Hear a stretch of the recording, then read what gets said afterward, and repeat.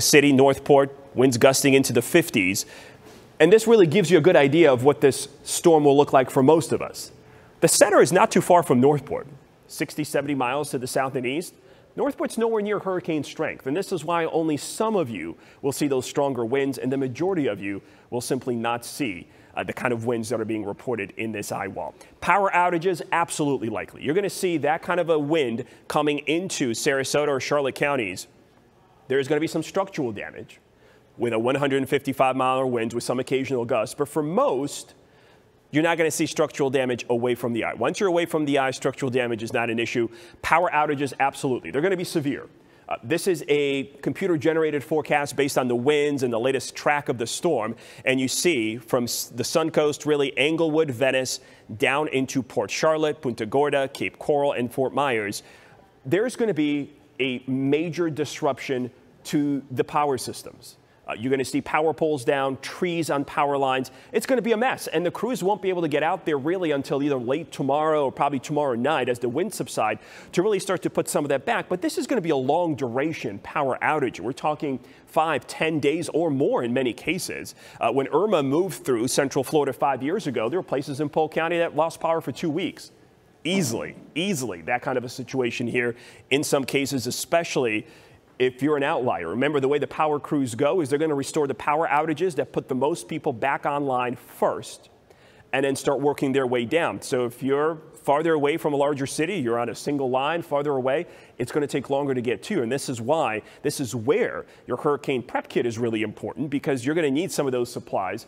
to get you through uh, that extended power outage. And some of those power outages could extend into Manatee County, a high level of power outages, Manatee over towards Hardee, DeSoto County as well, definitely Sarasota, Bradenton, Englewood, uh, all these areas you're going to see stronger areas of wind as well.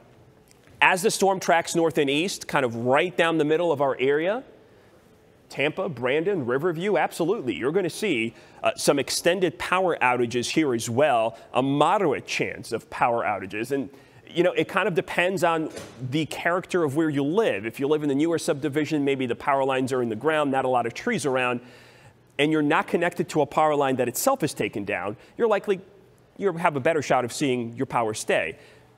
In some of the older neighborhoods with mature oaks, larger trees, you're more likely to have power outages there as these trees and especially tree branches fall. And then with the rainfall uh, increasing high as well, trees being toppled kind of complicates the situation as well. Power outage uh, situation continues to stick around. Some chance of power outages sporadic, hit and miss. Once the storm makes its way into Polk and Manatee and Hardee and DeSoto counties and Hillsborough County as well, the winds are no longer sustained.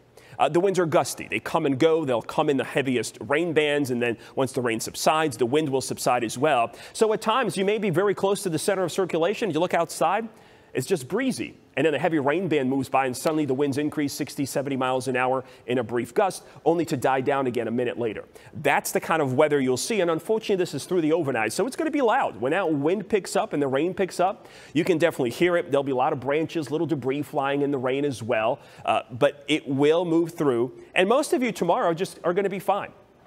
We're not going to see a lot of structural damage in the interior. We're going to see trees down and tree branches down. You'll likely wake up to no power. That's a pretty likely scenario for many of you. But in terms of actual severe damage or strong damage to your house, uh, that's not going to happen in any places other than where in the tiny area where that eye wall makes landfall, that's where that's possible. So for most of you, uh, this is going to be a, an issue in terms of cleaning up around the house and hopefully keeping large branches and trees away from your home. The only place we would see uh, any kind of structural damage is if a tree or a large branch falls onto your house. And of course, that's a different story. Uh, the reason why we're seeing the bay drain, love this Futurecast because it shows you where the wind is blowing out into the Gulf of Mexico. You're seeing uh, the winds here as the center of the storm, the eye then, the weakening eye, 4 o'clock this afternoon, moving through Hardee, DeSoto, and Polk counties. You're going to see that wind continue to push the water offshore.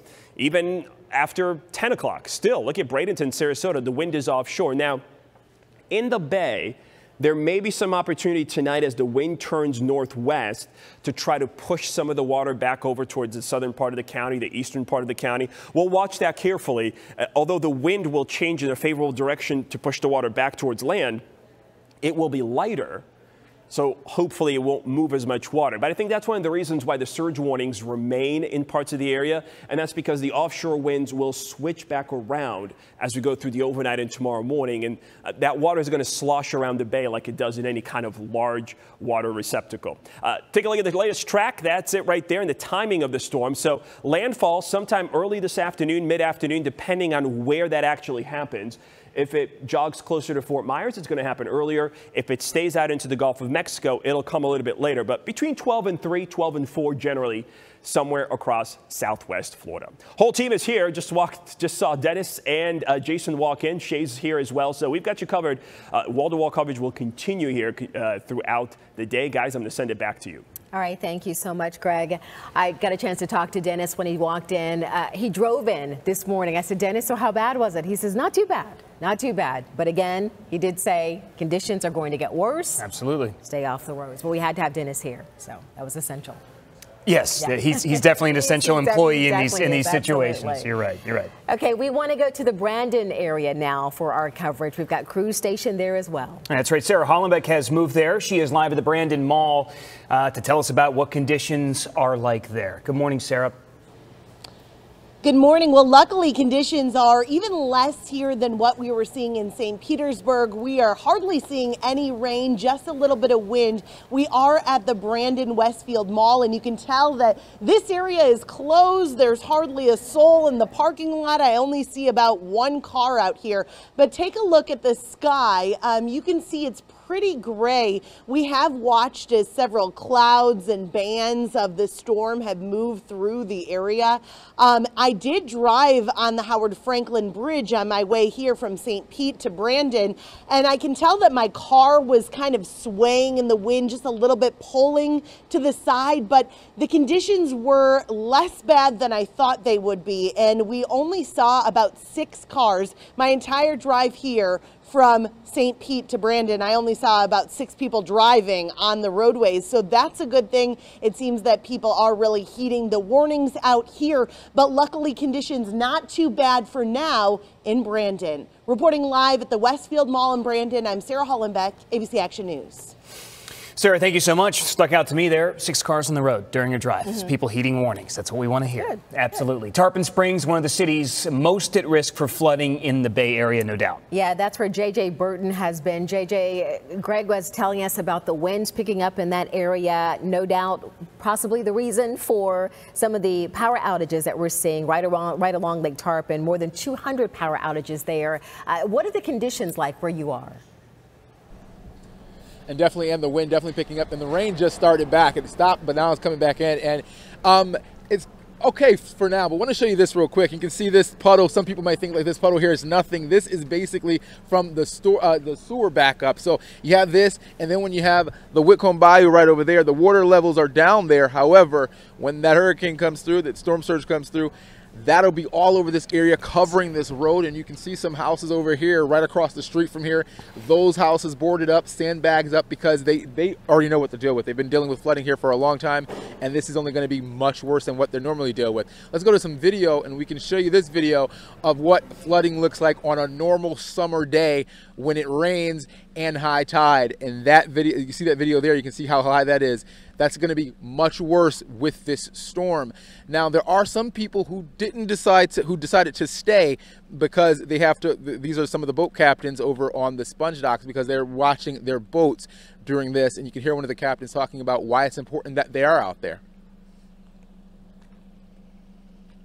We uh, have to loosen and tighten the lines to make sure so that way because if they're tied like normal and it comes up 10 foot, then the whole boat's going to go sideways and it's going to take on water. And again, those captains are experienced. They do this a lot. And again, that is their livelihood there. That's why they're watching this. I wanted to talk to some people as well. There, you know, some, some folks were out here walking, and you see the water levels in the Whitcomb Bayou are down. And there was a lady we talked to, and she's like, Yes, the water's down. It's going to be good. We're safe. But that does not mean we're safe. We are not out of the woods here. This storm is still very dangerous, still very serious. So, again, do not take this to, to mean that it, we're out of the woods. It's not the case. Reporting live in Tarpon Springs, I'm JJ Burton, ABC Action News. Not out of the woods at all. We're not even in there yet. No, we're not. Hasn't even approached us yet. So yeah. Not not even in, in, the woods just yet. Again, we're talking about impacts to the Bay Area here.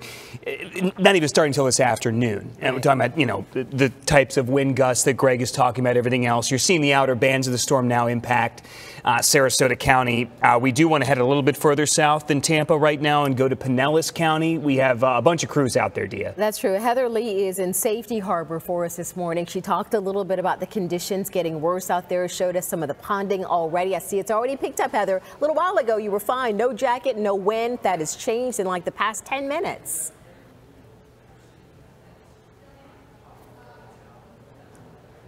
We're having problems with Heather's microphone, so we'll try to check back with the end with her in a little while again. Uh, the conditions out there have gotten a whole lot worse. When we checked in with Heather 10 minutes ago, she told us, I don't have my rain jacket on. There's no rain out here, just a little bit of sprinkle, no wind. And then we just saw her. She had to hold on to her hat, could not get her microphone on. That's how quickly things can change. JJ said, you know, uh, we're not out of the woods yet. That's how quickly things can change. We're not even in the woods yet. So be prepared. Don't go outside. Even if you feel like it's calm right now, just stay indoors. Let's go back to Heather now. Hopefully, we've got her mic situation um, fixed out there. H Heather, that wind is picking up.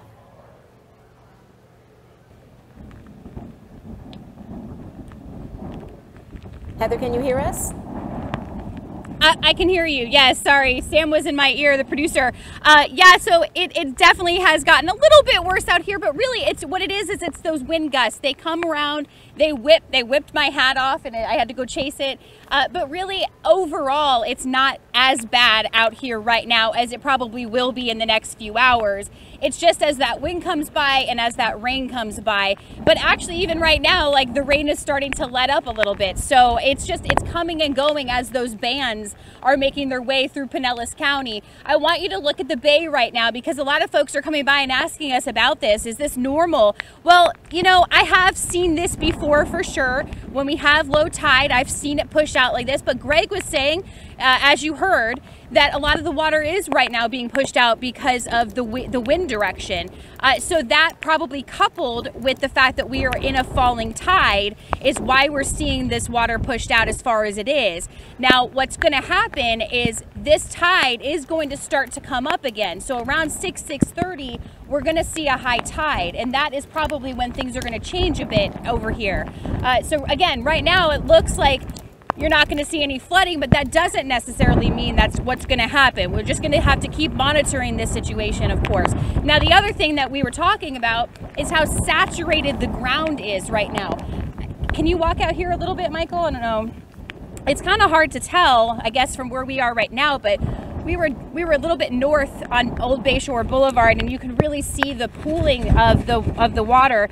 You know, this ground is just very saturated. Now, I should mention this area does get very saturated, but up a little bit uh, towards the street, uh, that's really saturated as well. And what that means is the more rain we get, uh, including all of that high wind, we could see trees falling down. And so that obviously is a huge concern for folks living in this area and really all over the Bay Area. That's something that we're going to need to watch. Um, and then, of course, just stay in your house because you don't want to be caught out uh, in high winds and again that saturated ground if a tree ends up falling because you just never know when that's going to happen. Uh, again, we will continue to monitor the bay. We'll continue to monitor the conditions out here. I'll hold on to my hat for sure, and uh, we'll check back with you in just a little bit. All right, Heather, so much. I just want to say something too about all our crews out there. Not overcooking it. No, no exaggeration here. You know, they're telling you exactly what the conditions are like, and you see Heather there uh, in Safety Harbor experiencing some yeah, stronger gusts of winds than we've seen to this point. Heavier rains are also moving further north across Florida. There is now some reaching into central Hillsborough County. I was mentioning when I took a break earlier, I saw that wind. It was like the rain looked like it was blowing sideways. And then we went to Robert Boyd, who is in Tampa, and it was clear out there. Mm -hmm. But mm-hmm. then, Robert, you did tell us that it's been coming in waves when those bands hit us. That's when you see it. You have breaks, and then you see that, that rain moving sideways. Yes, uh, very sporadic. As Greg Dee mentioned earlier, we'll have some strong gusts of wind and rain come whipping in here. We're on a second floor level looking out, uh, and then it'll kind of stop. And right now it's just a, a, slow drizzle and hardly windy at all. But again, that could all change in 30 seconds. That's how sporadic uh, it has been. Now take a walk with me. You can see this is Himes Avenue. Uh, typically this time of day, it'd be pretty busy. Uh, there's one car right now, and that's about the first car I've seen drive by here in about five minutes. So what typically would be busy, now here you got a couple going by, uh, is not, and that's a good thing. That shows that people are staying inside. They're not coming out. Uh, they're, they're keeping their cars in the garage where they belong. Uh, they're being safe. However, one thing I did notice is driving in today, a lot of people still have their patio furniture out there. They still have those tables out there. So please, if you have patio furniture, anything that could blow away, take it inside at least for the next 24, 48 hours, then put it back out uh, because you just don't know what could happen. If you can protect yourself in any way, you should do it. Uh, now, another thing I want to mention, take a look behind me. We're right across the street from Raymond James Stadium. of course, the Bucs, uh, they had to move their their practices down to Miami as they prepare to take on the Chiefs this week. Uh, but it just goes to show when it comes to these weather events, it's going to be bad, you know, in a lot of parts of Tampa Bay the next, uh, you know, 48 hours or so. However, though, things will get back to normal, and they're planning on having a football game uh, this weekend. So just to show there is light at the end of the tunnel. Uh, but as of now, uh, this rain picking up a little bit here in Tampa. Wind is not too bad. We'll continue to monitor the situation here in Tampa uh, throughout the morning into the afternoon. Back to you guys. All right, Robert, thank you so much. Right, right outside our, uh, right outside our station there, overlooking Raymond James Stadium. Uh, guys, are we going to Tarpon Springs next?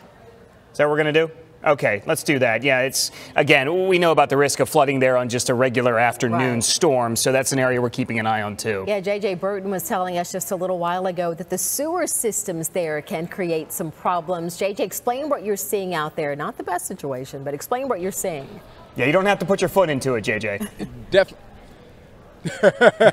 Definitely not the best situation. Okay, right over here we have the Whitcomb Bayou. That's down low right now. The water's low, but however, that's going to come back up. And we cross right across the street here, and you can see again some of the water right here. This is from the sewer.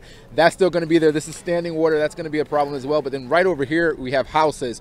They're boarded up. But these houses, these folks living here, they know what it's like, especially with flooding on a normal day. That's why most of these folks are gone. But you can see the sandbags by the doors. The windows are boarded up. They're hoping that they, when they come back home, that their their houses will be here and it'll be fine. But again, that's only time will tell. Now we do see some people out here walking and some cars out here more than probably should be. Definitely, folks, just stay in, indoors at this point.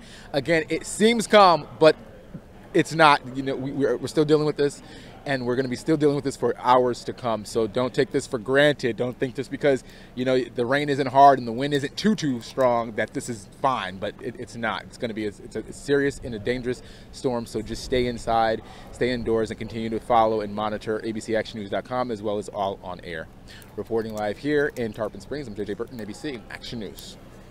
Okay, thank you so much, JJ. I want to get a look right now at some of the power outages that we're seeing around the Bay Area. Greg's been telling us about the winds beginning to pick up, and we're beginning to see the results of that. 392 customers right now without power in the Polk County area. Yeah, and uh, over 4,000 people right now in Manatee County without power. Florida Power and Light last updated this number at about 920 this morning. We will keep you updated because that number is sure to change. And right now, Duke Energy is reporting more than 1,500 customers in Pinellas County are without power. The majority of those are in the Belleair area. That is a huge increase compared to just an hour ago. And let's take a look at Sarasota. This is uh, Florida Power and Light reporting over 6,000 outages right now in Sarasota County. This coming in just about 20 minutes ago. A significant uh, decrease in outages compared to earlier. They were in about 13,000, so that's nice to see. We're going to keep you updated, of course, as that number is sure to change. And I want to show you this. This is from Hurricane Hunters. They are flying into the eye of Category 4 Hurricane Ian. This is such an interesting look into that storm. Uh, I know Greg Dee over there has something to say about this. Yeah, I actually saw the, this tweet from NOAA earlier this morning, and they were talking about how when you're going through that eye, you're punching through the eye wall. The pilot is so focused on just keeping the plane steady. The guy in the middle there, that's the flight engineer. His job is just to control the airspeed of the plane, to monitor the airspeed of the plane and the winds around it.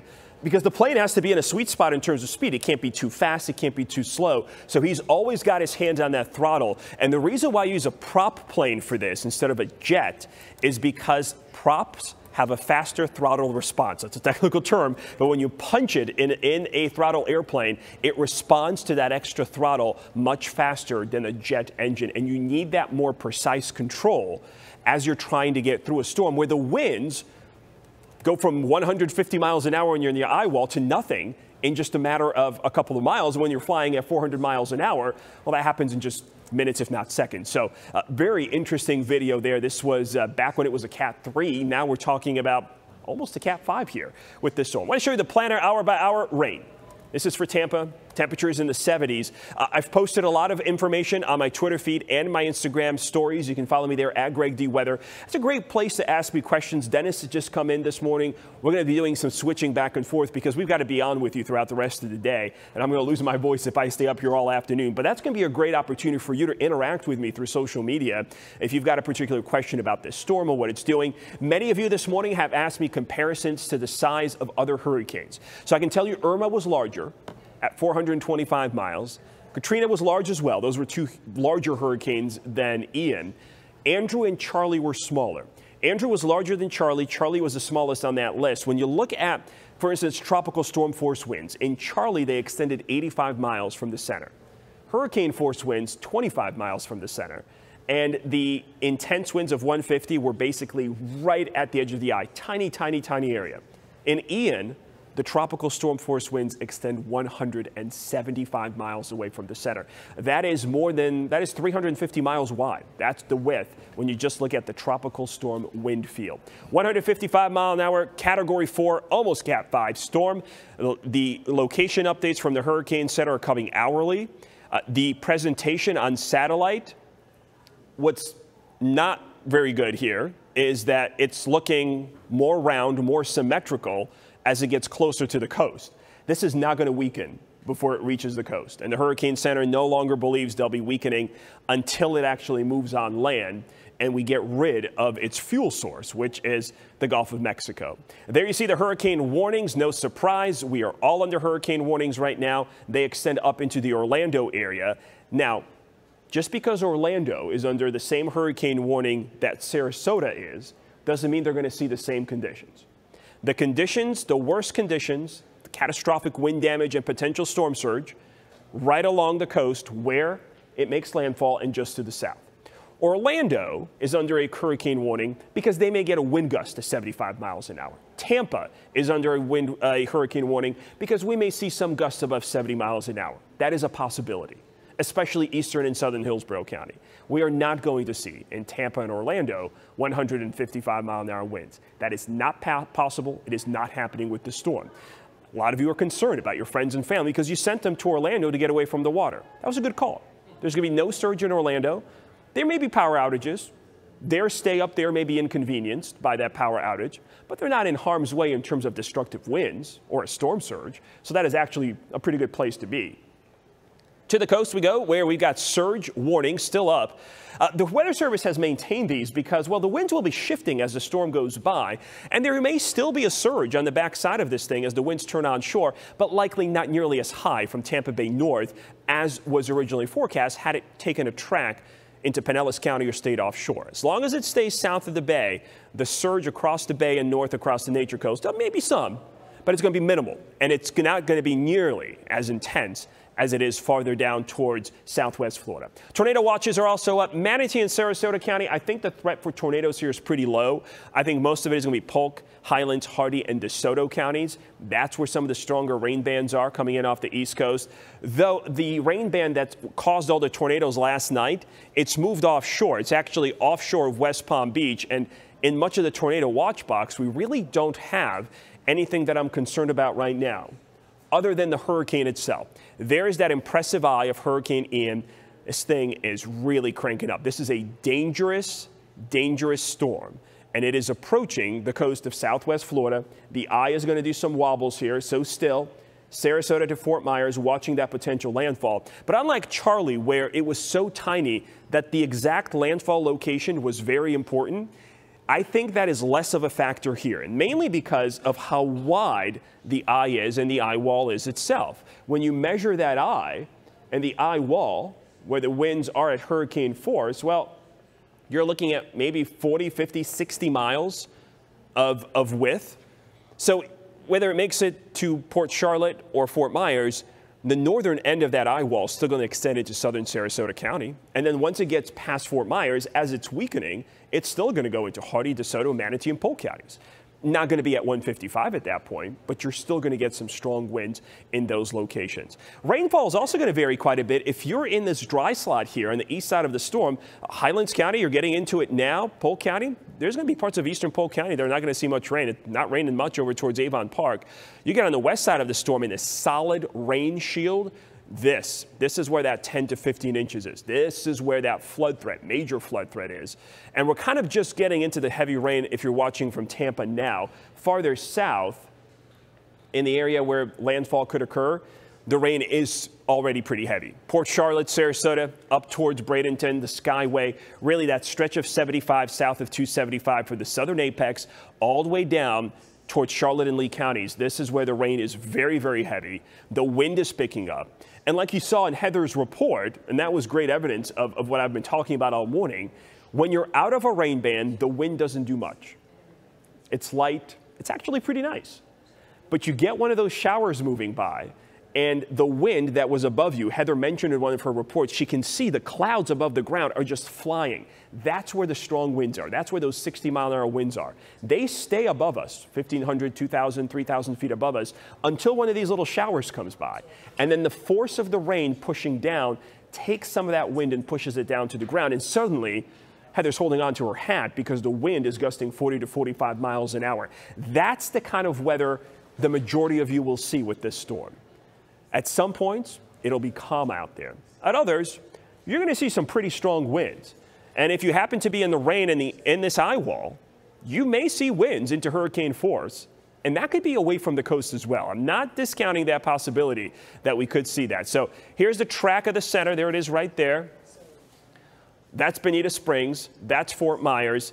The track generally north northeast generally takes it into that Port Charlotte, Englewood, Venice area on this track generally into this area of, of I-75. And this is where the surge is going to be. So you look at the path of the storm, and on the right side of it, this is where the surge is. And honestly, the Hurricane Center has been trying to keep up with this as best as they can. The original forecast here was 6 to 12 feet of storm surge. But once it intensified to 155, they rerun the models, look at the past storms, what the seabed here looks like, and that forecast has now been increased to 12 to 18 feet. So, what was once the maximum storm surge expected in southwest Florida and southern Sarasota County is now the minimum, and the maximum is now 18 feet. Uh, the last storm in memory in Florida that I can remember that caused that kind of a storm surge, similar, is Michael up at Mexico Beach. The storm surge there was 15 feet, right at Mexico Beach where that storm made landfall possible that we see like something like that again here across southwest Florida. We could see some of that higher surge move its way over towards the southwest side of the state, where the water and the wind are going to be pushed on shore as we go through the next several hours. And that's going to be up until the point of landfall. So the storm continues to track north northeast. It'll maintain its intensity. Actually, very shortly, some of these uh, areas here. Uh, over towards uh, Sanibel, uh, Fort Myers Beach, they're going to start interacting with the outer kind of edges of the eye wall. So we're going to start to get some hurricane force wind gusts likely around Fort Myers Beach and areas up towards Cape Coral, heading back up towards Punta Gorda over towards Port Charlotte. And then as the eye continues to move in, southern Sarasota County, we'll start to see some of those stronger winds up there as we go into the next several hours. And once the winds move ashore, they'll continue to spread to the north and east. But the most intense winds, those 155 mile an hour winds, are just in the northern part of the eye wall, right there.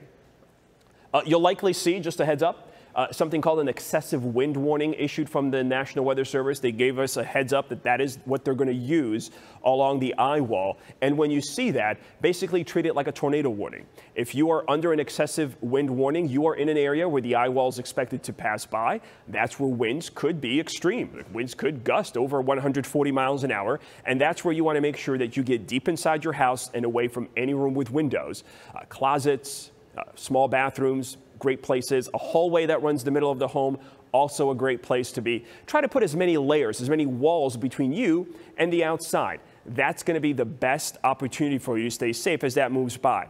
But that's going to be just a few of you. The majority of you will not be in that part of the storm. Tampa, St. Pete, Lakeland, yeah, you're going to be in the path of it in, in the larger overall storm. Uh, but as far as those very strong extreme winds, uh, most of you are not going to see that. That's going to be at the coast. Once Ian makes landfall and continues to track, and go back to that track here to the north and east, it'll start to weaken. So yes, the path does take you into Polk County. Polk County, you're not getting a Category 4 hurricane. But you remember Irma.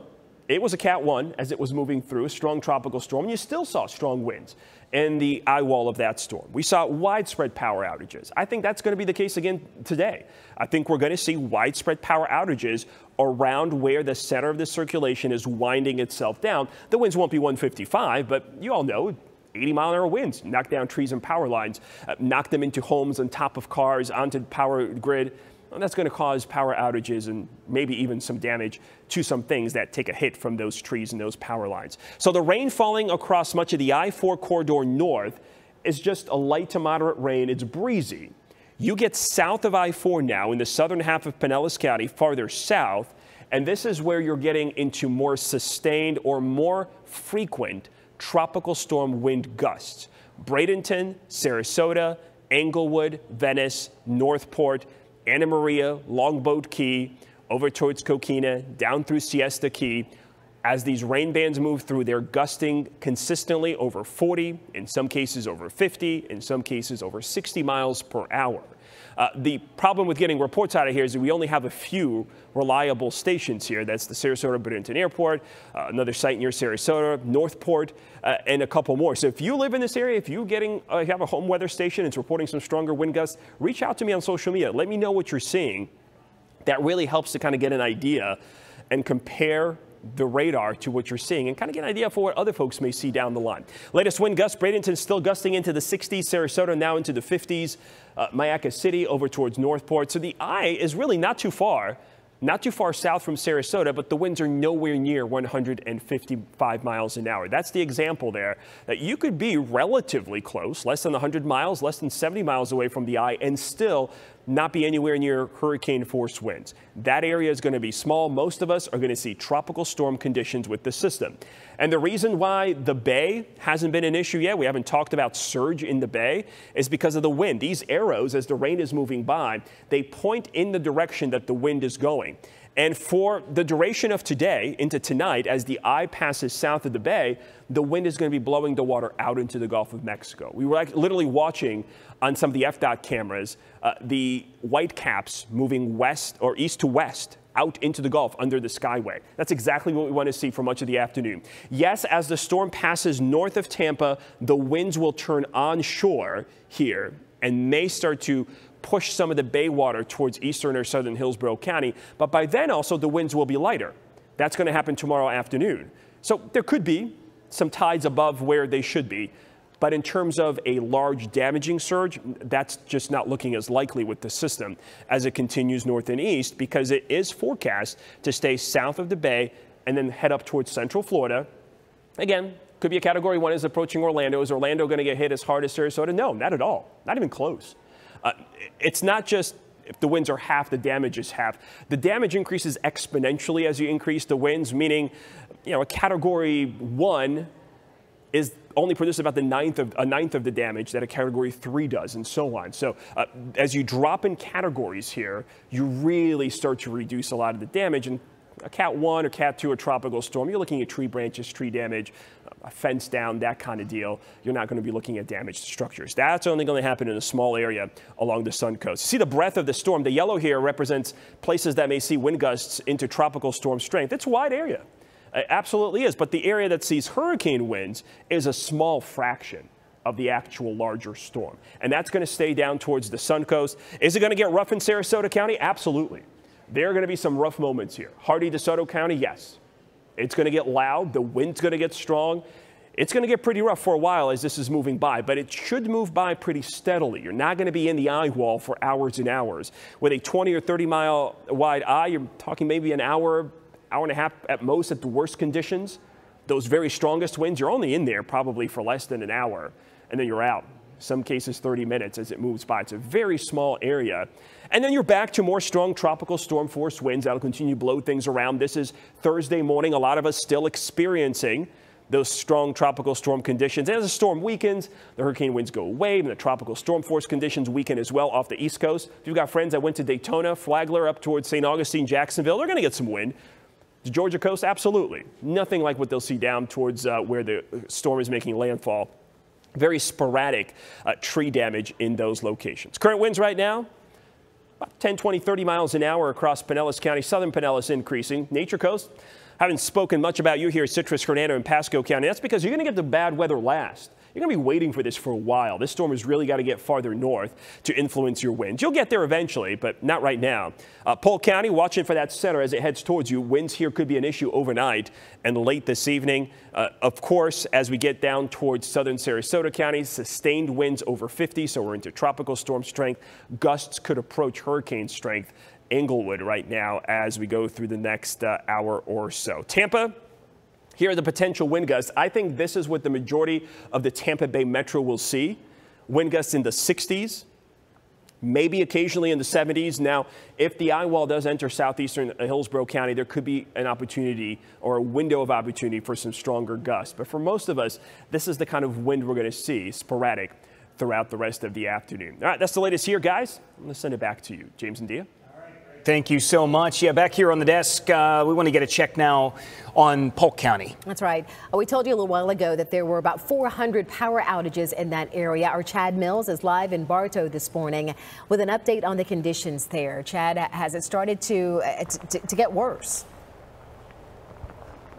Well, rain is certainly harder from the last time I joined you. When I last joined you, by the way, I was in downtown Bartow. We're now east of the Peace River. We're in a mobile home park known as the Peace River Village. We're in the back corner of it, and behind me, just behind these trees, maybe not even half a football field length away, is the Peace River.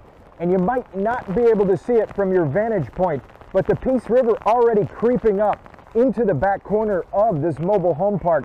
If you look over here, not a whole lot of water to see right here right now, but this wasn't here just a little while ago. This is new since we got here about 30 minutes ago. That shows you that the river already encroaching on these homes. We talked to one of the homeowners here. He tells me all it takes is about 30 minutes of hard rain here on a good day recently, and the water is up to your ankle. That's because they've had so much rain during the month of September. Also, the Southwest Florida Water Management District, according to the mayor of Bartow, started releasing water from Lake Hancock. That's kind of the origin of the Peace River behind me in preparation for heavy storms to kind of lower the level of the lake there. Well, it's meant that the river level, the Peace River level has been higher. Hasn't really been too much of a problem until now. Now it is a problem for these neighbors. Many have evacuated, but just driving through this mobile home park, a number of neighbors chose to hunker down. They did not leave the neighbor we talked to believes that they could see about a foot of water around the homes, especially in this back corner. Now they are elevated, they're off the ground, so he doesn't think that water will enter his home, but he doesn't know. And he says it's a very real possibility that they do take on water in these homes. I talked to him just a few minutes ago. I want to play you part of that exchange. Are you worried about this one? I know you've weathered storms in the past, but are you worried about this? My whole life, uh, been through countless storms. Uh, what I'm worried about is getting back in.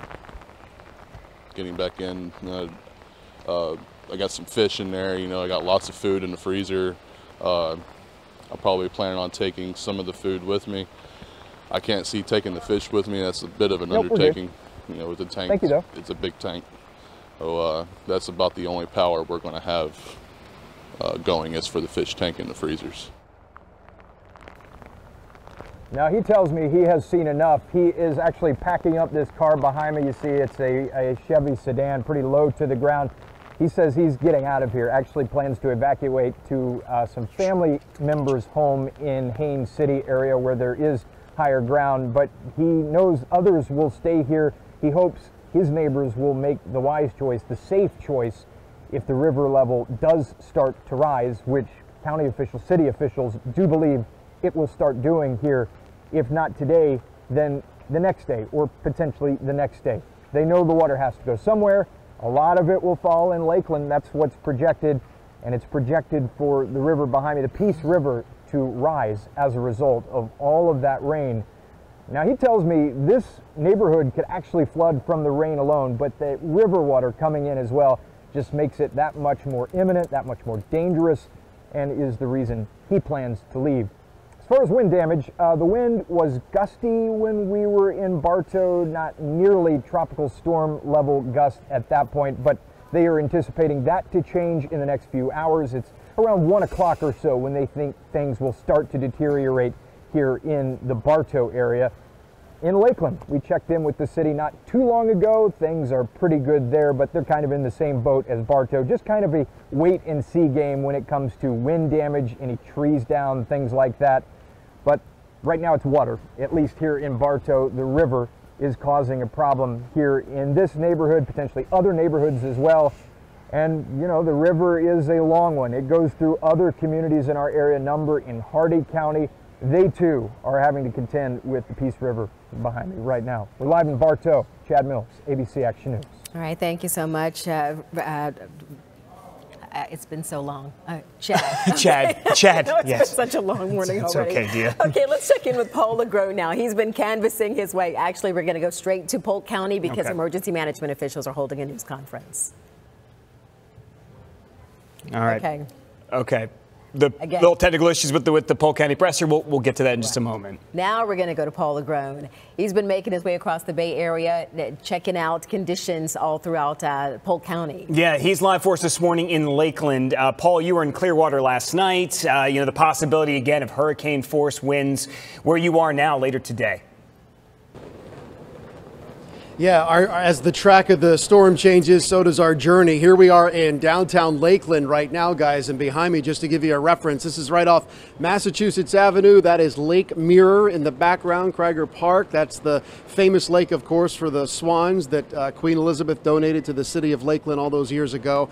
Uh, so the story here in Polk County, as you've been hearing, no doubt, is that the storm is now going to move its way up the spine of Florida, and it should be a Cat 1 hurricane by the time it hits Polk County, Lakeland area. And so the problem, two things. One, those Cat 1 hurricane force winds of gusts up to 85 miles an hour. Two, the rainfall over a sustained period of time here. Uh, so flooding is going to be an issue uh, as it goes through Lakeland, Lakeland and then makes its way to Polk City and the Four Corners area. Uh, we're thinking about 18 inches, 20 up to 24 inches of rain possibly in this area. I want to go now to uh, the presser, the news conference uh, in Polk County right now. Emergency leaders giving us an update, so let's listen in. Correct. Um, I mean, the storm is, I mean, it's been raining here since last night. The storm is here. The center of the storm, which is the wind hazard, is almost here. It will be here later this morning and, and into the day. Um, and then, you know, the rain will continue tonight. And when that center of the storm comes through, that's when the most rain will fall. So that will happen this afternoon. I want to make sure my information is correct. What I'm hearing is that at about 2 o'clock it should be, what, making landfall and then in Polk County by around 2 a.m.? Yeah, the the exact timing, you know, at this point, the hazards the hazards are going to be the same in in Polk County, um, and the timing, yeah, is starting now, and then you know through this afternoon into the night. Not getting any better until at least tomorrow afternoon is what everyone should plan for. And how many different areas are vulnerable? And what are they? For for flood, the entire county.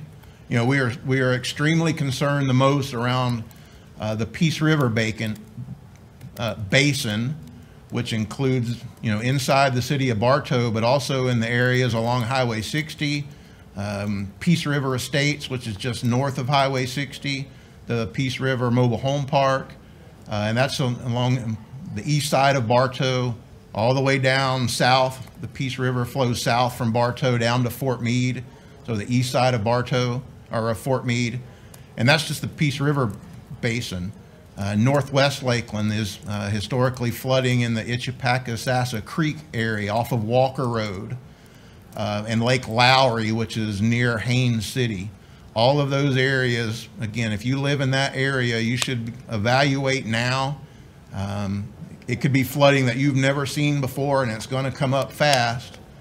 you should make other plan. You should plan to leave, have a plan, and be ready to go in a moment's notice um, if the conditions warrant. We just don't have any history with this um, a large amount of water coming this fast, and you always want to react on the side of caution.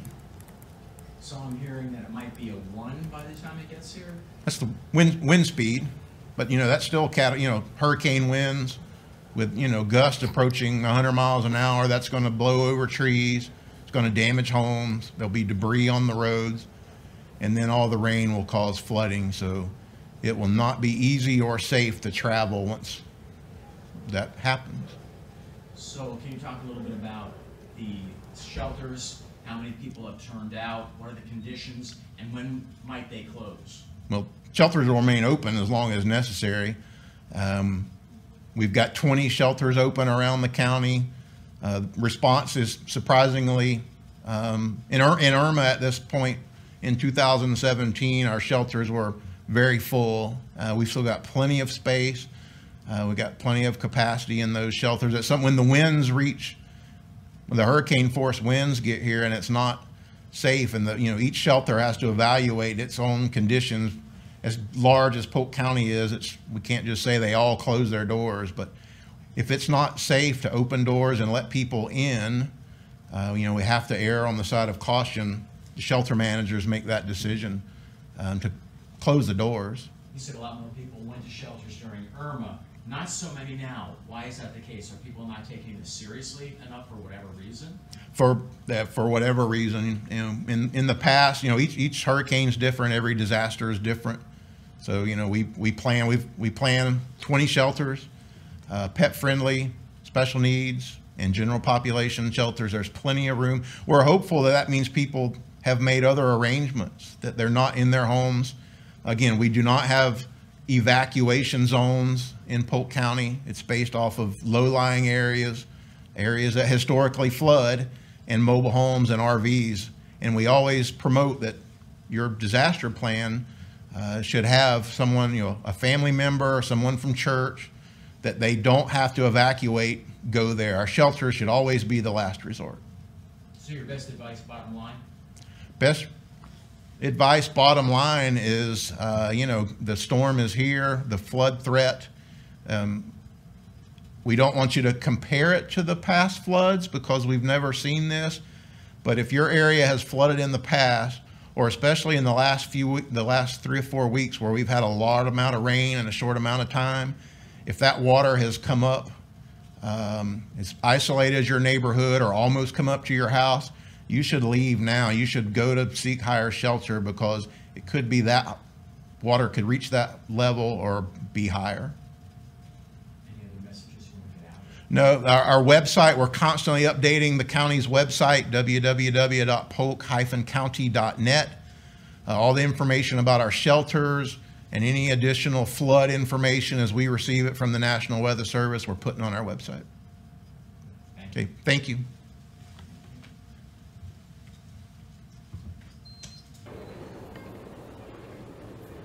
All right, emergency leaders there in Polk County giving you the real time live update there on what is the reality check right now. If you're waking up, the headline is as we know, the path has shifted, but here in the city of Lakeland and Polk County and the surrounding areas, it is going to be a Cat 1 hurricane. Uh, by the time it gets here, as it moves up the state. So that means gusts of up to 85 miles an hour. The other part of the physics of this storm will be the rain. Too much, too fast. We're talking uh, up to 24 inches in some places, perhaps more, because this storm, Hurricane Ian, is moving at such a slow pace. Right now, around 10 miles an hour, it is going to crawl over this area. And so, when you have that much wind for that long, that much rain for that long, you know, as Greg Dee and Denis Phillips and Shay Ryan have been telling us, you hide from the wind, run from the water. Unfortunately, depending on where you are in the chapter of this hurricane, you're going to have both. So, hunker down, be safe. It goes without saying. The other part of this situation, guys, is we journeyed from Clearwater Beach to Lakeland this morning, you know, a lot of people thought they were going to beat the storm by coming here because originally, as you know, the path was supposed to either hug our coast or be more of a Tampa Bay storm. So they actually, uh, folks from Clearwater Beach, folks from the Tampa area, they came here uh, to ride it out. And so now they find themselves in a situation of, is this where they want to be to, uh, to, to hunker down for a Cat 1 hurricane? Obviously, you know, I, I, hate to characterize any kind of situation. You don't want to minimize a Cat 1. You, you, you know, obviously it's better than a Cat 4. Um, but uh, everyone's got to assess their situation, particularly in those areas uh, that he was mentioning along the Peace River Basin where there's going to be some flooding. And if you're in a mobile home and that kind of structure, that's going to be an issue. Um, we actually spoke to a couple just before you guys came to us from Australia. They were here on vacation. Uh, we'll show you what they had to say a little bit later, but for now, I'll send it back uh, to Dia and James uh, with the update here in the city of Lakeland. Conditions, uh, you know, not completely terrible right now. Obviously, it's going to get a lot worse, guys. So uh, just uh, everyone hang on. Yeah, hang on. Mm, hang on is right. Hang on and hang in there. Hang on and hang in. And the same thing threatening Lakeland, uh, also threatening Pinellas County, the strong winds, of course, the flooding, storm surge. That's where we want to go now. We have several crews in Pinellas County this morning. Heather Lee has been showing us just how quickly the conditions there can turn from calm and peaceful to windy and rainy. Heather, what's it look like out there now? Well, good morning, Dia. The rain is just slightly picking up, not much though. It's still more of a sprinkle than anything else.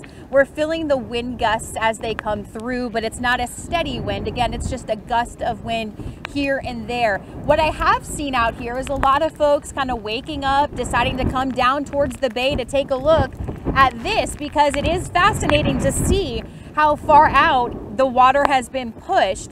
And we're seeing this in different parts of the bay. And we know from what Greg Dee told us that the wind shift is helping push some of the water out of the bay. And you're seeing that here. I think that coupled with the fact that we are also in a falling tide situation where we should be at low tide around 1 p.m. today, uh, that is why you're seeing the water pushed out as far as it is. Now, I've been monitoring the tide, and I do believe that that tide is going to come in around uh, 6 6:30 ish or so. And when that does happen, I do believe that the water is still going to come up because also Greg did say that when that happens towards that time, we're going to see the wind shift as well. So I think those two combined is going to cause some of the water to come up. And again, this area here typically does get saturated in a normal storm, a normal rainstorm, summer storm. So I think during this hurricane, we're going to see this area of Old Bayshore get a little saturated. And then I think we might even see water potentially come up to the street. I have seen that before. In fact, I saw that during Hurricane Irma. Uh, and as you can see, there are a lot of trees lining this um, this roadway and there's a lot of trees in Safety Harbor. Really, there's a lot of trees all over our area. A lot of old oak trees. And uh, so with that saturated ground and the high winds, as Hurricane Ian starts to make its way into our area, we could see down trees. So that's something that we need to watch out for. That could be very dangerous. And of course, you never know when something like that's going to happen. So you just need to stay inside you need to watch us. we'll keep you updated, don't worry. Uh, and again, uh, we'll be out here. We're, we might end up going a little bit more towards uh, Palm Harbor, Ozona, uh, Crystal Beach. Those are areas along the intracoastal that tend to flood. We're going to probably head that direction a little bit. Um, so we'll give you some updates uh, throughout Pinellas County as the evening goes on. Uh, for now, we're going to send it back to you. Heather Lee, ABC Action News. All right, thank you so much, Heather. This really is the safest way to get a look at what's going on all around the Bay Area. We've got all the images, crews spread out all around the Bay Area. Sarasota County, we've been telling you, is the first Bay Area county that is forecast to feel the impact of Hurricane Ian. 6,000 customers right now without power, but that's down from 13,000 earlier today. It's going to get worse all throughout the day. Again. Yes, it's, it's a good number to report, good yeah. progress, but it's going to get worse before it gets better, as you mentioned. We have our Jada Williams. She's been in Sarasota since yesterday. And of course, a lot of things have changed with this storm and its track since yesterday. Jada, give us an update on conditions and what you're seeing. Yeah, I'm, the conditions continue to uh, get stronger. I've been out all day since about 2 o'clock, and the rain progressively is getting heavier. That wind is progressively getting stronger. Now, take a look behind me. I am at Riverview Elementary School. You can probably see some of that rain just whipping off of the top of this building. Uh, the wind really strong, the rain coming down as well. So this is, of course, not one of those conditions that you want to be on the road in or that you would like to be driving in. We are here at one of the shelters here in Sarasota County, one of those shelters. Uh, it's Riverview Elementary School, and that, or sorry, Fruitville Elementary School. Not a lot of people who are here right now, but those conditions, a lot of people who are here saying that they're not going to chance it. They want to find a safe place where they know they will be safe from that storm and stay there throughout. Now, that shelter is currently closed right now. That's just because of those conditions that are progressively getting worse. We are getting closer to seeing the worst of Hurricane Ian. You can probably hear that wind whipping around right now. I will continue to report live for you from what's happening here in Sarasota County, specifically here from the shelter. But for now, reporting live, Jada Williams, ABC Action News. All right, thank you so much, Jada. Stassi Olmos joins us now live from Ben T. Davis in Hillsborough County. James, we're watching conditions there deteriorate as well. Exactly. I'm kind of curious to see what it looks like now since we've last checked in with Stassi. Uh, yeah, again, you mentioned Ben T. Ba. Davis Beach there. That's right out by Whiskey Joe's off the causeway. Stassi? Well, hey guys, so we just got up. We got out here uh, to what the the beach right next to Whiskey Joe's. As you can see, two men right now just out there taking pictures, and we are seeing the same exact thing that Heather was seeing over there by the ocean. Really, uh, I mean the Gulf. Uh, you know, the the tide, as you can see, is just completely uh, out of the bay right here. The water normally up to the Courtney Campbell Causeway there's no water. You could you could technically walk on it, but you're also seeing those really strong winds right now, up to uh, my phone's telling me 20 miles per hour. We're getting the rain, uh, and we do expect that high tide to come in later this evening when we do expect to see some of that storm surge. So as of right now, out here, it's pretty calm. Uh, we are seeing some of the effects from the storm, some of the bands uh, hitting our area, but right now still safe and we're not seeing too many people out on the roads, which is a good sign. Of course, we're going to continue to check it out here in Tampa and let you know. Back to you guys. All right, get your hat, Stassi. Go ahead and get your hat. Uh, that rain coming ben, down. And look, Ben T. Davis is typically a small beach. It, it mm-hmm. is a small beach. It's a small beach, but you see the water kind of push back a little bit. You notice that a little bit in the direction the wind is going. Okay, we've been keeping track of power outages all morning long for you as well. The number, of course, increasing. It can only be expected to increase as Hurricane Ian moves through our area. Yeah, we told you earlier there were 13,000 customers in Sarasota County that were without power. That is now down to 6,000, but we certainly expect it to rise once again as this storm begins to make, a, make landfall. We can't stress enough the importance of charging up your electronic devices, especially your phone, if you still have power. That way you can stay up to date on every uh, aspect of this storm. It's been changing minute by minute. Also, be sure to download our ABC Action News app. Grab your phone if you have it handy, open your camera and point it at your screen. This QR code will connect you to our apps in the App Store and also on Google Play. There you can find the live interactive radar in your neighborhood. Also, you can watch ABC Action News and ABC Action Weather 24 7, even if you lose power at your house. Yes, and no matter where you are the next couple of days, want to make sure you're able to get up to the minute information on Hurricane Ian, even if you can only hear us. That's why.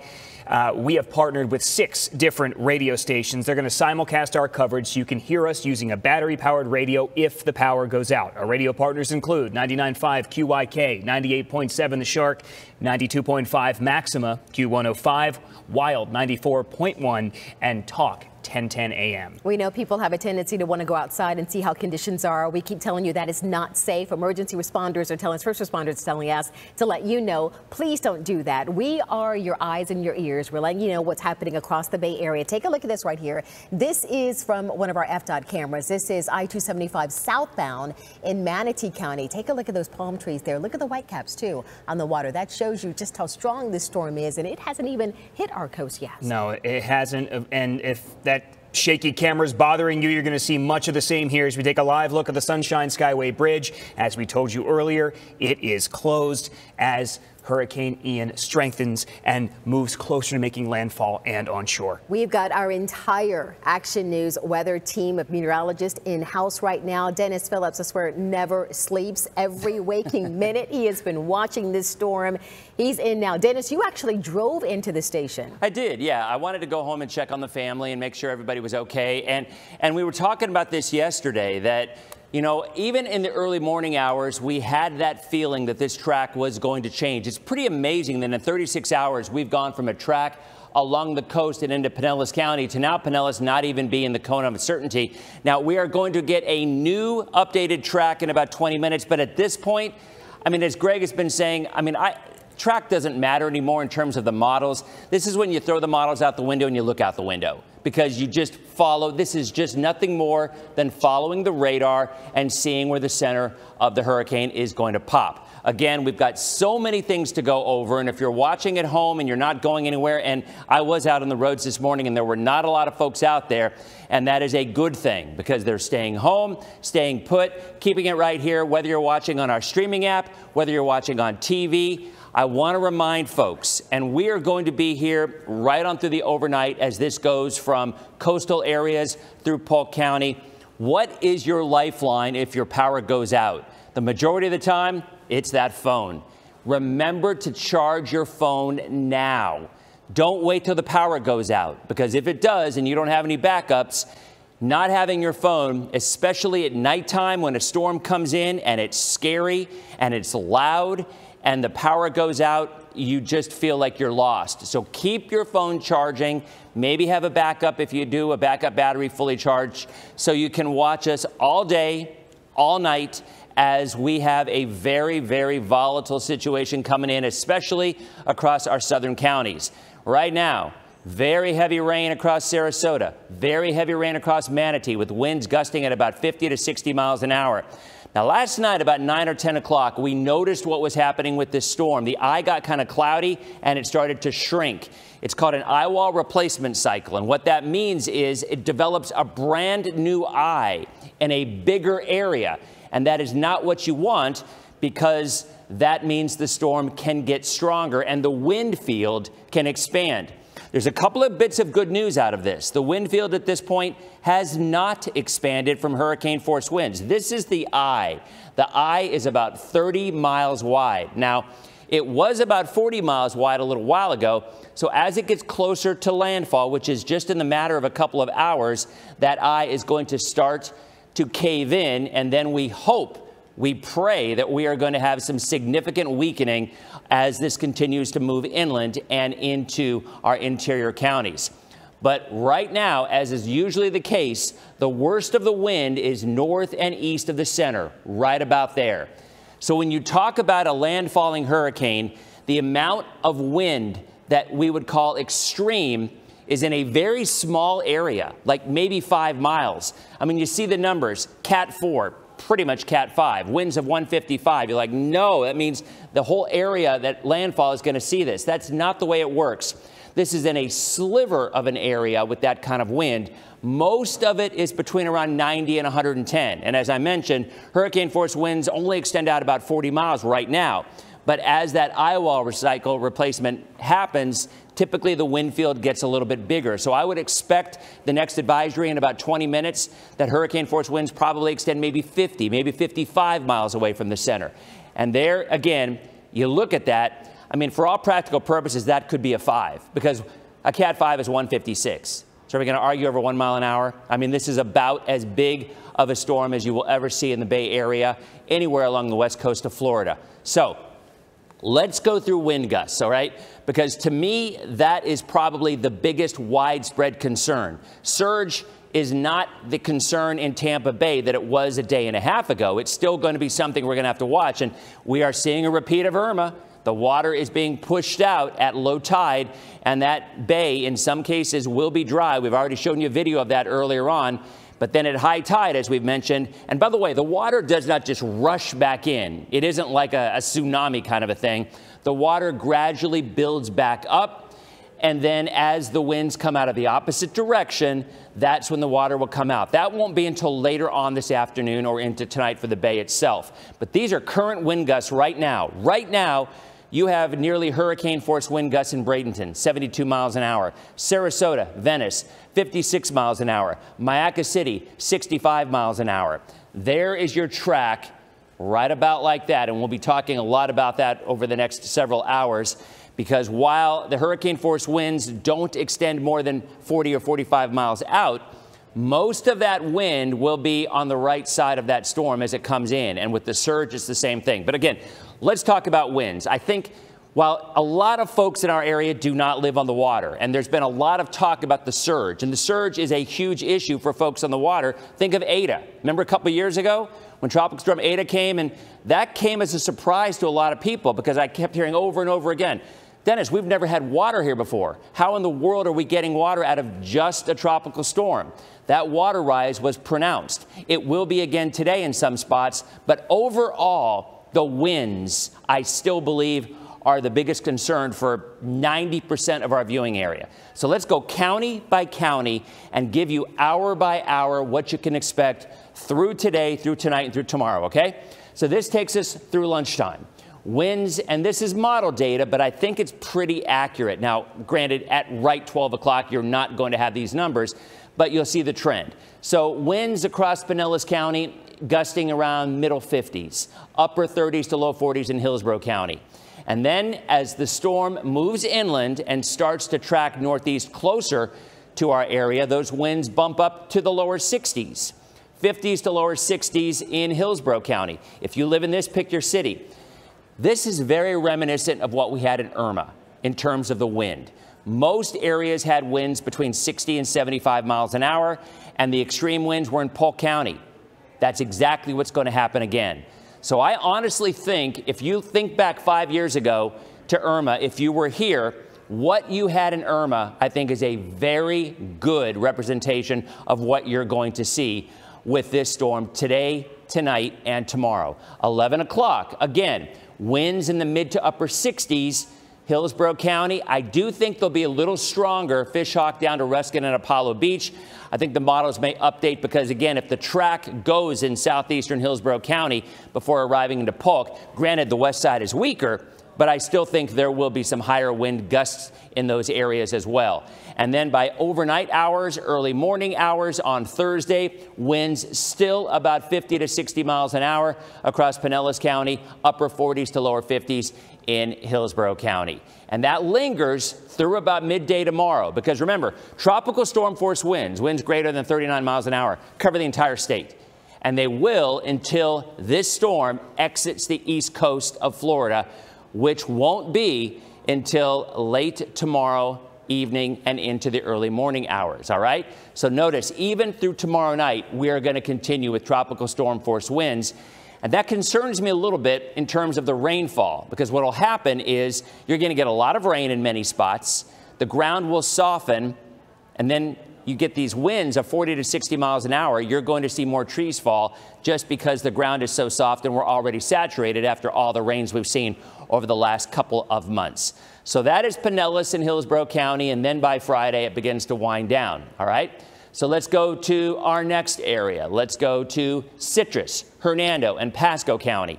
These are your expected wind totals. Obviously, Citrus County, you don't have too much to worry about based on the track. Hernando County, you don't have too much to worry about. However, there will still be a little bit of surge along the west coast. We'll have to watch it. I don't think it'll be extreme, and certainly things you've gone through a lot before, but that is something to remember. Pasco will have heavier winds just because you're closer to the center, and right along the coast, they will be higher because the winds are stronger along the coast because the air travels over the water. There's nothing to slow it down, there's no friction. So along the coast, you're going to have higher windfall totals than you will inland because as the air travels over land, it'll start to slow down with the friction over land. I mean, that's a little sciencey, I get it, but we're going to be together here as a group for 24 hours, so we have our chance to not just talk about the numbers, but also give a little explanation of why. So later in the afternoon into this evening, we are still looking at winds in the mid to upper 60s from most of Pasco County, from Hudson down to New Port Richey, Port Richey, all the way down to Holiday and into northern Pinellas County across Land O'Lakes, Lutz, Zephyrhills, Dade City, again, low to mid 50s. By 11 o'clock tonight, again, 50s and 60s in terms of wind gusts. The one thing you are not seeing is anything close to hurricane force sustained winds. So I repeat, this is going to be a major headache. There will be trees down. There will be a lot of issues. But in these counties from Pinellas County north, we just simply don't expect any structural damage from the wind unless you have a tree go down. That is really the only big concern. And I'm telling you, I, I will go back and look at what happened with Irma. I mean, these totals are going to be very, very similar. Heaviest track will be from Sarasota County through Hardee County, southeastern Hillsborough County, and unfortunately Polk. And I feel for you in Polk County, I do, but I want to spend a little bit of time on Polk, especially for a number of reasons. All right, Polk County two days ago, you're like, we're good. We're in a tropical storm warning. We're not in a hurricane warning. The storm's going to go north and everything's good. But these storms in Florida coming from the south, they just like to go into Florida late September into October. It's what happens. And at the end of the day, you're going to have to deal with it again. And the one thing I want to stress, please think of this. If you live in Polk County and you live in a mobile home, you will have winds near that track of hurricane force or greater. You do not want to stay in a mobile home if there are sustained winds of 70 miles an hour or greater. You don't want to. It's too dangerous. You still have an opportunity to go to a shelter. You've got time. And we had the folks from Polk County, the EOC, a little while ago saying that the shelters were still available. There were spots. And I think maybe the reason, and he even said in Irma they were full by now, because I think a lot of folks in Polk County thought we were going to have issues and they got out early. This came last minute. I mean, this track changed last night. So I think a lot of folks went to bed before they found out about it and are just waking up this morning like, what? How did we get involved in this? So that unfortunately is what we're looking at now. If you live in Polk County, I'll say it again, do not try to ride this out in a mobile home if you're in an area that expects winds of 70 miles an hour or greater. So overnight tonight and into the early morning hours, there will be winds. The models are kind of underplaying this a little bit based on the Hurricane Center between about 70 and 90 miles an hour. But the storm will be weakening as it comes in. So that's something to remember. And there's the track. I mean, if you've got the center of what is likely still expected to be a Cat 2, these numbers are going to be higher, although you are on the northwest side, and that is weaker. So that's a fortunate thing for Polk County. If the track does go in this general direction, the winds east are going to be stronger than the winds to the west side. But this is not one to mess around with. This is reminiscent of Irma. Remember five years ago when Polk County was the only area in our viewing area that had an extreme wind warning with winds of 100 miles an hour. So I still believe, obviously, areas to the south are going to get the bulk of this.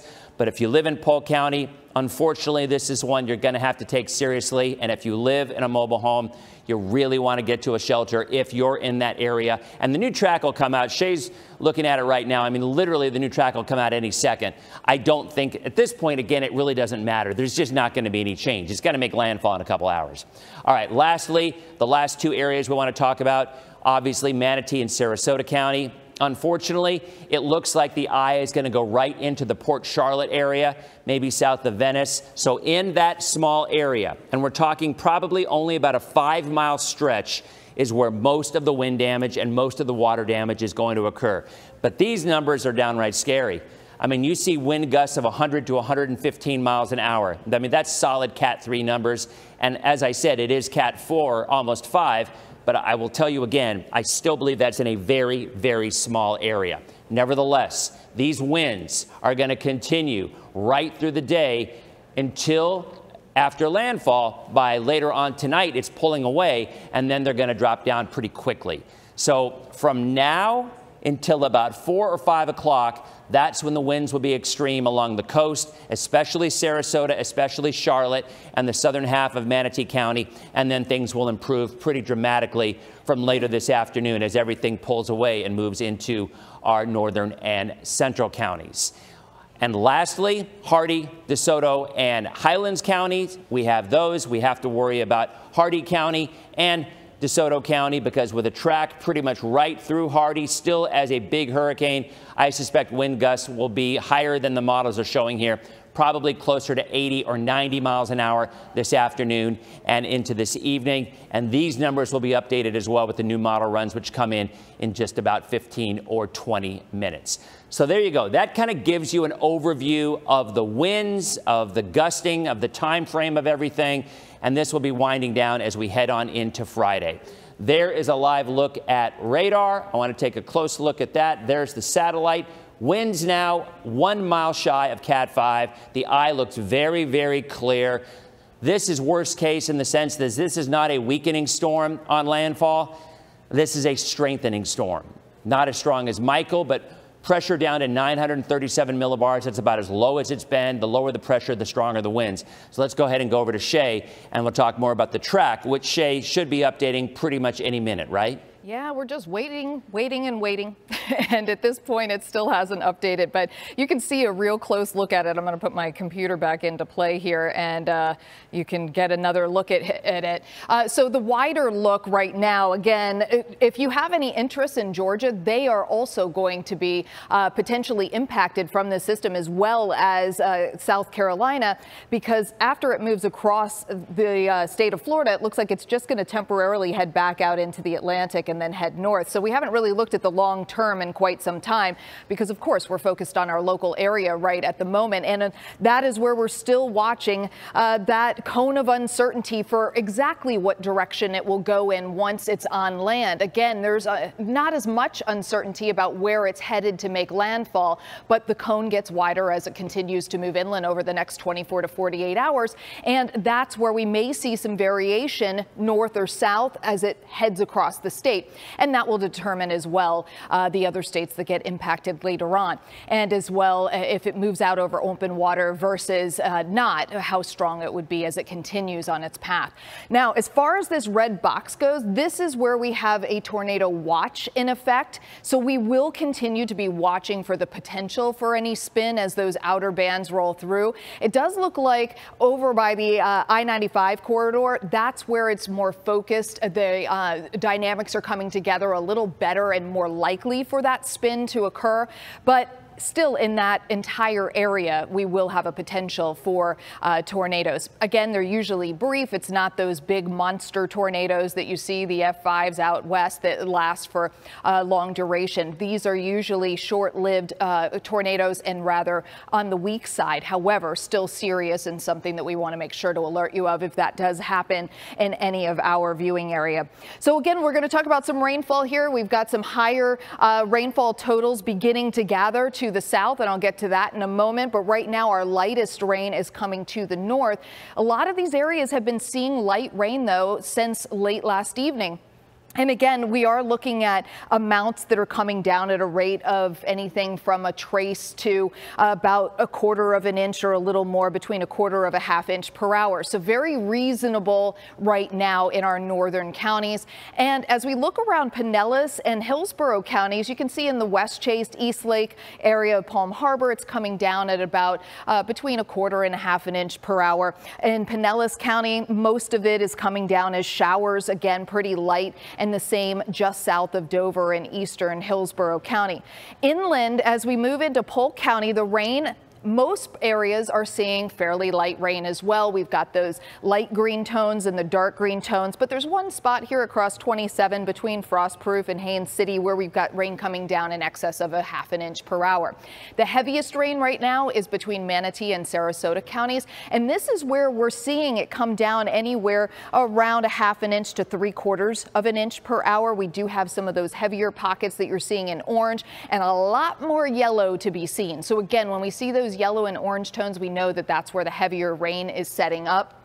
And as we look inland through Hardee and DeSoto counties and uh, Highlands County, still very light, almost a mist in some parts of uh, Highlands County like Sebring, just a little bit heavier here with a pocket of heavier rain just south of Lake Placid. And then we've got rain coming in anywhere from a light sprinkle to a little over a half an inch in, uh, in uh, let's see, what county was that? Hardee County.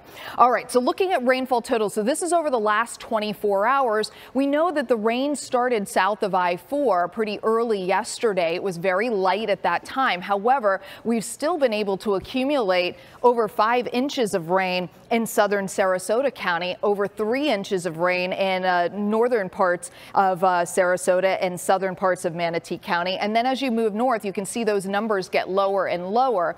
And that's how the rain, that light to moderate rain built into the area yesterday. But what's also contributing to some of these heavier rain uh, totals here in Sarasota County are that they're starting to see those outer bands that contain the very heavy rainfalls. So we actually have a spot here between Englewood and Venice that's already received over six inches of rain in the last 24 hours. And we are just getting started with those heavier bands rolling through.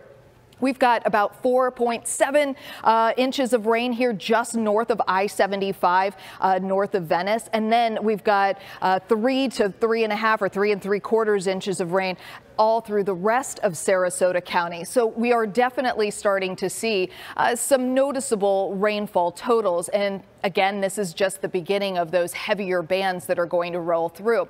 Oftentimes when we're looking at hurricanes, uh, people will ask, well, what side of the storm has the heaviest rain? And it can differ uh, based on any, uh, uh, based on each individual storm. So with this storm, it looks like the rain is going to be heaviest on the north and northwest side. So as this passes path continues, if you're watching it throughout the day and you see where the center of the system is and you happen to be on that northern side, that's or northwestern side of the eye, that's where we're going to see some of that heavier rain and it'll be fairly consistent uh, along that path. And that's also where we will end up seeing those higher totals. And again, we're not looking at the same totals that we saw yesterday or the day before as this uh, system has changed and as the intensity as well as the speed changes, that is going to impact the numbers that end up resulting as far as storm totals go. But at this point in time, they're still looking to be very significant with uh, inland flooding from this freshwater rain, certainly uh, a, a very big concern. And you can see on the future cast, again, this depicts it, I think, even better. It really highlights this is the center of the storm as it's predicted by this model and the rain is all to the north. So again, we are looking at uh, 8 o'clock tonight, and we're still seeing very heavy rain bands moving through parts of Manatee County and into Polk County, and it's almost covering uh, Polk County entirely with that very heavy rain. Let's see if I can bring it in a little bit closer here. So you can see again uh, the deepest, darkest red right in the center of the county. Now, granted, that's south of I-4, but as you look toward Orlando, that's also getting some of those very heavy bands, and they're starting to reach the Daytona Beach area. Now, as the storm continues, this is 8 o'clock on Thursday morning, so we're still seeing some of the outer bands going back through Polk County and through our northern counties, in addition to working their way back up in the direction of Daytona Beach and Jacksonville. and then it will start to work its way out into the Atlantic. The center should be out over the Atlantic or at least close to uh, the east coast of Florida by 4 o'clock tomorrow afternoon. That's why we say it's such a long duration. If you remember with Irma, when we hit, hit those peak winds and when the rain was coming in, it was a couple of hours and then things started to improve. And that is not going to be the case with this. We've already seen uh, winds starting to approach the tropical storm force and uh, tropical storm levels so above 40 miles per hour sustained in our southern counties, and that's starting to edge its way up around Pinellas and Hillsborough County. Now, as far as those winds go, again, we've got a really wide, my, my uh, sleeve keeps hitting the, hitting this. Okay, so um, we've got a really wide area here of tropical storm force winds, but the hurricane force, if you, as you've heard Denis saying uh, uh, over and over again, really just to emphasize it, it's a much smaller diameter. And again, this circle that's red is showing the hurricane force winds. It's not showing 155 mile per hour winds. This is showing anything over 74. So we are looking at the majority of the area uh, encountering tropical storm force winds for an extended period of time. So here we are 1030 in the morning on Wednesday. And again, this is projecting that some areas will be seeing in the 40 mile per hour range and some in the 50 to 60. That's what we're seeing right now. And then as we continue through noon, we're still seeing it all across the area. We start to have a chance for some of the stronger wind gusts that reach that hurricane level uh, above 74 miles per hour by this afternoon. So we're talking 1, 3 o'clock as the uh, storm is making landfall.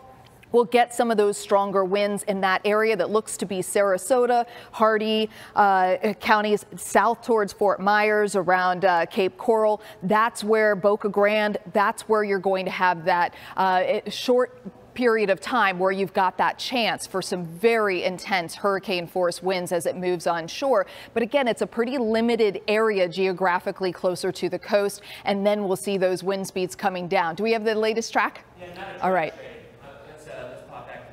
Mm-hmm. Let's take camera three. And well, the reason I want to bump in is because we have an extreme wind warning that was just issued, the first warning across the area. Um, it's down around Max Fort three. Myers. Yeah. Max three is Yeah, take the want. key wall and max three, guys. And we're going to be doing this for, it's going to be like this hot punching for the next 12 hours. So we're, let's just get in that mindset, right? All right, so again, as you see right now, this is a look at, nope, stick with three, max three. This is max one. Go to three. and this is the, the wind field that we're talking about. But, but again, there we go. All right, so max three shows you that purple area right there. The eye, I mean, this is, this is unfortunately exactly what we were talking about.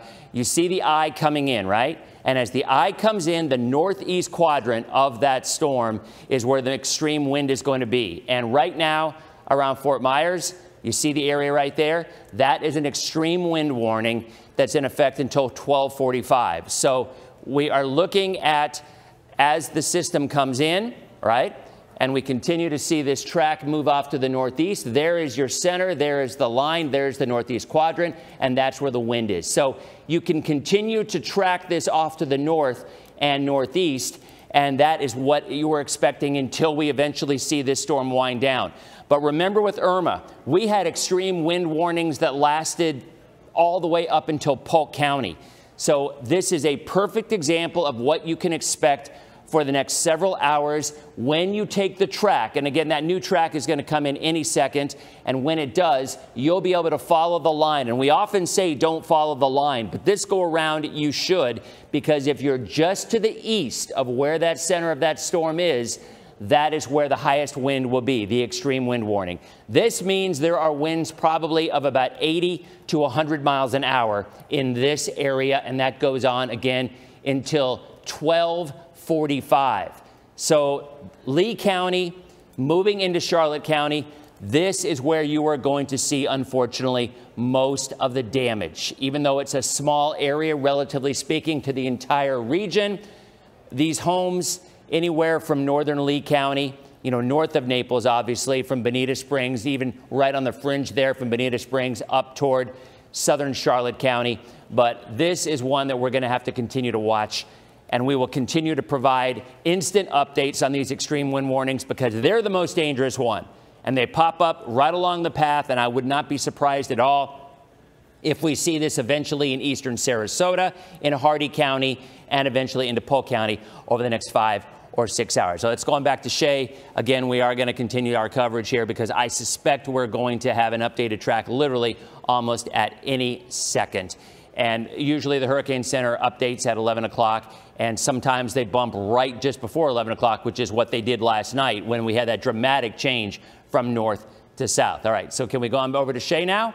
And uh, I'm giving an update there. Shay, have you had anything new? Are we still looking no, at the same No, we're still track? waiting. And, uh, you know, as we've seen all throughout the morning and even from last night, that uh, we are getting a lot of information in short periods of time. So the Hurricane Center may be lagging just a little bit behind because they've been, they're trying to process a lot of information and get a lot of uh, alerts and warnings and so forth updated as these paths change. So again, as we're looking at the path right now, we're still anticipating that uh, as this continues to move closer to the coastline and move onshore, we're looking at a Cat 4 storm. There's been no difference there, and we'll continue to watch where the path is inland. And again, I think there will be more uncertainty about the exact direction that the storm is heading in once it makes landfall and continues to try to move across the state. Right now, we're looking at no movement to the north northeast at about 10 miles per hour, and it is uh, has been expected to slow down some. Again, we'll start to see over the next few hours how much it slows down, and the speed is going to determine how much uh, how high the rainfall totals get. So again, lots to consider here. I'm going to step off camera just so that I can update my graphics, but I'm not going anywhere. Um, we are looking again, just waiting, and it looks like maybe four minutes, and then we should have this uh, updated. But again, we are waiting for uh, the, the uh, National Hurricane Center to uh, adjust that. Now, we're looking at the power outage index here. So this is a graphical interpretation of where we're going to have the highest winds and the possible impact on our power grid as a result of this system. So this is not, uh, this is a guide, it's not the rule, but what we're seeing is that by about noon today, areas in yellow have a low risk of seeing power outages, and then as you get closer to the coast and right around that Fort Myers area where Denis was showing, we've got that uh, excessive wind warning. Uh, we are looking at a much higher likelihood, of course, a severe likelihood of power outages through uh, beginning uh, right around noon. And then as that begins to move farther inland, we see that that area changes and moves a little bit to the north. Did we get it? Okay, yep. it looks like we've got an updated path. So Jason and Denis are going to analyze that information right now, and we'll get it to you in a second. But again, we are looking at almost the entire area, our entire viewing area by tonight, at least has a low chance of losing power. And we have seen this on many occasions. We certainly don't want to downplay uh, the chances of being without power for an extended period of time. Uh, with Irma, we all know it was a couple of days in a lot of neighborhoods and even longer in some isolated neighborhoods, and that's the expectation. So we've been trying to remind you, make sure that your uh, portable devices are all charged up while you still have power. Keep them powered uh, and uh, plugged in if possible until you lose power so that you will at least have a full range of uh, battery power for a period of time. Thursday at 1 o'clock in the morning, we're still looking at a chance for power outages. And then uh, once that storm moves out of the area, the storm won't be impacting the uh, chances for a power outage, but we still may have lingering effects across the area. So again, as we're looking, let me see what I've got here. Um, as we're looking at uh, storm surge again, I'll go back to that. Do you have it, Denis? You go back has, to me, yeah. yeah All right, so we're. Yeah, and, and, we literally just got the update. I mean, and that's kind of the way this is going to go for the next 24 hours. I mean, as Adia and James mentioned, I mean, the whole team's in here and we're all updating maps. So we're trying to get everything out to you as quickly as it happens. And we are still at 155 mile an hour winds. Again, for all practical purposes, it's Cat 5. I mean, 156 is Cat 5. So let's still get caught up in the inside baseball and the terminology. What we want to know is exactly where, how, and when, and mostly how strong. So the latest track, here it is. It really doesn't change much in terms of track, but there is a significant change in terms of intensity, and that is a good thing for Polk County. Because look at what we're looking at right here, okay? So you have a Cat 4 or 5, I mean, go, making landfall over the next couple of hours. The track really doesn't change. I mean, we were saying last night more of a Lake Wales. Lake Wales was hit by all three storms in 2004. It was hit by Charley, it was hit by Jeanne, it was hit by Frances. So literally, they had an X marks the spot, and there were T-shirts in Lake Wales showing the same thing. Unfortunately, you can add a fourth one to the list because it appears right now that the center or very close to Lake Wales. Now, Lakeland, and this is very, very important. So what I want to show you as you look, it's, we tell you not to look at the white line, but in this one you can because this track is not going to deviate much at all now that it's moving on shore. The extreme winds, as we just told you a couple of minutes ago, are almost always right along the path and slightly to the right of the center. All right. Now, we don't, it's very difficult to pinpoint within a 10 mile stretch when you're talking about extreme winds because we can always have other areas pop up.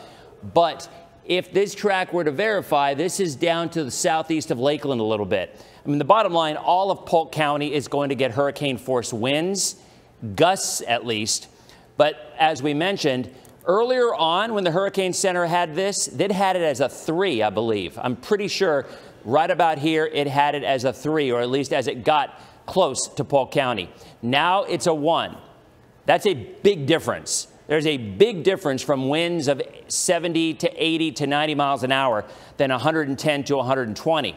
And I also tell you, our experience tells us that quite often with these storms, the Hurricane Center has a tendency to maybe underestimate just how quickly it can fizzle.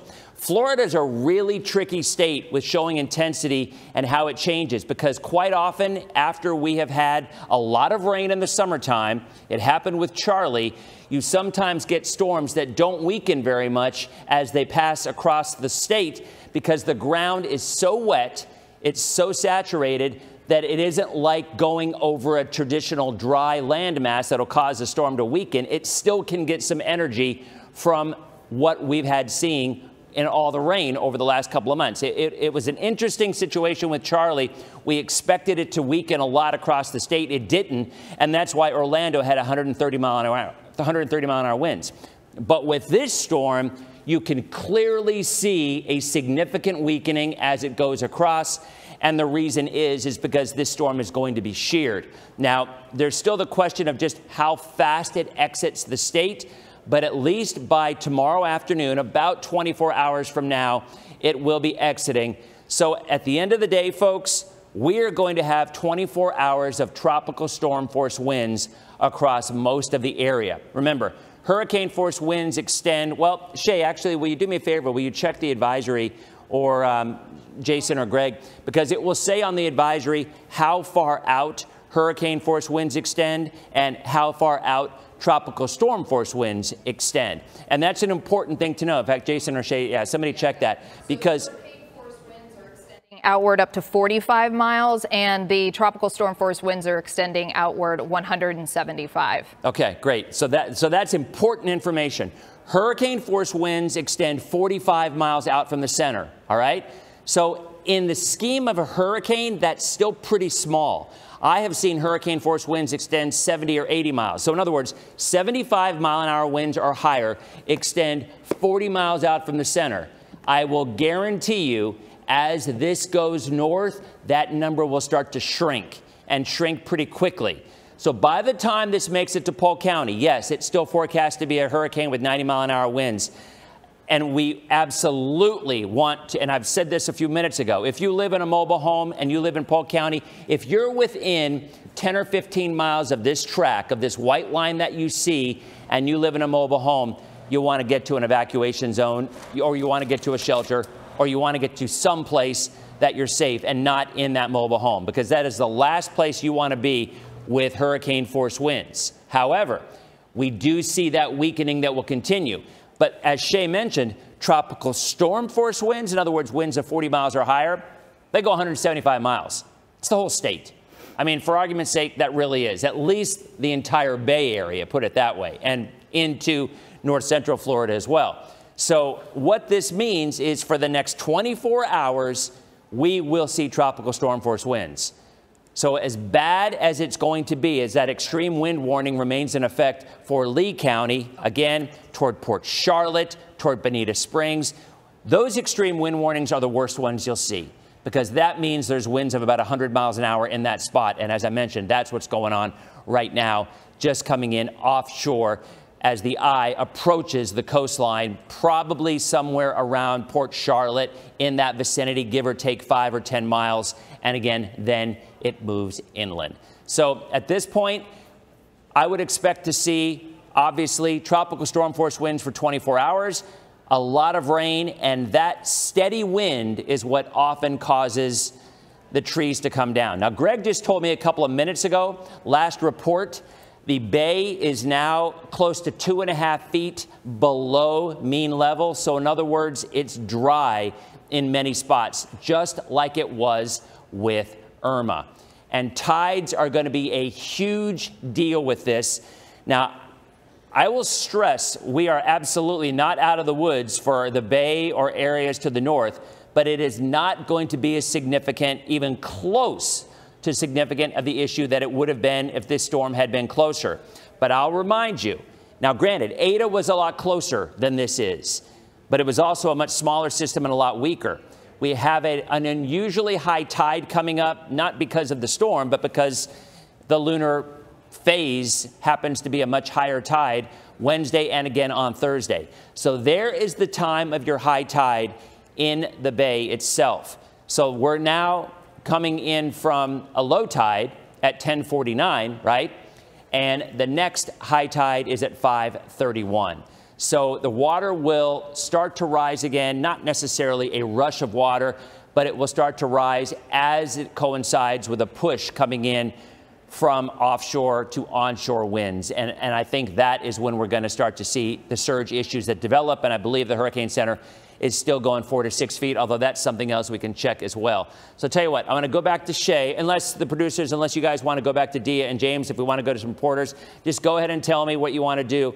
Um, but Okay, so we're going to go live now because Mike Paluska, I was just talking to him a couple of minutes ago. Michael Paluska is pretty much going to be, he's two miles inland, but he's in an area that the eye will cross over coming up in the next couple of hours. So, Mike Paluska, let us know how you're doing out there. How's it, show, how's it shaping up? Hey, Denis, you know, earlier when I talked to you, we had these bands coming in, and now they're pretty steady. Wave after wave after wave in the rain. It's getting even more intense. We're, yeah, like you said, about two miles uh, from the coast. We're in an evacuation zone C, which is not being evacuated, and we're in a pretty good house. It's a block house, so we're, we're not worried uh, about our safety until that extreme high wind warning comes our way, which in that case, we're going to hunker down inside an interior room. This is the worst of it we've seen so far, and from what you're telling me, probably around 2 o'clock is when we're going to see that extreme wind warning. I'm about 90 miles from Bonita Beach, uh, where they're under their extreme wind warning right now. Uh, so we're definitely preparing for it. We know this is coming our way, obviously, and with the winds of what 45 miles stretching out from the center of the hurricane, we're going to be on one edge of it, depending on the new track. I was waiting to go live, so I didn't see the new track or hear what you were saying about it, but I'm sure we're we're we're in the in the in the worst of it here. I'll have my photographer just zoom up to some trees as you see these gusts and these downbursts uh, come through the area. Just a lot of debris at this point, and really uh, a lot of loud explosions in the distance, which are always kind of freaky because you just hear this rumbling and you don't you don't know what it is you don't know if it's if it's a tornado popping down it's most likely transformers uh, i'm hearing one right now that was a really big one. Uh, street lights are waving back and forth. Lights inside our, our home that we're, we're going to be staying in and hunkering down have been flickering on and off. But so far, so good. We still have power, uh, which is great because as long as we can keep power and we have all of our batteries, the longer we can stay on air, Denis. So I, if you could tell me what what you're seeing with the track and the path, we'll stay out here and you can come back and forth to me live, yeah. and we'll just describe what we're seeing. And Mike, uh, so tell the folks exactly where you are and how close you are to the Gulf. So I think we're exactly 1.6 miles from the Gulf. We're in South Venice. Uh, we're in just a little neighborhood um, off of a busy off of a busy road, Englewood, uh, and so we're, we're in an evacuation zone C, and we're just in this quaint, cute Florida neighborhood. Uh, seeing some of the neighbors here, they left late last night. They were boarding up, doing final preps, and we saw another neighbor uh, walking around the area. But yeah, South Venice, about 1.6 miles from the coast, um, in one of those traditional Florida neighborhoods. Okay, and you're on the west side of the eye, so I will tell you, you probably will not get the extreme winds that they will have over on the northeast side. But when I say extreme winds, I mean, we're talking 120 to 140. You're still going to be looking at winds about 100 to 110. So we'll be checking back with Michael. Again, he's probably going to be in the eye, which is about 30 miles wide right now. So at that point in time, that'll be more than likely in a few hours. But as we mentioned, now this is not impacting our area directly in terms of the extreme wind warning, but eventually it will across Sarasota County, in through Hardee County, and eventually into Polk County later on this afternoon and this evening. So the purple area right there, Mike is a little bit more to the north, but the purple area is the extreme wind warning, and that includes Bonita Springs over to Fort Myers. And there it is. There's your eye clearly.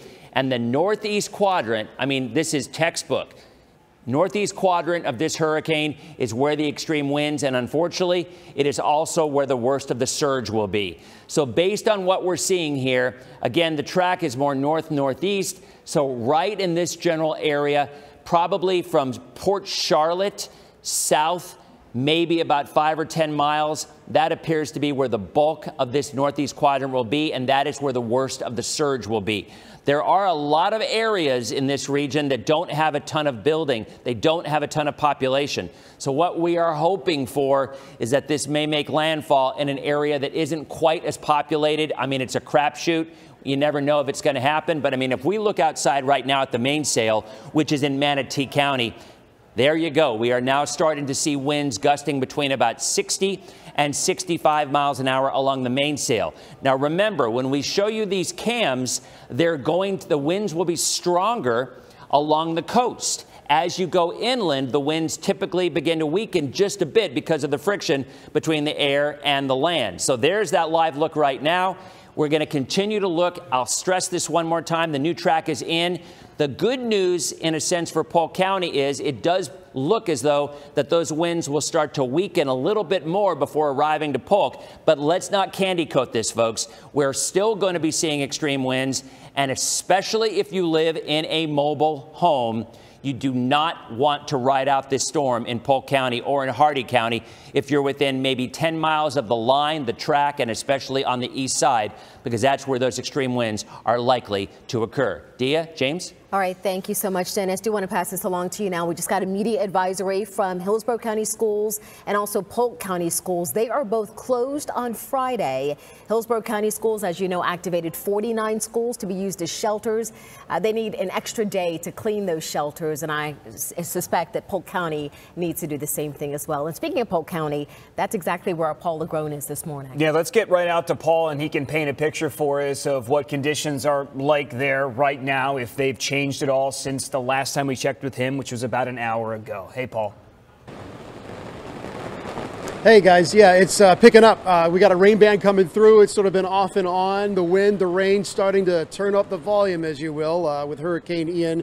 Uh, as as Denis has been pointing out, expected to move through here later this evening as a Cat One hurricane. By the time it gets up here to Polk County, the big concern from emergency officials is they've been communicating this morning with that last update uh, two things folks in mobile homes, okay, because of the wind, and then two, uh, all of the rain that we're expected to get, uh, specifically along that Peace River basin. They're worried about folks who live in that area uh, with extreme flooding uh, that will be building up uh, as the day and the night, as the day bleeds into the night and beyond. So I can tell you, we're in downtown Lakeland right now. That is Lake Mirror in my background here. This is right off Massachusetts Avenue. You can see the wind and the rain starting to pick up in sheets here. And I gotta say, I mean, there's a lot of cars that have been coming through downtown. And I, you know, you have a lot of people kind of cruising around. I think we've actually seen people. Here's this gentleman here, uh, just almost turned around, and we've seen people turn around in the middle of the street here. Uh, so I think they're sort of assessing things. You also have had evacuees come here to Lakeland because originally you, we've uh, talked today with people who were from Clearwater and St. Pete Beach. They made arrangements to come here to ride out the storm uh, because that was the best plan that they had at the time, given the information that they had 24 hours ago. As this thing has changed, now they're here. They're staying in either a hotel or with family, and they're thinking, okay, I guess we're just going to stay put and ride this thing out. I mean, there kind of goes the situation with, uh, as, as we all know, uh, how hurricanes can change their path uh, as they get closer. So right now, uh, the story is the rain. Uh, obviously, it's going to get much worse than this, uh, but you've got people out driving around, seeing what's going on, and taking a, an assessment. I, I spoke with a couple from Australia we'll show you what they had to say earlier. They were here on a three week long vacation, so you could imagine the impression that uh, they're being left with here. I said, please come back when things aren't so crazy, but uh, they're going to make uh, their way around the around the state of Florida. Uh, hopefully, they get to a part of Florida eventually here where they don't have to deal with this. But the story in Lakeland and in Polk County right now is one that we're going to see evolve later tonight with Cat 1 hurricane force winds And I, I'm not going to put an exact number on it. You guys know that better back there, but they are worried about flooding. Uh, bottom line, too much rain, too fast. I can tell you, my family in Plant City, uh, right down the road in I-4, that's where my kids are with my parents. They're riding it out uh, in Plant City. So I guess as you make your way back west, uh, the experience comes a, a, little bit uh, uh, less severe, a little bit easier. But here in Polk County, they should be bracing for a long night ahead. Uh, but I get, you know, I'm gonna, I, I try to be optimistic, right? The good news is these storms pass, and you know we'll get through the other side of this thing. The main thing right now is just stay safe, guys. Back to you. Absolutely, that is the main thing. Stay safe, hang in there, we're going to get through it. And as you just heard from Denis, that storm surge that we were all so concerned about from for Tampa Bay a few days ago is much less of a concern today. What a difference 24 hours, hours makes. And it's all due to that more southern track the storm is taking. And we did talk about Bayshore Boulevard and the water receding there. We're about to get our first look at it. We have our Larissa Scott, who has some new video to show us there from Bayshore.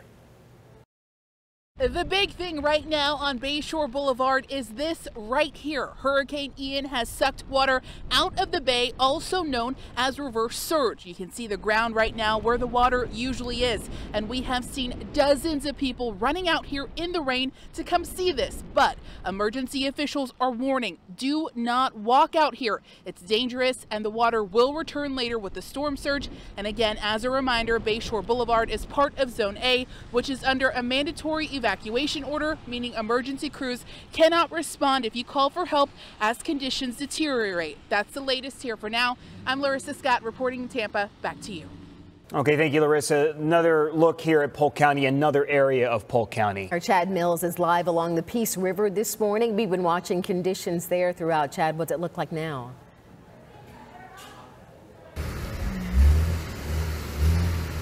Sorry, we had to step out of the way for a moment. You can see this guy in the truck here trying to get it out of the mud before the river comes. I want to get splashed here. Yep, he was able to get it out, but others might not be so lucky as the rain continues to fall here. The earth already so wet here in this part of Polk County. Let me tell you where I'm standing. I am just east of the Peace River in Bartow. We are off State Road 60. They are expecting major flooding in this area. In fact, a Bartow police officer just patrolling through this area right now, kind of keeping tabs on how things are going. He says kind of eerily reminds him of how the storms in 2004 started off. Before this, those storms arrived here, they started getting flooding like this in this very neighborhood. In fact, they are expecting the Peace River, which, as mentioned, nearby, they expect it to reach major flooding levels here. In fact, they think it could set a record. We've been talking to people in this neighborhood. It seems like a number of them are hunkering down against the warning, against the advice of Polk County Emergency Management. They said just a short time ago they want people to get out of especially these mobile home parks that are so close to the Peace River. In fact, you sometimes get those alerts on your iPhone, uh, especially when uh, weather is approaching. We just got one just a few minutes ago on our cell phones warning of, as the text put it, life-threatening flooding along the Peace River in Polk County. Caught up with one homeowner here just a short time ago. Here are his plans as Ian approaches. If they're going to stick out here and they got cars that are low to the ground, I would definitely suggest parking at the front of the park. And if they can get out, I would get out. I've gotten things put up off the front porch. We're going to have a lot of rain on the front porch. Uh, a lot of uh, exercise equipment moved to Mulberry to another house. Um, I'm about to put up some wood right here real quick. Um, and I'm going to be headed towards Haines or, uh, Highland, Highland City. And back here live, if you actually look behind me, this uh, Chevy car right here, that's actually his car that he referenced. He says it's just way too low to the ground to keep here. You see the floodwaters already coming up around it. A lot of this from rain, some of this from the Peace River, which is just in the distance there, just behind the trees behind me. He expects that this area could easily have a foot of water. In fact, just a heavy rain in a typical Florida uh, day can cause ankle deep water in this mobile home park. So he says not something he wants to play around with. He's planning to maybe take some of his food, take whatever he can and get out of here seeking shelter with family in another part of Polk County, higher ground anyway. Other neighbors staying put, or at least that's the appearance right now. Against the advice of emergency managers in Polk County, as we have been reporting this morning. We will keep an eye on this neighborhood right here and conditions around Polk County, including back in Bartow as well. We're also checking in with Hardee County Sheriff. They are expecting flooding along the Peace River in Hardee County as well as Ian makes its way up this way along the Peace River Basin. We're live in Bartow. Chad Mills, ABC Action News. Okay, you just heard from Ch- from Chad. Could be a very serious situation out there on the Peace River. I want to run through some outages now. The latest information that we have uh, across our viewing area. We're going to start. Uh, in Sarasota right now, Power Florida Power and Light reporting 11,800 or so power outages in Sarasota County. Last update for this was about an hour ago, so this is an in, a significant increase in outages compared to the last update we got from them. And also, we want to show you now, uh, this is Highlands County, now down to 60 customers without power. That is a big decrease from earlier today. We have a feeling that that's due to those bands that are passing through. We'll continue to monitor this and we'll keep you up to date on any changes. Another drop to show you in Polk County, just 28 customers uh, being reported without power right now. A big drop, but again, we do expect changes to happen here and that number to rise quite a bit. And also, here's a look now at uh, Manatee County. Manatee County at 5,560 customers without power in that area. Florida Power and Light just updated this number at 1017. Again, this will likely change as well. We'll update you as soon as we get new numbers. And in Pinellas County, Duke Energy reporting more than 2,000 customers without power. Uh, a huge increase here uh, from the last update, which came in an hour ago. And as of 1040 this morning, Hillsborough County, TECO reporting more than 3,000 outages throughout Hillsborough County. And we cannot stress this enough. Make sure that you charge your phone in case you do lose power. Be sure to download, if you haven't already, our ABC Action News app. So many of you watching us on streaming this morning, and we appreciate that. It'll help you stay up to date on all news regarding the storm. So grab your phone, open your camera if you can right now. We want to show you the QR code that makes it very, very easy. Yeah, It'll base the phone will just do it for you. If we can show that, can we pull up the QR code, guys? It'll connect you to all of our apps. Stand by, there it is. Just point your camera at the screen right now. This will connect you to our apps in both the Apple App Store and Google Play. There you can find the live interactive radar in your neighborhood, and also you can watch ABC Action News and ABC Action Weather 24 7, even if you lose power at your house. And that is very important because, as you've seen all morning long, this storm can change by the minute, and it has been changing by the minute. Yes, consistently inconsistent. That's that's a good point. One area where it's been like that, Pinellas County, and that's where we're going to go back to right now. We have several crews in that county. We've got Heather Lee. She's live in the Ozona Crystal Beach area right now. Heather, what's it look like out there? Well, it is definitely a sight to be seen. We have neighbors coming from all over the place just so that they can see what's happening here in the intracoastal. This is something that we did see happen during Irma a few years back. Uh, so look, all the water has been pushed out of the intracoastal. In fact, Michael, I want you to zoom in over there. That would be Crystal Beach over there. You can see that pier. Just beyond that would be Crystal Beach. So you can see, I mean, that's probably a half a mile, maybe, uh, maybe a little less. Uh, I mean, it is just completely wiped out here. You can see crab traps uh, out here. They have been uh, uh, surfaced. They have surfaced from the water. Uh, you can see here, this area. I spoke with the neighbor. He says, you know, if there if there is a low tide, you may see some of this uh, popping out, but you never see what we're seeing out here. So this is definitely, again, a sight to be seen. Uh, you know, this is something Greg has been talking about, the wind shifts. You know, so, you know, you have the wind that's pushing the water out, and then you also have low tide. Low tide is around one o'clock, so it has been a falling tide for the last couple hours, and then it's going to start to climb back up as the, you know, morning and the day progresses. And so around six o'clock, you're going to see a higher tide. And that's also when Greg was saying we may see wind shift. So this may not be like this all day, but I can tell you again, this is something that neighbors are just uh, blown away by, and they've been coming by just to take pictures, take video. I had to, a couple actually tell me they've been following me around on my trip around Pinellas County.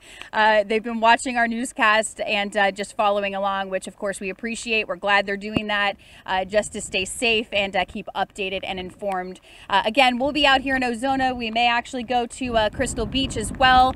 as soon as we, um, you know, get a new live shot up or we find some new stuff, we'll of course bring that to you. For now, we're live. Heather Lee, ABC Action News.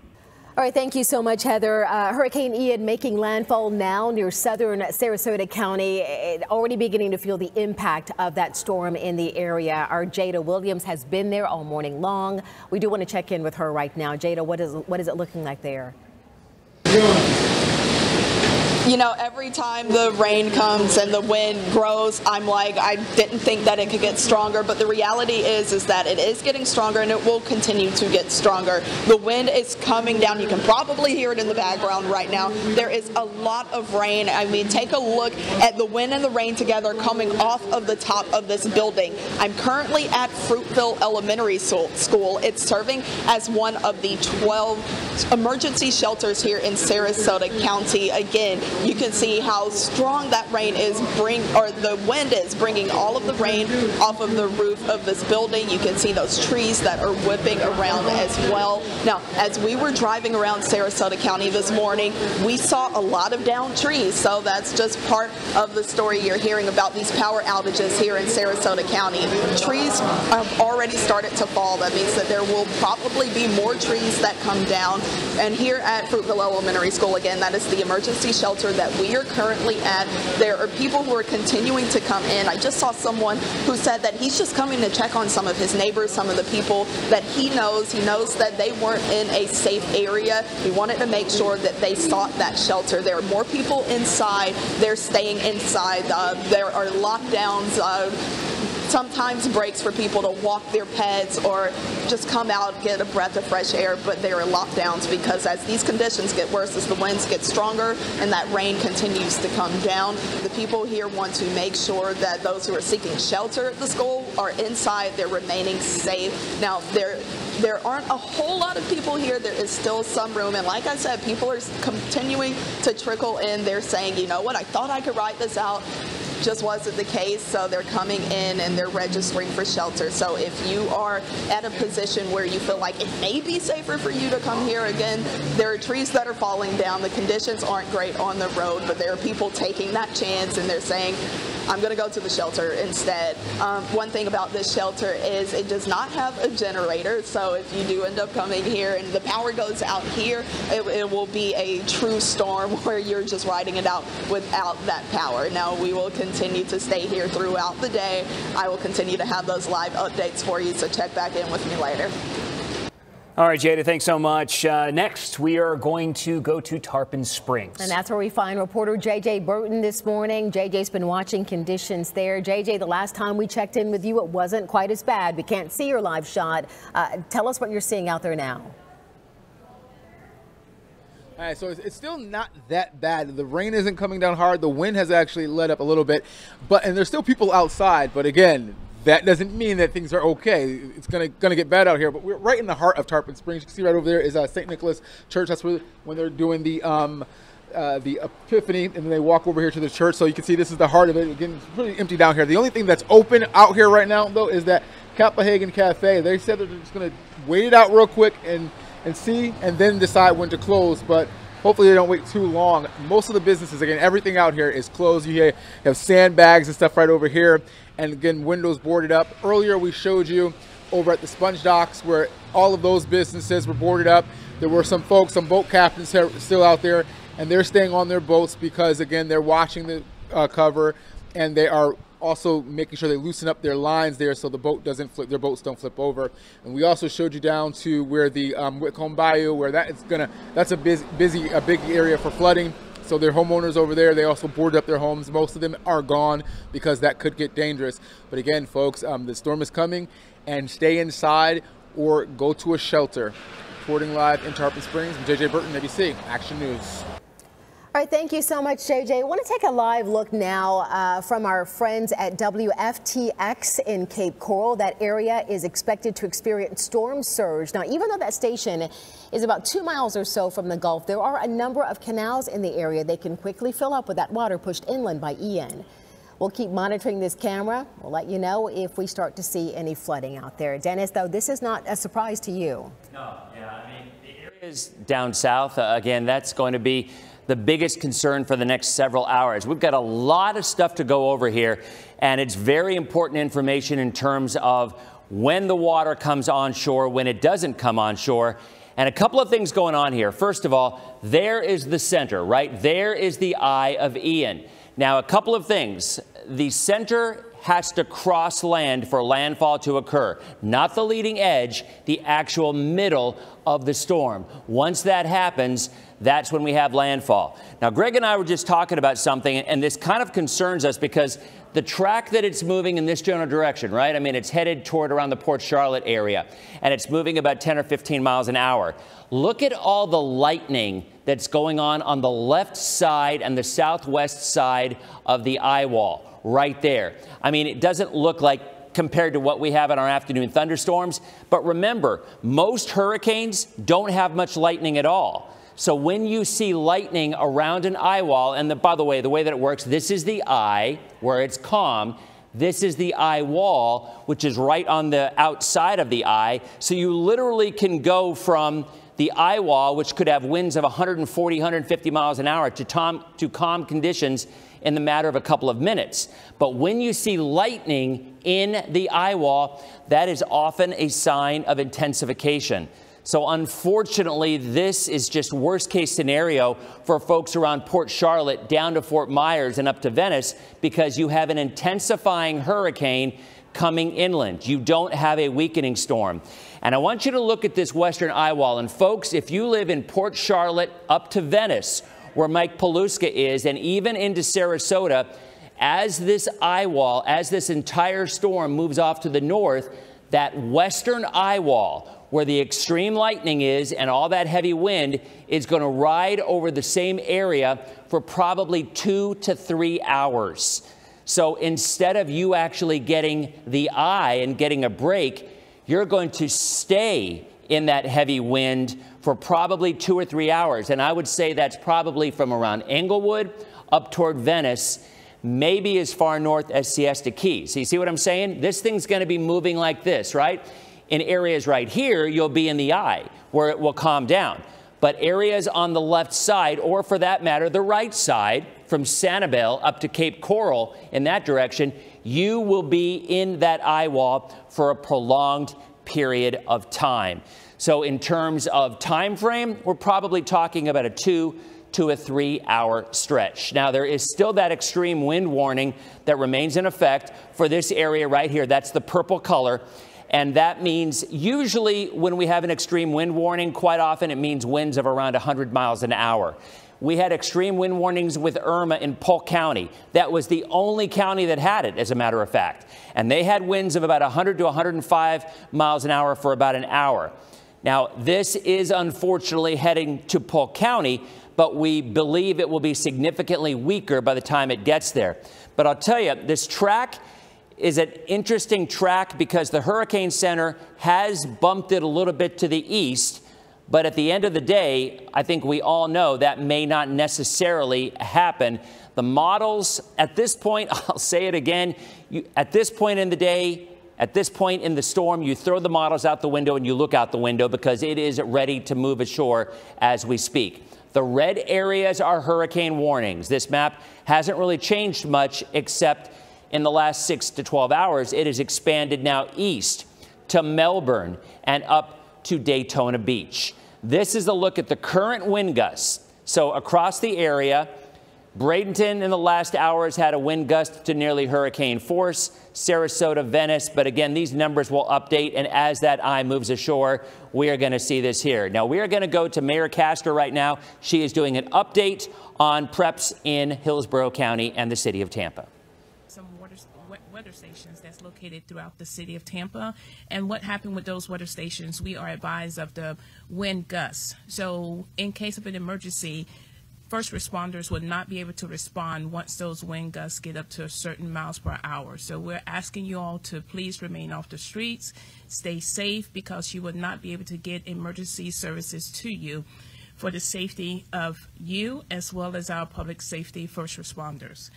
We also want to talk about uh, generators. As we know, usually whenever a storm comes through, uh, we will possibly have power outage. In a situation like that, a lot of families have generators. Generators should be operated outside of your home, not inside, and it should not be started until after the storm is over. If you have any questions or need additional information about the safety of generators, please visit tampa.gov forward slash hurricane. That's tampa.gov forward slash forward slash hurricane to get additional information. Now, because you don't have any power, a lot of families might light candles. Once again, that is a safety hazard. So you need to be extremely cautious if you decide to use candles. If you have a fire extinguisher, please make sure that is at hand, make sure it's available for you. Don't go out in the weather to get a fire extinguisher. So if you have one, make sure you have one handy and make sure you use it appropriately. Once again, if you have any questions about emergency services, please visit tampa.gov forward slash hurricane. Now I bring up the police chief, Mary O'Connor. Thank you, Chief Tripp, Mayor Castor. Um, good afternoon, everybody.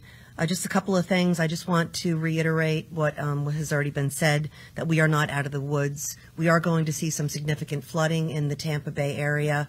Um, as far as vehicles are concerned, I really strongly recommend that our residents try not to take your vehicles out and venture out. We need our officers and our first responders being available and ready to assist our residents in time of crisis and not get stuck in water. It only takes six inches of water to reach the bottom of most vehicles. So if you are driving around in six inches of water or more, you may get stuck and then we may have to come and, and help you out. Um, our shelters are still open. There are numerous shelters located throughout Hillsborough County. Tampa PD has been actively shuttling uh, numerous homeless individuals to shelters this morning. Um, shelters are still open, but residents are encouraged at some point, once the wind speeds do reach um, higher gusts, as we are expecting they will at some point today, to just stay and shelter in place. Um, last thing I just want to mention as I talked about yesterday with the enhanced property crime penalties in the event you are charged with a burglary or a theft. If it's a second degree felony, it'll be increased to a first degree. If it's a third degree felony, it'll be increased to a second. Tampa PD did make two arrests last night. We responded to the IKEA um, off of Adamo Drive to an alarm call, and we did locate two individuals in the parking lot um, that were loitering in the parking lot. They had numerous burglary tools in their possession, walkie talkies, flashlights. It appeared they were um, definitely uh, planning on doing something at the IKEA. They were charged accordingly. So I just want to reiterate that you know property crimes are serious. Do not even think of you know preying on the vulnerability of our residents that may have evacuated. Um, Tampa PD is here, ready and willing to assist if anybody needs it. Thank you, everybody. All right, does anybody have any questions? All good? All right, thank you all. Much appreciated. That was an update from Mayor Castor and officials from the city of Tampa. Again, we're going to be giving you reporters out in the field anytime emergency management's going to be talking, elected officials. We're going to give you all the information. We're not going anywhere, and neither should you. Stay home. There's no need to go outside. A lot of folks are concerned about water with good reason. I mean, the surge is going to be just devastating down around the Port Charlotte area, down just to the south wherever landfall occurs. But a lot of folks are concerned about surge in our area. Now, here is what I would say is probably good news, and we have talked a bit about this, the next high tide coming up, okay? So this is the way it works. When you get a storm that's coming in, you get counterclockwise wind, all right? So opposite direction, kind of like that. So right now, as long as this storm stays south of your east to west line, wherever you live, those winds will be offshore. In other words, they'll be moving, pushing everything out into the Gulf. That does two things. One, it can drain the Gulf or not the Gulf. that, now that would be something. That would be impressive. Yeah, it, it can gain, it can drain the bay. Okay, it's happening right now. We have our reporters out there, and they've been showing how dry it is. It also, and this is important. Do you remember with a couple of storms when we have an onshore flow? If you get all this heavy rain, there's no place for the rain to drain because the water's being pushed in. So it floods more, right? So for the next six to 10 hours, maybe longer, areas in Hillsborough County, Pinellas County, and all areas north will have an offshore flow. So the water will be pushing through. So it isn't until the center of Ian moves up along the latitude, the east west line of wherever you live. And in this case, we're talking of the bay. So it isn't until that storm moves east of the bay and eventually north do you have the winds come around onshore. So that means we are going to make it through this next high tide without having any flooding problems. All right, let me say that again. The next high tide in the bay is around 5, 5.30-ish, okay? By then, that center will still be south of the bay, and we will still have an onshore, or rather an offshore flow. The winds will be blowing in this general direction. But you know, I mean, that takes us through 8 o'clock tonight, and then as your center gets closer to that east-west line, the winds start to change. And that's the overnight hours. We're now in more of a northerly flow. And then by later on tomorrow, the winds go onshore. But see, here's the thing by then, it's a much weaker storm, right? So we don't have nearly the draw or the fetch that will put that water back into the bay in a flooding situation. So it will surge somewhat, but I really feel even though we are talking about a prediction of surges several feet above average, at least meteorologically speaking, things are in our favor with the timing. That high tide at 5 o'clock this evening, you will still have an offshore flow. So you shouldn't have to worry as much about a surge. But by later on, you will have an onshore flow. Jason, you have something coming. Okay, so here's what we want to do. Greg, let's go on back to um, the radar picture, and we now have a tornado warning for DeSoto County. Now, I am telling you, actually in Hardee and DeSoto as well. All right, usually when we get a tornado warning, you know, you stop everything and you think, okay, we have to focus on this. Look, we are going to have dozens of tornado warnings today. All right, literally, there will be dozens in that northeast side. There is a ton of spin. Think about it. A hurricane is a giant pinwheel. There's a ton of spin. And within that spin, you are going to have smaller areas of spin. But I want you to, and, and more people, I swear, I think more people freak out about tornadoes in Florida than even hurricanes because they don't see them coming. I mean, it's one of those things, you're not going to miss a hurricane coming, but a tornado, you cannot predict where it's going to pop. And because of that, it can come anywhere, and especially at night. But at the end of the day, these tornadoes with a hurricane are extremely small, winds of maybe 75 to 80 miles an hour. Now, let's not diminish 75 to 80 mile an hour winds, but when the winds of the hurricane are 155 miles an hour, you kind of see what I'm saying here. Overall, the threat of tornadoes versus the threat of the overall hurricane is significantly different. So if we zoom into the area here, I mean, again, Hardee County over through Highlands County. Now, with the track that it will be, this will all be moving back to the northwest, counterclockwise. You've got that spin, right? So at this point in time, these will be very small, very difficult to track. And I remember with Charley back in 04 in Arcadia, we had a line of seven tornadoes that you could actually define. And I would not be the least bit surprised if we see something like that again.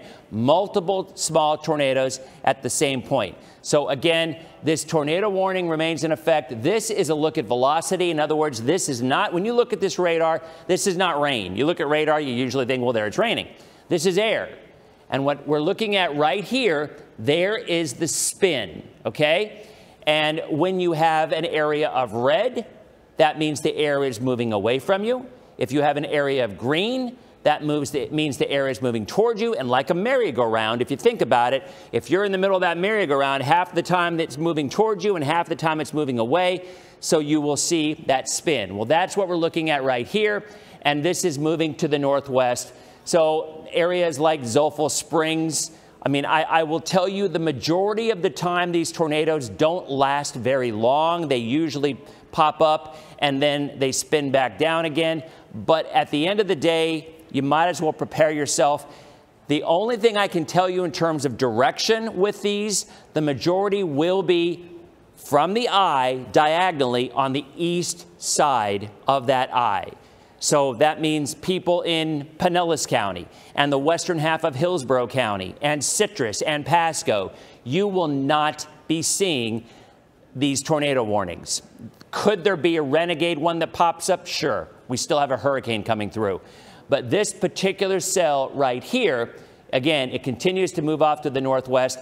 And, and I'll tell you, to me, I, I'm not going to stand here for 20 minutes and talk about a specific tornado warning like we normally would do when the bigger picture to me is a landfalling hurricane with winds of 155 miles an hour and an eye wall that's going to be moving in to areas of North Port, you know, down to Englewood, over to Venice. There is the significant threat. We will see additional warnings. We will note them. But in my opinion, the larger risk is right here. So there is the edge of the eye wall, all right? So this is the direction that it's moving. So what we'll be doing is showing these areas right here, the time frame that you are going to see this wind. And I will tell you flat out, the winds with this are probably double what the winds would be with any kind of a tornado warning. So I'm going to stay here for a minute because I want to show you these time frames, okay? So this is the eye wall, and we are now getting close to landfall in the areas from Venice southward, all right? So we are now in that time. So if you live anywhere from Bonita Springs, and I realize broadcast TV, we only go down through Sarasota, but a ton of folks right now are watching us on streaming. They're watching us on Roku. They're watching us on, they're listening to us on local radio stations as they lose power. So we are going to take our time and go location by location to let you know because right now there is nothing more important than letting people know where these individual spots are and when this is going to hit, okay? So right now, this is some of the winds of probably about 100 to 120 miles an hour. A small area, 155 is not out of the realm of possibility but in my opinion, the bulk of the wind is about 100 to 120, all right? This is the time frame. So Boca Grande, 1204 to 1214, all right? Right on through Englewood, 121. Port Charlotte, 2 o'clock. North Port, 234, all right? Laurel, 242. So we're at 1147 right now.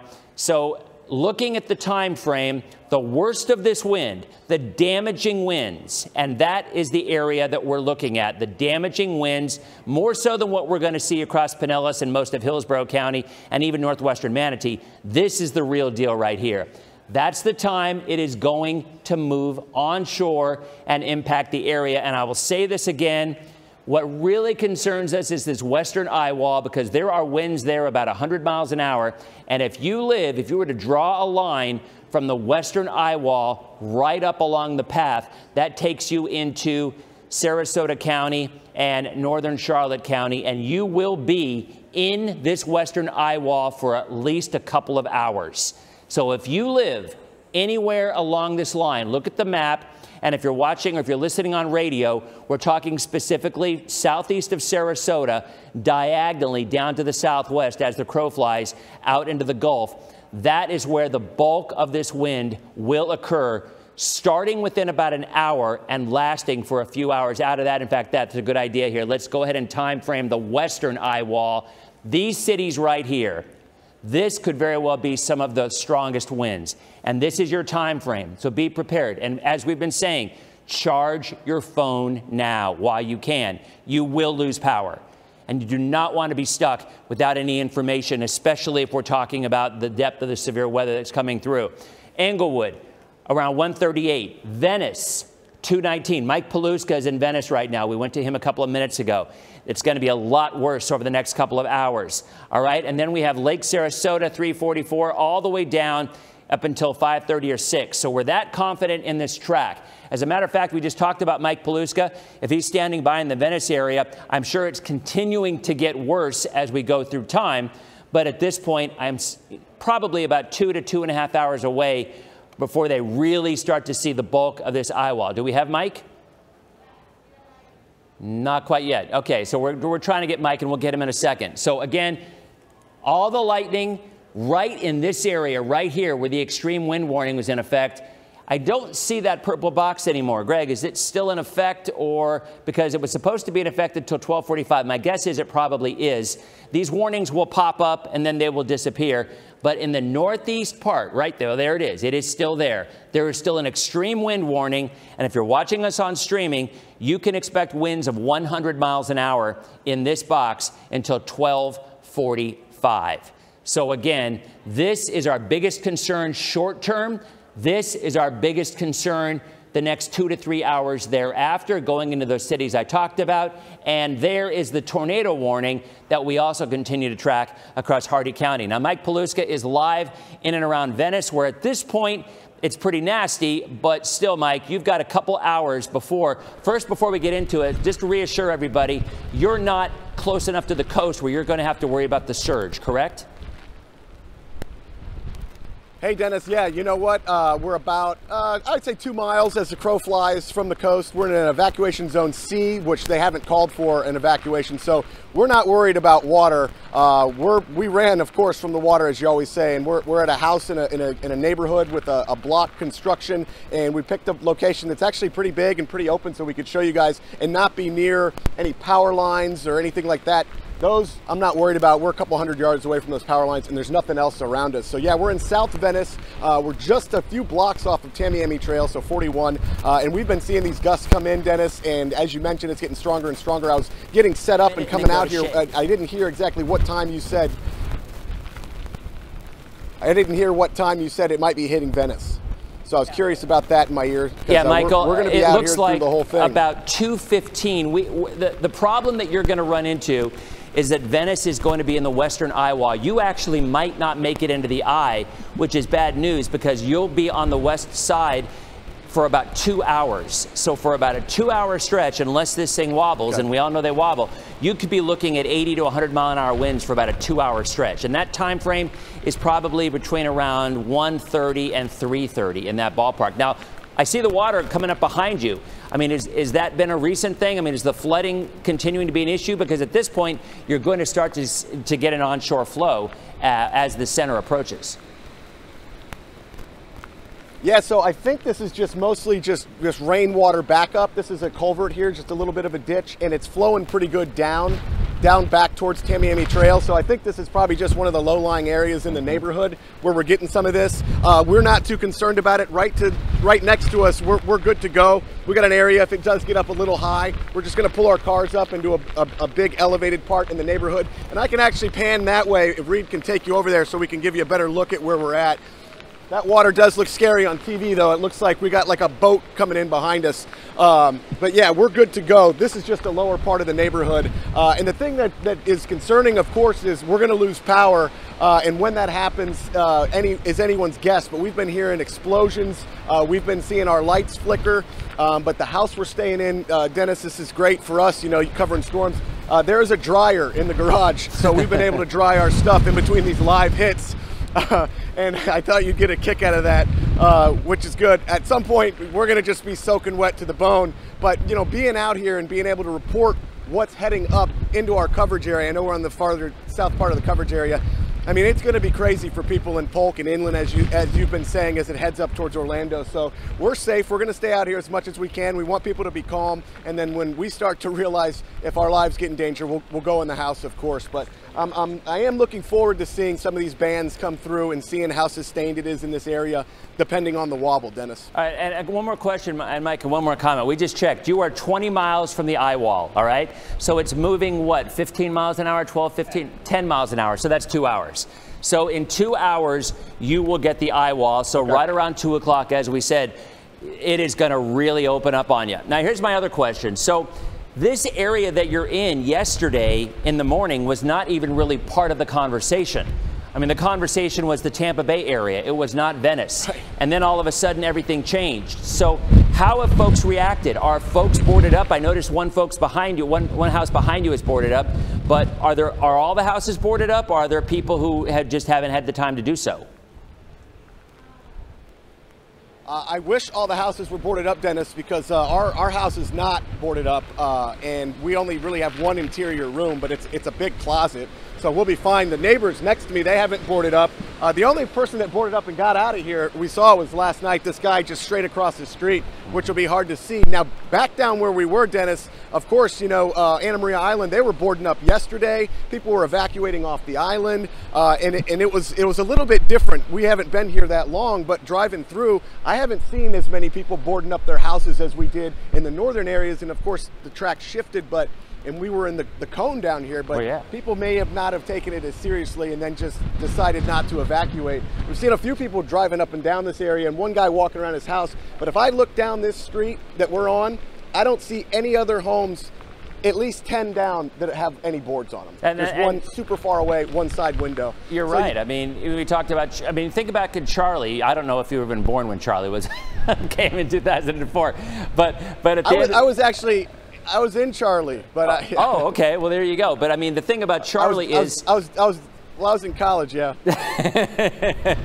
well, it was the last minute turn, and, and the folks in Charlotte County were not expecting it. I mean, nobody was. We thought it was a Tampa Bay storm, and this is kind of the same thing.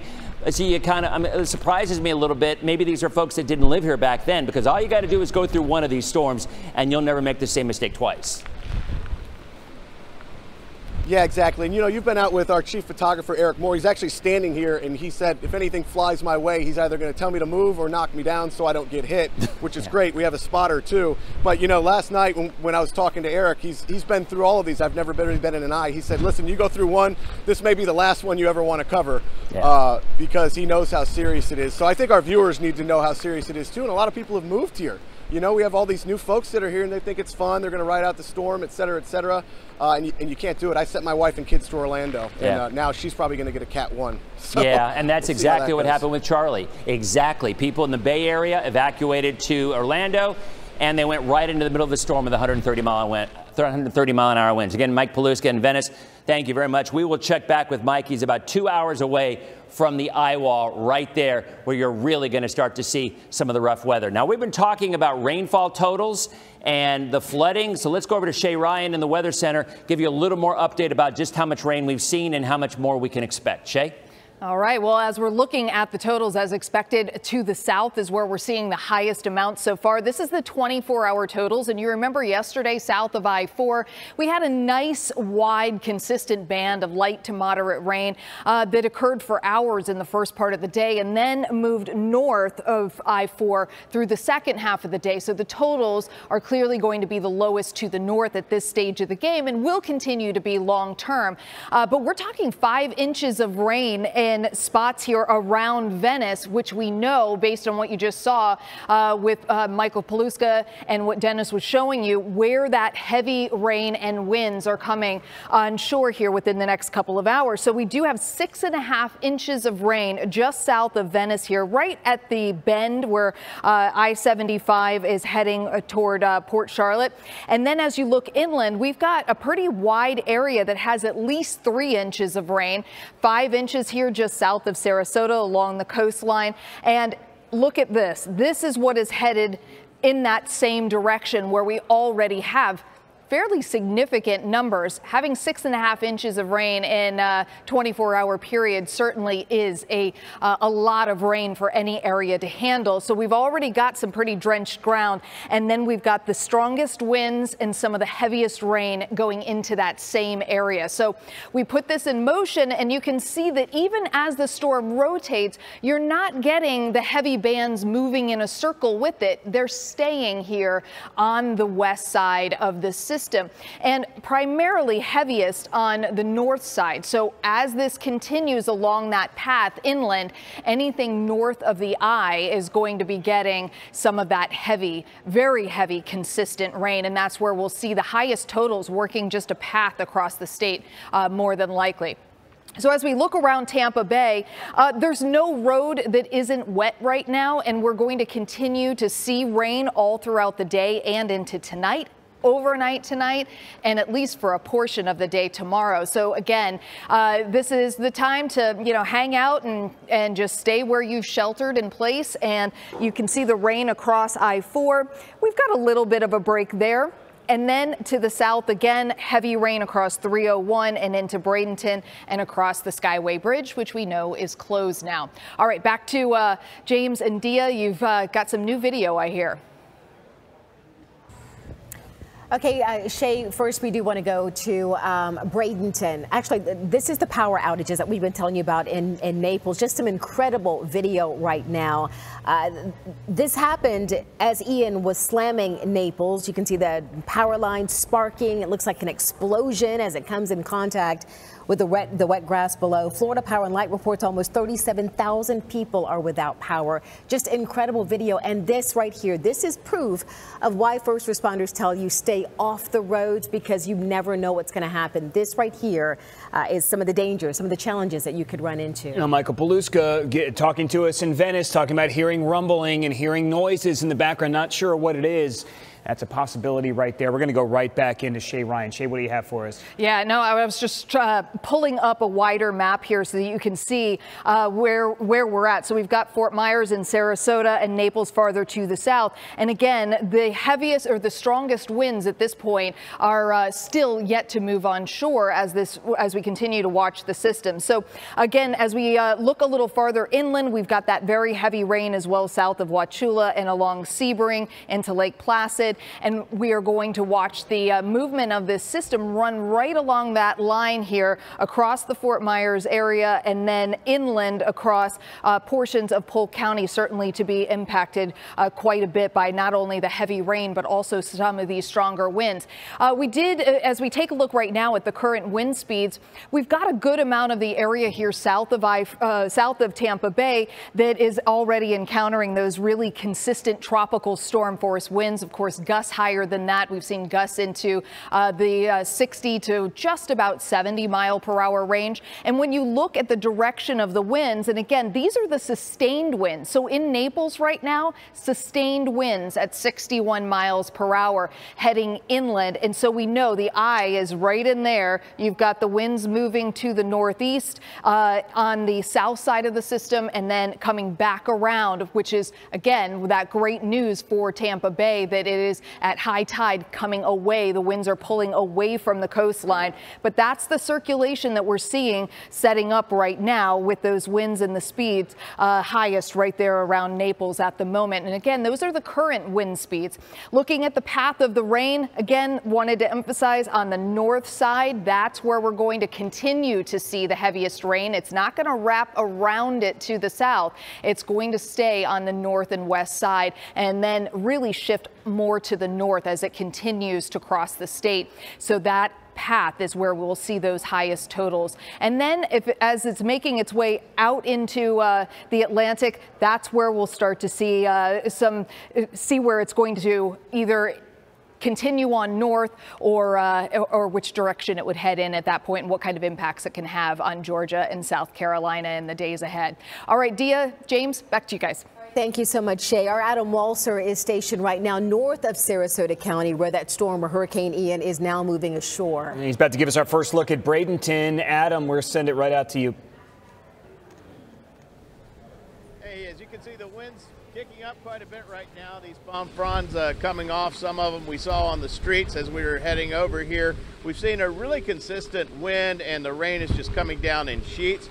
Right now, the the big concern last night when we were out here was that storm surge uh, coming in here. But right now, uh, here at the marina, it, it's almost dry right now. So uh, a lot of the water has moved out into the bay. Uh, we're protected by the big marina building here, so it, it's, a, it's a lot. Uh, the wind is a lot stronger on the other side, but we're still getting uh, these big blast of wind from time to time. It is a steady rain. You can see some of the rain coming through these these drainage pipes. It's, it's on the street starting to gather, and so it's obviously going to be uh, quite worse in a few hours as this storm heads north. But right now, uh, we've also seen the, the power blink a few times in our hotel. It hasn't gone off yet, but obviously some warnings of what could be to come. Right now, we're seeing lights over behind us at the building across the street. So power has not gone out, but that certainly is a fear. At the hotel where we were staying, they shut down the elevators and uh, they've, they've warned people that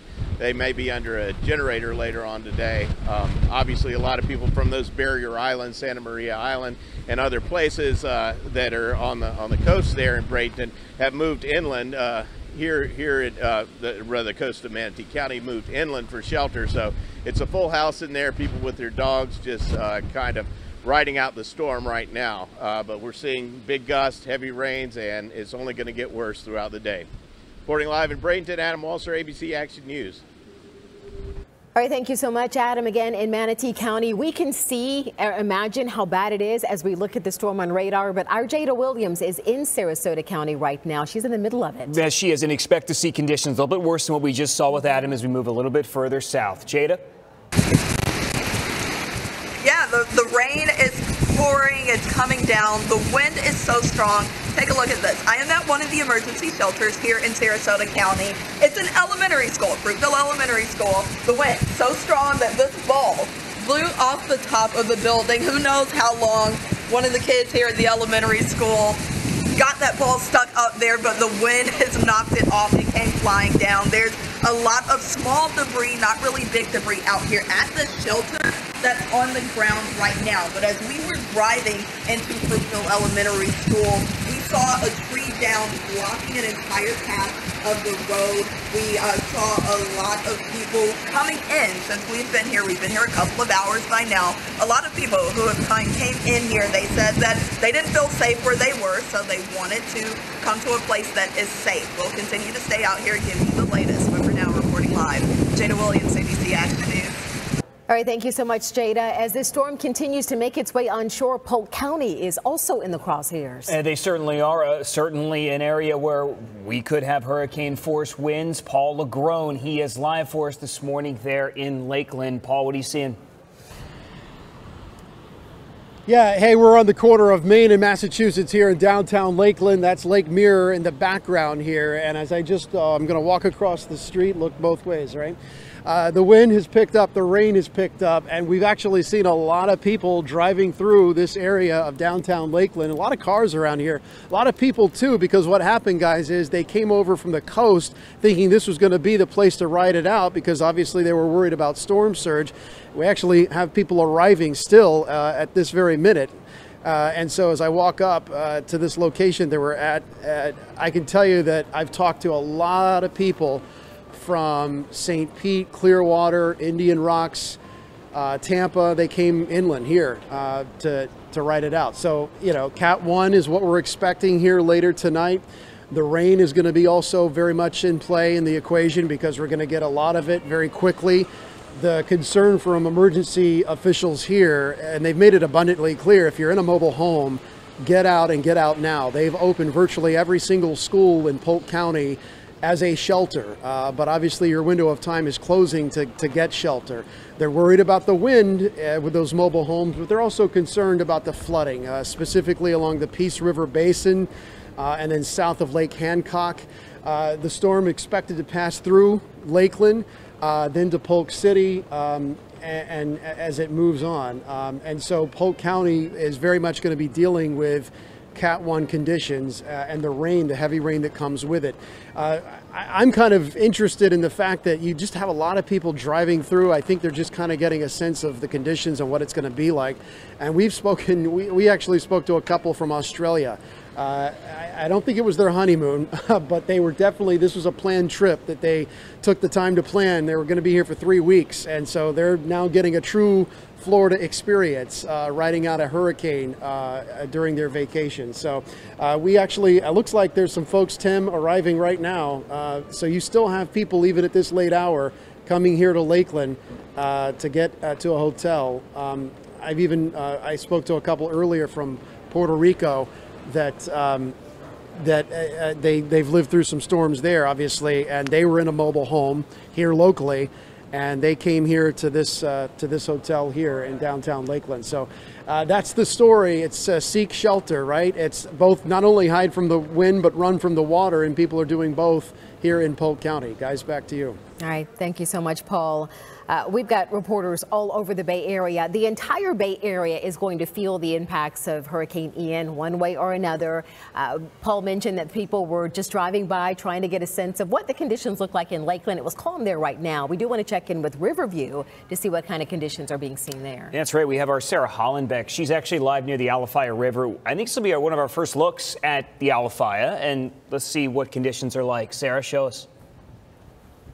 Yeah, and similar to Bayshore, what we're seeing out here is that that water is just being sucked out of the Alafia River. Let me step out to show you what we're seeing. Now, many people out here have stopped by to tell us they saw a similar thing during Hurricane Irma where this water was sucked out. Now, if you're familiar with the Alafia River, it actually leads to Hillsborough Bay, and this area divides the Gibsonton and Riverview areas with this river.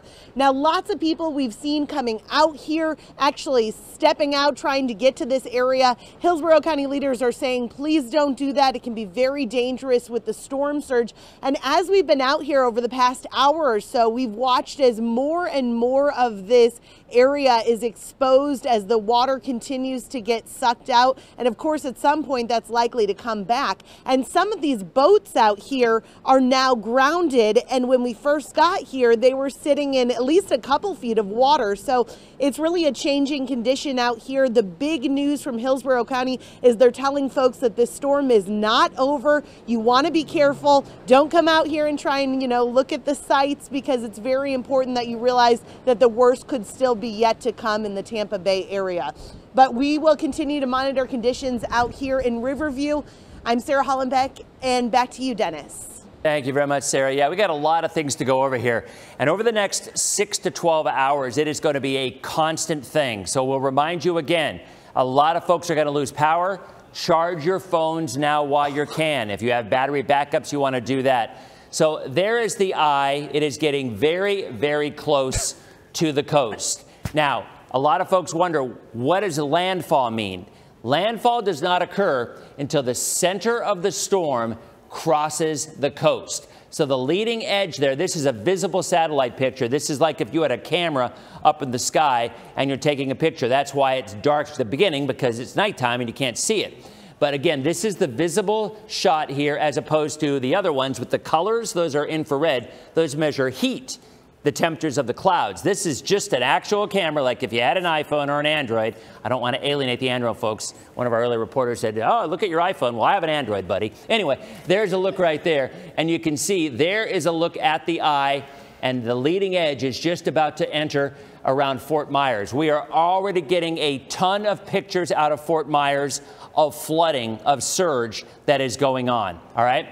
So this is what's new. The extreme wind warning has now been extended up to the north and west into Charlotte and the southern side of Sarasota County until 2 o'clock. Again, all you have to do is just look at the path. As the storm moves off to the north northeast, that will put this part of Charlotte and Sarasota. In fact, let's zoom into this area right here and kind of take a closer look at the cities that are going to be a part of it because there you go here from Grove City up to Port Charlotte and down south to Captiva, which has already had a report last, uh, I think it was about 15 minutes ago. Sanibel had a wind gust of 98 miles an hour. So we are talking about some serious wind around the eye wall. So as you see right now, there, we're already getting reports of large limbs and trees snapping off, covering the ground in the Pine Island Center. Now, we actually have a live picture out of Port Charlotte right now, and there it is. I mean, that is just an angry looking Gulf of Mexico.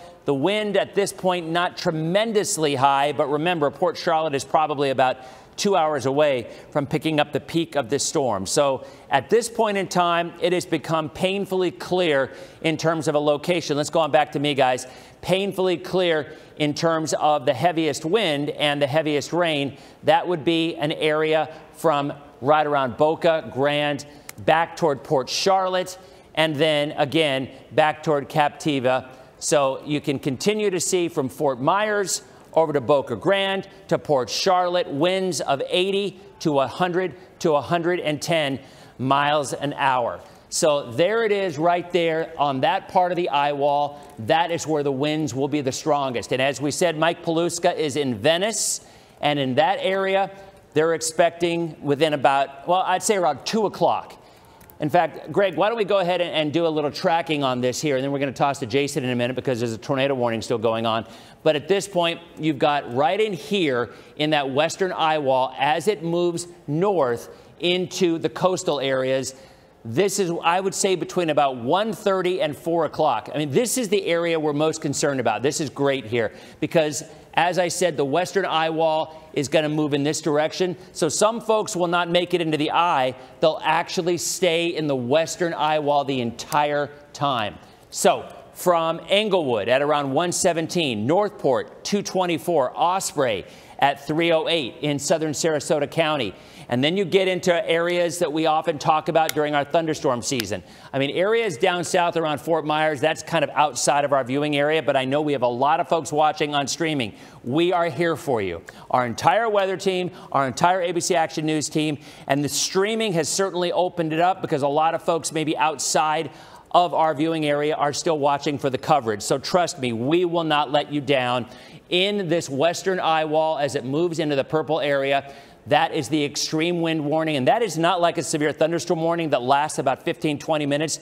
This is going to last a couple of hours. And as the storm moves northwest, the extreme wind threat will continue along it. Now let's go over to Jason again because Jason, we've been tracking a tornado warning and again other severe weather with strong winds coming into the area. Yeah, a lot of wind reports beginning to come in from the National Weather Service. The latest 62 mile per hour gusts now in St. Petersburg. That's getting into the severe thunderstorm criteria that we're so used to in the summertime, that 59 plus mile per hour gusts. So those are the types of wind, and we know those thunderstorms in the summer produce frequent damage here across the Bay Area. So 62 plus, that's what we're looking at now as the storm continues to move further north. So like we said, the hurricane warning, even though the eye is staying well to our south from St. Pete, we're well into the tropical storm force winds now. Not out of the questions for us to get back into those hurricane force gusts over the next couple of hours. I do want to focus in for those of you that were under that tornado warning here over the last 30 minutes or so. It was in western Highlands County, northeastern DeSoto, and also through Hardee County. Good news, even though it still shows up here, it expired at 1215. The rotation has weakened. The National Hurricane Center at this time is not extending that warning further to the east northeast. So there's some good news there. No longer an active tornado warning, but that particular spot where the rotation was, it's going to be moving to the northwest at 45 miles per hour. So in Dewitt, Baird, and Vandolah, you have about 5 to 15 minutes to be prepared for the potential that we see another warning issued if that rotation were to occur. Within any of these bands, those gusts could exceed tropical storm force regardless of a tornado warning or not. So we're talking about 39 miles per hour greater as those tropical storm force winds have made it to the I-4 corridor. And now we're on approach to see those hurricane force gusts in our southern spots begin here momentarily. Here's the radar in Sarasota and Venice. Denis just talked about that extreme wind warning now for Englewood. It hasn't been extended further north here from Englewood, but as the center continues to move north and east, that warning will be pushed north and east as well. So North Port, be on guard because those strong winds, the hurricane force winds you have now, are about to get very, very strong here over the next two to four hour period, and we'll likely see that extreme wind warning issued and extended farther northeast from there.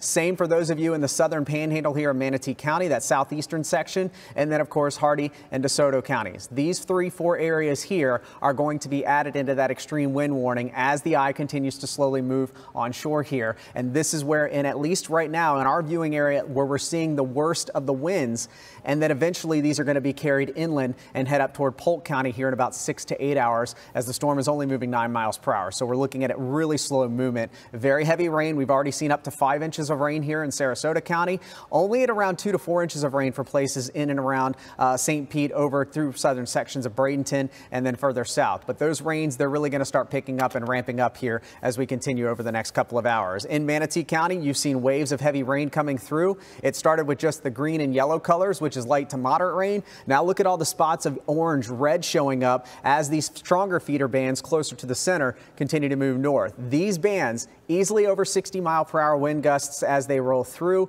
but we're almost to the point where we could start seeing gusts over 70 miles per hour in these feeder bands for our southernmost spots as these storms continue to track north. Tampa, St. Pete, Tampa, the strongest wind so far at the airport around 40, 45 miles per hour. But like I mentioned a few minutes ago in St. Petersburg, 62 mile per hour wind gust was the latest at uh, the airport here right in St. Pete. We're talking about Albert Whitted Airport. As we go a bit further to the east in Lakeland, Not too much happening right now, but we are beginning to see those tropical storm force conditions for you all as well as those stronger bands continue to go from southeast to northwest. And the Nature Coast, we're not forgetting about you guys, but of course the worst, the extreme weather is to the south. We are looking at your gusts only on the order of 20 to 30 miles per hour right now with more light to moderate rain coming through. So that's the very latest across the entire Tampa Bay market from south to north. We're going to continue to watch the storm moving north and east. And one of the places that I mentioned a second ago that could be placed here shortly under that extreme wind warning is in Venice. And that's where we have Michael Paluska live. Michael, what's the latest with you and how are things shaping up? I imagine they're getting worse at this point. Hey, Jason. Yeah, you know, the, the, the weird part of this, covering these storms with the bands, is that it gets so intense, so fast, and then you see me in like a lull like this, and, it, and it's super calm, but it, it's picking up where there's more of a cadence to it, there's more of a rhythm, and these bands are just coming in like this one, uh, even, even faster. I want to show you these clouds up here moving through the northeast and if my photographer goes in, you can see the trees moving around a little bit. When we get gusts, those go whipping. I don't think we've experienced even a hurricane force gust yet, uh, which is kind of scary because those, those are pretty strong in themselves. So when we're sustained out here in the western eye wall at 80, 90, 100 miles per hour, that's going to be uh, that's that's going to be a, a, lot worse than the, the gusts I'm feeling that aren't even hurricane force. But I, these these clouds are just ripping through this area. Those are headed northeast, directly the way that they're heading. That is Tamiami Trail. We're about two blocks from that. We're in South Venice, uh, in a neighborhood, in a block home, and we are about two miles, I would say, uh, from the coast. So we're not in any surge warning, we're not in any danger of anything like that. So we're really just gonna have to hunker down interior when the winds come uh, and depending on the wobble, we probably won't be in the eye if it just keeps on the track that it's going, but that means we're just gonna get slammed uh, consistently with those winds on the western eye wall. I want to point this out because I know you see this big thing of water behind me and you think that it's rising and we're going to get flooded. This is just a low-lying part of this neighborhood. Uh, it's pretty much been here since this morning and it hasn't gone up. I've been monitoring it and it's draining out to South Tamiami Trail. Uh, there is a fence where we are staying that it looks like the gate got blown off by a, a, a burst, something like that. Uh, but that's really the only damage we've seen so far. We, we are getting prepared right now where we are for the worst of it. Uh, Denis said around 2 o'clock, 2.15. Uh, Jason, you know, you guys know you're, you're watching it, you're giving us updates. So we're now in one of those periods where it's just kind of calm now. You know, it's like uh, nothing's really going on. So um, we'll keep we'll keep uh, we'll keep monitoring this and um, we're going to figure out what what's uh, what's next for us. And then uh, as soon as we get some more wins and things start to pick up, we'll we'll we'll uh, come back out live. For now, we're live here in Venice. Michael Paluska, ABC Action News. Thank you so much, Michael. Earlier, Michael told us that he sent his wife and his children to Orlando to evacuate. Sadly, sent them right into the storm, but it's going to be a Cat 1, possibly a Cat 1 storm by the time they get to there. A lot of people went to the Orlando area thinking that it was going to be a safe area to evacuate to. Now we know the storm is headed that way. Just a lot of changes in the last 24 hours here. We're going to get our first look outside of Disney, and we have Katie LaGrone there. Let's see how things are looking. Katie? Yeah, hey guys, and really, it really is interesting that so many people from the Tampa Bay area and south did start to make their way here to Orlando. But here in Orlando, they are bracing for Ian to make its way to across the central region later this evening into uh, early tomorrow morning. You can see right now we're just outside of Disney Springs. This is really the entrance into sort of Hotel Row here in Disney. You can see there's a, a bit of rain here, nothing out of the necessarily the ordinary for Florida in the summer. Um, but you can see also the traffic. There's actually traffic is up and running here. We're not seeing the empty roads like we're seeing in Tampa right now. Here we are a couple hours away from getting the real crux of this thing. Um, and you can see sort of life in Orlando is kind of going about. Inside Disney, though, a site that you really don't see very often, Disney parks have closed. They close, they are closed today and they are closed at least through tomorrow as Ian continues to uh, make its way up the coast. Right now, the projected path is to actually go over Central Florida, even hit start that a weaker category, um, uh, basically a category one, making its way over I-4 into uh, the metro downtown area of Orlando. And so that's basically what we're preparing for here. The city is also preparing for what could be historic weather conditions. We're talking about historic wind, historic rain. Uh, you can see things are starting to pick up even as I'm out here. This is a little bit more of a gust of wind than what we've experienced since we've been here this morning. A big concern throughout the day as we're leading into the heavier, more deteriorating weather is going to be tornadoes. I know that's a concern down in Tampa. It's still a concern up here um, to your northern neighbors here in Orlando. But right now, things are are starting to kind of pick up. It's been this sort of off and on rain throughout the morning. Traffic is notable to me just because we know in Tampa the roads are, are pretty desolate right now. Here, that is not the case. You can see here's a guy here getting ready to cross the street. We've seen a couple people coming out of Hotel Row with bags, presumably just getting ready to sort of hunker down in their hotel rooms.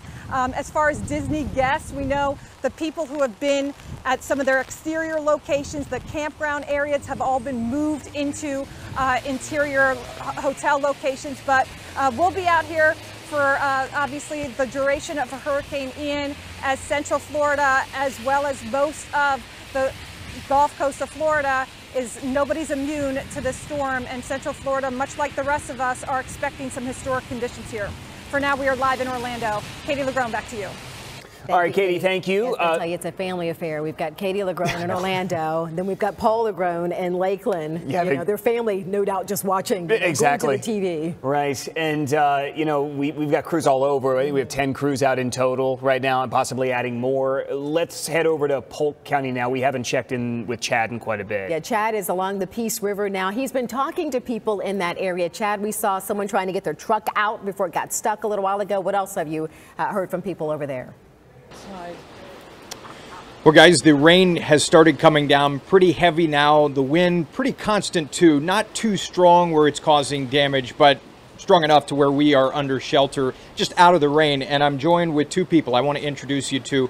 This is Melissa right here, and on my other side is Stephanie.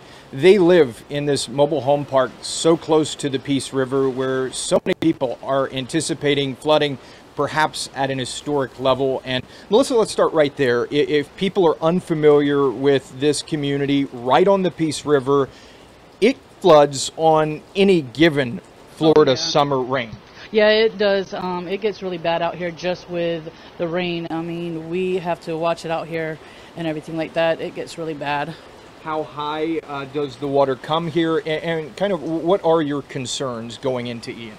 Um, well, right now it gets really bad out here. It gets flooded really bad. You can see it. Um, I got you know video of that or whatever. But um, my concern right now is the flooding, and it's going to get worse because even with the summer rain, it gets bad. But with the hurricane, it's going to definitely get worse and uh, we'll, come over here to Stephanie, and you're, you're actually FaceTiming with, with your sister who is in Lake Wales. If you can turn the, the camera around, her her hair really was blowing because you say it is pretty windy there in Lake Wales right now. Yeah, she was saying that the wind gusts are pretty strong over there, and her screens have already been ripped off, and part of her porch is lifting off of her concrete over there.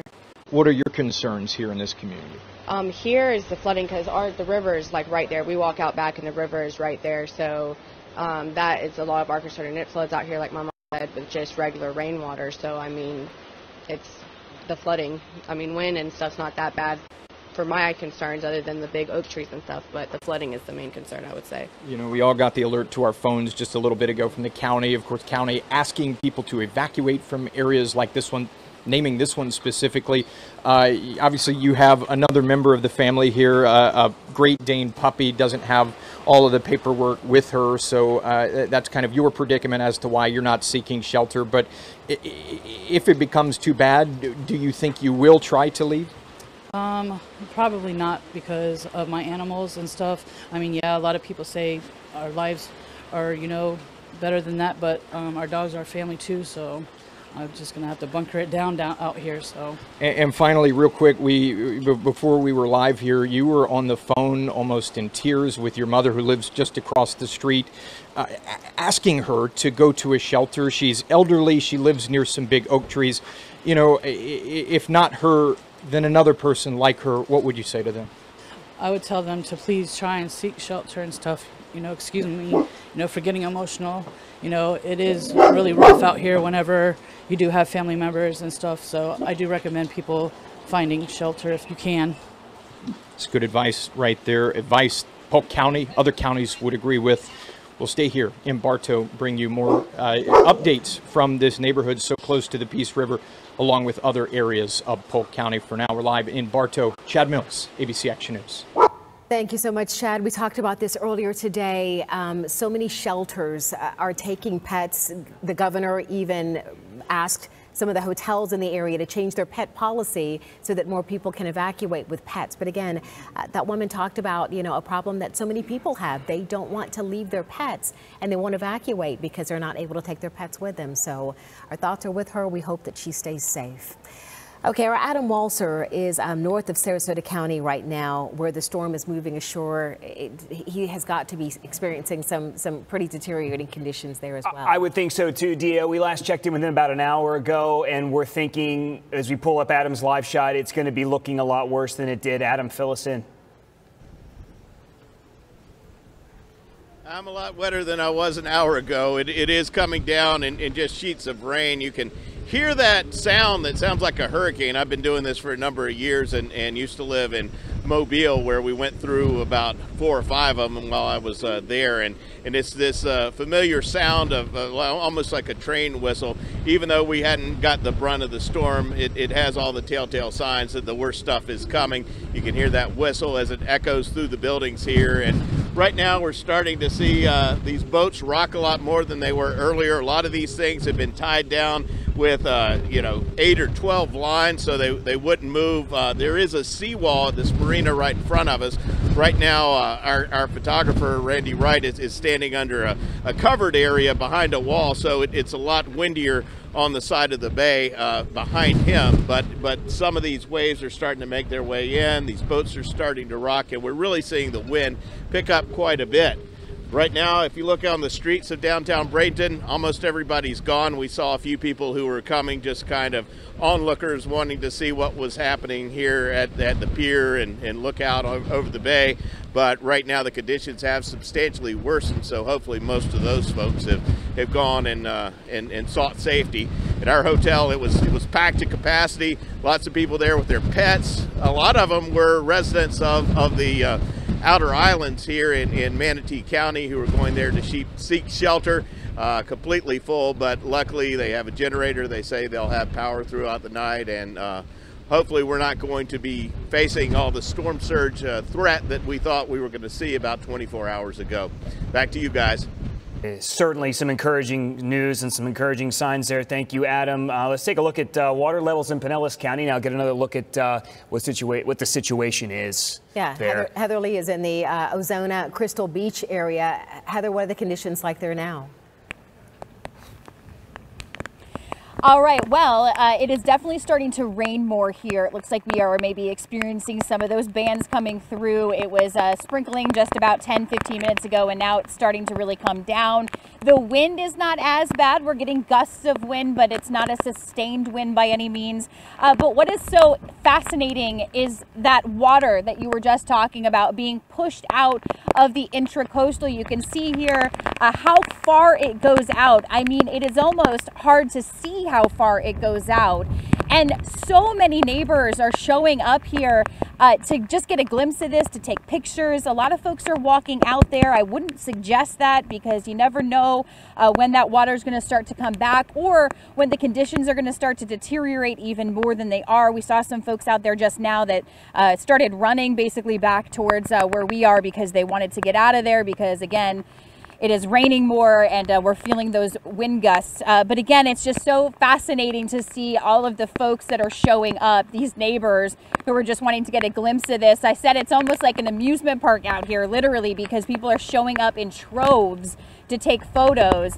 Uh, but again, I think most people are being safe. Most people are staying up here and taking photos uh, of, you know, from a safe distance and then getting in their cars and going home. Again, uh, we'll be out here. We'll continue to watch this. Uh, and as these, uh, you know, conditions start to deteriorate out here, we'll be out here. We may actually uh, make our way over to the Tarpon um, Lake area because that is kind of where we're staying for the evening. And uh, we hear that that sometimes can uh, start to see uh, rising levels in the Tarpon Lake, uh, uh, uh, you know, as storms roll through. So that is something that we probably will check out you know, we've just seen a lot of different conditions all over the place. We've been all over Pinellas really uh, this this morning and into today. So again, we'll just continue to watch these conditions and let you know as things start to worsen. Uh, back to you, Denis.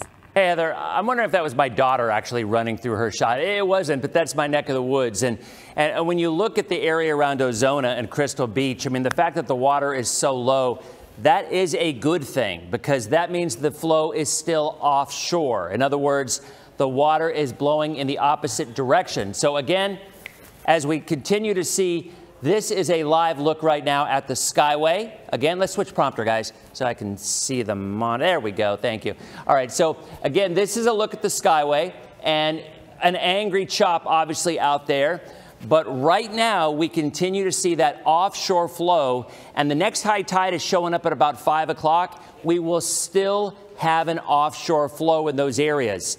So the next high tide for Tampa Bay and any areas around our immediate Tampa Bay region should not have a surge problem with this high tide.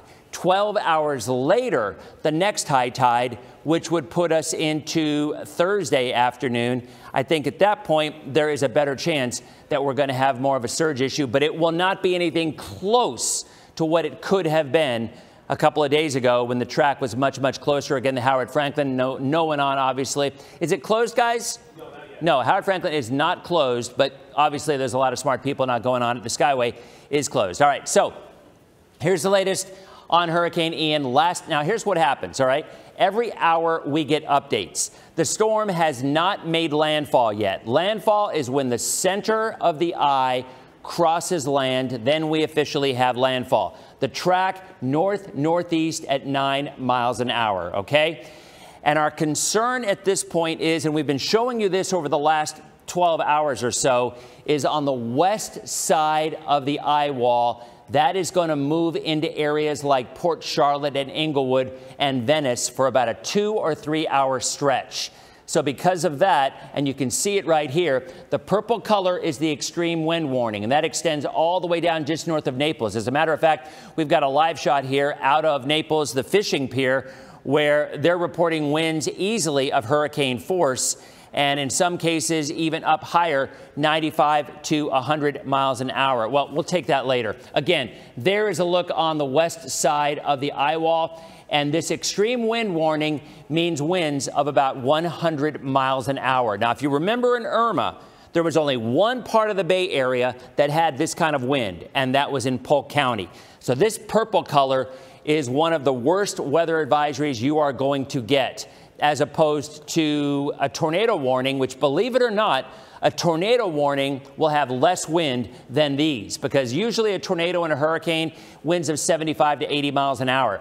These extreme wind warnings easily go 100 plus, and that's from Charlotte County and Sarasota until 2 o'clock. So again, I'd like to take the west side of this eye wall here and do some storm tracking because what's going to happen here is the eye, when the eye crosses into an area, you get calm weather. But the way that this is traveling, about like that, this western eye wall, and by the way, the eastern eye wall is the exact same thing. In fact, we'll track that one next. But the western eye wall, these cities will stay in that heavy wind for at least a couple of hours. So unfortunately, from Englewood to South Venice, where Mike Paluska is right now, around 2.30, North Port about 3 o'clock. So we continue to see these push for the next several hours because it's moving 10 miles an hour. So at that point, slow moving system it will start to weaken once it does. Let's go back and see if we can try this again. The Naples Live, the fishing pier in Naples. Let's see if we have, there we go. And again, you can kind of see that's a look at it. I mean, uh, again, angry seas, there's the pier.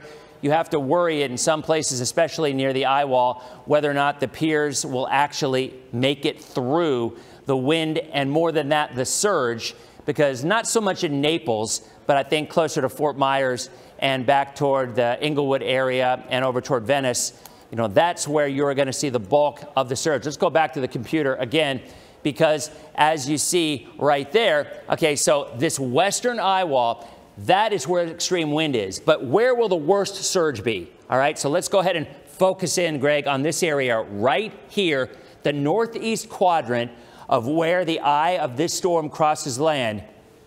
That's where the bulk of the surge is going to be, all right? So anywhere on the northeast eye wall, and at this point, obviously, this is right on the fringe, but I have no doubt from Fort Myers northwest and eventually up toward Port Charlotte, where the water comes in, they are going to have the worst of this surge. And we're talking about a surge of up to 14 to 16 feet. And you can see anywhere from the Port Charlotte area, this is the time frame that the eye or the eye wall, the leading edge of it, where the surge will be highest, will arrive. And this is important.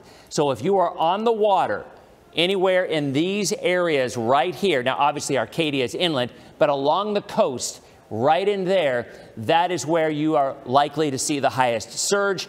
But that track also shows you where the extreme winds will last. The difference is with here, the extreme winds won't last as long because you, instead of going into the eye wall, you'll go into the eye. And if you go into the eye of a hurricane, it's calm. There's nothing going on. But the thing to remember, and a lot of folks forgot this with Charley, right? You're in the eye, and you think, I, I know people who went outside and started cleaning up their homes and cleaning up the branches and everything.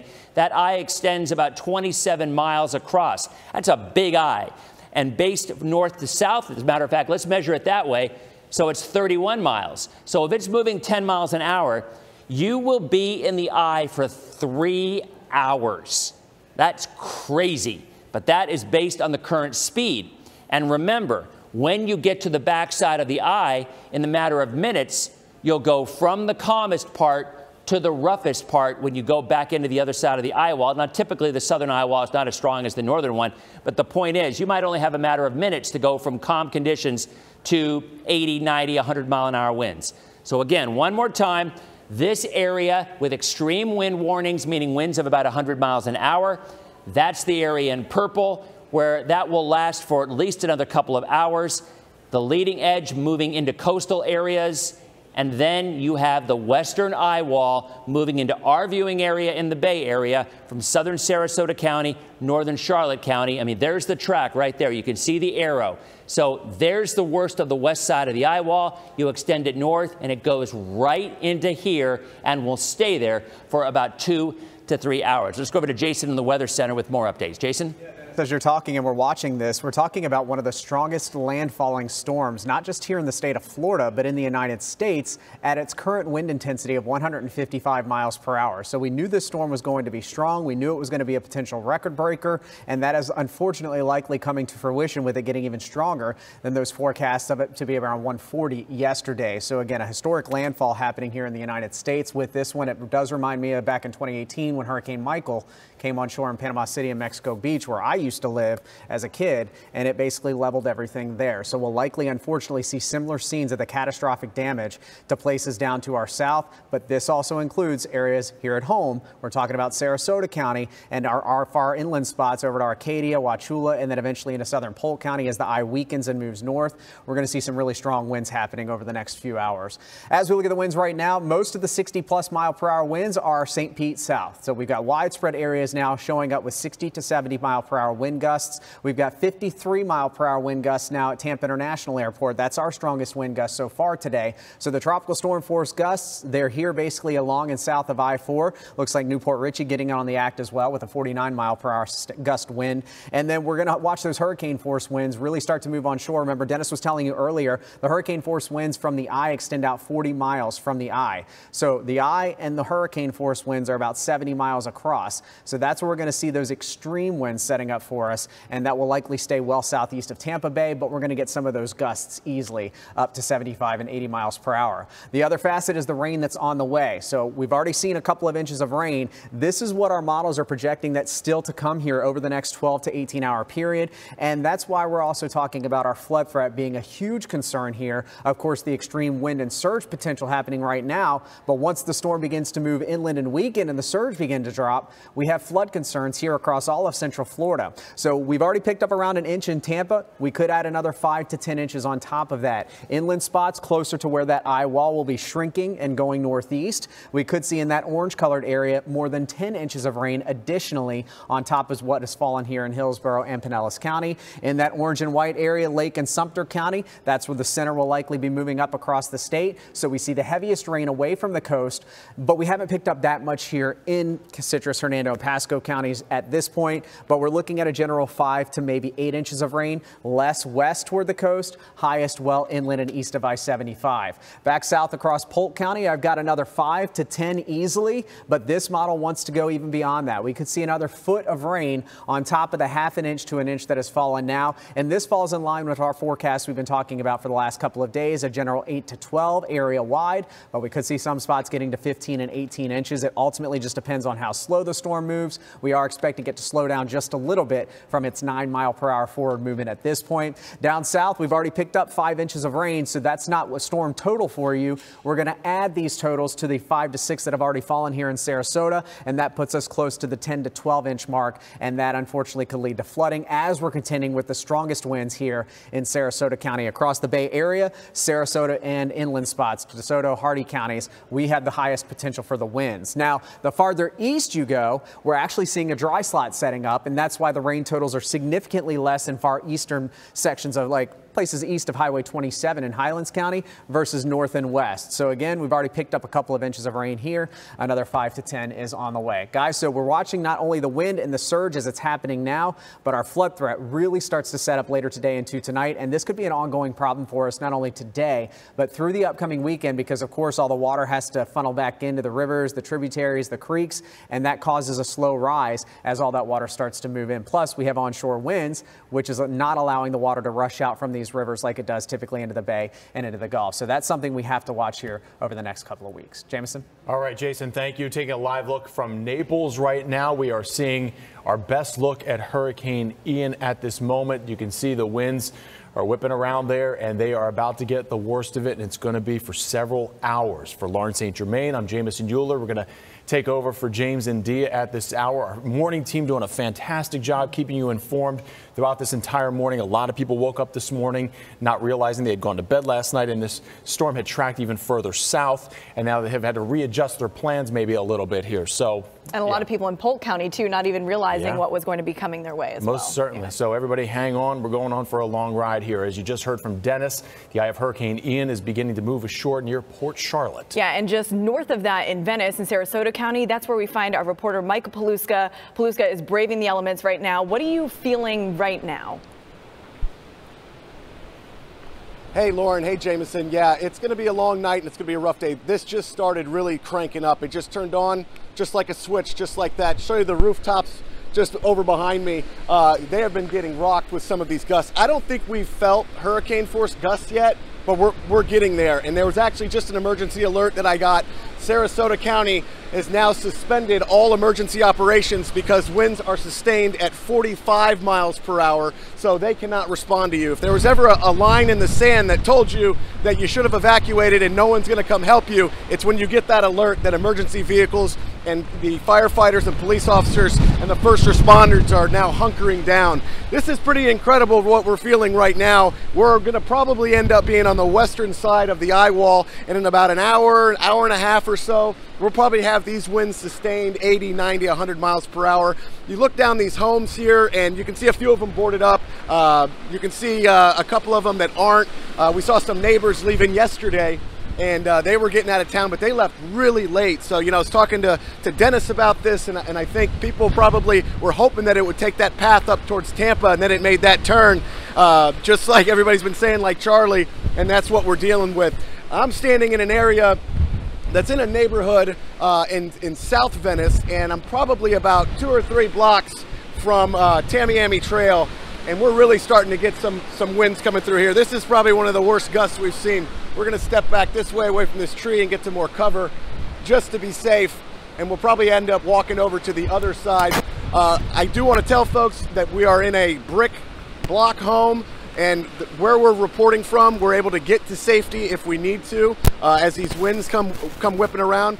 and we also have an area where we're not near any power lines or anything like that that comes down. So monitoring the trees, and we have a lot of things in front of us so we can see them and visually at least get time for my photographer to tell me to, to jump out of the way. So far, things have been pretty, pretty good here this morning. We've had just a little bit of rain. We actually still have power here uh, at the house we're staying at.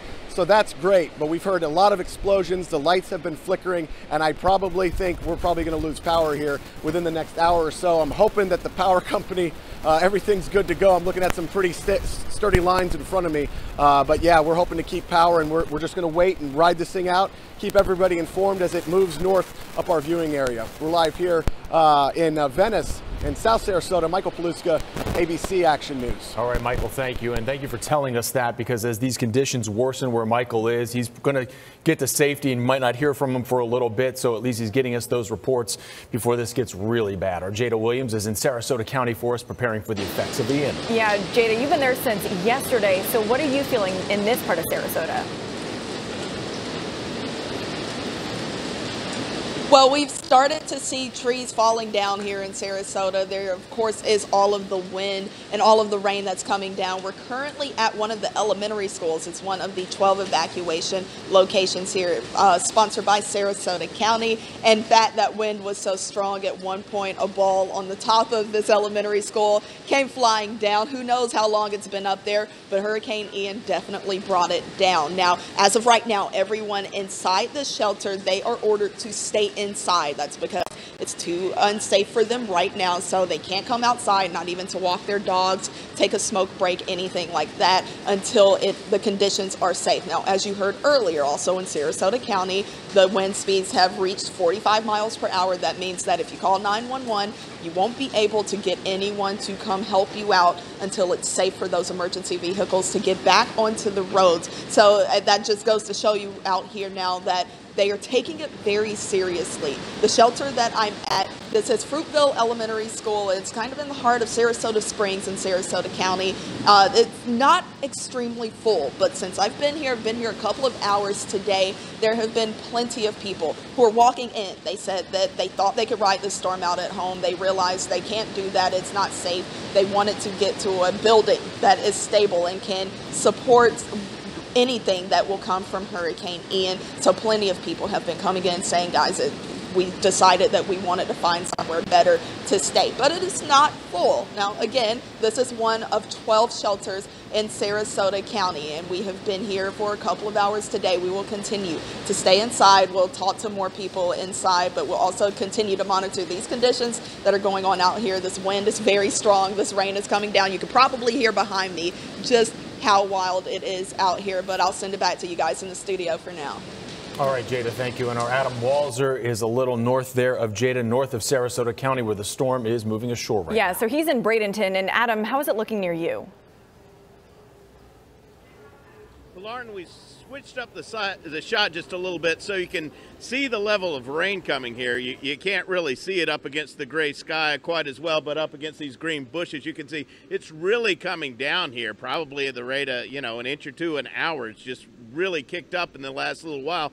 So has the wind. If you look at these masts of these sailboats that are anchored here behind me, those are behind a seawall. And right now, the bay is starting to, to come in. Uh, the white caps, it looks almost like the Gulf out here on the bay, and uh, they're starting to, to rock quite a bit. We're in a very protected space. I'm here with uh, photojournalist Randy Wright, and we're here at the Pier 22, and he's under a covered area, which helps protect our equipment and helps protect us. But we can see that, that things are really kicking up around us. You can see the palm fronds kicking back and forth. We've seen a couple of them fly off. Uh, we're really seeing the rain coming down a lot harder than it was in the last half hour, and that wind is really kicking up. I don't know if you can hear it, but it, it almost sounds like a train coming through here uh, between uh, the howling wind, and, and then we're hearing all these uh, masts and all the lines clanking up against them. I think we're in for a really long day and night here in the Bradenton area. Luckily, the thing we haven't seen is a lot of the storm surge right now.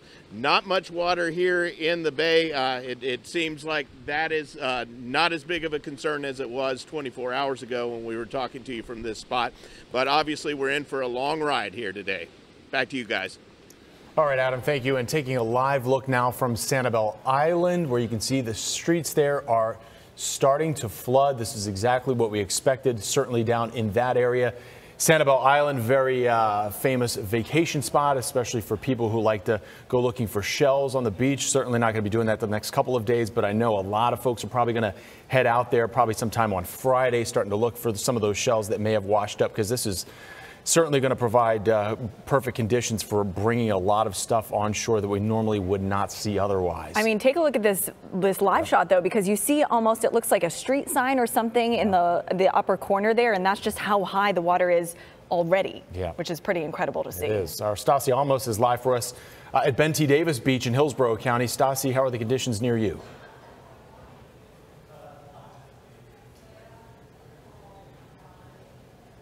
Did we lose her?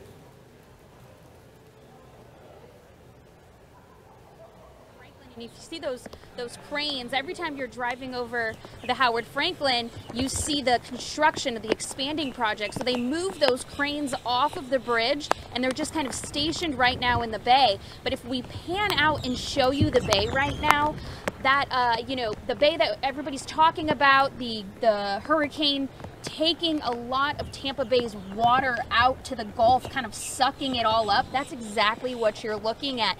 Right now, this is the bay that's normally, you know, filled with water. It is low tide, but this is extremely low. People are actually coming out, parking their cars on Ben T. Davis Beach and walking in Tampa Bay. Now, authorities have said that is not safe because at any point this water could rise again and you don't want to be stuck out there. But it's just kind of an incredible view right now. Uh, sometimes you can see the bridge off in the distance and then it'll get a little bit hazy and you can't see. Same exact thing with Courtney uh, Campbell. The good thing is, is that the water is low, so we're not seeing that storm surge that we were concerned about earlier. And Um, you know, if you pan back over here, you can see it's kind of not blowing me away, but it has picked up about seven miles per hour since about an hour ago. Was at about 20 miles per hour. Now we're seeing closer to 27. Um, so we are expecting some of those bands. You know, it's picking up, coming in. You feel, you feel the rain, you feel the wind. Um, but as of right now, I mean, it's pretty calm here in Tampa, and this is good. This is what we want to see. Of course, we're going to stay out here as long as it's safe, and if it does not, um, you know, get bad, we'll keep these updates coming. Uh, for now, we'll send it back to you guys. Reporting live, Stassy Olmos, ABC Action News. All right, Stassy, thank you. And as you're seeing there, the, the bay is starting to kind of get sucked out a little bit. It's going to be coming back at some point. This is what we saw during Irma. And then it's not just in the bay. A lot of the canals and the rivers that feed into the bay throughout the entire Bay Area, they're starting to see their water levels drop as well. So, An important thing to note there, it's happening on Bayshore Boulevard. If Yeah. you take a walk out that area, that part of the bay is also being pulled out, and authorities really reiterating do not go out into that area. The water is eventually going to come back in, and you don't want to get stuck in that. yeah, certainly interesting to see. Oh, we continue our team coverage now of Hurricane Ian. We want to check in with Anthony Hill. He's in Apollo Beach, where the winds seem to be picking up there. Hey guys, I'm in Apollo Beach where you can see obviously it is raining, it's quite windy, but what we have been noticing is that the intensity in which it rains and the wind blows changes. One minute, you know, it's raining lightly and this light wind, and then the next minute, you know, we have winds like this, how it's picking up, and then the rain will be coming in different directions. And that's essentially what we're seeing across the Bay Area.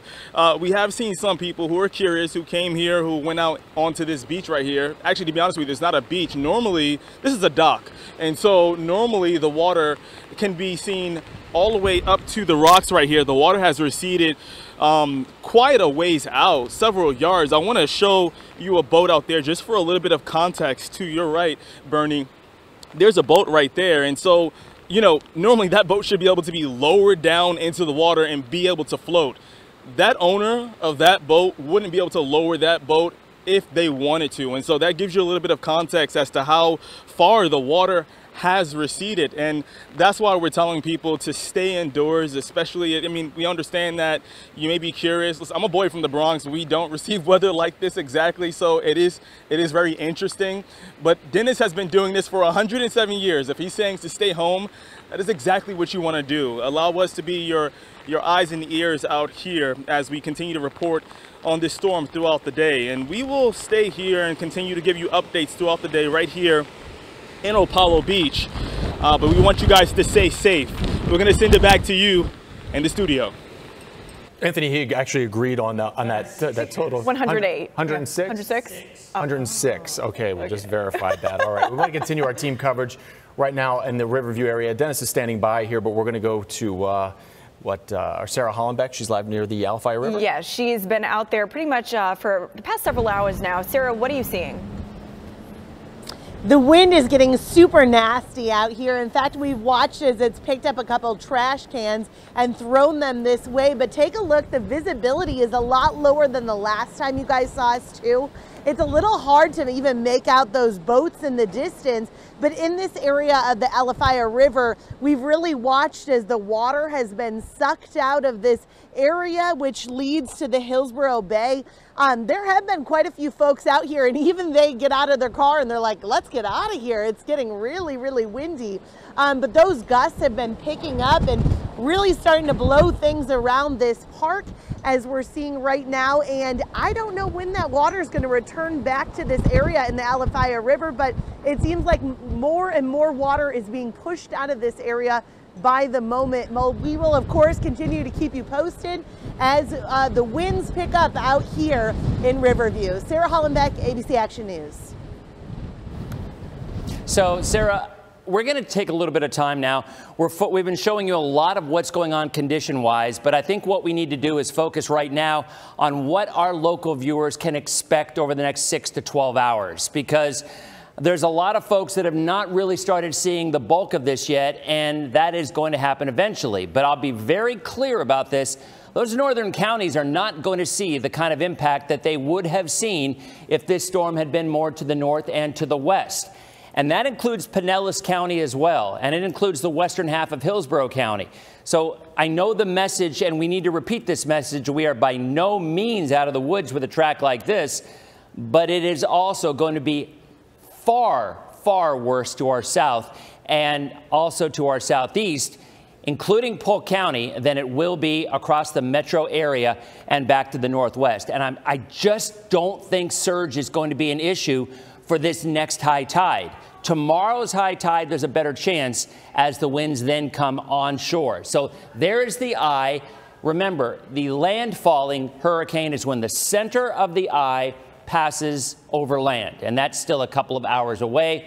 Still, though, this is worst case scenario that a storm is intensifying as it approaches land. I mean, it's just the last thing that we wanted. And Jason said it a couple of minutes ago. I mean, this may go back to be one of the record books. Greg and I were talking, we were trying to remember on the west coast of Florida, we're not talking the panhandle because obviously Michael, and they've had plenty of Cat 5 hurricanes, but think of the ones on the west coast of Florida from Wilma.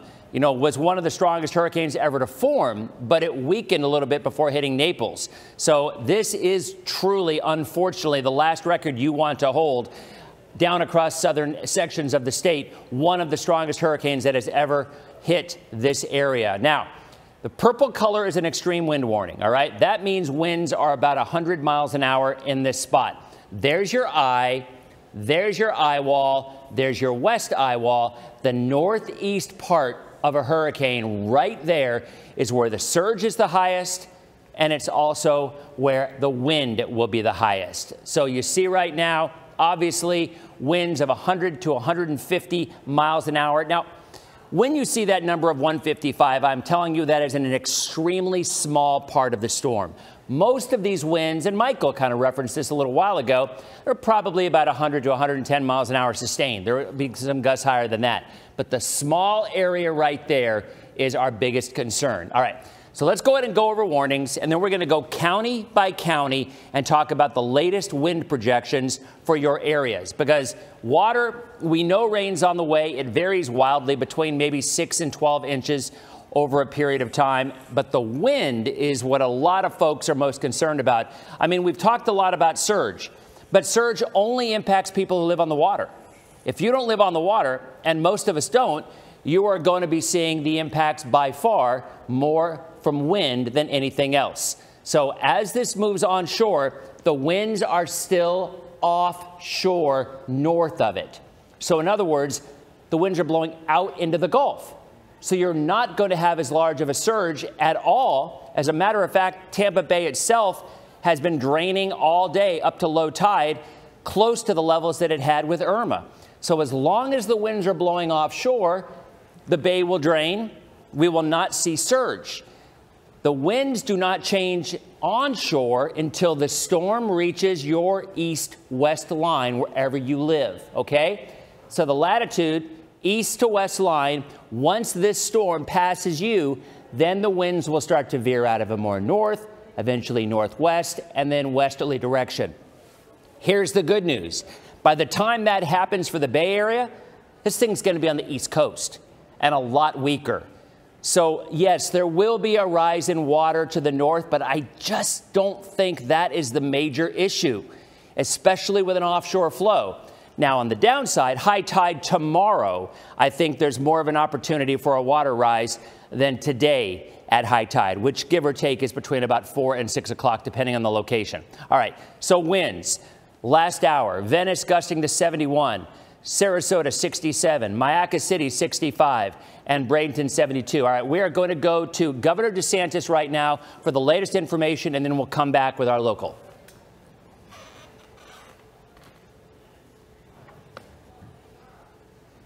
Feel impacts. Now, while most people in the evacuations did leave, you know, there, there were some uh, that chose to stay. I was speaking with uh, the sheriff down in Charlotte fine. County, and uh, while fine. most people did leave, they had a small number of people that just that's wanted to hunker down.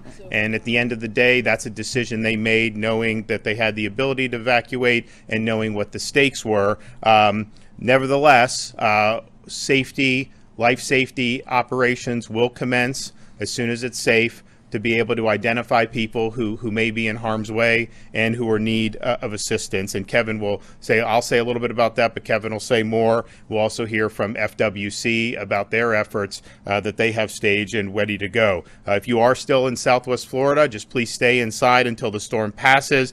It may appear to be calm at some point. You may just be in the eye of the storm, and the backside of that will get very, very nasty. The storm is expected to move across central Florida and exit Daytona Beach sometime on Thursday.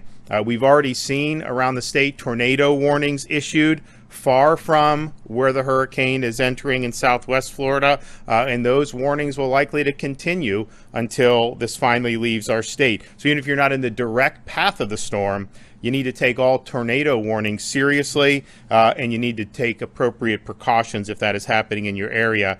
Uh, the Florida Department of Transportation has just announced that Fort Drum, Canoe Creek, and Turkey Lake service plazas on Florida Turnpike uh, are now closed. Obviously, they will try to get those open as soon as they can.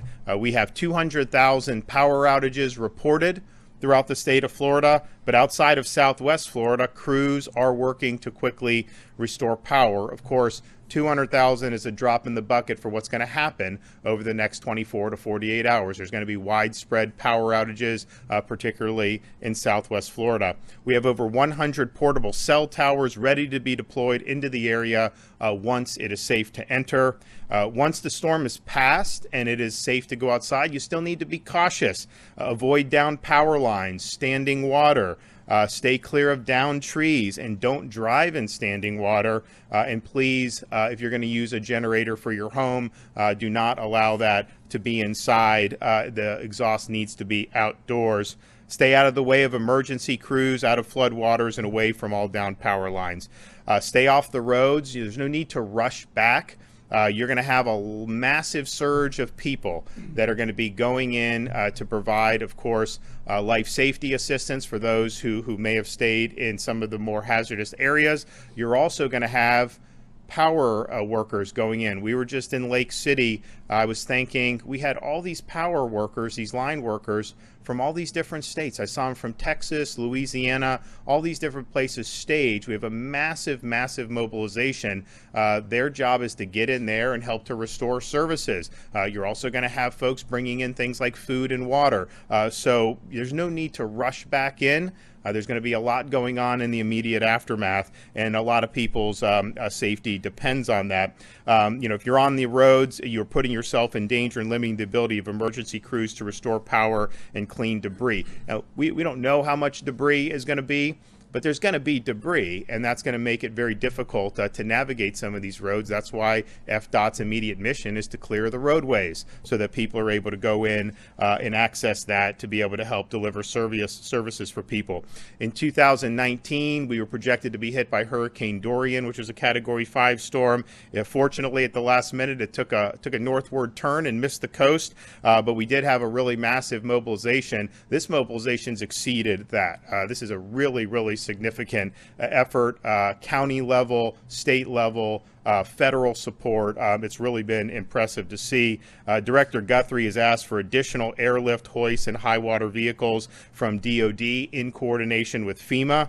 Uh, the Secretary of Defense has approved Florida's request for dual status of our National Guard forces under Title 10 to be to, to provide additional forces, which we very much appreciate. Uh, we will also be submitting momentarily a major disaster declaration for all 67 counties, and we'll request that the federal government reimburse 100% of the upfront costs for the first 60 days to ensure that we can quickly recover uh, and move forward into the response and recovery part. And if you think about this storm, we, have we had storms that have been as strong as this hit Florida? Michael, Hurricane Andrew, Labor Day hurricane many, many decades ago? Yes. Um, have we had big storms that left a lot of water and flooding? We had Irma recently. Uh, this is really bringing both to the table. I mean, you're going to have massive amount of power hitting that coastline with really, really strong winds. Uh, that is going to do a lot of wind damage, but you also have the storm is so massive, and people are kind of comparing this to the track that Charley took in 2004, because Charley was like this, was expected to hit Tampa Bay. Uh, it turned and ended up hitting Southwest Florida. Charley was strong, but it was a fraction of the size of what we're dealing with here with Hurricane Ian. So the effects of this are going to be broad, um, and we appreciate the Biden administration's consideration for the people of Florida uh, during this time of need. When I was in Lake City, you had massive numbers of linemen, but you have those staged all over the state. Uh, there's now over 42,000 linemen and, and other personnel ready to restore power in 30 different areas across the state.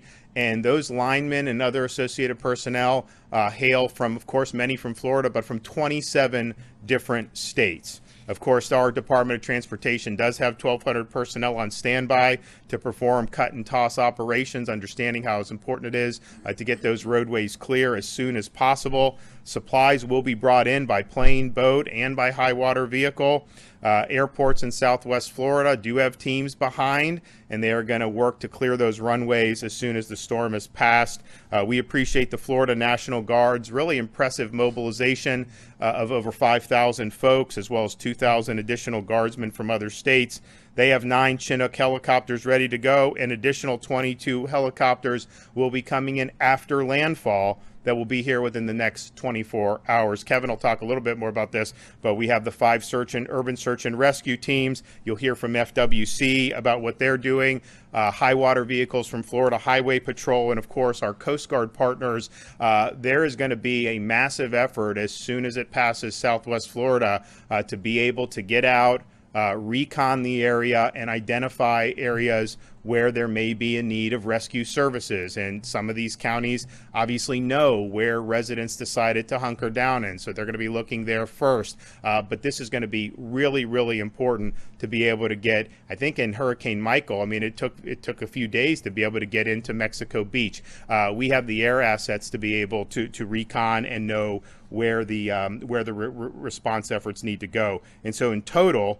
We have nearly 250 aircraft, more than 1,600 high water vehicles, and more than 300 boats of all drafts and sizes, including 250 already in the major impacted areas and nearly 50 that are staged and ready to come in as needed. Uh, these include smaller rescue oriented boats, airboats, and larger boats uh, that will be delivering supplies by water if need be. I want to thank the 26 states that have sent us support, uh, including Tennessee, Virginia, Montana, New York, Colorado, Indiana, New Jersey, and Georgia. I just spoke with Kay Ivey from Alabama, uh, and she's uh, supporting uh, sending uh, some Black Hawk helicopters down to help. Uh, Governor Bill Lee in Tennessee fast tracked a request that we had from Tennessee. We appreciate that. I was also able to speak with John Bell Edwards from Louisiana. They've helped us. We said, hey, we've got a lot of experience in hurricanes recently, so these guys are good. Ask us. We want to send more. And so we really appreciate that consideration. And if we need that, we, we certainly will do that. we also understand that people that are going to be that are displaced are going to need assistance. So the Department of Economic Opportunity has already deployed funding and guidance through com community action agencies to help Floridians in need of short-term support like utilities, hotel bills, and transportation uh, if they have been displaced by this storm. Uh, please continue to monitor uh, local reports, weather reports. Uh, be very cautious going out um, into hazardous conditions. And then once the storm passes your area, uh, just make sure that you're very careful because there's going to be a lot of things, a lot of hazards uh, that are going to be down on the ground. I know there's a lot of people that have reached out. Uh, first of all, I want to say thanks. A lot of people have offered thoughts and prayers uh, for the folks that are that are in the eye of this storm, and that means a lot to us. Uh, there's also people that want to be able to do their part, and so I've directed Volunteer Florida to activate the Florida Disaster Fund, where people can donate. It's much better to donate financially rather than sending items. Uh, we have everything we need in terms of the immediate response needs, uh, but there will be thousands of Floridians who will need help rebuilding. And to contribute to the disaster fund, you can visit www.floridadisasterfund.org or text disaster to 20222. Again, that's text disaster to 20222. Uh, for those who want to come volunteer, we have an official volunteer portal at Volunteer Florida, and that's at www.volunteerflorida.org www.volunteerflorida.org, and you can look to see of the volunteer opportunities. Um, you know, this is going to be a, a, rough patch here uh, for the rest of today um, and into tomorrow. Uh, but you know, we understand uh, how significant this storm is. Yes, there'll be an immediate response. Yes, there will be things that happen with recovery. Um, eventually, there there won't be much uh, media attention on this as the as the weeks and months go on. But we understand a storm of this magnitude uh, is going to require an effort over an extended period of time. Uh, those are good folks down in Southwest Florida. They've got really great, thriving communities. this is not anything anyone wants to deal with. It's not something we certainly ask for, but uh, we're going to step up. Uh, we're going to be there for folks, um, and we're going to make sure uh, that folks get back on their feet um, and Southwest Florida comes back better than ever. Okay, Kevin Guthrie. Thank you, Governor.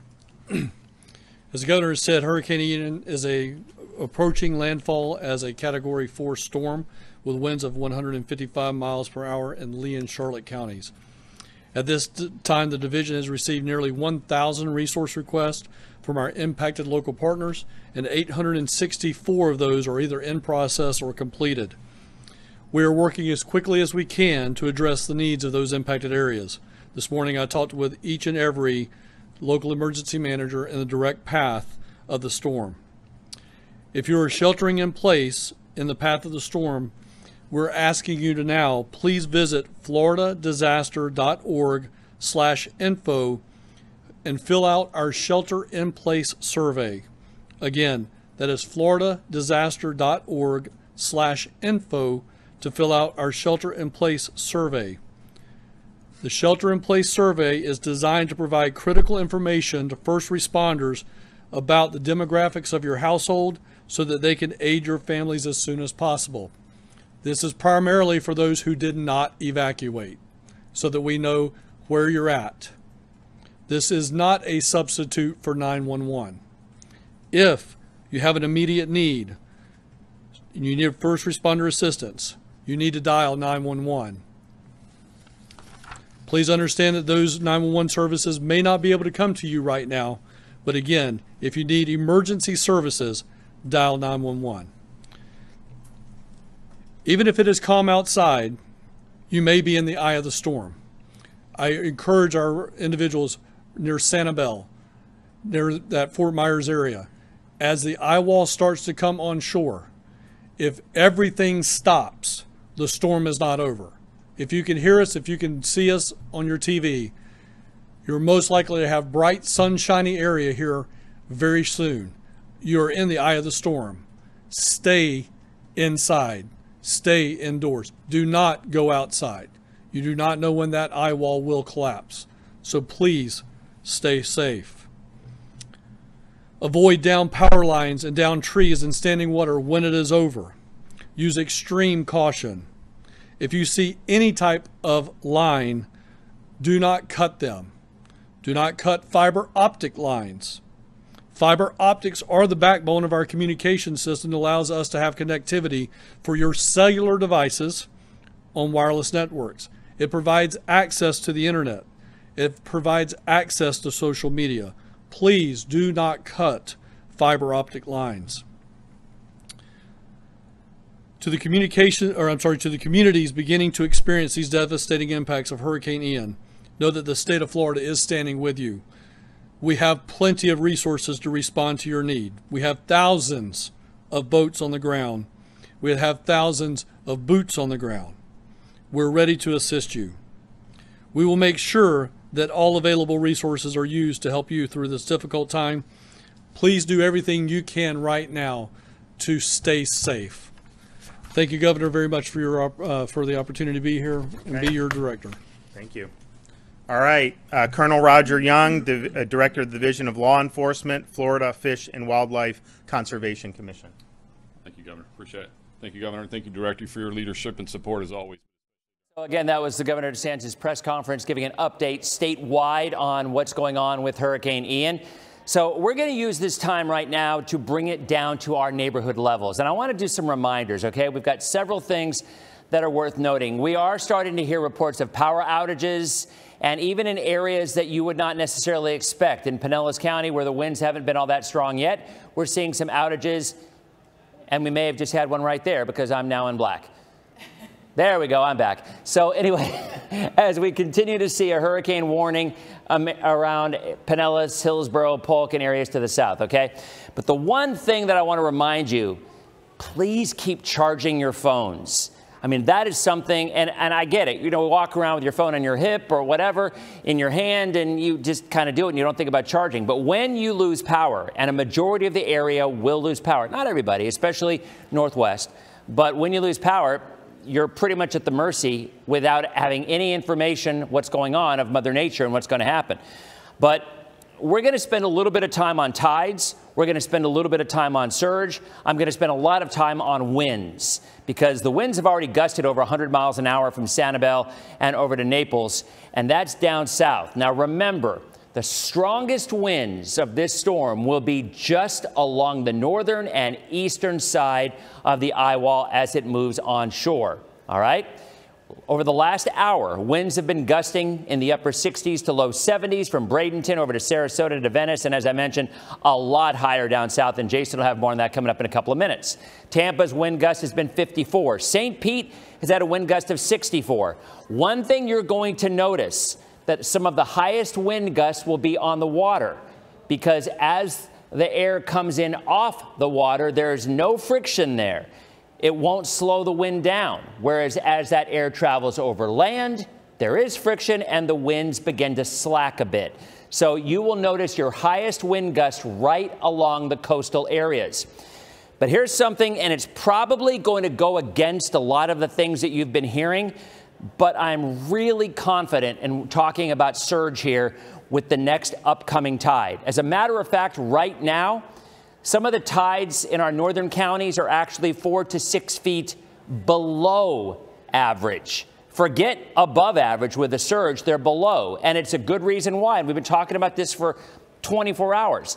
The winds are blowing offshore. In other words, there's no way that you are going to see a rise in water or surge if the winds are blowing all that water out into the Gulf of Mexico.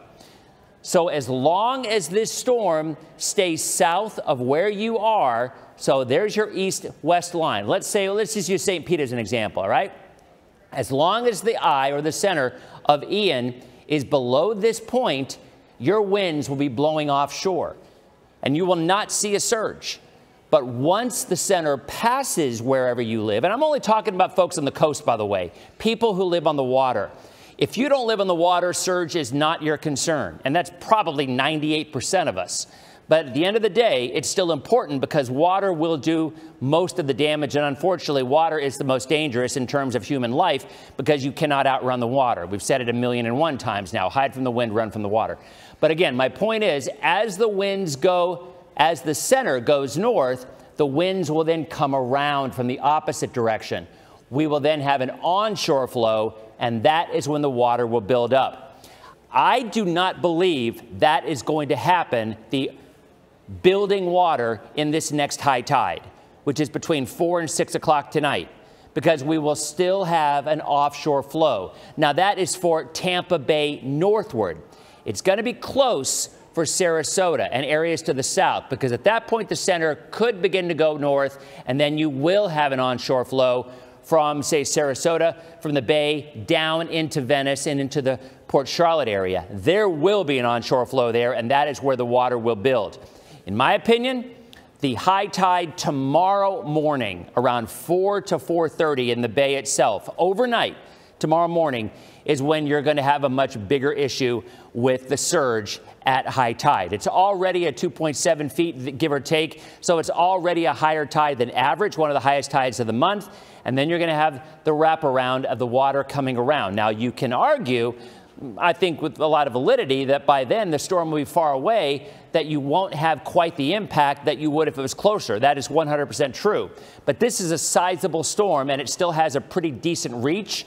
So I think you will have enough return flow that surge will be an issue. And unfortunately, that is overnight tonight into tomorrow morning. So in the bay, my concern for surge will be tomorrow morning as opposed to later this afternoon. All right? So we got that out of the way. Now let's talk about winds because I think every single person out there wants to know how these winds time out and when will they be the strongest. Now, this is based on the GFS model, these numbers. They're not exact, but they're going to give you at least an idea of the timing. This is this afternoon, winds gusting maybe 50 to 60 miles an hour Pinellas, 40 to 50 miles an hour, give or take, in Hillsborough County. And then by later on in the evening, we see those winds gust into the 60s range and into the mid 60s in Pinellas. So between 8 o'clock and 10 o'clock, you are going to see a pretty broad area of winds gusting from 50 to 70 miles an hour. That is almost identical to Hurricane Irma five years ago. I really think north of Manatee County, the impacts are going to be practically the same with Irma. And unfortunately, that includes Polk County. Because if you remember in Polk County with Irma five years ago, they had extreme wind warnings. They had 100 mile an hour winds around midnight to 1 a.m. So that is going to be another issue. We were hoping Polk wasn't going to have to deal with this.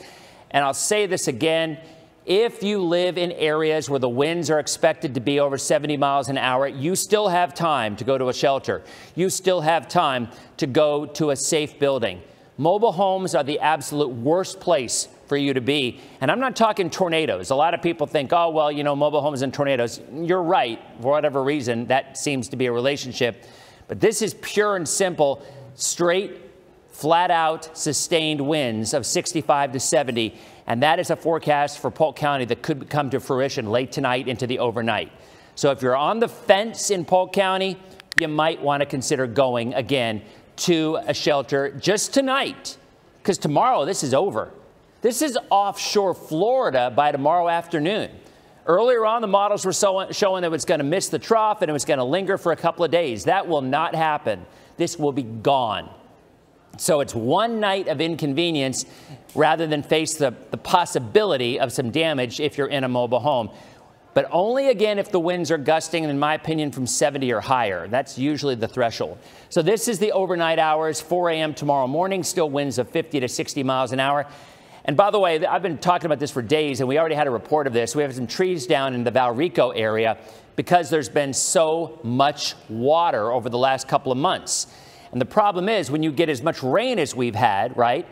And then you have a steady wind of 50, 60, up to 70 miles an hour for about 24 hours, that ground will soften and those trees are going to fall. It isn't that there's just a mass amount of wind that'll knock everything down. All that rain softens the ground and make it more likely that the trees can fall. To me, that is our biggest concern. Honestly, to me, right now, through the overnight, our largest concern from Pinellas, from Hillsborough North, is trees going down. Polk County will have heavier winds overnight, and of course, southern Manatee and areas down south. That's another story. That is the winds directly related to the eye or the outer winds of the hurricane. But remember, the hurricane force winds only extend 40 miles. That's not big. There's a meme and there's a picture going around with Charley, the entire area of Charley in the middle of Ian. I mean, that's kind of stretching the truth. it, it is kind of true. Charley was a very small storm. Ian is a big storm, but the hurricane force winds really aren't all that big, and that's a good thing. They only extend out 40 miles. Now, the tropical storm force winds extend 150 miles, 200 miles out. So, in other words, the entire area will have tropical storm winds until this storm exits to the east, and that'll be later on tomorrow morning into the afternoon. All right. So, we go on through Thursday afternoon, 4 o'clock. Still winds solid, 50 to 60 miles an hour. And then 7 o'clock tomorrow night, still 50 to mid 60 miles an hour, even as the storm has gone offshore. And in the Atlantic, we are still looking at winds of upper 40s to lower 50s. And then finally, as it pulls away even more so, the winds subside back down into the 30s, 30-ish range and down to the 20s by later on in the day. So the heaviest of the winds will be through tomorrow afternoon, and that persistent wind with all the rain. And the rain totals probably are not going to be as high as some of the models were originally indicating, although right along the path or where some of the training rains pop up, there could be 15 to 20 inches. I think probably 6 to 10 is a pretty reasonable number for a lot of places. And again, Jason will talk more about that coming up in a couple minutes. So again, here's the wind gusts. Let's go to Citrus and Hernando and Pasco. So look where you live, all right? Look at the time. That's 2 o'clock today. And then we go from here. This takes us to 8 o'clock this evening. And we're now looking at winds mid 60s along the coast. The winds will be stronger along the coast than they will be inland, at least until the storm moves in. Again, because as I said, there's no friction to slow that wind down along the beaches. That's through 8 o'clock tonight. Overnight, midnight, winds of 50 to 60 miles an hour. We're going to lose power in a lot of places which is why having your phone charged and having our streaming app on your phone. If you're watching on TV right now and you're like, ah, oh, man, when I lose power, I'm going to lose it. No, no, no. You download, you go to abcactionnews.com forward slash apps, A-P-P-S, abcactionnews.com forward slash apps. It'll take you to a link to download our apps onto your phone, and you will be able to watch the same coverage you're watching on TV on your phone your fully charged phone because we're going to continue to just beat that into your head that we are reminding you to recharge your phone. I've been there. We've all been there. I mean, you lose power on your phone on every day. You don't want to lose it now. All right, so anyway, we go on into the overnight hours tonight into tomorrow. We still see winds of 50 to 60 miles an hour. That kind of continues. Tomorrow morning, 7:30, 8 o'clock, still in the middle 50s. This is not the kind of wind that is going to give any problems for Citrus Hernando or most of Pasco County. Might there be a few tree downs, trees down? Sure. That can happen in an afternoon thunderstorm. But that track is going to be far enough east that most of Pasco, Hernando, and Citrus should be okay eastern Pasco from Zephyrhills to Dade City to Wesley Chapel. Maybe a little more wind there at times. Watch out for that. But otherwise, certainly not the kind of wind that'll do structural damage. Maybe a pool cage or two could have some issues. Should not be a big deal. Even as the storm pulls away tomorrow night and probably begins to re-intensify in the Atlantic, there still could be a band of some heavy rain but that and heavy wind, but that should not impact areas of Citrus, Hernando, and Pasco County. But even still, overnight tomorrow night, we are still showing some winds in Citrus County in the 50s to low 60s because Ian will start to redevelop in the Atlantic and those winds will come around and increase on the backside. So finally, by Friday, it pulls away and then we're out of the woods. All right, let's talk about Polk County. These numbers are a little low, in my opinion. I don't think the GFS quite has its hand on how strong the winds will be because 4 o'clock, this is about right, upper 40s to low 50s. And then by mid evening, upper 50s to low 60s. The Hurricane Center has a Category 1 hurricane just to the southwest. And granted, some of those winds will probably be in a very small area but I think winds gusting closer to 70 seem reasonable to me. The track anywhere between Lakeland and Lake Wales, I mean, I think it could be, and there again, the, the, the, GFS is taking it on more of an east track, as is the Hurricane Center. But earlier on, it was here. It really could be in any spot here with winds of about 60 to 70 miles an hour. Again, the GFS is going on the low side. I would not be surprised if they're a little bit higher, but at the end of the day, these are still not damaging winds. They are winds that would threaten a mobile home, but they're winds that more than likely would probably give some trees down. And I know how many folks had people, families who evacuated from our area to Orlando. Raise your hand. I mean, we, a lot of us did, right? And at that time, that was the right call because we had evacuation orders, mandatory evacuation orders along the coast and in other places. And it was the closest place to be because even Polk County wasn't in a hurricane warning. It was a tropical storm warning. So it was the right call, in spite of how it played out, that they're going to get wind. Well, if you were around in 2004 in Hurricane Charley, it was even worse because people went from Pinellas and the coast to Orlando. And Charley came through with winds of 130 miles an hour in Orlando. I mean, knocked out windows in hotels. It was just a nightmare. And Pinellas County had next to nothing. So I would not be shocked if these many if these areas along the coast also have relatively calm conditions compared to what was forecast. And if you have family and friends in Orlando, do not freak out. I'm telling you, the winds will not be that devastating. They're going to see 60 or 70 mile an hour wind gusts. We're going to have it here too. So I know a lot of folks have been messaging me saying, oh my, oh, what do I do? Do I bring my people back? You don't now. I mean, if you had overnight last night into early morning, and I messaged a few people and said you could do it if you wanted to, and they did so. But at the end of the day, they're going to be okay. It is not going to be that bad in Orlando. So do not freak out about that if you have some of your family that went out there. But I still think the numbers will be a little bit higher than showing up in the GFS. So let's now go down to our next area from Manatee and Sarasota. Clearly, this is the spot. I mean, you look at the numbers, they're already getting wind gusts over 100 up to 110 miles an hour. It's already happening, and it's about to make landfall. So through tonight, we will continue to see winds gusting from 75 to 90 miles an hour.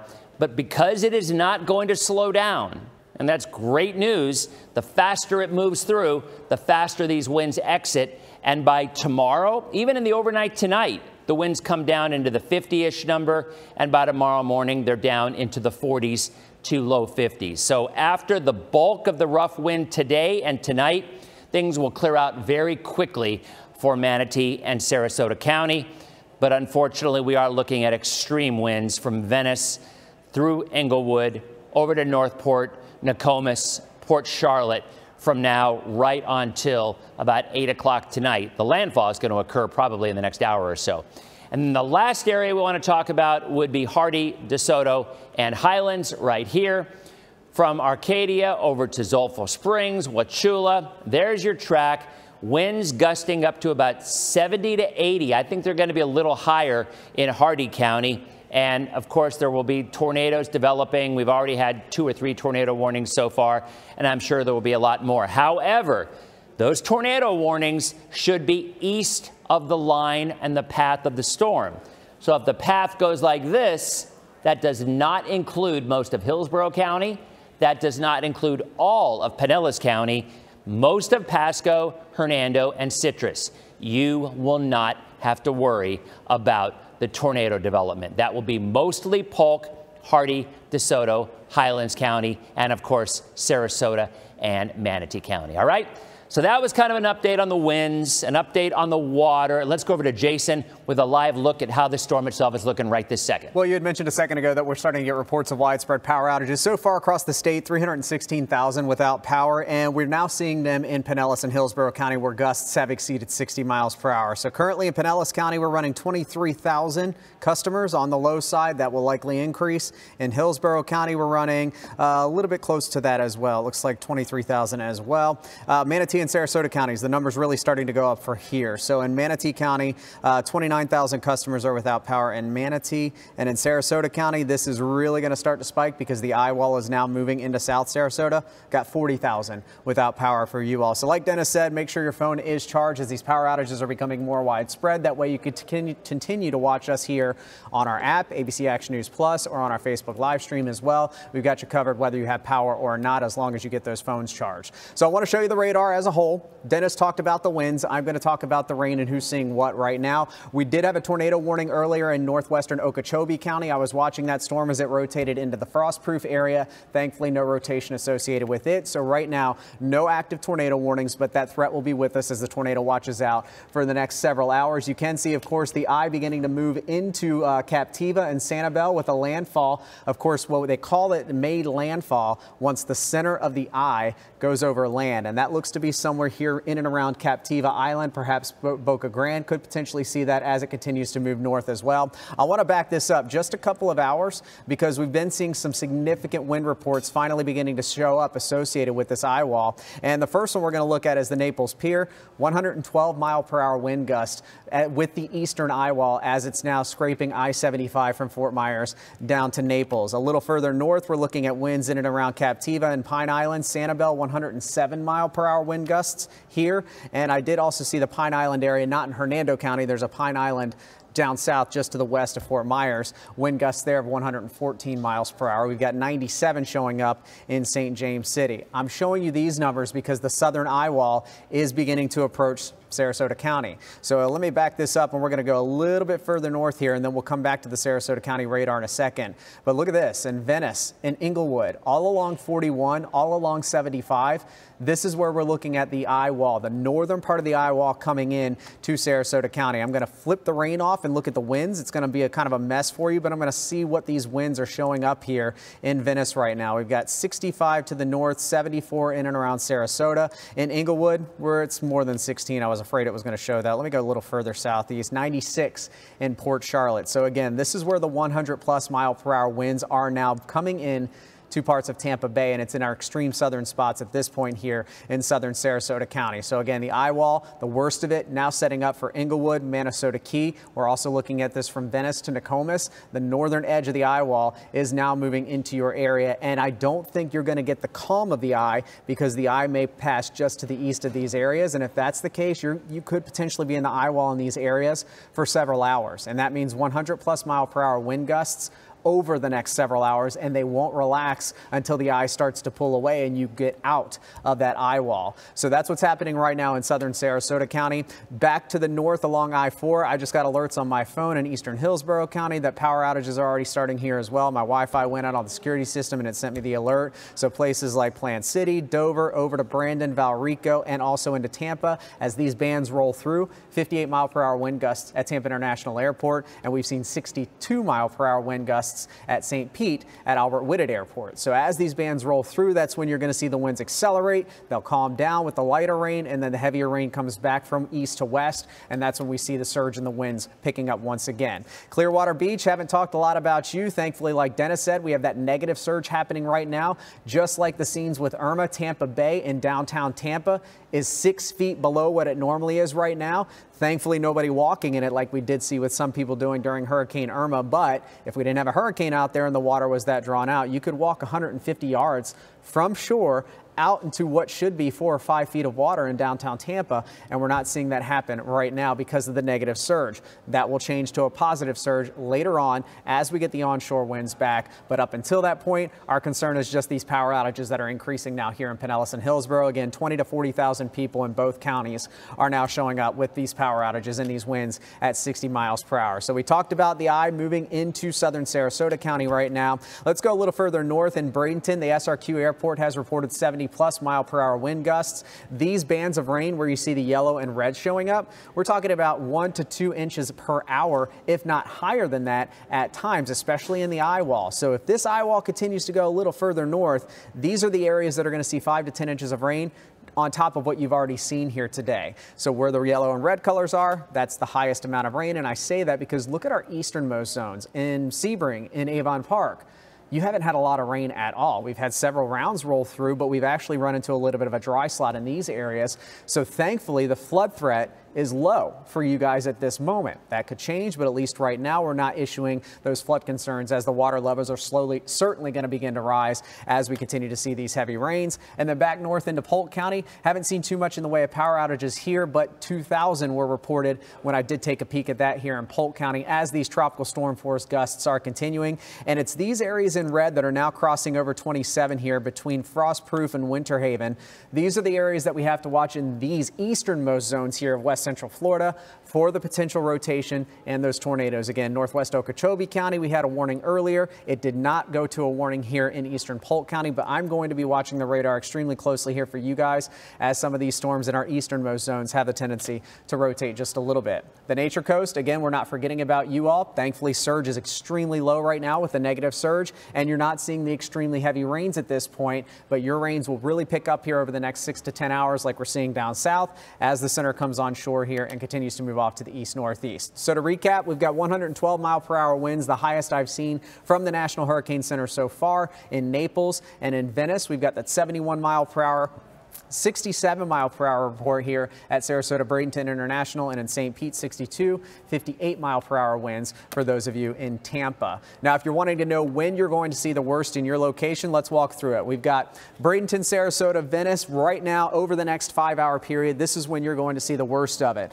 Now, depending on the exact track of the eye, it really could be east or west, but the timing is not going to change. We're going to see the highest potential for the strongest storms and the strongest wind and that tornado threat increasing at the most here as we go to 5 and 6 o'clock tonight for Arcadia, Wauchula, and then up 17 to Bartow. That's when they see the eye continuing to push off to the east northeast. Tampa, St. Pete, Clearwater, that's when we're going to get into the hurricane force gusts. We've been in the tropical storm force gusts. The hurricane force gusts are on the way by 5 and 6 o'clock tonight. The Nature Coast, you're looking at 5 and 6 o'clock tonight for you to start seeing tropical storm force gusts as you have been below that threshold so far. As we go to about 8 o'clock tonight, the center continues to move east northeast, slowing down a couple of miles per hour. It's at 9 right now. The forecast is for around 7 miles per hour. That prolongs the worth, uh, worst weather for you over top of you. So Lakeland over to Winter Haven, Wauchula, Sebring. This is when you're closest to the center. This is when we really start to see those hurricane force winds moving in for you all in these locations. At the coast, we continue to see offshore winds.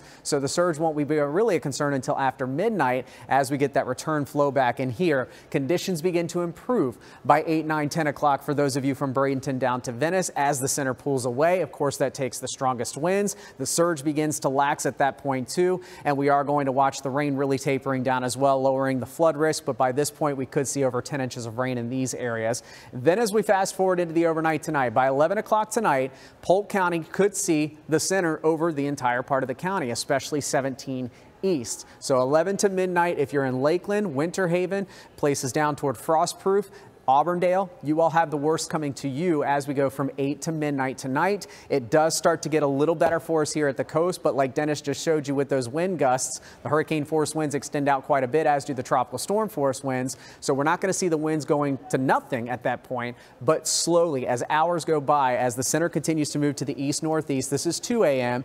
Conditions improve from west to east. Winds drop, rain coverage drops, and that surge actually begins to pick up at this point by the coast because remember we're looking at the onshore wind coming back but like Denis said it may not be as bad as what it looked when of course we had the center a little farther to the north with the National Hurricane Center forecast track the last couple of days. By 5:30 Thursday morning the coast starting to clear out we'll still see a few scattered showers around gusty winds but all of us back to tropical storm force the hurricane force gusts also out of Highlands and also DeSoto counties Polk County at that point and then it continues to go up toward the north northeast, potentially going offshore in Daytona, and then it could recurve uh, back to the west and a second landfall, possibly in places like South Carolina and Georgia. So that's a step by step, hour by hour of what you can expect when the worst is in your neighborhood. We're here all day with you, and we'll continue to update you throughout the day right here at ABC Action News. Jamison. All right. Thank you, Jason. And we've been keeping track of power outages all morning long. The number is increasing and can only be expected to go up as Hurricane Ian moves through. Yeah, and we cannot stress this enough. Make make sure you charge your phone so you can stay up to date on all the news regarding this huge storm. Be sure to download our ABC Action News app as well.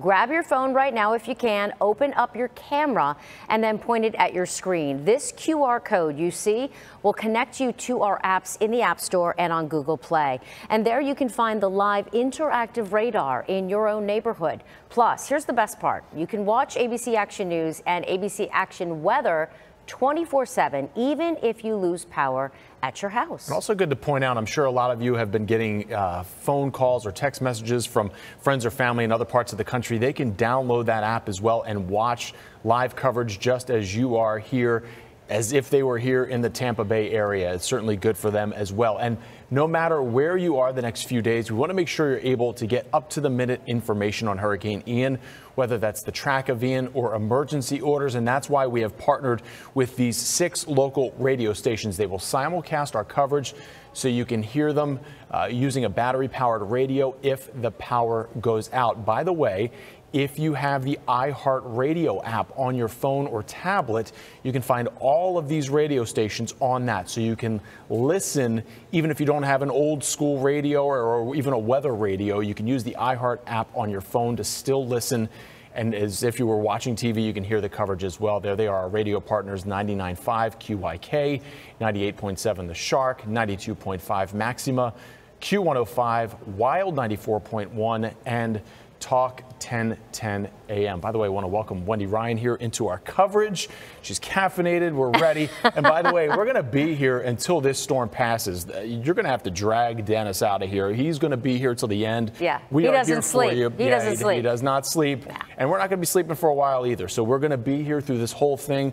We got our families to safety. We got our homes prepared. And we're going to be in here guiding you through this until Hurricane Ian says bye bye and gets out of the state of Florida. And I want to mention, you mentioned the apps and all that, and of course, our radio partners, six individual stations that will be simulcasting everything we mm-hmm. do here. If you lose power and God forbid you also forgot to charge your phone, you can also go to your car, right, and Yeah. charge your phone there. And also, if you have a radio, you can tune in there. So, because there's nothing worse than if you lose power and, and you're in the dark as we get into that nighttime, where it can get very, very scary for anyone who is at home alone and doesn't have access to a radio. I know a lot of folks really don't have those battery radios anymore. Yeah. So, go to your car, turn it on, or like you said, make sure you have your phone charged. You can download the iHeart app. And I swear, these, these storms always come in the dark, the worst of them.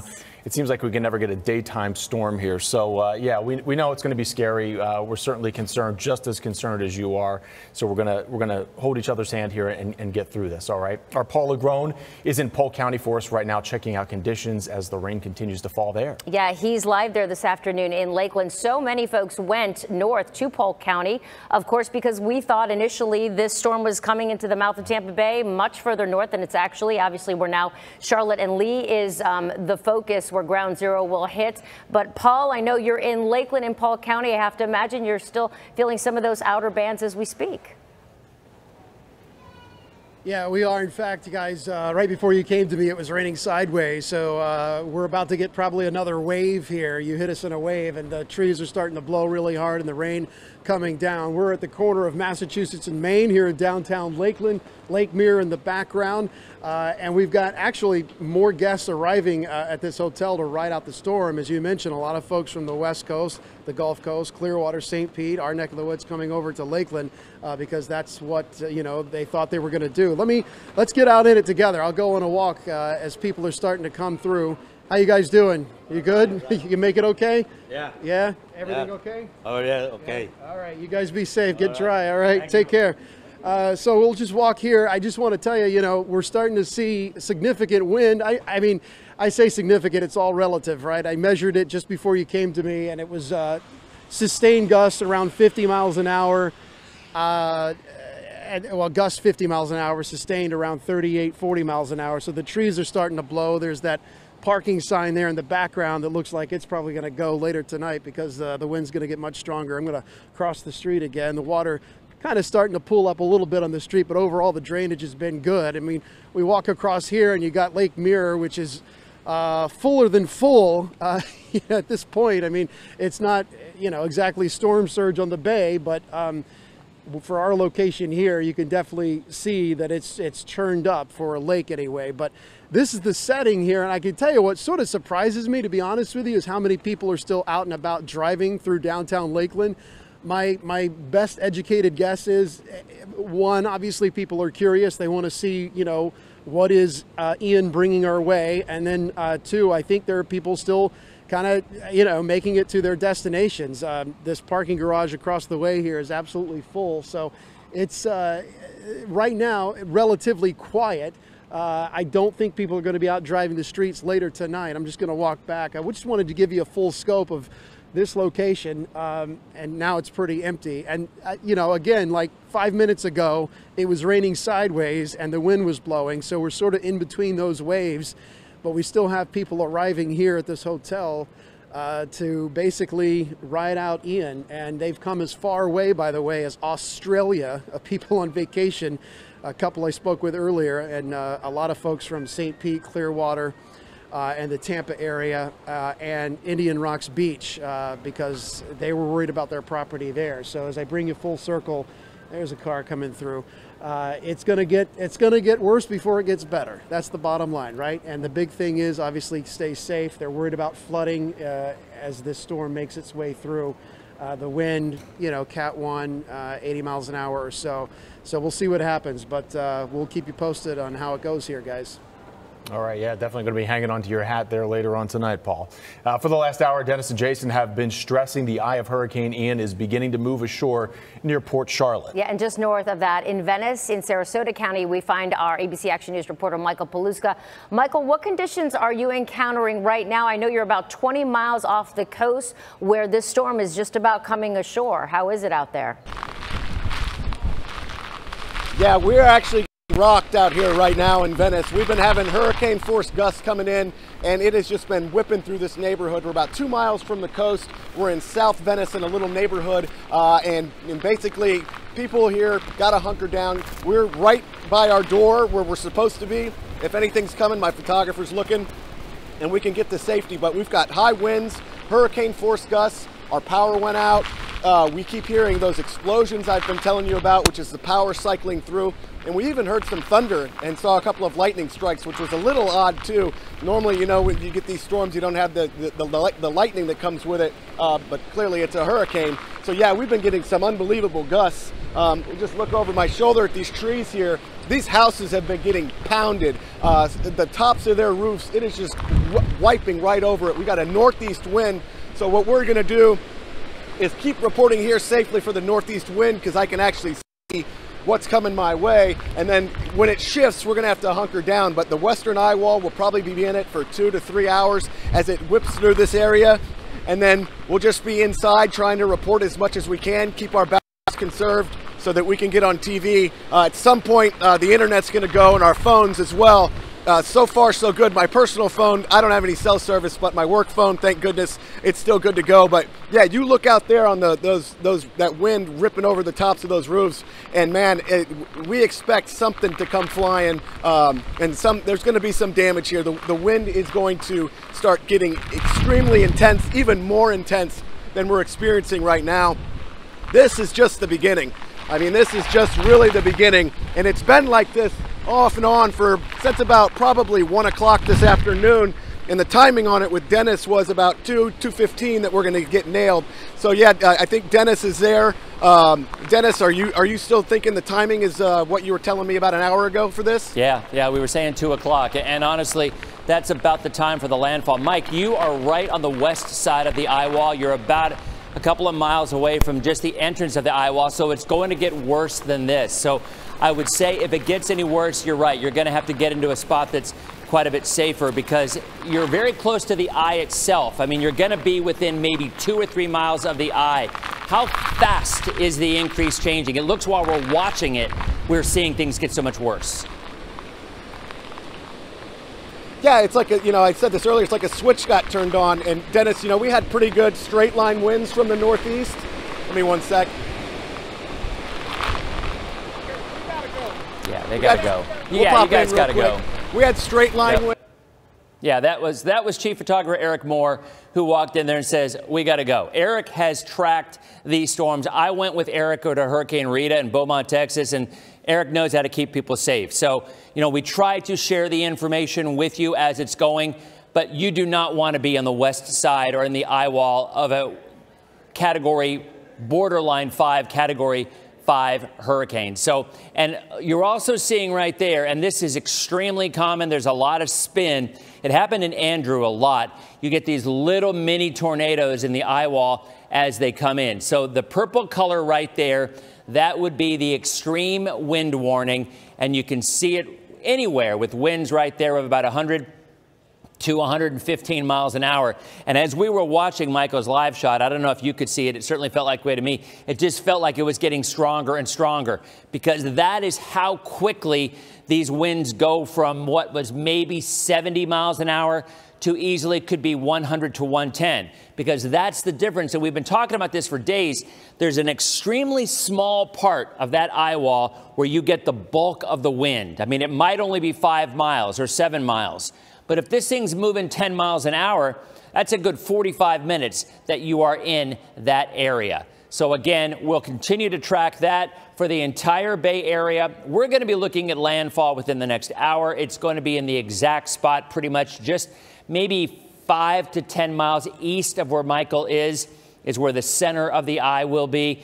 But anywhere from Venice over to Port Charlotte, that appears to be where the bulk of the landfall is. And remember, just along that line and to the right of it, maybe five miles, is where most of the surge will be. As Michael said, and fortunately for him, he is on the northwest side. That wind is still blowing offshore for now. So even though he's a couple of miles inland anyway, but in the Venice area, for the time being, it is an offshore wind. But as this is moving off to the north northeast, we continue to see the storm moving north, and shortly thereafter, the winds will come around out of the opposite direction. The winds will go onshore, and that's when the surge will move in. Again, let's go back to me, guys. We keep having these little power flicks here. Up, oh, we are. Okay, so there you go. So as you can see, we go to the north. If you live in Sarasota County, now is absolutely the time to hunker down and not leave. Manatee County, it's going to be a little bit longer, but from northern Charlotte into Sarasota County. We will continue to have this serious wind situation with about 80 to 100 mile an hour winds and gusts even higher than that. Now let's go over to Adam Walser. Adam is in Bradenton right now, where it's not nearly as active as it is down in Venice, but still, I would expect the winds to start picking up shortly. Adam? That's right, Denis. We are seeing some, some pretty heavy gusts that can almost knock you over. Uh, it, it, they kind of come every now and then. Some tree branches have been uh, blowing around. We're right here at the bay. You can see it. It, it looks like the Gulf of Mexico right now with all these waves coming in. And, and as the seawall is protecting a lot of these boats, we are seeing the levels start to rise. We're starting to see some of the uh, the different canopies coming apart and, and these boats are rocking quite a bit. The mast uh, going up and down. Some of them have been uh, tied down with six or eight, 12 lines to try to keep them here safe in port. They've got a lot of loose uh, lines there to, it, you know, as the water comes in and as the movement comes to, to try to protect them.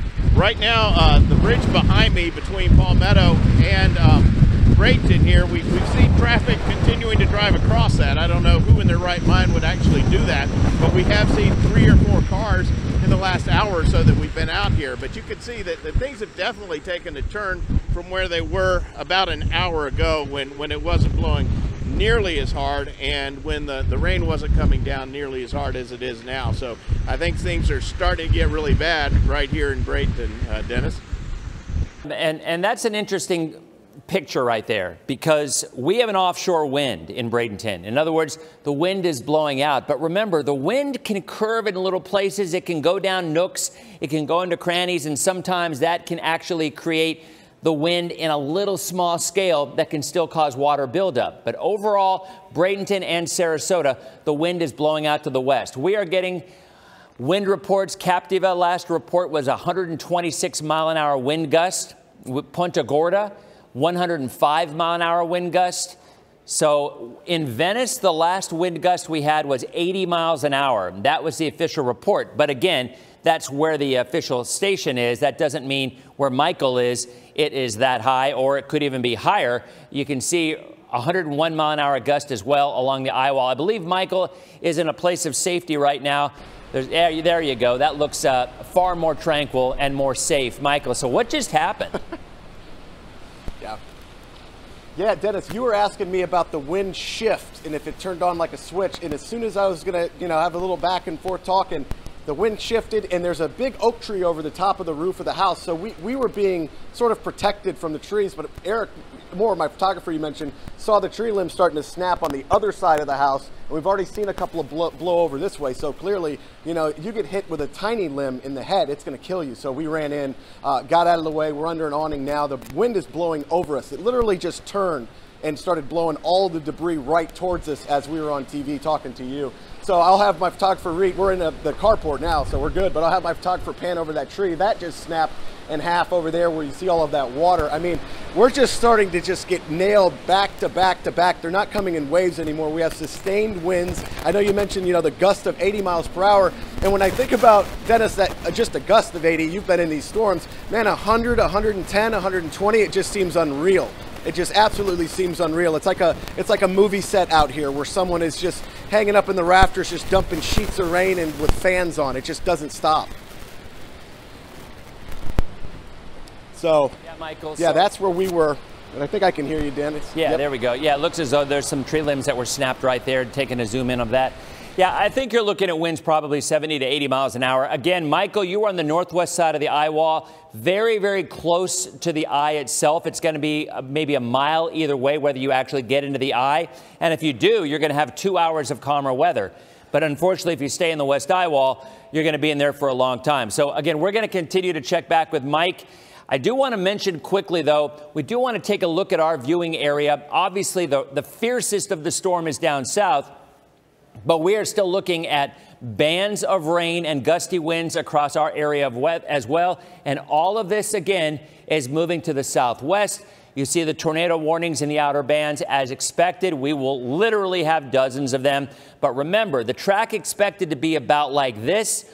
Pretty much all, I won't say all of them, but most of them, most of those tornadoes will be on the east side. I mean, there's the line right there. That is the expected track of Ian. So we would anticipate the majority, the overwhelming majority of tornadoes that form will be on the east side of this line. On the west side, that is not where you typically see tornadoes. So that means most of the Bay Area, and of course that's not the case near the eye because there's just a ton of spin near the eye and anywhere along that eye wall itself, you can expect to see tornadoes develop. But for Pinellas, for Hillsborough, for Pasco, for Citrus, for Sumter, for Hernando, and most of Manatee as well. We're not expecting a lot of tornado warnings, if any at all. The winds in these areas to the west should pretty much be between 50 and 65 miles an hour, gusting right on through the afternoon, right on through the overnight, and into the first half of tomorrow. So we're going to have about an 18 hour stretch of tropical storm force winds. That's areas to the west of that line. To the east of the line, clearly it's going to be stronger. From Hardee, to so Hardee and DeSoto County through Polk County. And unfortunately, the track is going to take this pretty close to Lake Wales. It will be a weaker system by then, hopefully.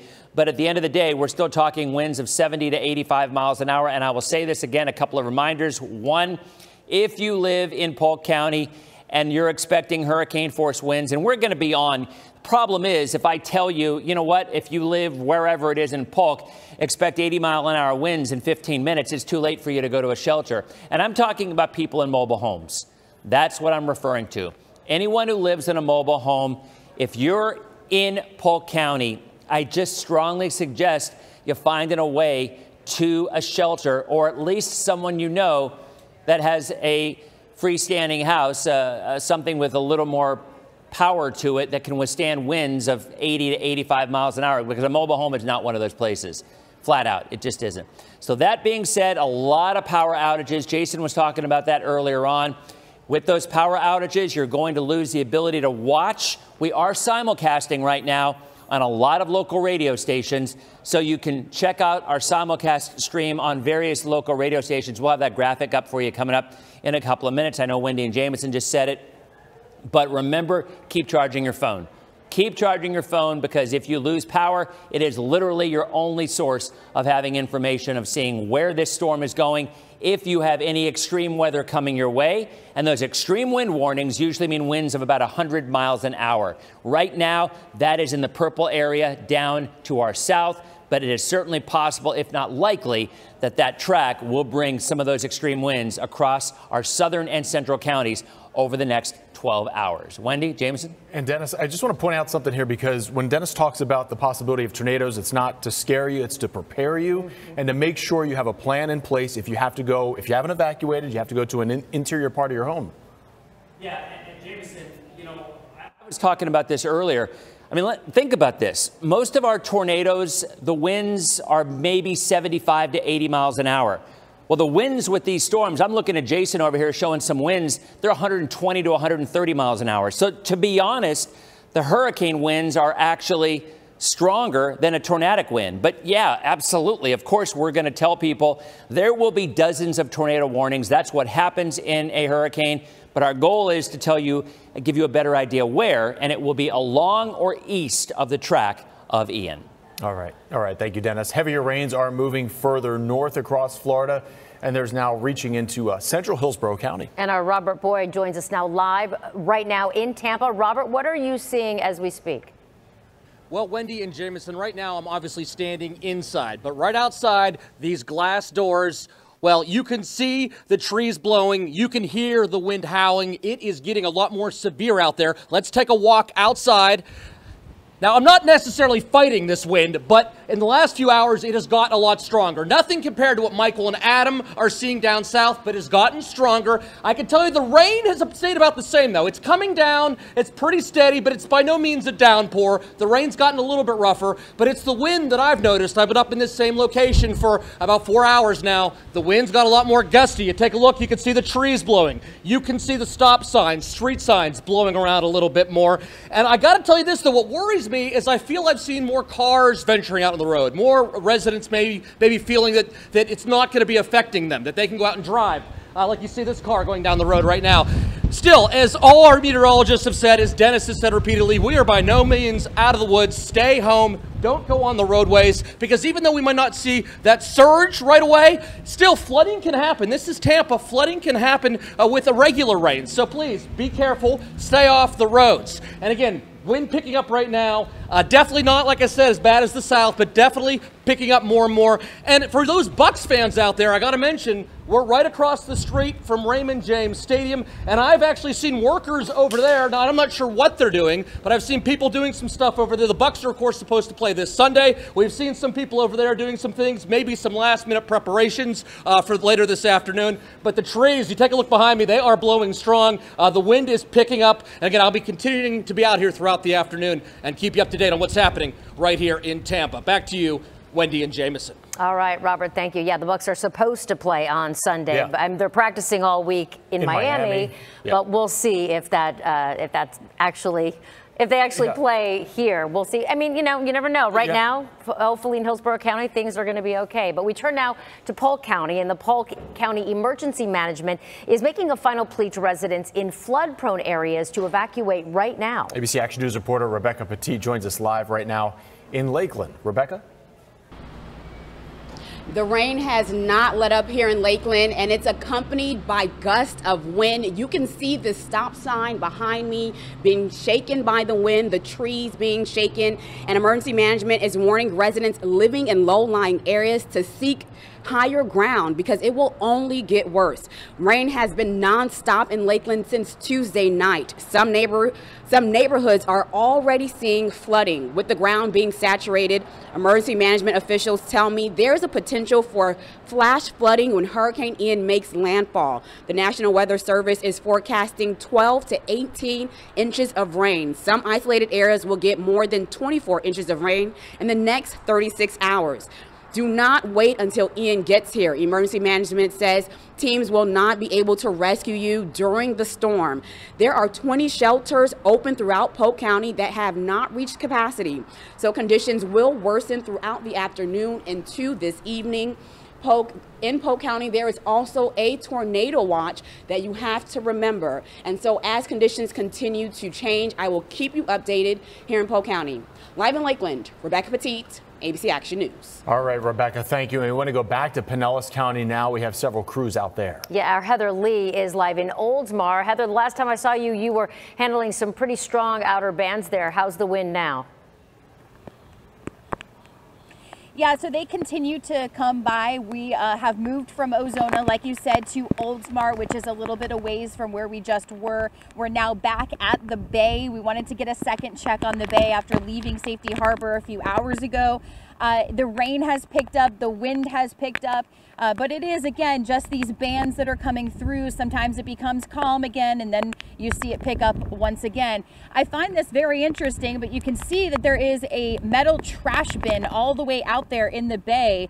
Not sure how that got there or if it was already there before, but now you can see it along with some crab traps and some other things. That is because, again, we're seeing, uh, we're continuing to see that water being pushed out and uh, it's really anyone's uh, you know guess on when that water is going to come back. Although Denis does believe that it'll likely come back uh, maybe overnight tonight. Um, that not not not before uh, we see the um, uh, the tide rise again, uh, but after maybe this or over the next time we see the the high tide that that is maybe when we are going to see that water come back again anyone's guess but it has been uh, a very interesting day out here we've basically just been going throughout Pinellas County checking out the conditions in different areas uh, we're going to be staying kind of in the Tarpon area um, more so Palm Harbor but it's near Tarpon Lake and that's something that we haven't been able to check on yet so we're thinking that that may be where we head next uh, for now we're live in Oldsmar Heather Lee ABC Action News all right, Heather, thank you. And we know the Orlando area now will also be feeling the effects of Ian at some point. Yeah, and that's where we find our Katie LaGrone, where many families evacuated to when the track was heading further north until it changed over the last 24 hours. How's it looking in downtown Orlando, Katie? Yeah, you know, Wendy, we've actually been out here for about the last 40, 45 minutes or so. And really, up until about three minutes ago, I was going to tell you how sort of nice and dry it was at the moment. But of course, you can see that that has since changed. We're here in downtown Orlando, where if you take a look, you can see there are some people still out and about. Um, local, the local officials here, local news, have all been encouraging people throughout the day that we've been listening in to basically be where you're supposed to be by two o'clock this afternoon. So clearly we're at that point and still there are people out and about. The roads are still, uh, you know, pretty heavy with traffic around here because of course we are a few hours after what we get in Tampa, what is what uh, Orlando will be getting. You know, we're looking at really late tonight, overnight hours as being sort of the thick of the storm starting to make its way over central Florida. And that's really still, of course, the track. I was listening to Denis earlier and I heard him say, you know, the wind's not going to be that bad here in Orlando. And, and that's what the folks here, um, you know, believe as well. Um, I, I, will say here at, at, at Lake Eola, you know, one of the things that stands out is some of the concern is look at these beautiful live oak trees. I mean, tree, there are so many trees around here in downtown Orlando. And I was talking to a friend of mine who lives nearby and she said, listen, Katie, there's a big issue with these trees. Some of these trees are over 100 years old and there's been a lot of rain in this area for some time now, you know, just over the course of the last couple months. And so the, the, the ground's still very saturated. So the big concern here in Orlando is what kind of flooding from what could be potentially historic rainfall will head this way. I mean, we're talking about possibly two feet of rainfall when all is said and done. And so there is some real big concern that some of these beautiful trees that line so many of the streets in downtown Orlando could could basically come down. We know that the local, the, the mayor here has actually opened up the public uh, garages so people can park their cars in anticipation that there could possibly be some um, tree damage. But you know that seems to be the big issue as uh, Ian starts to, you know, make its way farther farther north. And again, the big time here in Orlando is that the overnight hours. I was talking to some people as they were making their way, sort of just making the last couple walks with the dog or, or getting their exercise in around Lake Eola. And a lot of them are actually comparing Ian to sort of Charley's track how actually it's coming into the, uh, it's expected to come into the city, to come into central Florida at the same angle. And so I've heard Charley a lot as people around this area are sort of preparing uh, for, for Ian, uh, you know, to, to make its way. But I think overall the sentiment here is we're going to be careful. We're not, we're taking this seriously. We're going to get indoors, but we know that what we're dealing with here in Orlando is nothing near what, of course, we're going to be dealing with even in Tampa and, of course, our friends in Southwest Florida. So there really is a lot of concern, even up here in Orlando, for, for our friends uh, the, in the southwest side of the, uh, the state. So for now, that's the very latest from Orlando. We'll be here throughout the storm, and uh, we'll bring you the latest updates back to you guys in the studio. Thank you very much, Katie. Again, we are pretty much about to have landfall here. There, the landfall occurs not when the leading edge of the eye or the eye wall hits land. It's when the center of the eye crosses land, and that's right very, very soon around Port Charlotte. So if you take a closer look here, right there, right there is where you're going to have your greatest surge. And boy, that is Fort Myers. And we have been getting so many reports of water. The Fort Myers beach six foot underwater right now, so you do not see the beach. It is literally underneath water all the way up. And there is a live picture right now. And you can see the winds, although gusting, you know, certainly gusting, but probably not as heavy as they are in other spots. This is Collier County right now, where I would say that's probably winds closer to about maybe 60 or 65 miles an hour. You're not going to get a lot of pictures around the eye or the eye wall because the cameras will not work.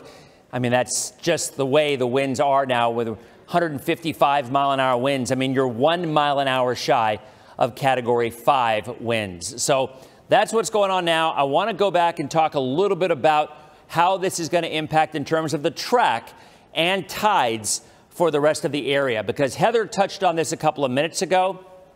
I really do not believe surge is an issue for the Bay Area this afternoon with that high tide because the wind direction is still blowing offshore, all right? And with that being said, it's very difficult to have a surge if the winds are blowing in the opposite direction, right? So there is the center. We're going to get landfall very, very soon. And Mike Paluska right there on the west side of the eye wall. And as we were saying, I mean, this is moving in this general direction. So in a few spots there from Venice and just to the west of Port Charlotte, they won't make it into the eye. They'll stay in the western eye wall the entire time which means they're going to have winds of about 100 to 110 miles an hour for about two and a half hours, while the leading edge continues to move north toward Arcadia, toward Wimauma, and eventually eastern Sarasota County and in through Polk County over the next six hours. Hurricane warnings obviously remain in effect. Let's not forget folks in Pasco, folks in Citrus, folks in Hernando and Sumter, tropical storm warnings, winds of about 50 to 60 miles an hour for the next 18 hours once the winds really start to kick in as the storm moves off to the north. Pinellas County, winds of about 55 to 70 miles an hour for about a 12 to 18 hour stretch. We're already getting power outages. Still concerned about trees falling because the ground is going to be saturated and it's much, much easier for trees to go down if the ground is so wet and soft as opposed to most of the time when it isn't. Manatee County, winds easily up to 90 and in maybe even 100 miles an hour in southern Manatee County. Sarasota, gusts of about 100 to 110 miles an hour. Same thing for Hardee County, but this is expected to become category one, weaken rather significantly. But I do have to say something, and Katie just mentioned this. Hurricane Charley, same thing, similar track. Well, I don't know if you remember this. Hurricane Charley did not weaken much at all as it moved across the state. And by the time it made Orlando, it still had winds of 130 miles an hour. So I bring that up because even though the Hurricane Center is forecasting very quick decrease in intensity as it moves across the state, that falls under the category I will believe it when I see it. The models have done a pretty pathetic job outside of the Euro. The Euro nailed this storm But most of the other models kept this out in the Gulf and just really did not do a very good job at all. So, and what can happen, and I just throw this out here. One of the reasons we believe that Charley did not weaken is because the ground back in 04 was so saturated that we believe that it did not necessarily dry it out like it often can. I mean, that's one of the theories. We have had a lot of rain over the last couple of weeks. Now, granted, it also went to a little bit farther south track, but at the end of the day, we hope for the development. We hope that the system will weaken, and the Hurricane Center says it will do just that. This is the latest update, all right? Expected to be a Category 3 hurricane by 8 o'clock tonight as it moves into Hardee County. And then by tomorrow morning, we expect it to be a tropical storm with winds of 70 miles an hour as it approaches Orlando. So that's a pretty significant drop, literally from 155 to 70. But that's what it's supposed to do when it goes over land. Let's keep our fingers crossed that that's exactly what is going to happen. Tides. Want to talk about this because there's been so much talk justifiably about storm surge. Because a couple of days ago, this track, albeit it was going to be weaker, this track was coming directly into our area with kind of a worst case scenario for surge. We have an offshore flow. In other words, the winds are blowing away, and it will be that way until the center of this storm passes our east to west latitude. And talking about Tampa, that's going to be tonight, well past the next high tide. All right? So at this point in time, this next high tide is probably not an issue for us tomorrow morning's high tide, about 430. That's the one that I think we are going to see more water coming in. And of course, it would have to happen at night. Seems like that's always the way it plays out. So I'm warning folks if you're watching, yes, there's going to be some flooding. There is with all the rain. But the surge, the problem with surge is not only does that onshore flow push water into the bay, it also keeps water from coming out.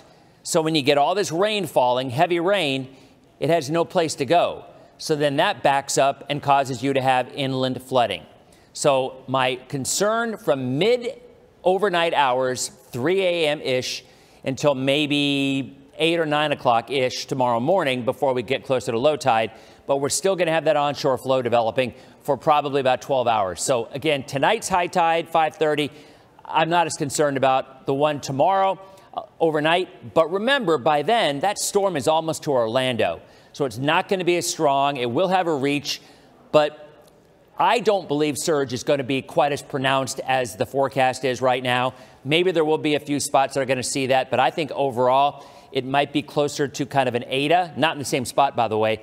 And we certainly would never minimize Eta because that came out of nowhere and was bringing water in some spots that had never seen it before. So we'll continue to track. I'll be honest, Tracking surge is one of the most difficult things to do because every little wind shift and every little turn here and there can make a little inlet or a little small area flood and just a half a mile around not because the wind's out of another direction. We'll keep our eyes on that. And of course, we'll be going back to a lot of our reporters out in the field as things really start to come to a head over the next six to 12 hours. Now we're going to go over to Jason in the Weather Center for, again, another closer look at the radar. Jason? Yeah, so the storm continuing to move to the north. What this is doing is bringing those tropical storm force winds now north of the I 4 corridor and the hurricane force winds now across most of Sarasota County. Those gusts have easily been over 70 miles per hour from Sarasota all the way south, of course, to Venice and Nokomis. And of course, these locations from Venice south are now in the eye wall. So we know we're going to get those 100 mile per hour gusts over the next couple of hours as this eye wall continues to move through. Also watching our easternmost zones, we've got another tornado warning. It looks well, just to the west, southwest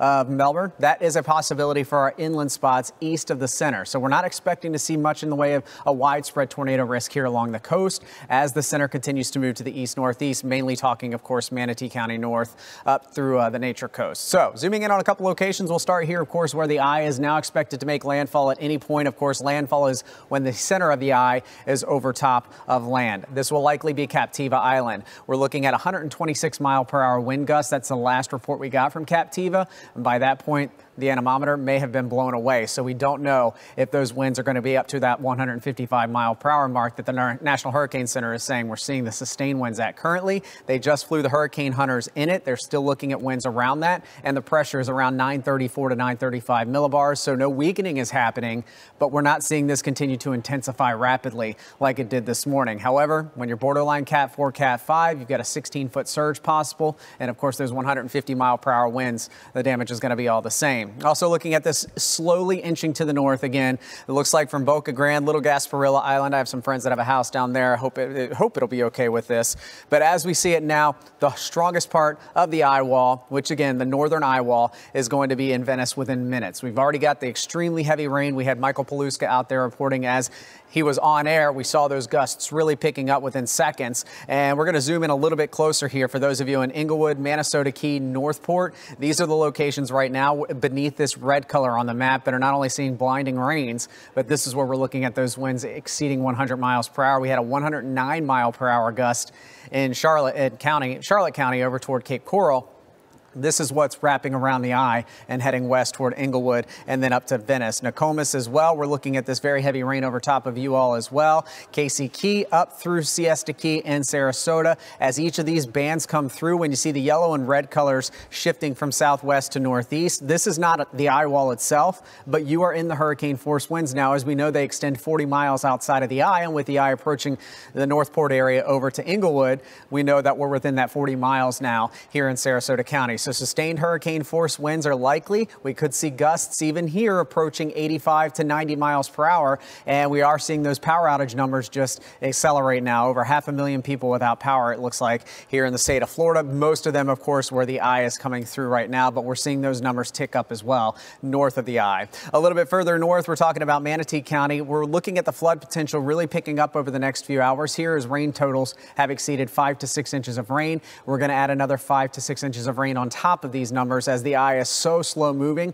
Charley was moving so fast when it crossed the state, and that's why within about two hours it was already up in Orlando. This one's moving not even half of the speed of what Charley was. So this is going to be a prolonged period of these winds, sustained at hurricane force gusts, and we are sustained at hurricane force with gusts over that. And we're going to continue to see this rain just piling up here. And like Denis said, as the surge is trying to come in later today, all these tributaries, creeks, rivers, they're adding all the rain into them and trying to get them out into the Gulf to lower the flood potential inland. But as the surge is coming inland, it all butts together and we see flooding where the river is trying to dump out into the bay or into the Gulf. So that's what's setting up for us here over the next few hours. In Tampa, we've had gusts to 60 miles per hour. Hillsborough County reporting power outages that are becoming a little more widespread now. About 10% of the county reporting some power outages. And also in Pinellas County, same deal here. We're getting widespread reports of those uh, 60 plus mile per hour wind gusts, especially in downtown St. Pete at Albert Whitted Airport. We've had gusts exceeding 64 miles per hour.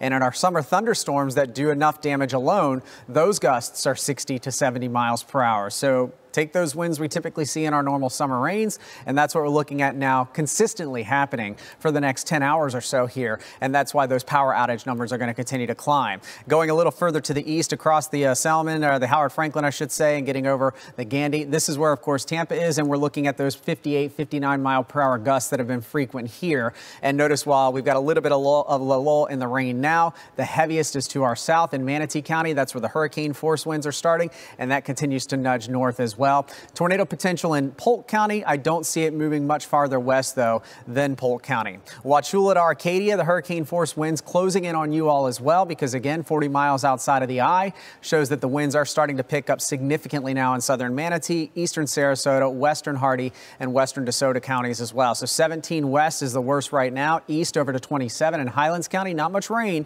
but we're seeing those gusts picking up here as the center comes inland in about six hours or so. Your weather is really going to start to go downhill there. This is where we're watching for rotation. You see these red colors showing up? This is where we're getting a little bit of spin. Thankfully, nothing as far as tornado development at this time, but in Polk County, watching the radar very closely for you all. Gusts here picking up to that 40 to 50 mile per hour mark as well. Same deal. Each one of these red bands that goes past your house is going to have the potential to produce those tropical storm force gusts. The Nature Coast, a lot of talk, not about you all. That's a good thing in this instance because the worst is certainly to your south, and we do not have that surge potential at at this point because of the offshore winds and the negative surge that Denis was talking about with surge levels actually four feet below what they are normally. We're expecting four to six feet above that once we get the center to move to the east and some of that onshore wind make a return. But at least right now, just some light rain for you all. Not looking at any kind of a tropical storm for sustained wind, but we could see some of those gusts over 40 miles per hour for you all. This will pick up for you as well tonight as the center gets a little bit closer to you. It'll be well to your east, closer to Orlando as we go to midnight tonight but you could start to see some of those tropical storm force gusts here ahead. So timing it out for you hour by hour between 3 and 5 o'clock. The center, the worst of the weather, it is going to continue to move through Sarasota, Hardee, DeSoto counties, southern Manatee County, and that's also when we could see those hurricane force gusts making it into Tampa, St. Petersburg as well, also over toward Brandon, Lakeland. Still looking at tropical storm force gusts by that point, but as we go from 5:30 to 8, the center closing in in Polk County, and we will still likely see this at a Category 2 hurricane by 8 o'clock, which of course means gusts over hurricane force. This is where we also could see significant wind moving into the Wauchula and Arcadia areas. Unfortunately, the same spots that got hit really hard by not only Charley, but also, of course, by Irma five years ago as it came up here and then made that left turn. It just really, along the 17 corridor, we were without power for two and a half to three weeks. We could see something similar to that again with this extreme wind setting up at the center, moving inland here over the next three to five hour period. By 11 o'clock tonight, conditions improve at the coast. We'll still see those tropical storm force gusts, but the hurricane force gusts are now inland and the storm continues to weaken, but it still could be a category one hurricane as it moves through Polk County, getting into Okeechobee, Osceola counties, and Orange County as it slides to the north and east. Finally, by 2 to 6 a.m. tomorrow, the center moves far enough away that we're going to look at some gusty breezes behind this. That's when the onshore wind starts, and it may coincide with a little bit of high tide action as well. So that's what we're going to be looking at for our surge potential to really pick up here from Tampa Bay north. But like Denis said, based on the angle that the storm is moving, we may luck out and keep that surge with the onshore wind overnight into tomorrow morning on the lower side instead of the higher side of what the range the National Hurricane Center has given. And then by 10 o'clock, we're pretty much done with this tomorrow morning. Conditions significantly improving by that point, but with 10 inches of rain on the ground, we could start to see some localized flooding with rivers on the rise as we go into the next couple of days. This will be something, guys, we're going to watch pretty closely as we head into the weekend. Jamison, Wendy? All right, Jason, thank you. We want to take a look at some video right now. This is from Fort Myers. Look at that. The incredibly high winds and flooding there. And by the way, this is actually where our sister station is in Fort Myers, and they had to evacuate from their building because the conditions were deteriorating so quickly, and you can see why. They're now actually broadcasting from a university nearby because it just wasn't safe to stay, and it is not good. Denis, that's, that really looks bad. Yeah, Wendy, and, and I just got a report, and you're talking about Fort Myers. So we're hearing that a home that was 11 feet above sea level has three feet of water in it. So that means there's at least a 14 foot surge coming into the Fort Myers area. And it does appear that that is certainly where the worst of this surge is going to end up being in the Fort Myers area. And that's what you've been concerned about this whole time with whatever this storm surge is going to be. Yeah. This is going to be the problem. So uh, it's north and east of where the where the eye crosses. I mean, that's what it is. Wherever the eye crosses, north and east of that is where the bulk of that surge is, and that's exactly what's happened. And Denis, we have to reiterate: a lot of those folks in Fort Myers weren't prepared, right? Because they had 24 hours notice that they were going to get hit. Yeah, you I are, mean, this you are this so storm right. was going well north of them. Yeah, well, exactly. I mean, and it's so reminiscent of Charley. We've been saying this over and over again. But yeah, when you have a storm that is expected to go north, I mean, 24 hours earlier, the track was right over northern Pinellas County. And uh, now, granted, I would have to say that folks in the Punta Gorda area and the Fort Myers area would probably have gone through this before with Charley because the exact same thing happened with even less time for them to get through it. So, you know, you can't look back and say, why didn't you do this? But certainly this has happened in the past. You would think anybody who's lived here since Charley would know you simply cannot know for sure with a hurricane coming in from the Gulf to Florida, from the south especially. It just seems to happen more often than not. So, I mean, this is again a look at it. There is the eye. It is really making landfall as we speak. And by definition. And I, again, I know a lot of folks right now are listening on the radio. If you've lost power, if you're listening on the radio, you can download our app. You can go on your phone and keep charging your phone. Although now, if you've lost power, maybe you have one of those little backups. But if you go to abcactionnews.com forward slash apps, A P P S, abcactionnews.com forward slash APPS, and you can download on your phone the app, which allows you to see everything. And our weather team will do our best to use descriptive words to describe where everything is, but obviously for you at home, it's going to be a heck of a lot easier to see where these storms are and where the heaviest weather is. And right now, it is clearly moving in to areas around Venice, over to Port Charlotte, and the motion is still to the north northeast, which is eventually going to take it into the rest of Sarasota County. You can see the spin right there. See those little spins? You're always going to get little spinners, a couple of them right there in the northern wall, which is very, very common, which means probably additional tornadoes and tornado warnings are going to be issued. But again, I just wanted to let you know that sea level is 11 feet in this one home. There's three feet of water in the home. The folks actually had to go across the street to an even higher home. So it looks like we've had at least a 14 foot surge in the Fort Myers area, which is ex- textbook. There's the center. Just to the north and east of the center is where the worst of this surge will be. That's where the push is. And I'll say it again for folks watching in our area. If you are north of the center, your winds are blowing offshore. They're blowing in the other direction. You are not going to surge until the center of the storm passes your east west line, wherever you live. And if you're on the water and you're worried about a surge, obviously what happens is as this moves north, and it doesn't just immediately flip a switch and all of a sudden the winds go offshore, right? This is a slow process which eventually turns the winds around and brings the water back in. And we've got some video from Sanibel Island where they have been already had winds reported of 120 miles an hour. And it's clearly there's folks there in a hotel trying to secure the doors and keeping either the wind or the water from coming in. And as Wendy said, I just think a lot of folks in this area probably were not as prepared for this as they could be because just 24 hours earlier, it wasn't going to be anywhere near Fort Myers. And honestly, you could make the same argument for Polk County because folks in Polk County were not expecting this storm. This hotel here is taking on water. So that's clearly why they're trying to do their best to seal the doors the best they can. But when you have a what is at least a 14 foot surge, and that's uh, obviously a hotel right there on the water, they just weren't expecting it or they weren't equipped. I mean, it could be one or the other. I mean, they maybe they were expecting it, but there are some places that aren't. I mean, we have not had a 14 foot surge on the west coast of Florida.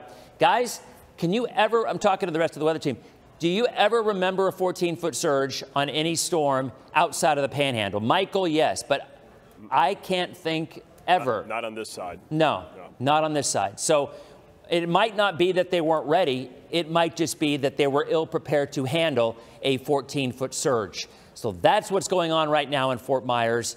And we're going to continue to see reports like that because as this eye comes ashore and it's moving north northeast, that surge is going to continue right in the same area and probably right into Port Charlotte as well. So we continue to get more video coming in from also, again, the Fort Myers area and the Sanibel Island. Let's see, this one is from Fort Myers, I believe. So let's check out that video. I mean, and this is what's going to go on. For the next 12 hours, we are going to continue to see more video of storms, more areas of flooding, especially right along the area right there. Again, that's my point. Just to the north and east of the center, and it isn't just water. I mean, we're talking about wind in excess of 120 miles an hour in a very small area. This still has winds of 155. So this was a worst case scenario in the sense that this was not a typical storm that was going to weaken as it gets closer. And very often in our area, that's exactly what happens. At least in history, that's the way it's been happening. But this got stronger all the way up until you see it. So this is from Fort Myers or Sanibel. This is from Sanibel Island. And obviously, so this is on the other side of that hotel.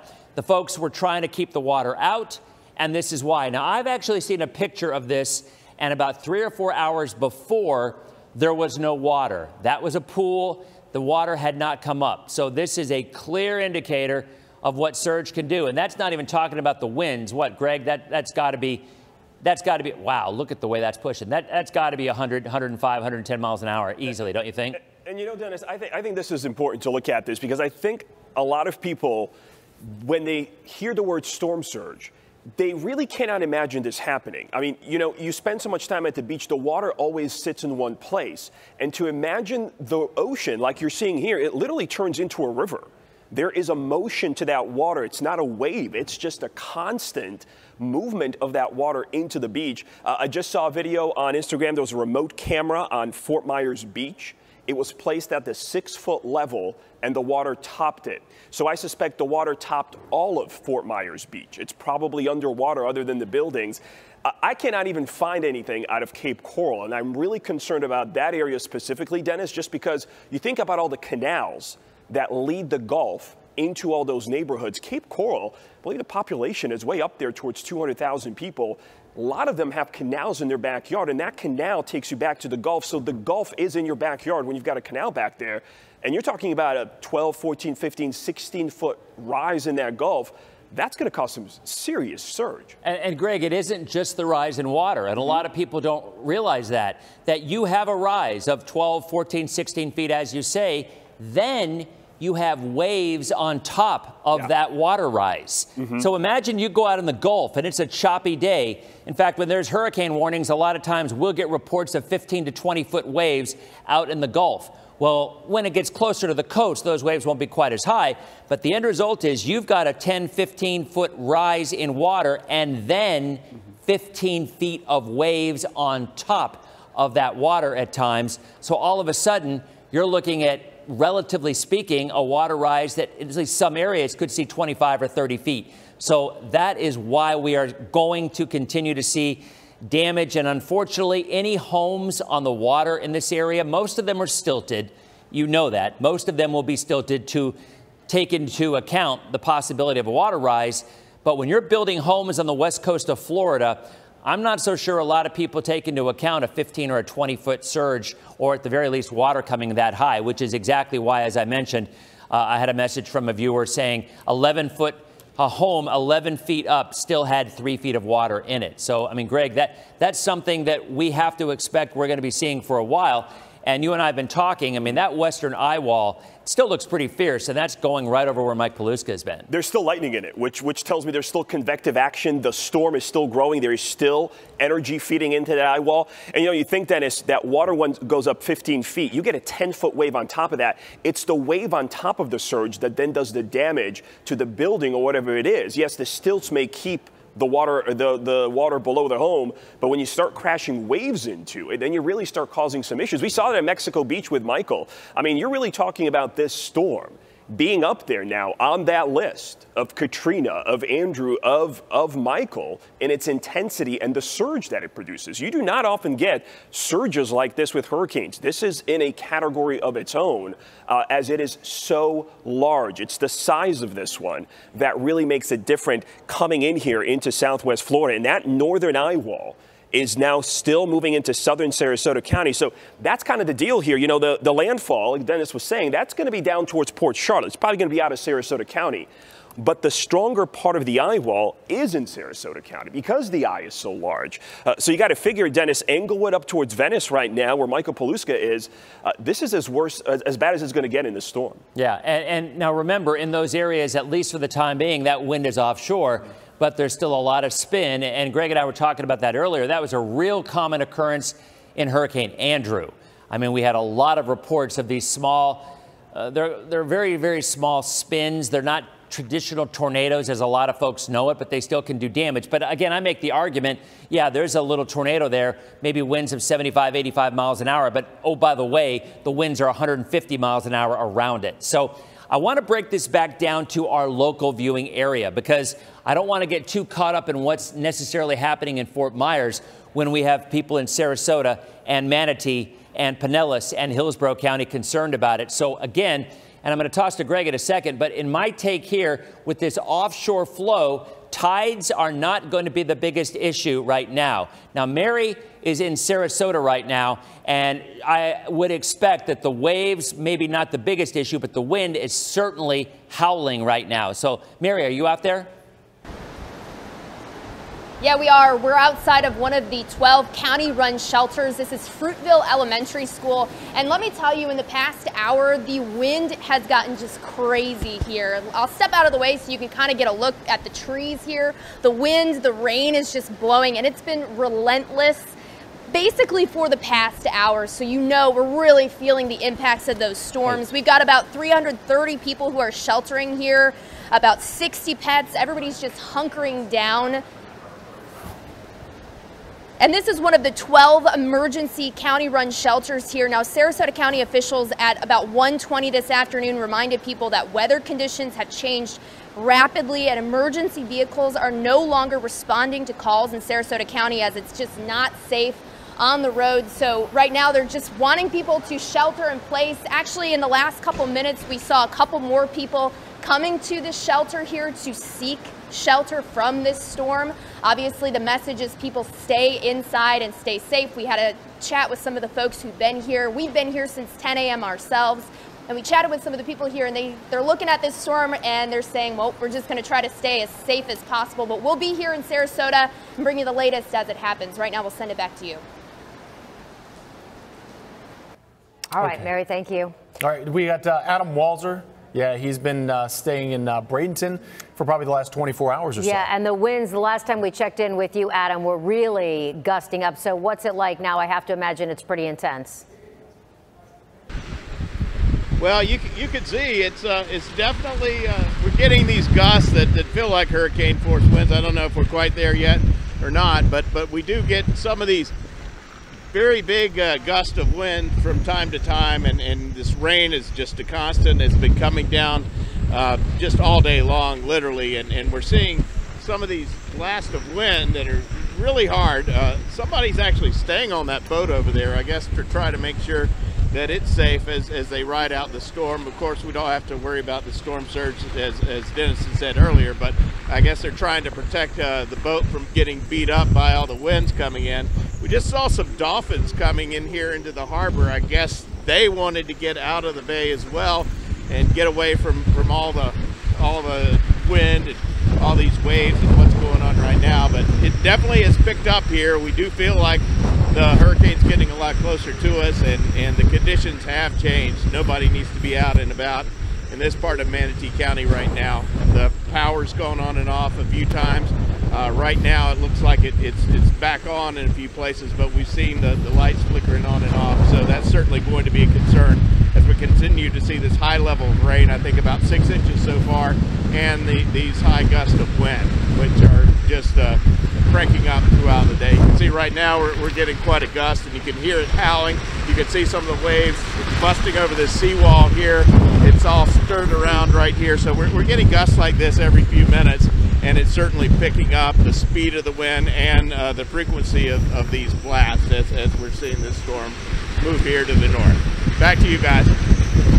All right, Adam, thank you. And you heard Adam say that the power there was flickering a little bit. Just looking at the FPL uh, power outage map, Sarasota County right now, 78,000 customers without power.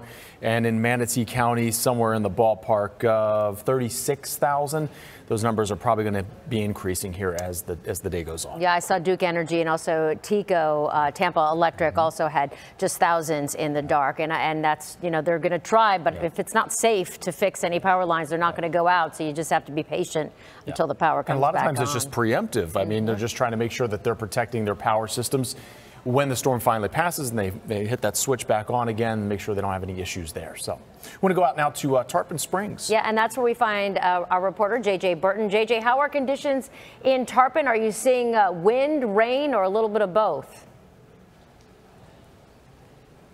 A little bit about the wind actually starting to pick up, not like down in uh, Sarasota area, but definitely starting to pick up, and uh, the rain is on and off. We're right, we're sitting in uh, Lanai right now, but right across the street over there is the Whitcomb Bayou, and we are here with Mr. John Keenan, who knows all about the flooding here. You've been here since 60, uh, 2016, 2016, and you are the one who also took the picture that we use a lot that shows the flooding right outside right. Of, of, your house. Yes. So you know about the flooding, the issue that, that's always a constant, but yeah. with this storm com combination of the of the tides, the storm surge, plus the rain that comes in.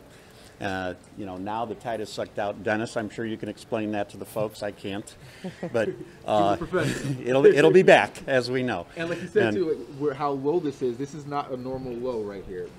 Oh no, it's a few feet below normal low.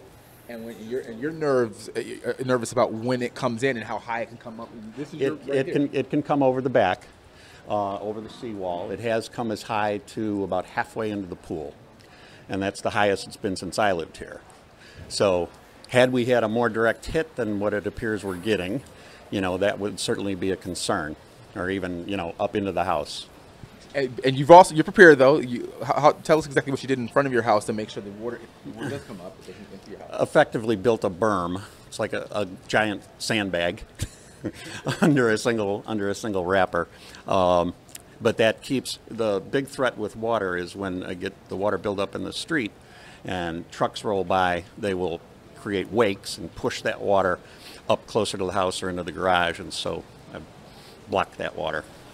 Good thing we're not going to get it as bad as originally thought. But again, make sure that you are prepared. Though, make sure your houses are, your windows are boarded up, and that you have some sort of protection with the sand and all of that, or sand down on the uh, the floor, up at the doors and stuff like that as well.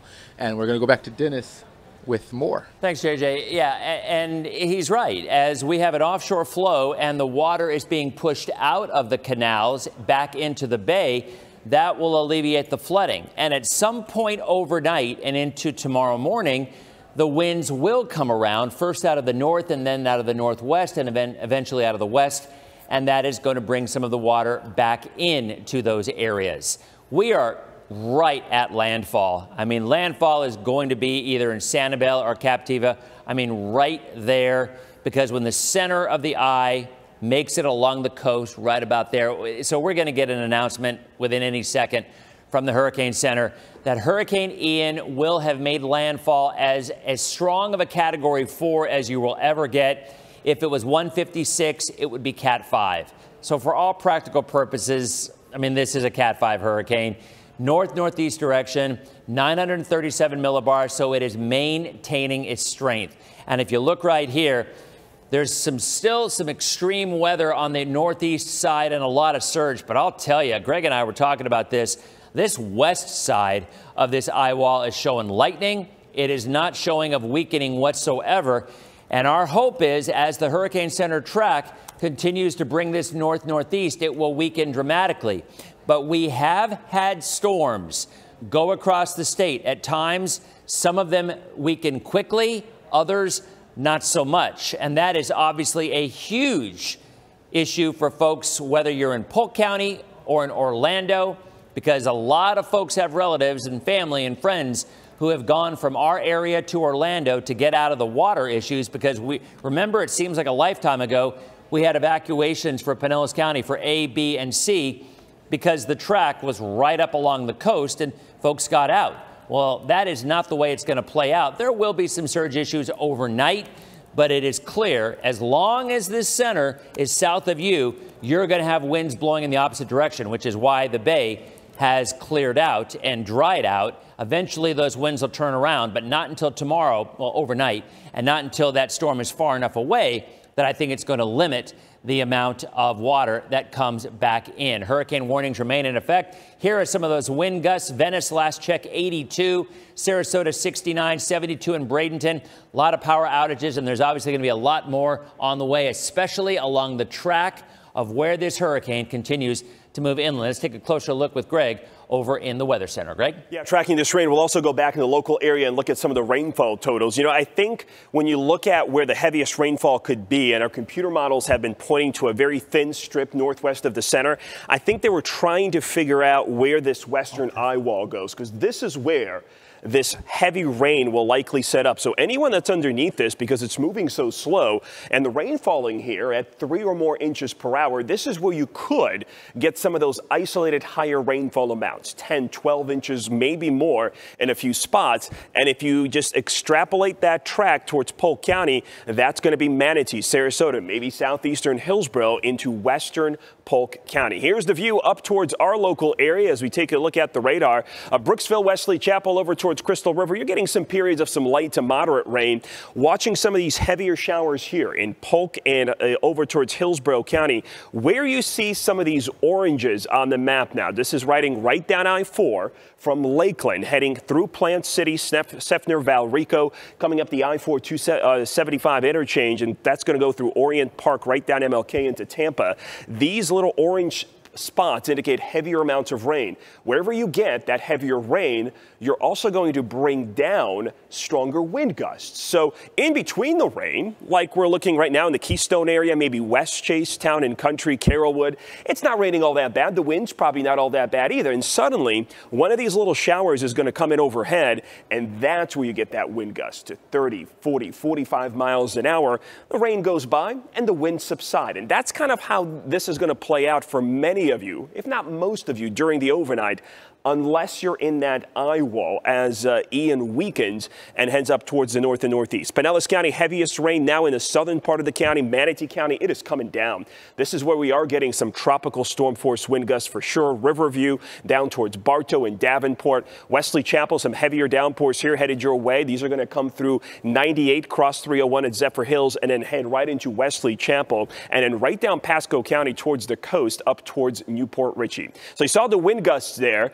It's really I-4 south that we're really starting to see a lot of the stronger winds. North of there, they're weaker, but even Tampa at TPA, 52 in the last hour into tropical storm strength. These are sustained winds, not the gusts, and you see they do vary. Locations near the water are going to see stronger winds, and then if you get caught under some of that heavier rain, uh, citrus over towards Hernando and Pasco County hasn't been that bad. It's been a breezy, maybe a windy afternoon, you could even say at times. Uh, but the winds here, you're going to be the last to see them, and the strongest winds are going to be south and east. So it's going to be eastern uh, Pasco County that's going to see the strongest winds. Some of the weakest winds, because you'll be farther away from the center of Ian will be up towards Crystal River, Inverness, Dunnellon as you head up 19. Over towards uh, Polk, Hardee, DeSoto, and Highlands counties, winds here are picking up some gusts here over 40 miles an hour into the 50s as you head down towards the Kinsey area, over towards Arcadia, Wauchula at 46. Uh, so these are now stronger tropical storm force winds. And of course, the core of the winds,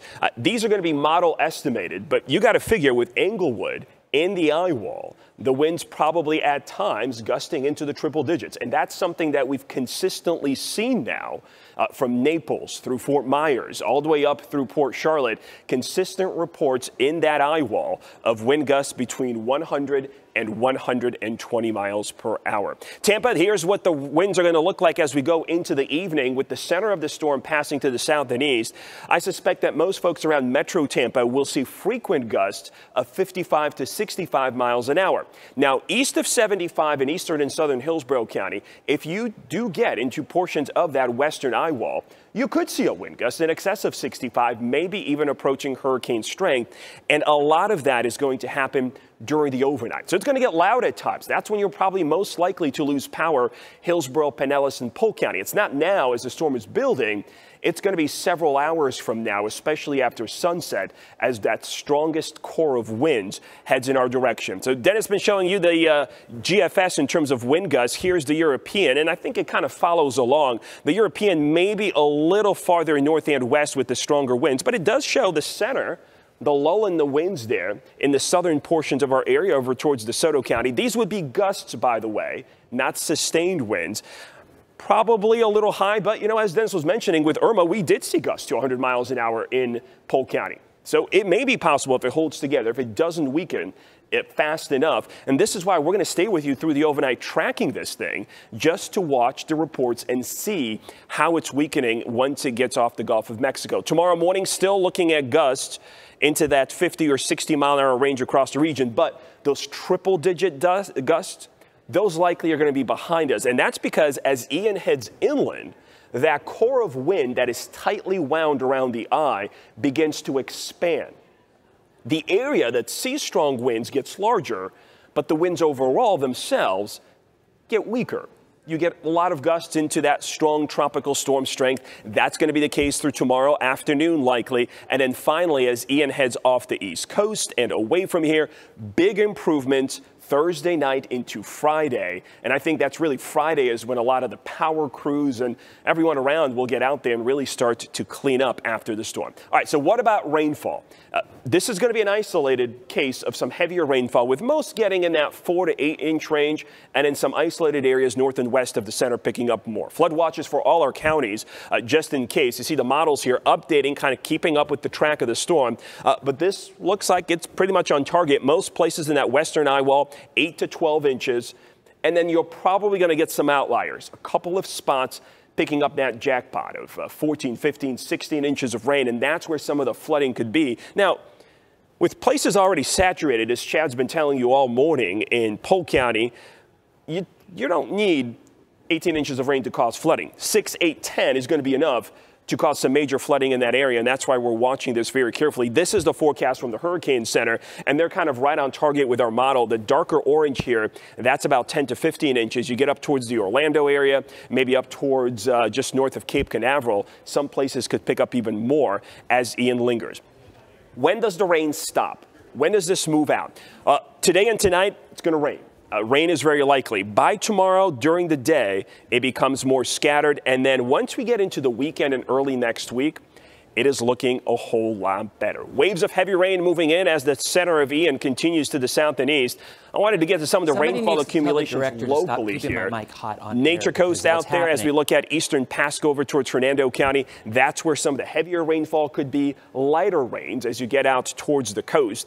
In Pinellas in Hillsborough County, the heaviest rain by far, the I-75 corridor in east. So Plant City, Valrico, Fishhawk picking up a whole lot more than let's say Pinellas County. And by the way, this coincides with where the strongest winds are. So if you pick up some of the heaviest rainfall amounts, you're likely going to be in that western eye wall and you'll probably see some of the heaviest winds. Down towards Polk County, there's going to be a very tight cutoff here across the county where places like Frostproof and maybe south of Lake Wales pick up much less rain. Polk City, Auburndale, Lakeland, these are some of the new numbers coming in from our computer model. Maybe as much as 10 to 13 inches of rain that would definitely cause some serious flooding. Down towards Manatee and Sarasota County, the storm moving away, so additional rainfall. This is on top of what's already fallen, another four to six inches. You've already seen at least this much in this area. So the totals right there with what we expect at about a foot or more. And that's the same deal in Hardee, DeSoto, and Highlands counties. It's already been raining here through much of the morning. So this is additional rain on top of that.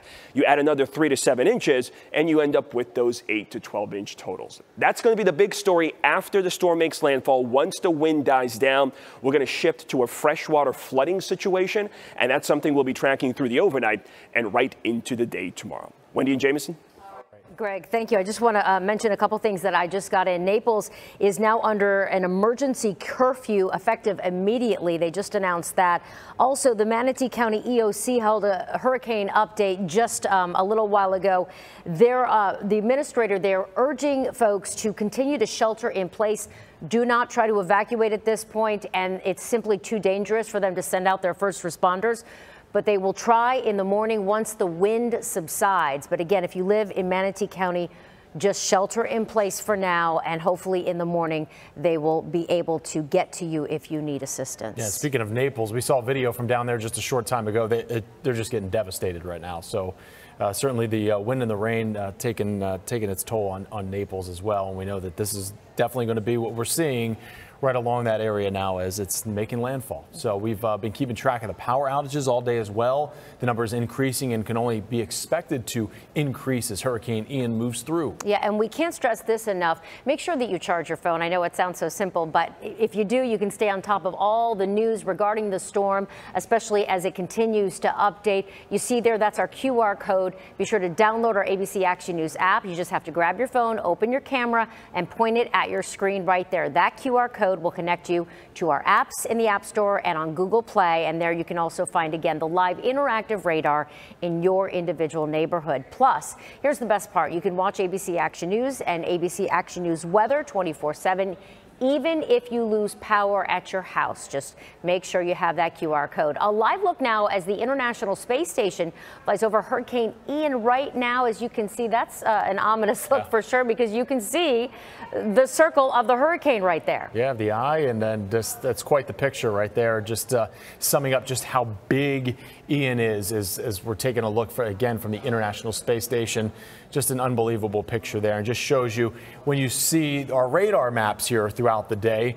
This storm is engulfing pretty much our entire state. Right. It's just the Uh, the good news, though, is that it was supposed to uh, linger and not move so qui- so quickly. And so the good news is this huge storm is going to move much quicker. I think I believe Denis said by Thursday night, where before it was Friday afternoon before it was out, but now it's going to be Thursday, which is much better news for so many folks along the Bay Area as well. yeah. It sounds like this is going to be uh, Georgia or South Carolina's storm. It's amazing it's Yeah. supposed to hook back into Savannah and, and the northern, you know, Carolinas, which is crazy. The how how many people this storm is going to impact. I want to go back out to Adam Walser. He was uh, north of Sarasota County. I think he's in that uh, Pier 22 area of uh, Bradenton. Yeah, that's right. Um, and I know, Adam, the last time we checked with you, Gus, we're really picking up. You were mentioning the power was going in and out. How is it now?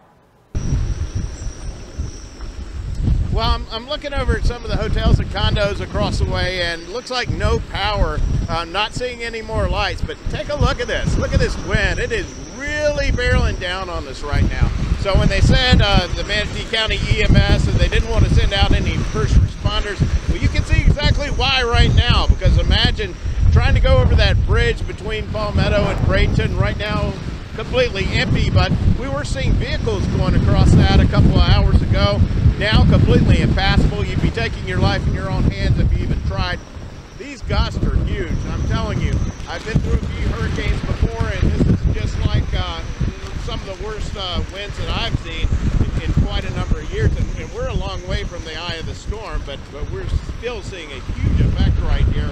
These boats are getting beat up quite a bit. Uh, right now, they're rocking and rolling, even though there is a, the storm surge issue that they were concerned about earlier. A lot of these canopies are getting torn up. Right now, our photojournalist, uh, Brandy Wright, is, is underneath the canopy here at, at Pier 22. We're on a side of the building that's able to cover him and protect him a little bit. Otherwise, we wouldn't be able to set up a camera here because uh, these winds are just, just really, really starting to pick up here. And of course, we are seeing just a huge amount of rain. It's been going like this for hours and hours. So that ground is going to be saturated. We could expect some of these trees to fall over here in Manatee County and widespread power outages, I think, before this storm is over because it is continuing to just barrel down on us. And right now, it's about the worst that we've seen so far, guys.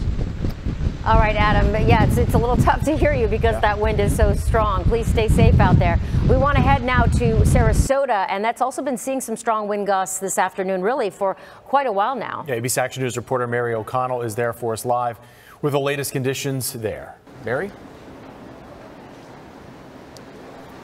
Hey, yeah, it's absolutely windy right now. Actually, there are some folks outside because people are taking a little bit of a break from the shelter when they can. The staff here are allowing folks to come outside. But I will say everybody's phones just had an emergency alert go off.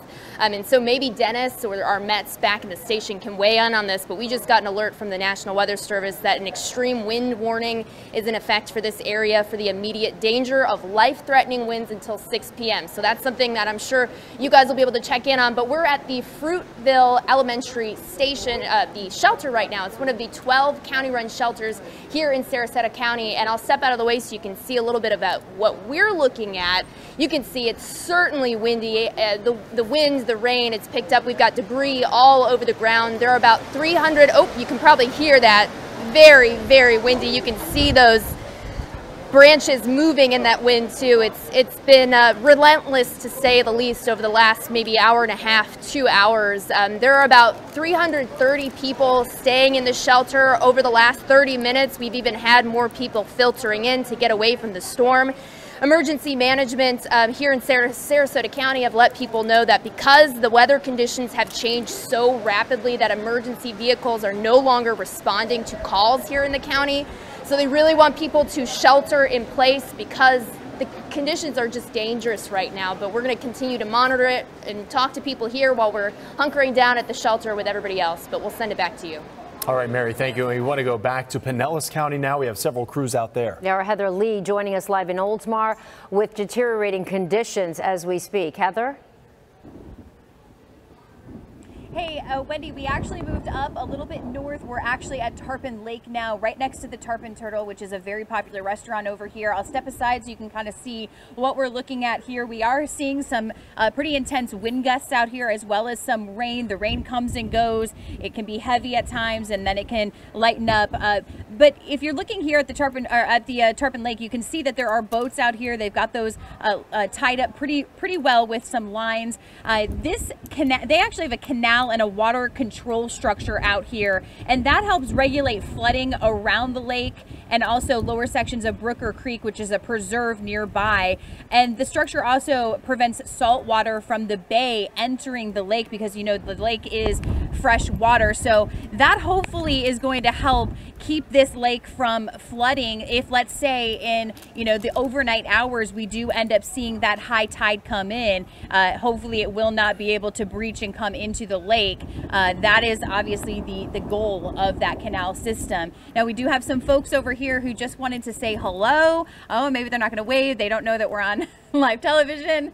Hey guys! They're obviously doing the right thing, staying inside their home. They got to take their dogs out because that's understandable. All the dogs have to go to the bathroom. Honestly, right now the conditions are looking pretty good, but we will continue to follow this. In fact, we're our coverage is about to end. We've been up since four in the morning, so we'll be back out here again at four in the morning, uh, covering parts of Pinellas County. And of course, at that point, we may even be looking at some damage in our area. Of course, we'll just play it by ear as the storm moves through our area. For now, we're live at Lake Tarpon. Heather Lee, ABC Action News. All right, Heather, go ahead and get some rest. We're going to have you back out there tomorrow morning, but though we still have crews scattered throughout the Bay Area right now as we're going to continue to track Hurricane Ian until this is out of our area. Now we want to give you an update on power outages across the viewing area. So far, over 272,000 Florida customers are without power all across the state. 36,000 of those in Manatee County are reported to be without power. This is a huge increase compared to our last update that we gave. Florida Power and Light last updated that number at uh, 2 p.m.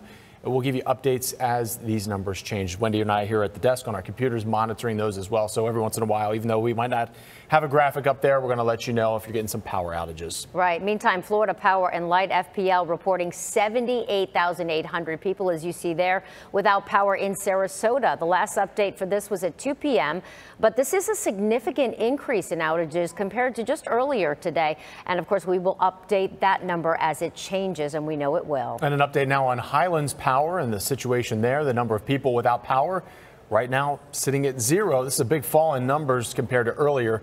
Duke Energy provided that update for us around 2 p.m. We will keep you posted on any changes there. And Duke Energy reporting 72,000 people without power in Pinellas County. That's a big jump again in number compared to what we told you earlier.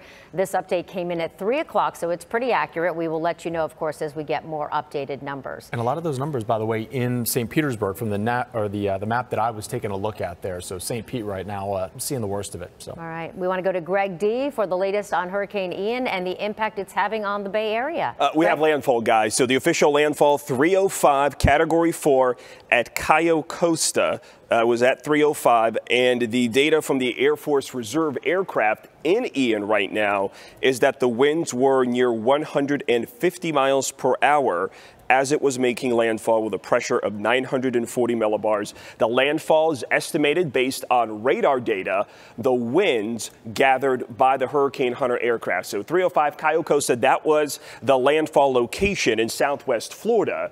Now, this purple box is of more immediate concern for us. That is an extreme wind warning, and it basically extends through all of Sarasota County down through Charlotte and Lee counties as well. So Fort Myers back up towards Sarasota County and now the western half of DeSoto County as well. And that gives you a heads up, DeSoto County, between now and 6 o'clock. So this is for the next three hours. You're going to have some extreme wind working its way across the region.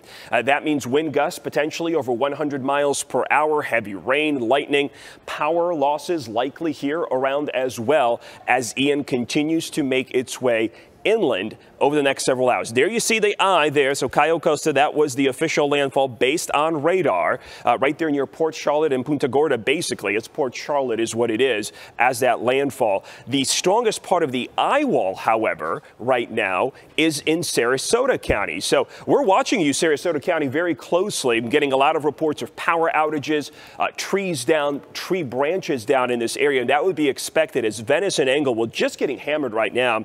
The darker reds here indicating extremely heavy rain at the moment. And it's in that heavy rain that you are seeing some of the heaviest wind gusts. That's coming up on North Port, coming up on 75. I know FDOT has some FDOT cameras here after this weather up there. I'm going to go in there and see if I can find you some views, if we can get some live views of this area or control room. If you can maybe look down here. This is going to be southern portions of Sarasota County, uh, 75 in the North Port area. There are several cameras here. We can watch this, and a lot of them are highly placed as this eye wall rolls in if they're still working. I, have tried accessing some cameras down in Englewood. Just about everything is without power, so I cannot connect to it or the or the internet is actually down. Sarasota, moderate rainfall downtown, but just south of you is where some of the heaviest rain is, and this is going to spin up in your area. So you may not be seeing that strongest wind just yet, Sarasota, but it's headed your way. This is all going to build northward over the next hour. Here's a radar from uh, the National Weather Service there in Ruskin. You can actually see in greater detail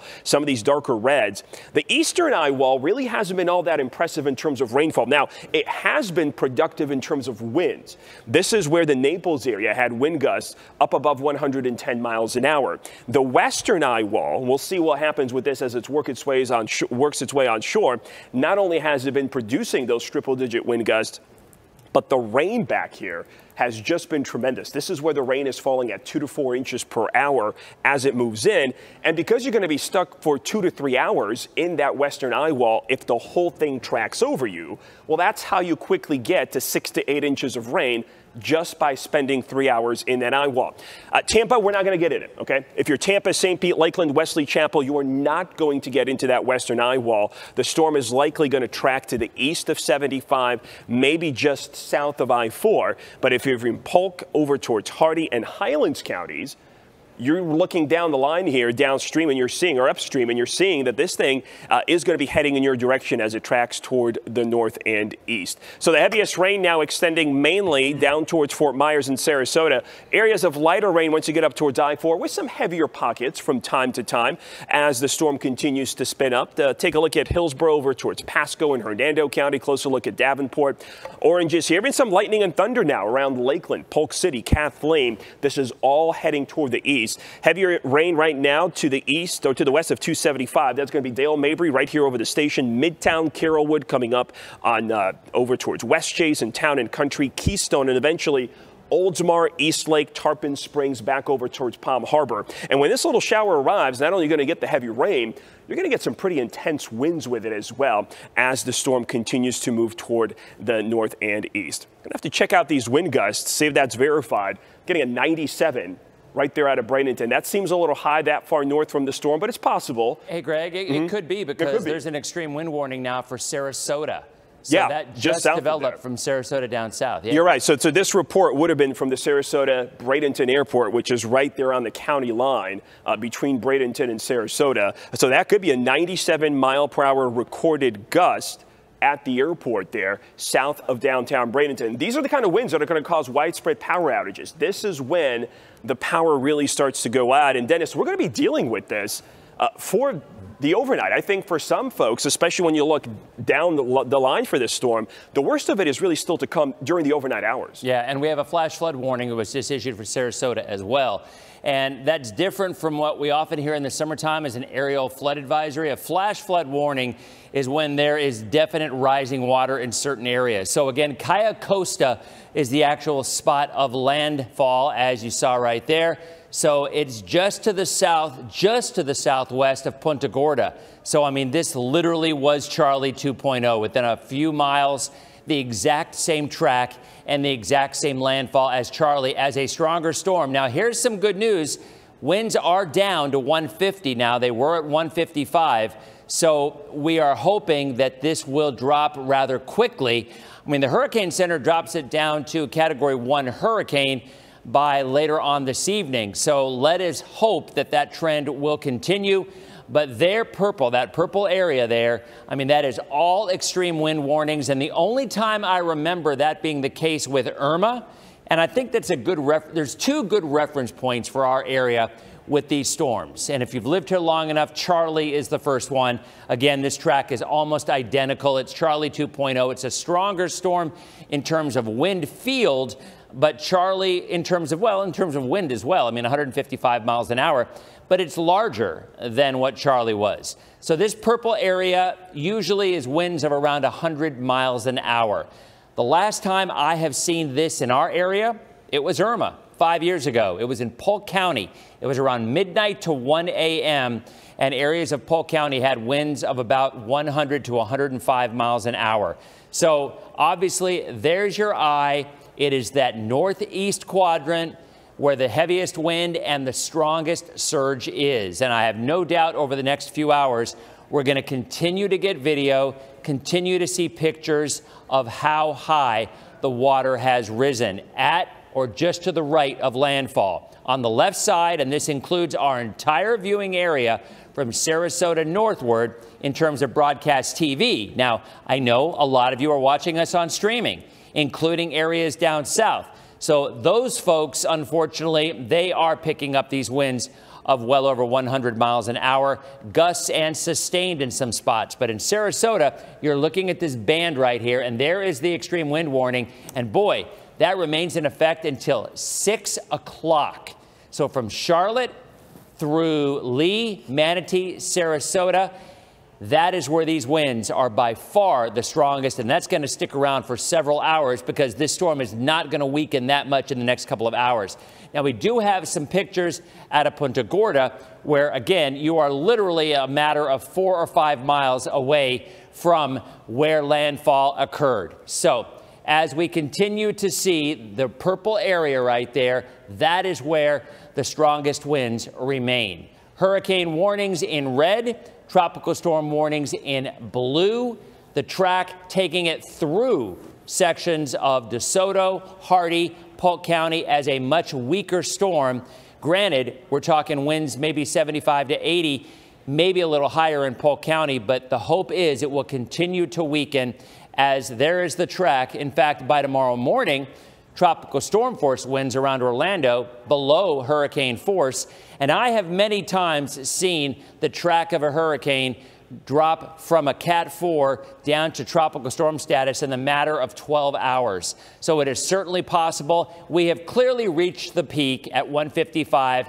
Now that it has made landfall, this will continue to drop, and our hope is it's much sooner than later. Current wind gusts, Myakka City 92, Arcadia 92. So it isn't just about the coast. For the surge, it is. But those extreme winds, and that's very obvious why they issued the extreme wind warning for DeSoto County, because you're already picking up 92 mile an hour winds in Arcadia. And as Greg mentioned, a gust of 97 miles an hour in Bradenton. The track is just like this, right? West of that track, we don't expect tornadoes. East of the track, much more of the heavy wind and the possibility of tornadoes. Futurecast explains why we are not concerned, at least through this next high tide cycle. All right? There's been a ton of talk about storm surge, and a lot of that was based on the earlier track. But once this storm went down south, into the Fort Myers area that completely changed and minimized the threat of storm surge in our area. All right? With a north northeast wind, it is still pushing water out into the Gulf, which is great for two reasons. One, obviously, you're not going to see a storm surge if the wind is blowing the water in the opposite direction. But at the same time, it also allows the water to drain that falls. You're less likely to see flooding because it'll have an opportunity to drain and go out in the Gulf. But when the winds veer out of the opposite direction, that's when the storm surge becomes more of an issue. So this is 8 o'clock tonight. It gets us through the next high tide between about 4 o'clock and 6 o'clock. Overnight, look what happens. As the storm begins to push inland, the winds begin to go out of a more northerly direction. That could easily cause water to pool up on the eastern side of the old Hillsborough Bay. So I think the next high tide cycle, which is between 4 and 5 o'clock overnight, that is when we are going to see higher surge levels. We are not going to have the high surge levels even close to what the original predictions were when the storm was closer. And because it's moving away, I think these levels will be quite a bit lower, but it's still close enough and the wind is still strong enough that I do think surge will become an issue overnight tonight between 4 and 6 o'clock. And by tomorrow morning at 8 o'clock, we have more of an onshore flow. Now, at that point, we're nearing low tide. So that's kind of a good thing. Not only do you have low tide, you also have a storm that's moving away, still a decent fetch of wind, a, a decent area of coverage. So I still think we're going to see for the next high tide, which is, well, it would be about 5 or 5.30 on Thursday afternoon, because by then we continue to have the onshore flow, but the bulk of the storm has now moved out into the Atlantic and away. So the way I see it, winds, obviously, highest probability of damaging winds would be along the line and off to the east, especially Sarasota, southern Manatee, and Charlotte County. Surge, the farther north you are, the less likely you'll see it. There will be a rise in water, there will be some surge, but I don't think it is going to be a major factor for most of the area. A couple of spots, if the winds blow just right, we will have to watch it. And really, the only tide that I think is the real threat it would be between about 4 o'clock a.m. overnight tonight into tomorrow and 6 o'clock tomorrow morning as well. We'll have more coming up in a couple of minutes. Guys? All right, All right. thank you, Denis. Thanks, Den. All right, our Adam Walser is uh, north of Sarasota County. Uh, he was in Bradenton, still is, and that's where we've seen some of the, uh, the strongest winds from that map we were just seeing there from Greg. Yeah, and the wind gusts certainly strong there. Adam, uh, how are you doing out there now? I know you're getting blown away quite a bit just a little earlier. I think he, um, yeah, he was, uh, I believe, uh, yeah, there he is. Back out into the Adam, elements. you okay? Can you hear us? Yeah, I'm sorry, I'm having a hard time. It's so, so loud, I'm having a hard time hearing you, but um, I feel like a Tampa Bay Buccaneers lineman out here standing up against this wind because it's really, really pushing back.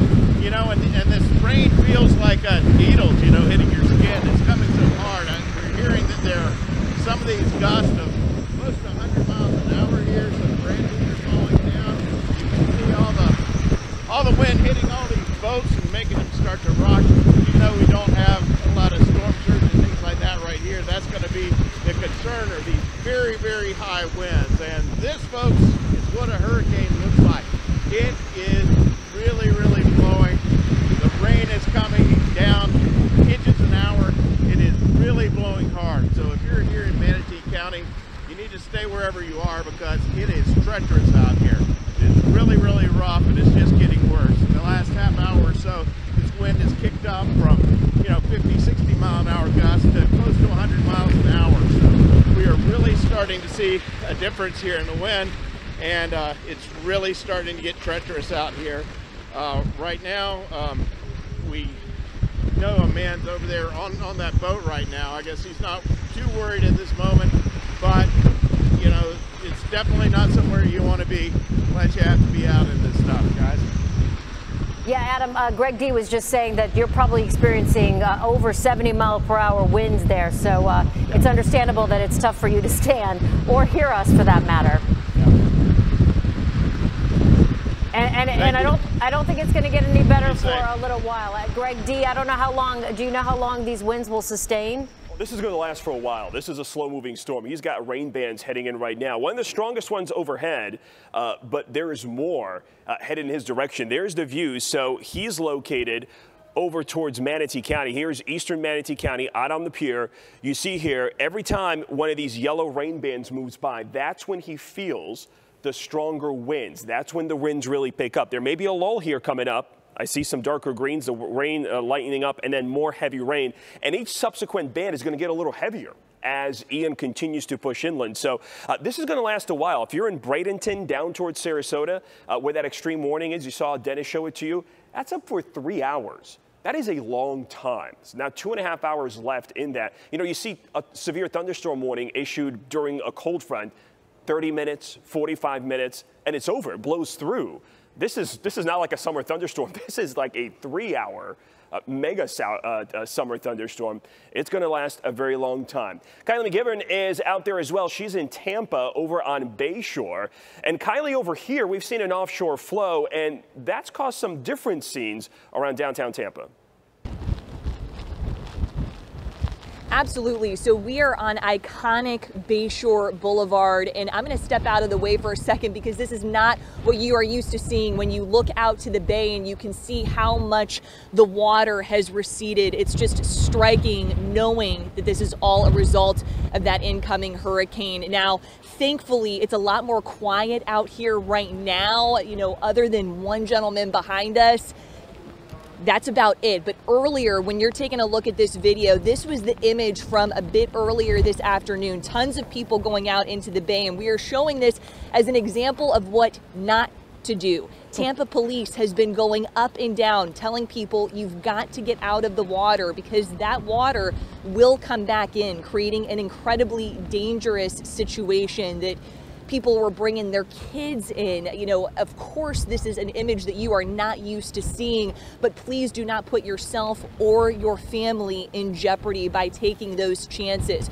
Talking with Tampa Police Department, they said, look, we can only do so much to protect people. We are going to try to keep you safe, but you've got to make those decisions to help yourself. So, as they continue to patrol, they've also said anyone that has decided to stay, when you're looking behind me, these are some of the high rises. If people have decided to stay in this area, it's at the point that you need to realize that law enforcement, first responders may or may not be able to get to you. This is a chance that you are taking on your own as these continue to pick up. So we're going to send it back to you guys in the studio. For now, we're live on Bayshore Boulevard. Kylie McGivern, ABC Action News. All right, thank you. Uh, we want to go to our Michael Paluska, who I believe uh, is still in the eye of the storm. Michael, I know you're in Venice and you were getting really kicked around there. Are you okay? What's it like right now? Uh, we don't have we don't have Michael. Well, he's in Venice. I mean, that's you know, it's expected. I'm sure he's not. Uh, he it was the, the best eye of, live yeah. shot of the. Uh, and he know. was just two miles from the coast, Yeah. the eye of the storm. Uh, Chief Meteorologist Denis Phillips is standing by with the latest conditions now as Hurricane Ian has made landfall. Denis. Yeah, Wendy. And as Greg and I were just talking, so we were looking at our future cast. In fact, I'm going to put this in motion. In fact, Shay, why don't you do that? If you go ahead and put this in motion, can we flip prompter, Jay?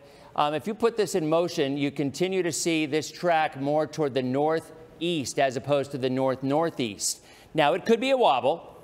Absolutely could be a wobble. But before we get to that, I, I do want to focus on you know where the warnings are. But I'll tell you, it would not surprise me, and some of our futurecast models are showing this more of a track like this as opposed to a track like this. And at this point, again, looking at this track, all you have to do is follow the eye. At this point, it's really not even a matter of models even coming into play. I mean, I say you throw the models out the window and you look out the window because you can see. And by the way, I just looked out the window here at the station and it is really, really coming down. We're probably having about 60 mile an hour gusts right here at the station. But as I said, you take a track of this, it looks like this track could be early indications of maybe more of a southern track. So the Hurricane Center comes up with their advisory and their updated track in about an hour and a half. So it will be interesting to see whether or not they do decide to go a little more south. I'm just saying, again, it could very easily be a temporary wobble. You can't look at every frame because that's this isn't like a perfect ball rolling. It's kind of more like a, a wobble here, a wobble there.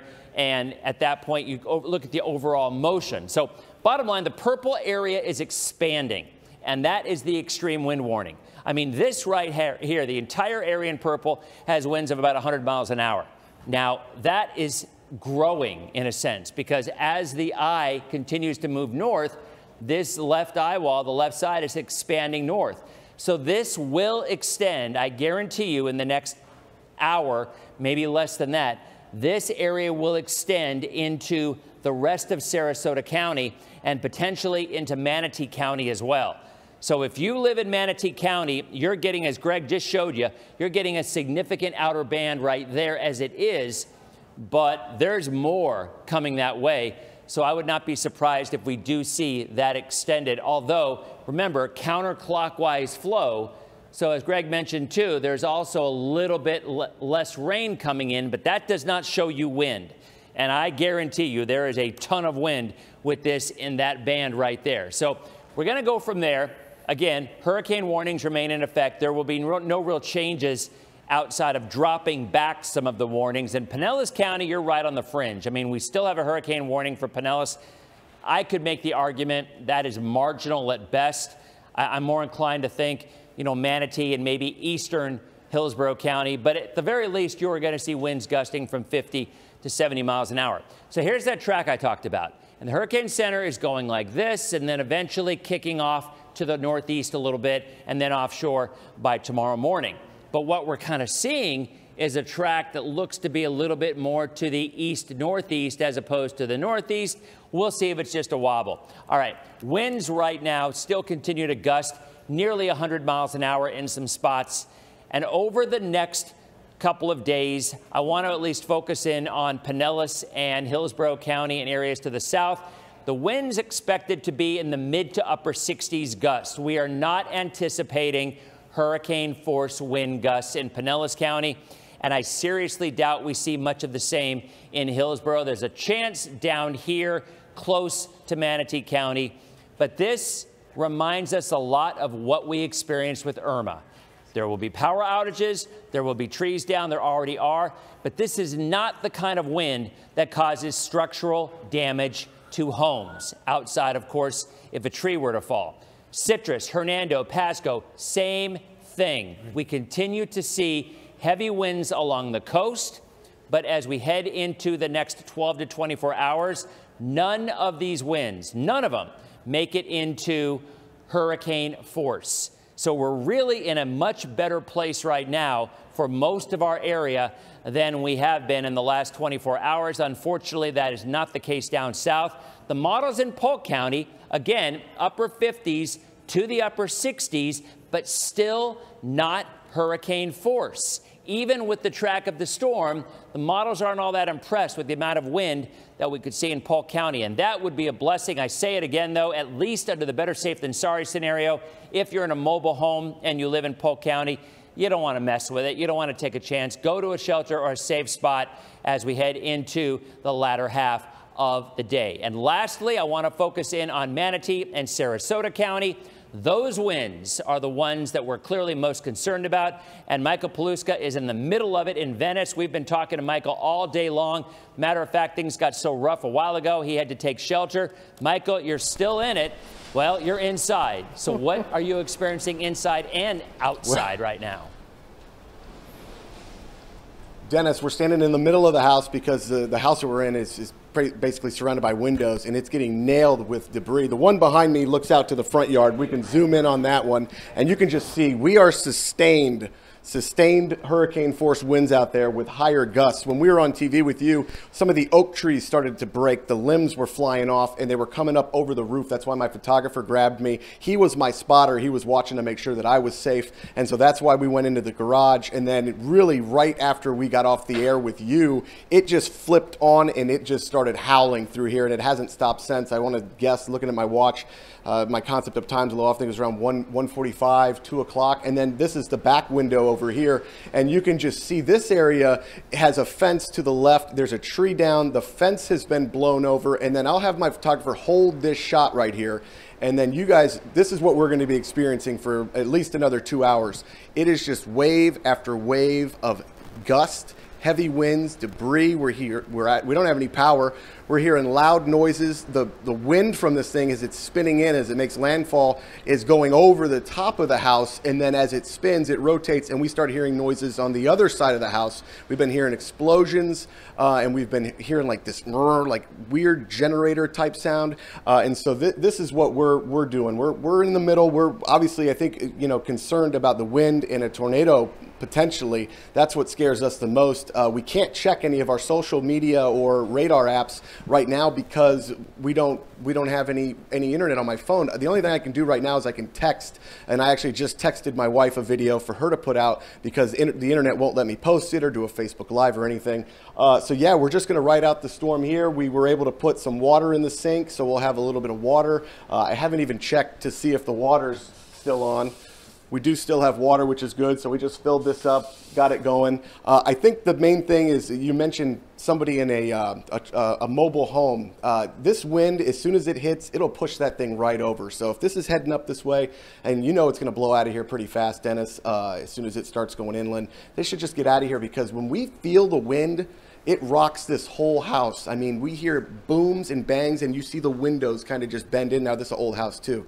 So, yeah, we're going to ride out the storm. If, uh, you know, I, I, wish I was out in it, reporting in it, but it's just too dangerous. I mean, obviously, um, I'm sure my wife wouldn't want me out reporting in the storm, but uh, it, it's intense, and it and it's uh, it, she's I'm sure she's watching right now. It's intense, you know. It's scary, but uh, if you're inside and you're and you're out of the way of the water, uh, I'm not too worried right now. Yeah, and Michael, I mean, I hate to say this, but we're not seeing any windows broken. We're not seeing any trees down. So outside of some small ones in the fence, I mean, have you looked out the window and seeing any kind of damage? Because truthfully, you're in a pretty good spot right now. I mean, there's a Cat 5 or borderline Cat 5 hurricane within a few miles of you, and I'm not seeing any kind of structural damage. So I would consider myself very fortunate at this point. You look okay. Yeah. Yeah, we, we, I think we're doing pretty good. I mean, this whole row of homes are block houses, and some people boarded up. A lot of people actually didn't, as we had mentioned before. The only thing we've really seen is some of the bigger trees in the front are down, and they're leaning over. There's a little bit of that water we saw earlier. It's starting to come up, so we're looking at that. I, I don't know where it's coming from because we're not near any water. Uh, it's probably just regular flooding, but we will have to move one of the news units because we're not going to lose a vehicle. Uh, hopefully, right. we can, you know, not have to do that and run out in the storm. Um, but yeah, so far I think we've we're we're we're doing good at least right here. I'm sure farther out, you know, that are more exposed, Denis. I mean, this storm, the winds are crazy. Yeah, absolutely. In fact, Greg, I was looking over at uh, where you are and compared to, well, where the rest of the storm is, and you're really on the outer fringe of that eye wall. So honestly, I think you're going to be experiencing this for at least another couple of hours. So let us know when it's safe for you to go back outside and then at that point, we can do a little tour with you. And, and you know, Eric can go outside because your chief photographer, Eric, out there has been through storms for 30 years, so he knows how to keep people safe, so no worries there. But once it gets better, we'd love to see yeah. what's going on. And hopefully, we won't see a lot of damage. But when you have winds of 100 miles an hour, you think eventually things are going to go, right? Right, absolutely. And you know, the ones that are hitting this window, Denis, they're freaky because they're, they're taking out acorns and those acorns flying at however fast they're going hitting that tree, uh, it's it's scary because yeah. they're, they're like little pellets, like little. Yeah, if Reed, I don't know, Reed missed that one, but um, I don't know how much time we have, but we could leave it up here and you could see it. Some of these these. Uh, acorns, man, are just hitting this window. And the thing is, these are pretty thin, but we don't have any water leaking in. Mm-hmm. We don't have any issues with our roof at this point. Uh, it's going right over the top. But you know, if you're outside, you get hit. I, I don't want to say acorns, but debris and limbs, and there's there's power lines actually back there too. Um, but th- this is the scariest part of the house, so this is the area we're avoiding for the most part. Well, and when you are, we're looking at winds. It looks like it's about 80, 85. I'll tell you about maybe 15 miles to your west, it's 120 miles an hour. That's out in the Gulf. But remember, that that's moving in the opposite direction because these go counterclockwise. So at least what we're looking at right now, you're going to be okay. I still think you're going to have a stretch of some pretty serious wind over the next hour. Again, that's Michael Paluska. Mike, thank you very much. Stay safe out there. If anything happens, if you start to see some, some more action, or for that matter, once things calm down and you have a chance to go out, we'd love to go back because, again, first and foremost, we're going to keep him safe. Winds of 150 miles an hour. It has now moved inland, moving north northeast at 9. And there is the biggest concern right now. I mean, we've talked about tornado warnings. We've had a couple, but this yellow, or rather this area in purple, is a heck of a lot more powerful than any tornado warning. Typically, tropical systems spawn tornadoes of about 75 to 85 miles an hour.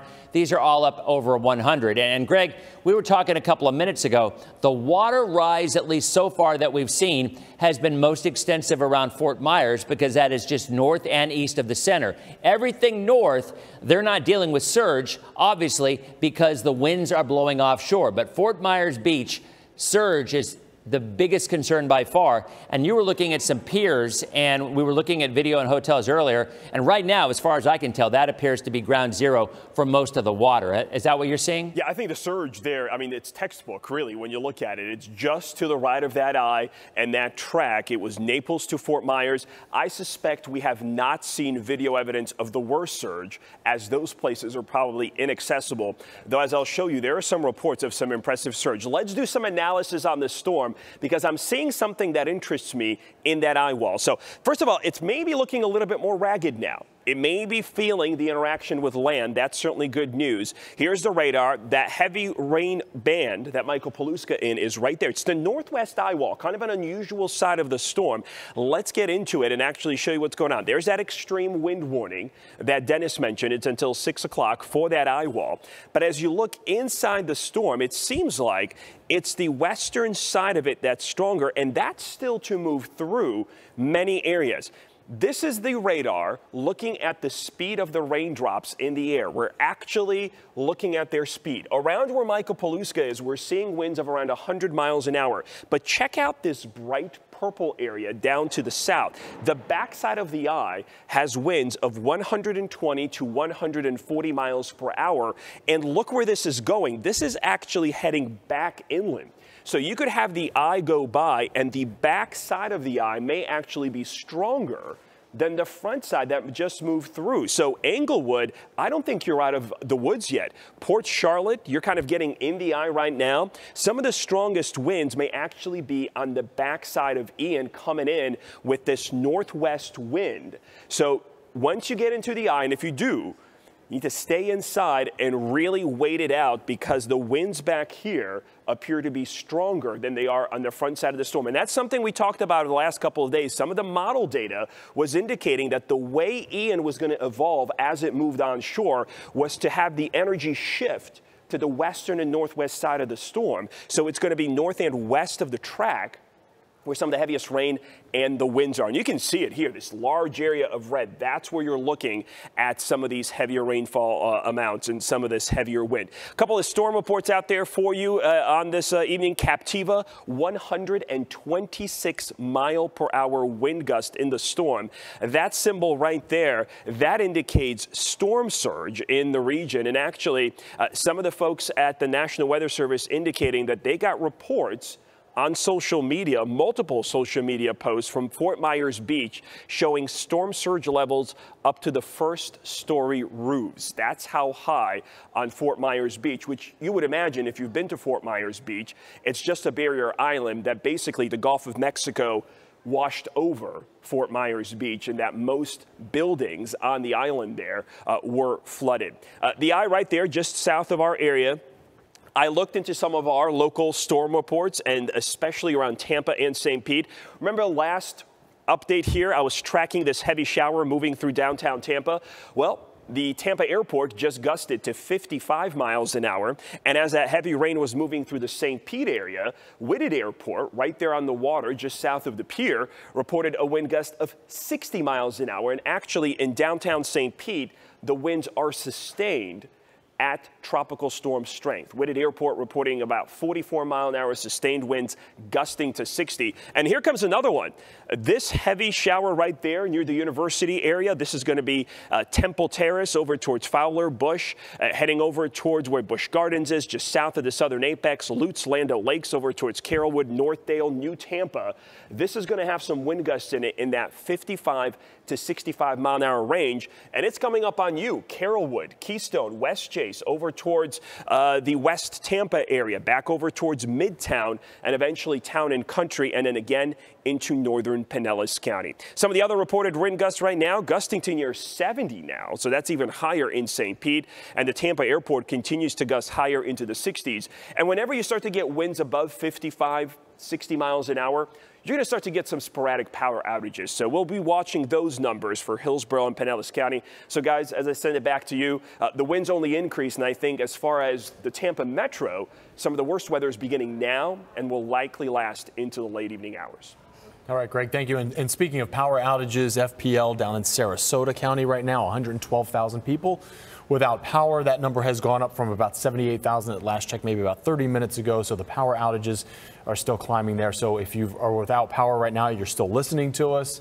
You're not alone. You have a lot of neighbors there who are also without power tonight. Yeah, and because the winds have just been so strong, it's yeah, understandable have. that that will continue for some time. Next, we want to go to our Vanessa Ariza, who is standing by for us on Clearwater Beach. And Vanessa, Vanessa yeah, we've seen a lot of folks in Pinellas County. We have several crews out there. Vanessa, what's it like where you are now?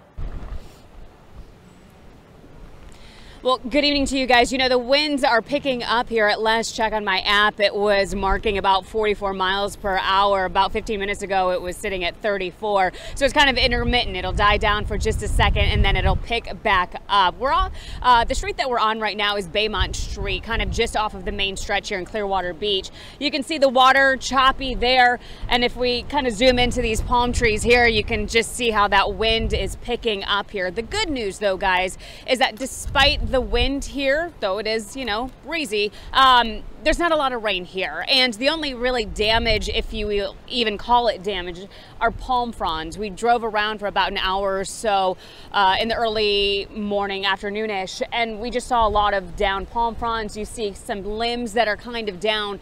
But other than that, that is about it. So in the grand scheme of things, we are faring rather well here in the Clearwater Beach area. And around 11 o'clock this morning, we were driving around. We saw one business that was open and it was a bar, the oldest bar here in Clearwater Beach, the Shipwreck Bar. There was one customer inside. We talked to the bartender. He said, hey, look, we're Floridians. I'm watching all of the weather channels. We saw it up at the bar. And uh, he said, we'll make the call. If maybe it gets around 50 miles per hour, we'll go ahead and shut down and we'll go home. He said, but other than that, we're just going to keep watching it. We'll stay open. They're the only business here along Clearwater Beach that is open right now. We've only seen a few vehicles, maybe one or two on the streets, but we're really seeing our uh, Clearwater police officers kind of setting up shop, keeping an eye on things, making sure that everything's okay. And for the most part, it is. We have those winds. They're knocking down the palm fronds, but other than that and some light rain, we, uh, we're doing pretty well. Knock on wood,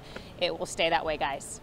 All right, Vanessa, thank you. And we have our uh, Paul LaGrone, who's in Polk County right now, checking out conditions there. Yeah, he's live for us this afternoon in Lakeland. So, Paul, are the winds or the rain picking up? I know a lot of folks uh, in the Bay Area headed up to Lakeland and Orlando because they thought it would be safer. But of course, what everything changed in the last 24 hours. How is it now? I I tell you, Wendy Jamison, it really is the catch 22 of Hurricane Ian, right? The old switcheroo, because uh, people thought that they were going to have to evacuate this way uh, because of the original path. And this hotel that we're at is fully booked from a lot of folks who did come from the west, from Clearwater, St. Pete, Indian Rocks. I've spoken to a lot of couples uh, who evacuated this way. They're going to ride it out here. We're expecting it to be about a Cat 1, although I know things are changing by the moment as it passes through Lakeland later tonight. Uh, you caught me in a bit of a lull here. It comes and goes in waves as we've been seeing throughout all the locations here on Massachusetts Avenue in downtown Lakeland. The rain, the wind starting to pick up. And earlier I spoke with a couple who came here all the way from Australia to visit uh, right in the middle of their vacation. They're getting the true Florida experience of a hurricane. Listen, uh, you guys were on vacation. Uh, what are you thinking right now? Uh, we just want to, I don't know, we got to get on the road, make it further down south, hopefully drive around it. I don't know. We were meant to go down the whole west coast from Tampa down to the Keys, and it's all been blown up. But we just hope everyone kind of gets out okay. And, and Chloe, you guys were here on vacation for, what was it, three weeks yeah. is your planned trip? How yeah. much longer were you supposed to be here? Uh, we still got another two weeks to go, but we had a week in Florida where we are hoping to get our tan on because it's a bit cold back home. But um, we've missed out on that, so we'll head back up to New York after this. Hopefully, get some dry weather. um, and where were you guys before Lakeland? Did you come here to get out of the storm's path? We'd actually come from Kennedy Space Center. Okay. Which was actually really good. Yeah. And we had a sunny day there, and we kind of drove into it, but we didn't have much choice. Yeah. And where do you think you'll head next from here? Are you leaving today? We're leaving today. Uh, We're going to try and get to Miami. we're going to try to get to Miami, yeah. It looks like it's going to be sunny on the weekend, so we're still fingers crossed for that. And you guys are driving, right? I mean, you're driving yourself. I mean, this, this is unfamiliar territory for you. Are, do you feel safe? I think so. Chloe's a good driver. Chloe, Chloe we're just gonna we're just gonna take it a little bit at a time and pull over wherever we need to. Yeah. yeah. And have you ever been to Florida before? Was this your first? No, first time. First time. What are your impressions so far, minus the hurricane? I mean, everyone's really lovely. That's for sure. We got um, told this is an authentic Florida experience, so yeah. just embrace it. I hope you guys are able to come back when there's not a hurricane. Yeah. I wish you the safest of travels, and thank you for taking the time. No, thank you. Thank On the road during a hurricane. What an experience. Back here live in downtown Lakeland, the wind starting to pick up, the rain starting to fall a little bit heavier. I don't have to tell you, though, back there, this is nothing compared to what it's going to be later. I measured it uh, a couple of minutes ago. We're looking at 50 mile an hour wind gusts right now, sustained right around 38. I will say I've got family uh, that live in Lakeland in the Plant City area. That's where I'm from. Uh, and I know my family in Lakeland's already saying that they have power outages. Uh, also, some folks in Mulberry. So I don't know what the exact numbers are. Don't quote me on this, but I, I did a quick count. It, it was nearing a thousand. Obviously, that's probably going to increase as the night goes on and the day goes on. Uh, so, power outages being felt right here in Lakeland uh, as the wind and the rain start to pick up. This is kind of, it, it, really hasn't even started yet for us. Uh, so, it's, it's only going to get worse from here. But, uh, you know, you look at the silver lining, guys, and I think people have taken this storm seriously. The proof of that is this hotel that is sold out and packed and the fact that we don't see a lot of people now on the roads. Uh, so they're where they need to be. I do think about those people in the mobile homes around the Peace River Basin. Uh, the emergency officials here in Polk County voiced their concerns about uh, the people who did decide to stay if you were in a, a manufactured mobile home uh, because of the nature of the storm, the winds. Uh, they're concerned about obvious for obvious reasons the mobile home uh, will be vulnerable to the wind and then the rain and the flooding in that Peace River basin south of Lake Hancock. Uh, they're worried about too much rain too fast, too much too soon. So it's you know it's it, you know the volume's starting to get turned up here, but we're we're in for a, a long stretch. I, I think we're you know, looking at around, I think the last timing was eight, eight o'clock is when it really starts get to, to get kicking, and then even into midnight uh, is where you're going to see uh, a lot different atmospherics uh, here in downtown Lakeland. I'll send it back to you. That's the latest here in Polk County. All right, Paul, thank you. Stay safe out there. And now we want to go to Sarasota, where uh, it's been a bit dicey out there as well. Yeah, it has. ABC Action News reporter Mary O'Connell is there live for us with the latest conditions. Mary? Well, dicey is a really good word for it because it has just been relentless, nonstop wind and rain here. And I know we've talked a lot about power outages across the Tampa Bay area. One thing that we're at a county run shelter here. It's one of the uh, 12 county run shelters here in Sarasota County. Um, but one of the things that we've been watching is the power going out at this shelter, you know, inside the lights will flicker here and there. And actually one of the things here that the staff has mentioned is there's not a generator here, so if the power goes out, it's out. So everybody charge your phones. I know we've heard it a lot from the meteorologists is to charge your phones and make sure everything, you know, you, you're all charged up. You can get in contact with folks. So that's something we're also keeping an eye on here. But I want to show you a little bit of the conditions here behind me. Um, I don't even know if it, it's easy to see on camera, but oh gosh, in person it is just blowing, whipping winds here and it hasn't stopped for, for a couple hours now. I mean, we're keeping an eye on these trees as well because they are bending in the wind. Um, we have debris all over the ground, and it's just the wind is. It, there's no real direction to it. There, it's just blowing all over the place here. Here at this shelter, there are about 330, I, I'd like to call them our closest friends. We've got families, we've got pets, we've got um, the lovely staff here at Fruitville Elementary who have kind of been taking care of all the folks who are sheltering from this storm. Um, and, and, and, they'll be here until this storm passes. We even, um, I would say, in the middle of uh, about a half hour ago, we had about a family of four and a dog show up in the middle of this storm. So they're still, you know, making sure people are staying out of it. But man, this has nonstop been bad out here. And of course, we're safe under this shelter here, but we're keeping an eye on the conditions here and there we'll actually get little alerts on our phones, those emergency alerts, you know what they sound like. We got one that said alert extreme weather warning. We know what it's like. That wind, it's just been crazy and nonstop. So it's something we're obviously keeping an eye on here the note from people, county officials, is to really shelter in place and, and not go outside and stay out of this storm because oh, we have a couple people moving from one of the other buildings because people are also sheltering in classrooms here at this school. We got people in the lunchroom, we got people in the classroom, and people all spread out here at this shelter um, here in Sarasota County. But this storm, it's nonstop, and I'm sure it, the impacts, we're going to feel it for, for several more hours. We'll send it back to you. Oh, yeah, you've got your work cut out for you tonight. All right, thank you, Mary. Our Stassy Olmos is live for us at Ben T. Davis Beach in Hillsborough County. She's been there all day. Stasi, how are the conditions near you right now?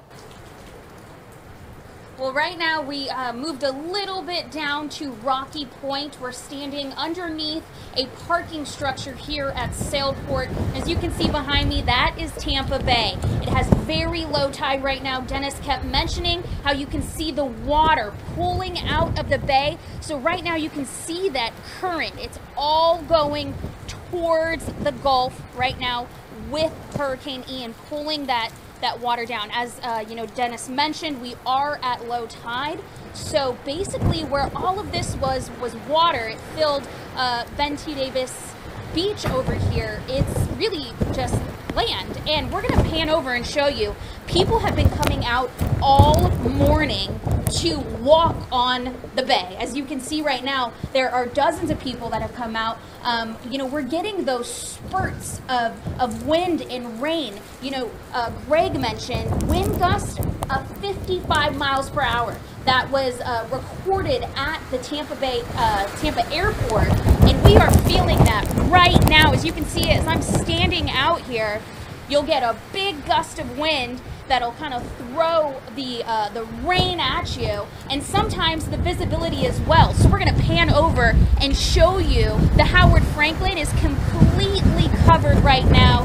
Uh, you can hardly see over that bridge, and that is exactly why they do not want people out driving. I mean, really, best case scenario here in Tampa right now that we're not getting that storm surge, and uh, Denis mentioned that we're not expecting to get that 5:30 p.m. high tide storm surge because the hurricane is pulling the other way. That's good news. But he did say at about 4 in the morning, we could expect higher waters here. You do not want to be those people walking out on the bay when that happens. Um, the Tampa police have already put out a tweet saying, do not walk anywhere where there should be water. Stay home. So technically, all of those people right now could be getting in trouble. But as of right now, it is pretty calm. It is picking up as we're getting those bands. Um, visibility right now is all right, and uh, we're going to stay out here as long as it's safe underneath this parking garage. Uh, but this really is best case scenario for right now here in our Tampa area reporting live here in Tampa. I'll send it back to you guys, Stassy. All right, Stassy, thank you. Yes, and, and, Denis was shaking his head. Yes, that is in fact true, that even though it will be high tide uh, in just a bit, it will not affect uh, the flooding there. We now want to go to Kevin Lewis standing by live in Davenport. Kevin usually does sports for us, but he's taking the weather angle today. I know the Bucs may or may not play on Sunday. We'll see. Kevin, how is the weather out in Davenport now? It was calm. Uh, Kyle Berger and I drove over about 10 o'clock, and it was calm. There was nobody on I-4, and the, the weather was calm most of the day. Uh, the rain picked up about an hour ago. It stopped, but now it's pretty steady uh, with the rain. We're at a 7-Eleven uh, around Sand Mine Road and US 27. Uh, they've saran wrapped the pumps. There's no gas left, uh, and they just closed the store. People were making last-minute buys, some adult beverages, uh, potato chips. People just grabbing some snacks and, and running back to their cars and out of the rain. We met a couple from Tampa who said they were from the storm and they hope things will calm down. But the wind has picked up. It's kind of just been a steady, moderate rain and wind so far. Uh, we'll see if business picks up a little later on tonight, but it looks kind of like business as usual. Some restaurants and businesses closed, other ones open where we got lunch. Uh, the manager said, hey, we're going to stay open as long as we can tonight. So I think some people are just content to ride out the storm and operate as usual because there are a fair number of cars on the road. Uh, despite people trying to get away from the storm, they know that there's going to be more rain uh, and more wind coming up tonight. So Denis uh, has more from the Weather Center. Uh, we'll send it back to you in Tampa. Yeah, uh, Kevin talking about weather. Can I talk about my fantasy football team? Because I mean, I'm just thinking you, we kind of reverse roles right now. Hey, uh, so uh, again, as we continue to watch the storm move in, winds are down another five miles an hour. So every advisory, every update we get, we would hope and expect to see this to continue. I mean, a Cat 5 is hard enough to maintain its strength over areas of very warm water. And I say Cat 5, I mean, technically this in at 155, 156 is Cat 5. So, I mean, you're splitting hairs, but technically it was a very strong Category 4 hurricane. Continues to move in and right around that center, that's where the extreme wind warning is. And boy, that to me is clearly the biggest issue. You don't see these a lot of time. Typically, the la- in fact, I think I remember the last time we had one of these purple areas, this extreme wind warning was Irma five years ago, and it was in Polk County. So this is a pretty large area from Arcadia back over to Sarasota, down south to Fort Myers, and this remains in effect until 6 o'clock tonight. And it makes perfect sense. It's all the way around the eye wall, and especially on the northeast side. The northeast side is the strongest, it's the tornadic side, and it also is the side that increases the surge risk. And it's becoming very evident. Greg and I were just looking at something. I mean, there's flooding, there's surge all the way down to Naples. So when you have the center of that storm moving in north of Fort Myers, you're going to have the bulk of the surge from Port Charlotte to Fort Myers. But as Stassy just said, and this is 100% correct, we still have an offshore flow across the rest of the Bay Area. There is no way that you are going to see surge with a strong offshore flow as a hurricane is moving in, even though it is coming up on high tide right now. Remember, there's a six hour difference between high and low tide. So if high tide is at 4 o'clock, low tide would be at 10 o'clock, and then high tide comes around again six hours later, give or take a half hour or so at about 4 or 4.30. And that is the time of high tide that I think we're going to have to be a little more careful and worry a bit about the surge in the bay. The good news is by the time we reach 4:30 in the morning, this is going to be a heck of a lot weaker. So we're going to get a new track in about 45 minutes. It doesn't really matter. I mean, I guess if it were to go a little more south, it could bypass Polk County more. But either way, it's probably going to be on the weaker side by then as well, at least compared to what we're experiencing in Sarasota and down across Charlotte and Lee County. So there you see it. Through tonight, 8 o'clock, winds of 120 miles an hour. But by tomorrow morning at 8 o'clock, it will already have turned downgraded into a tropical storm even before it hits Orlando. So I know there are a lot of folks out there who are worried about their family and their friends who evacuated into Orlando saying, You've got to be kidding me. Well, it happened in 2004 with Charley, where it was a last minute thing. Charley was coming toward the Bay Area. We were pretty confident of that forecast.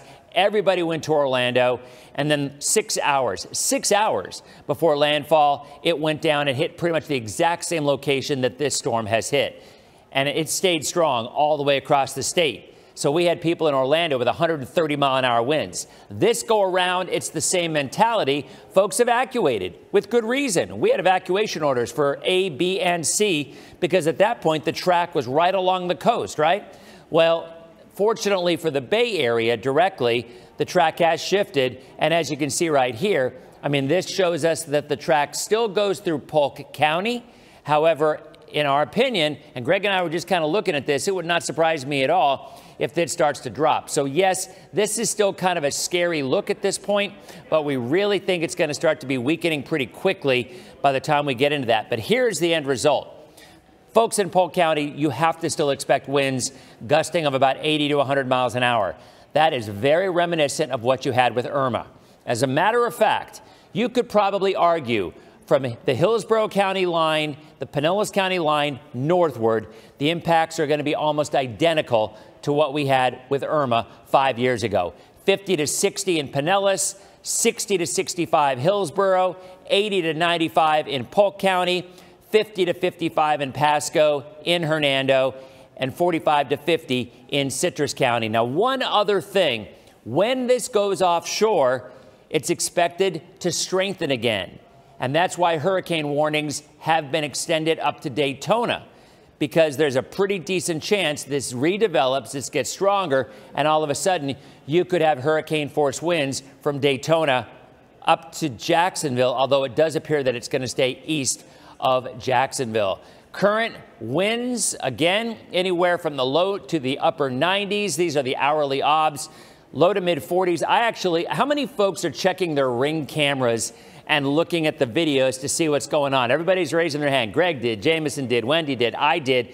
I mean, I just looked at my ring camera in Palm Harbor and there's nothing going on. I mean, there's not even any branches down. My basketball hoop is still up. So there are plenty of spots across Pinellas County and northern Hillsborough County that are seeing gusts, certainly, that'll go up to 50 or 60 miles an hour, but they typically only last for just a few seconds and then they go down again. So let me one more time, because I think this is something that folks really need to see. And, and, the reason I say that is because we've talked a lot about surge, and the surge overnight could be an issue from 4 a.m. to 6 a.m., but most folks don't live in the water.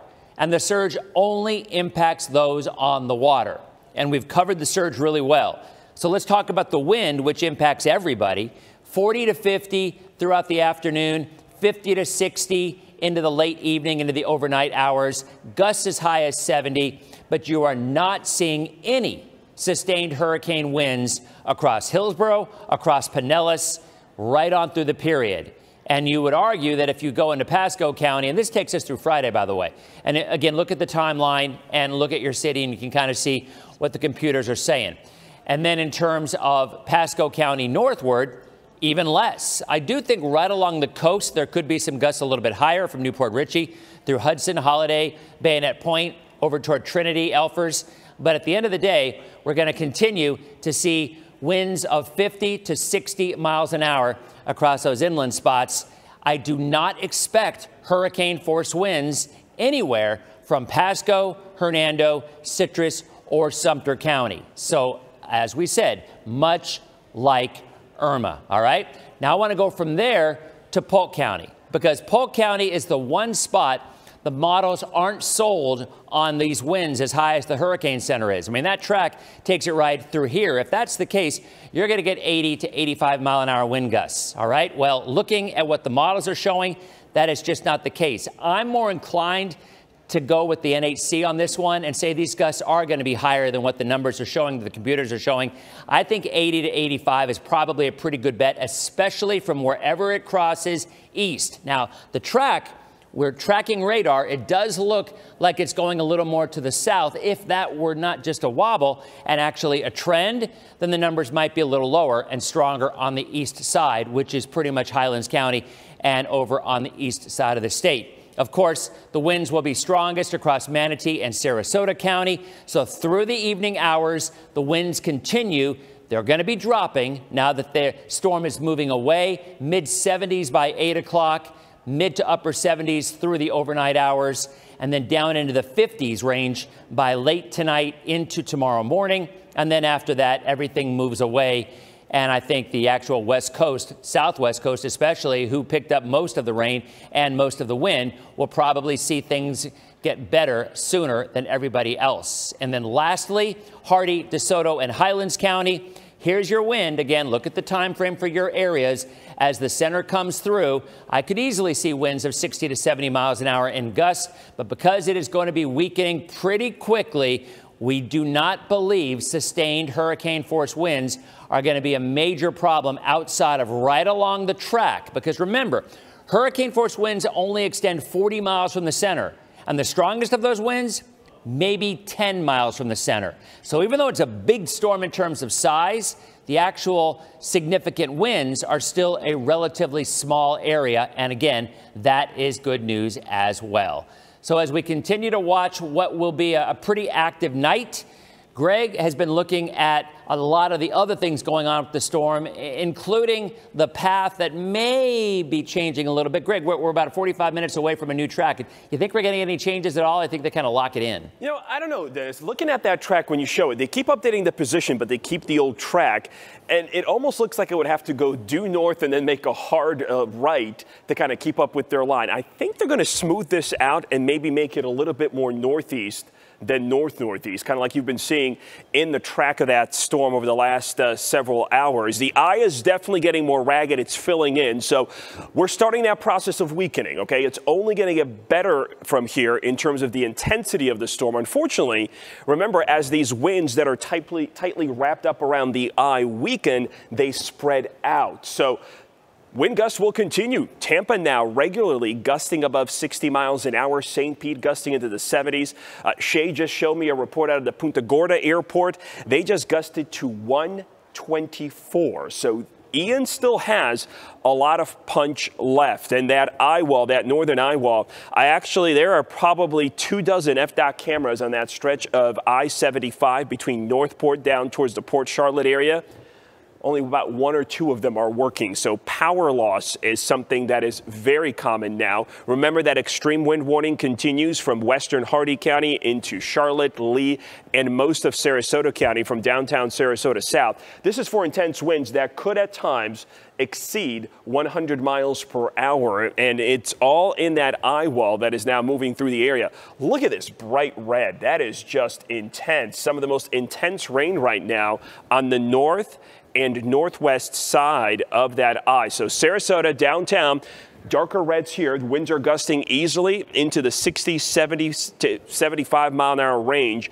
But then the real meat of the storm, the real powerful winds are going to be in this rain band right here. So from about Venice down to Englewood, over toward North Port. It's the southern portions of Sarasota County. And I'm not forgetting about you, Bradenton, Manatee County. You're on the outer edge of those stronger tropical storm force winds, occasionally gusting to near hurricane force. We'll check with Bradenton coming up in just a little bit. Arcadia, you're getting into that front side of that stronger part of the eye wall. So now the wind's really picking up in portions of DeSoto County.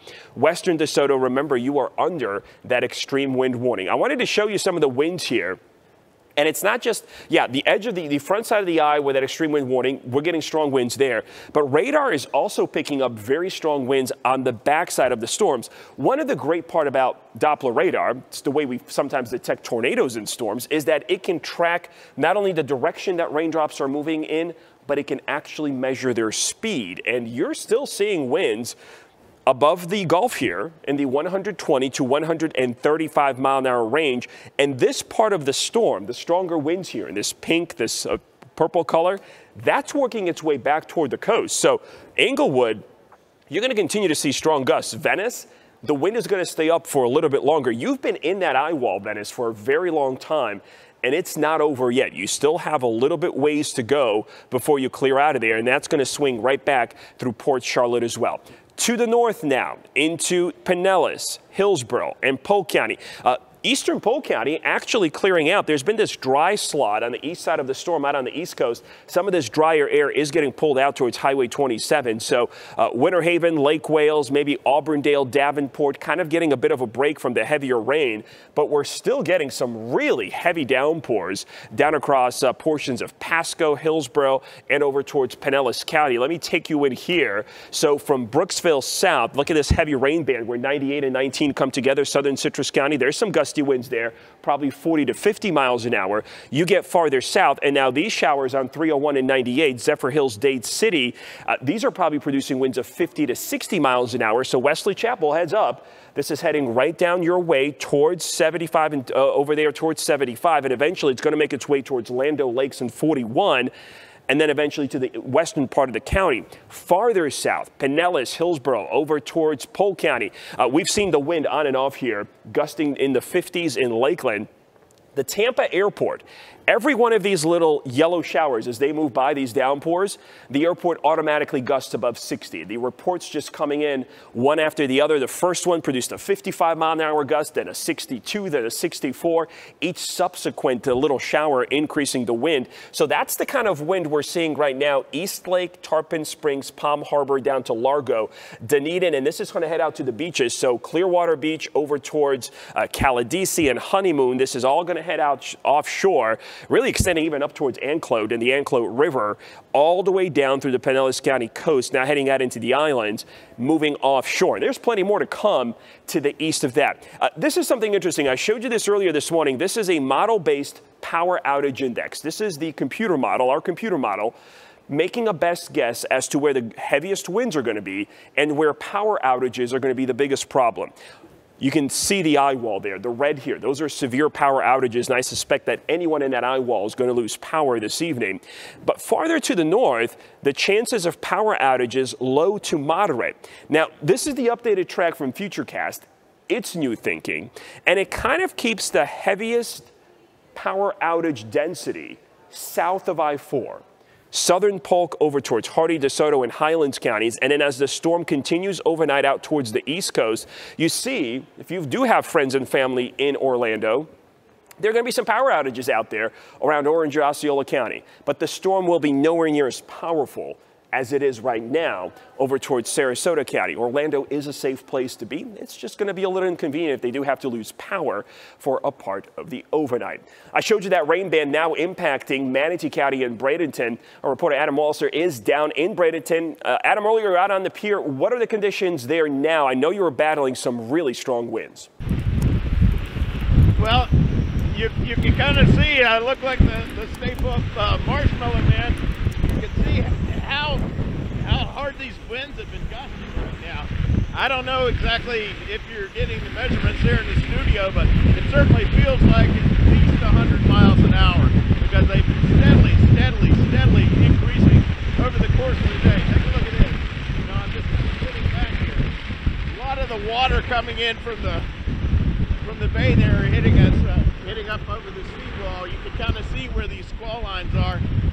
Really just a huge wall of water and we're seeing lots and lots of wind here. So we are certainly seeing conditions deteriorating here in the Bradenton area. Don't need to be out here. We're, we're, I think we just lost our uh, audio here, but just want to let people know that, that, that winds are certainly increasing and there's no reason at all to go outside if you don't have to. Uh, yeah, that's a good idea, Adam. I, I think you should probably um, head into safety because you, that wind is definitely blowing you around. And, and I know, Greg, you were talking about earlier that is not going to die down anytime soon. No. Um, I think we need to move our coverage now to Lakeland. If we move on here, our Rebecca Petit joining us now live from there. Rebecca, I know within, the storm was supposed to be heading through Polk County, so I imagine uh, conditions there are deteriorating as well. That's right, Wendy. The rain has not let up here in North Lakeland. A steady pour of rain, and it comes with strong wind gusts. You can just see the trees blowing in the wind. This parking lot that I'm in, it's a hotel parking lot. It is packed. I'm told this hotel is at capacity with people who have evacuated seeking higher ground. Emergency management is warning residents living in low-lying areas to seek higher ground because it will only get worse. Some neighborhoods already seeing flooding.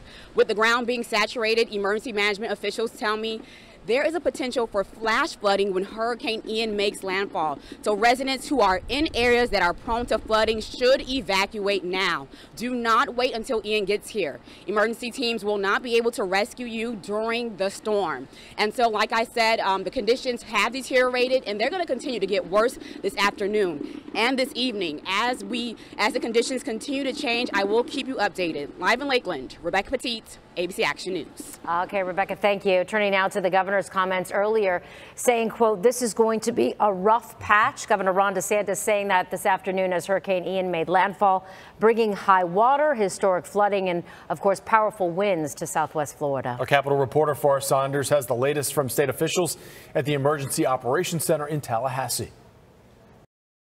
A lot of eyes here at the EOC glued to monitors, televisions as Ian is making landfall. We did just get a press conference a little bit ago. One of the big takeaways is there are no reported fatalities at this time, but it is still early, and this is a very, very dangerous storm. We will make sure that all available resources are used to help you through this difficult time. Please do everything you can right now to stay safe. Florida Emergency Management Director Kevin Guthrie there reminding those sheltering in place to stay put until the storm is over. He's also warning that emergency crews may not be able to reach you until conditions improve. Those under evac who've decided to ride the storm out, they're asked to take an online survey. That'll help state officials better understand where aid may be needed when rescue work all right, we want to go to St. Pete Mayor Ken Welch. He's giving an update as Hurricane Ian has moved through. Let's listen in now. Energy as well to get out and start restoring power uh, to our community. But for tonight, please stay at home and please stay safe. Continue to monitor the storm progress at stpeteprepares.com, city channels, and news reports for the latest information. Now, if you have any questions, we'd be happy to respond. And I'd ask you to raise your hand through Zoom. I think the first question is from Telemundo.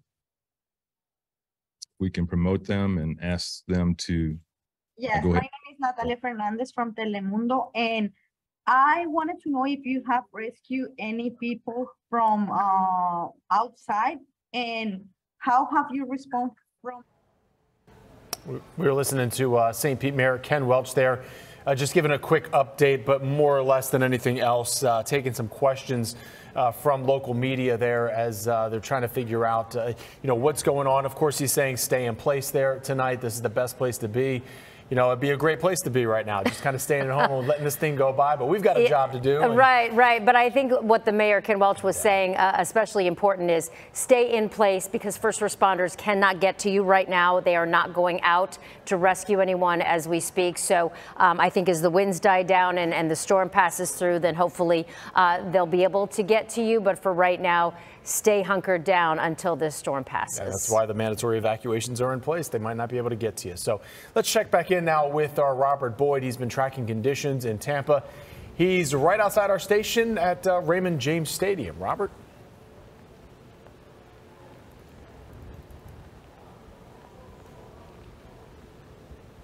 Okay, so right now we are right across the street from Raymond James Stadium. I'm sorry if I came in a little late when you tossed it to me, but I could hardly hear anything because this wind is just whipping around. It's very loud, it's howling, and it's pushing you around a little bit. Now, I know these aren't hurricane strength winds. This is not what we're seeing down south. However, it's still pretty strong out here and pretty dangerous. You don't want to leave the house right now. We're seeing debris fly down the streets. If you take a look at the roadsides, they're flopping around a little bit. Uh, the trees obviously are getting bent over, and uh, it is definitely a storm right now, and a storm you have to take seriously. Uh, fortunately, I have not seen many cars on the road, which is a good sign, because this could be tough to drive through. And like I said, uh, Raymond James Stadium right across the street, uh, but at, nobody playing any football there tonight. The Bucs are supposed to play uh, the Chiefs on Sunday, but today I don't think you can throw a football more than five yards again because this wind is getting really strong. I've been out here on the second floor facing Ray J uh, the entire day, and this is the strongest I've seen it. And I got to assume it's only going to get little bit stronger. And the rain is just coming from every direction, but especially right at you. It's that really quick whipping rain. It's not like it's a downpour, but it's just being controlled by the wind. So again, if you don't have to be outside and you're in Tampa right now, I would say uh, go inside. Definitely stay, uh, stay safe and stay in shelter. Back to you guys. Yeah, Robert, thank you. And, and obviously, want to keep our eye on the ball here, but uh, I know a lot of people have questions about that game on Sunday night for the uh, the Bucs and the uh, Chiefs. The NFL just announcing that if they do have to move this game, they're going to move it to Minneapolis there at US Bank Stadium.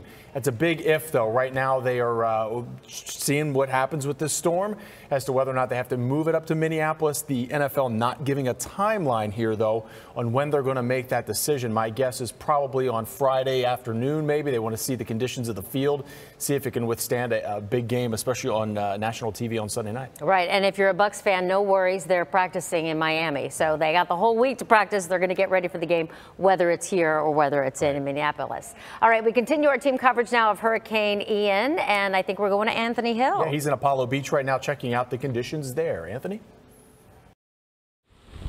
Hey guys, we're out here in Apollo Beach. You can see the wind is really picking up right now.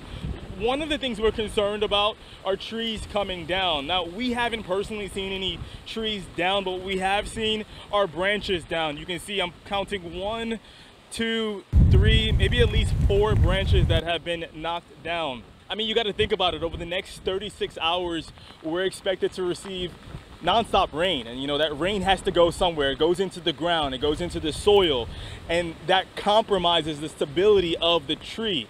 Um, the roots that hold the tree into the ground, it compromises that. And then you add insult to injury, and that's the wind. As Ian is making its way from Southwest Florida to where I am right now in Apollo Beach, this wind, which is pretty extreme right now, as you can see, it's gonna intensify even more some scary stuff actually when you think about it. Um, and we're not trying to scare anybody, obviously. We just want to inform you guys. And this is the reason why we're telling you that you want to stay indoors. We actually just saw three people. Three people are here. We can see them right there who decided to come out.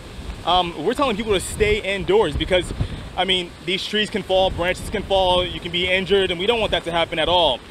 We did speak to one woman who lives here in Apollo Beach, and she told us she's just happy that the hurricane is not going to be as extreme as we originally thought it was going to be, specifically in this area. Take a listen.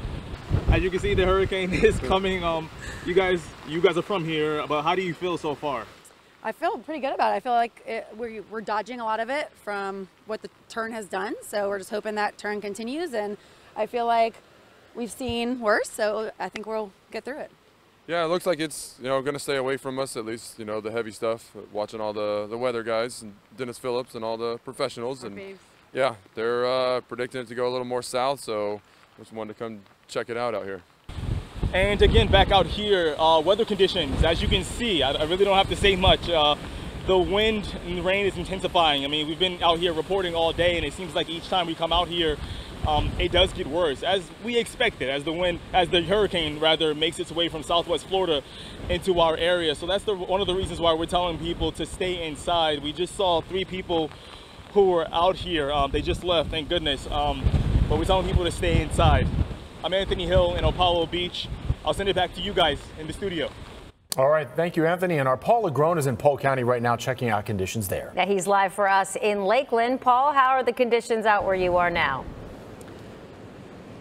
Yeah, it's it's getting a little worse, right? The volume's starting to get turned up here on Hurricane Ian. Uh, you still see people here driving, though. This is Massachusetts and Maine at the corner there. Uh, and I'll tell you, one of the stories starting to emerge, I think, is the fact that hotels stayed open and accommodated people. I know where we are right now, they've taken in a lot of people who evacuated uh, from Clearwater, St. Pete, and Point South. Let's uh, let's go on a walk, shall we? Uh, come walk with me as we uh, go outside. I just wanted to take a quick measure of the wind speed before I sent it to my man Chuck from St. Petersburg, who came over to Lakeland to ride this thing out in this uh, hotel here off of Massachusetts Avenue.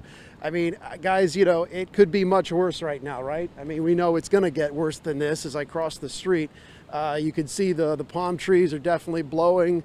And, you know, I tell you, you know, but depending on when you come to me, if you come to me in five minutes, it'll be raining sideways and the wind will be blowing uh, pretty hard. I'm going to get a reading on the wind here. I mean, it's still saying uh, gusts 50 miles an hour, sustained around 38, 40. I don't know if it's a little heavier than that. It just depends on the timing. Let me walk a little bit over here so you can see me. But you don't see people walking out in the street anymore. You still see some cars out there. But uh, I want to send it to uh, Chuck from St. Petersburg. This is what he told me earlier about his experience over the last 24 to 48 hours. It's a journey I think a lot of people can relate to. Listen in. Why did you come to Lakeland? Uh, because I live in a uh, Zone A flood zone. So we, it shows storm surge of four to six feet, so which is uh, right at my doorstep. What have the last 24 hours been like for you? Uh, very harrowing, actually. Trying to pack at the last minute, prep the house uh, before we leave, and um, it's just the unknown that is just really stressful. So you're here in Lakeland. What is your plan from here? Uh, just to ride it out and uh, kind of hope for the best. Okay. Have you been through a hurricane before? I've been through uh, Charley, which took a very similar path to Ian, um, but it wasn't nearly as strong. So, um, yeah, this is a first for me. All right. Well, you feel safe? I mean, you're. I do here. Yeah. yeah. that remains to be seen, but we'll see.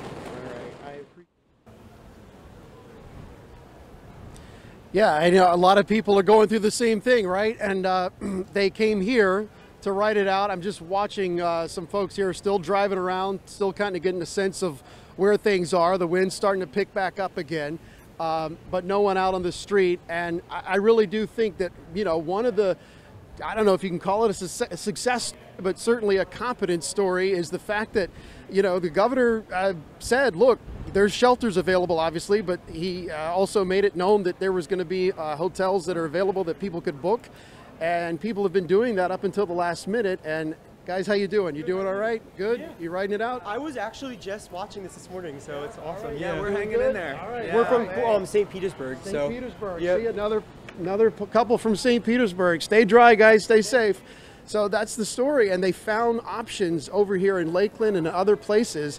Uh, and so I think that's a good thing. I mean, the fact that they were able to rearrange their plans to get to safety, and I think a lot of people are seeking shelter where they can, including motels, hotels, and the fact that it was open, you know, and we still got this thing to come through here around eight o'clock uh, tonight, and uh, further, further uh, after that. So that's where we are right now, guys.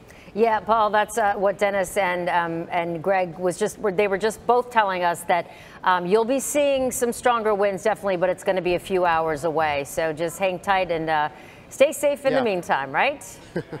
Maybe get some rest before the big storm Yeah, comes. exactly. I know. I, Sure will. I know some people don't have power, uh, family included, so I know that's tough to deal with. Uh, so, uh, but I know again they've got people positioned to get the power back on. So, just stay safe. Bottom That's right. line. All right, thanks, Paul. Yeah, and, and, and speaking of that, we, as we track more power outages here, make sure you charge your phone so you can stay up to date on all the news regarding this storm. Yeah, and be sure to download our ABC Action News app. You want to grab your phone right now, open your camera, point it at your screen. That QR code right there will connect you to our apps in the App Store and on Google Play. And there you can find the live interactive radar in your own neighborhood. Plus, here's the best part you can, watch ABC Action News and ABC Action Weather 24 7, even if you lose power to your house. And no matter where you are the next few days, we want to make sure that you're able to get up to the minute information on Hurricane Ian, uh, you know, during the storm, after the storm, whether it's the track of Ian uh, or emergency orders. That's why we've partnered with these six local radio stations. They will simulcast our coverage so you can hear us by using a battery powered radio if the power goes out or a weather radio. And by the way, uh, if you still have, you know, your, your phone, it doesn't lose power. If you use the iHeart Radio app, you can get any of these channels. So you might say, oh, I don't have an old school radio. I can't listen to you when the power goes out. Well, you can if you have the iHeartRadio app uh, to uh, listen to any of these radio stations 99.5 WQYK, 98.7 The Shark, 92.5 Maxima, Q105, Wild 94.1, and Talk 1010 AM. All right, yeah, Denis, I wanted to just mention real quick that uh, as you as you talked about, the storm is actually moving faster than initially thought, right? Mhm. So it will be through our state what through Thursday night? by tomorrow afternoon. Oh, wow. Yeah, I mean, a big change. You're right. And, by the way, just following up on what Jamison said, too, you can also download our app and actually watch us right on through the coverage. And you go to abcactionnews.com forward slash apps, APPS, abcactionnews.com forward slash apps, APPS, and you literally, on your phone, you can watch us. You can see what's going on here as we continue to track a, a pretty powerful storm. But these numbers sometimes can be a little misleading to folks because 145 mile an hour winds, you look at that and you say, well, is that the whole picture? No, it's a very, very small part of it right around the eye. The overwhelming majority of the winds around here are probably between about maybe 40 and 70 miles an hour. Right along the eye wall is where the bulk of the heaviest winds are, and that's why we still have this extreme wind warning in the purple area from Arcadia over to Sarasota down to Fort Myers. The area really hasn't moved much in the last couple of hours in terms of where the highest risk is. And as is the case with most tropical systems, just to the north and east of the eye wall, right in that area there, is where the heaviest wind is. It's also where the surge is. But as Wendy mentioned, I mean, not much of this storm has done what the models were predicting for days. First of all, the track was way up north, which is why a lot of folks evacuated with good reason, because we had evacuations in Pinellas. We just took a power hit ourselves right here. So we are still on the air. You can't see me, but you can hear me. So we're back in radio days. So again, we do see what a lot of folks have moved from here to here. And I know that's freaking out a lot of folks because they think they're going to be right in the middle of the storm. Well, yes and no, because what's happening is this storm will weaken rather dramatically. Matter of fact, the new track comes out in a couple of minutes, and the Hurricane Center could possibly say by the time it makes it into Polk County, it's a minimal hurricane or maybe even a tropical storm. But right now, right now, if you live in Hardee County, if you live in extreme southern Sarasota County or areas down south towards Charlotte County, and usually, you know, we think about a broadcast area, people would watch us from wherever, but not when streaming is on the table because we have a lot of folks all over the place that can watch us. So you may be watching us in Fort Myers as we are showing all of the flooding, the surge that comes in. Speaking of surge, we'll say this again. High tide is coming up right now, and a lot of places, a lot of sources are saying, oh, the high tide's coming up now. We're going to surge. No, we're not. Not at least this high tide, because we have an offshore flow. The wind is blowing offshore, so the water is being pushed out. We're not going to flood when we have that water pushing out from surging. Now, we will from heavy rain, and there is that green box right there that flooded, and it's actually a flash flood advisory for areas south of Sarasota because of all the heavy rain around the eye wall of Ian.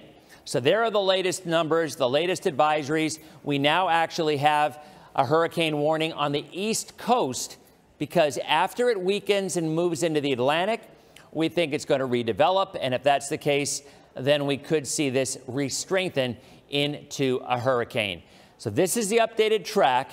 Notice tonight at 8 o'clock, category three with winds of 120 miles an hour. It's a four right now.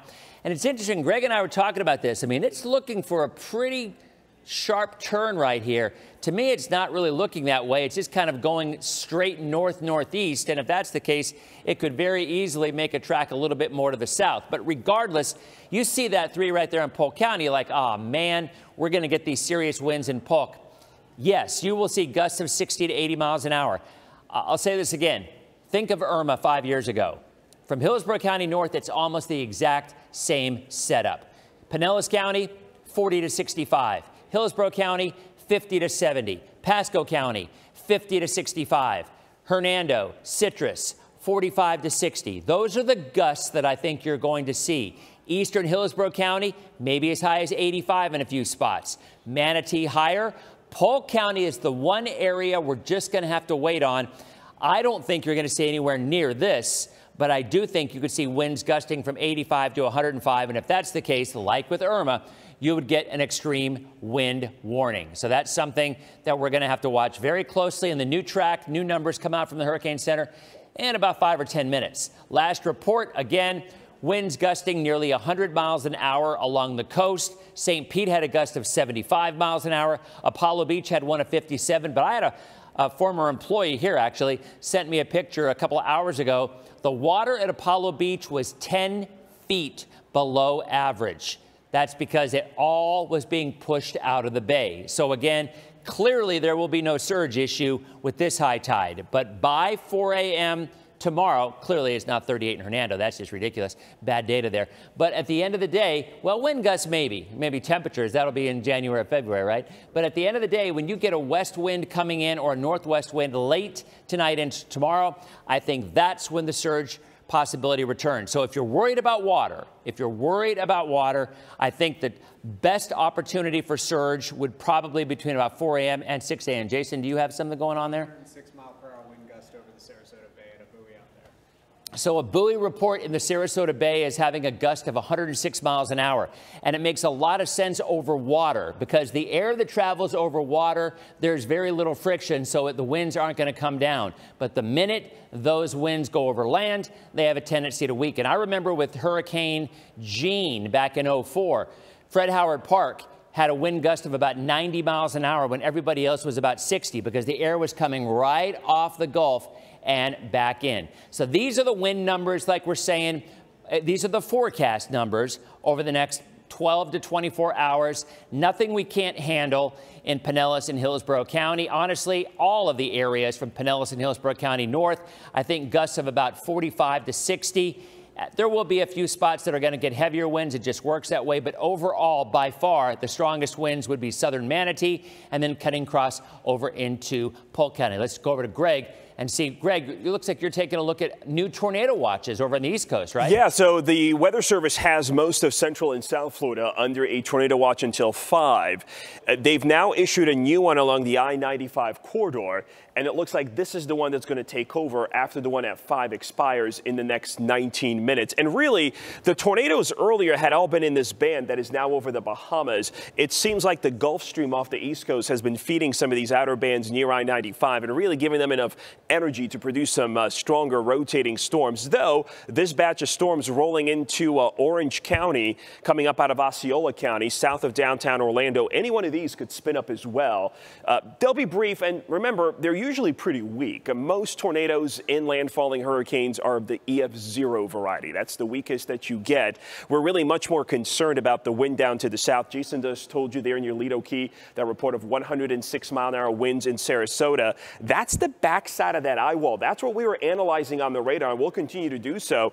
That's still to roll in. So the winds are coming back Sarasota County off the Gulf as the backside of this thing rolls through. And I really think when you tally some of these higher winds down the line, it's going to be this northwest quadrant of the storm that's going to produce some of the heaviest gusts because that's where all the rain is. And it's that rain that's going to push the wind down towards the surface. So looking downstream, Southern Hillsborough, Manatee, Hardee, DeSoto, Southern Polk County, Highlands County. This is all moving in your direction. In fact, there's a heavier band now coming up on southern Hillsborough County. Now, I just looked at some of the winds here. This is very close to the National Weather Service radar site in Ruskin. I'm not seeing anything I'm concerned about, but there could definitely be where you see some of these reds here, gusts in excess of 40 or 50 miles an hour. Down to the south from downtown Sarasota through western Hardee, DeSoto counties or, or through western portions of DeSoto County down to Charlotte and Lee County. That's an extreme wind warning. Still goes on for another hour and 18 minutes towards the 6 o'clock hour.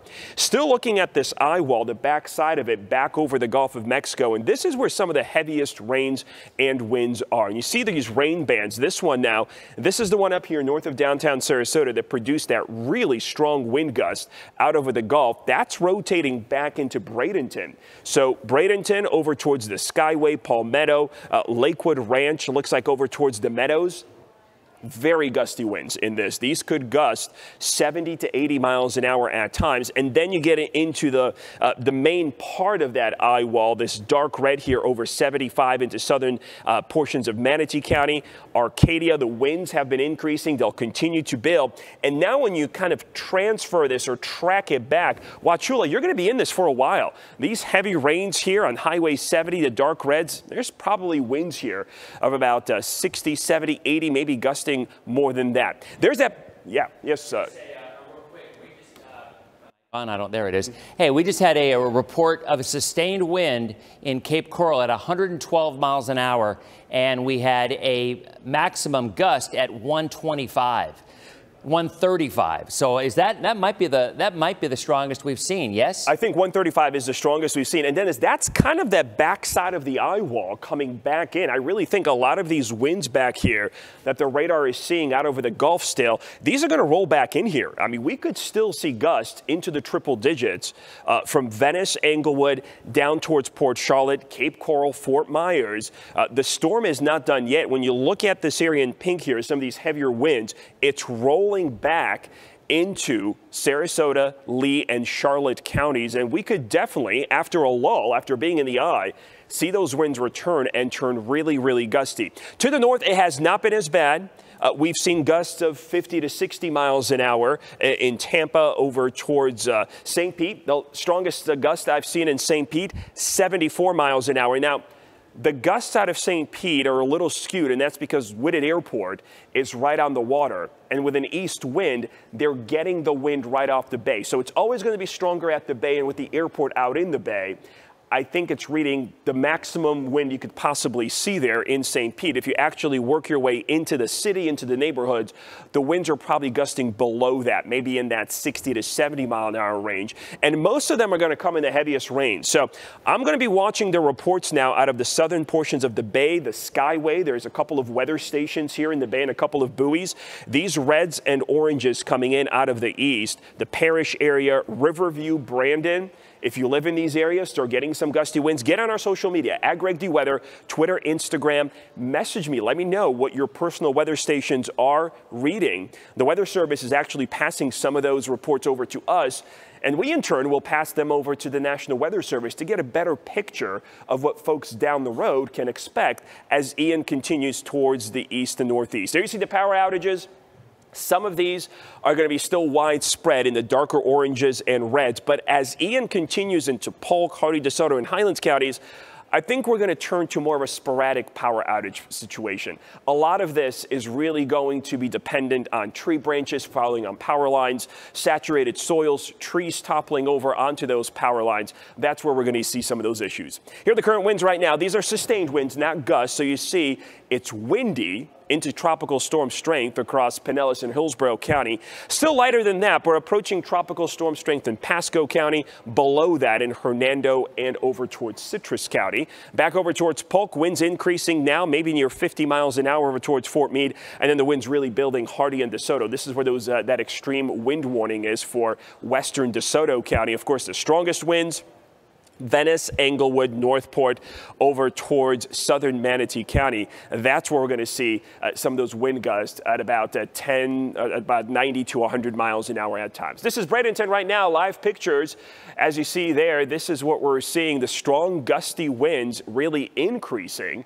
Uh, you see the wind uh, blowing the palms there, occasionally gusts 70 to 80 miles an hour in a couple of locations. Uh, the wind, though, offshore. So we haven't had an issue with the surge, as Denis has been talking all along, uh, despite high tide cycles today, because the winds have been out into the Gulf the water's been pushed out into the Gulf, and we haven't had to deal with a high surge. Tomorrow, as Ian lifts to the north and the wind turns back on shore uh, in the bay, we may get some higher than normal tides, but by then the storm will be weaker, the winds will be weaker.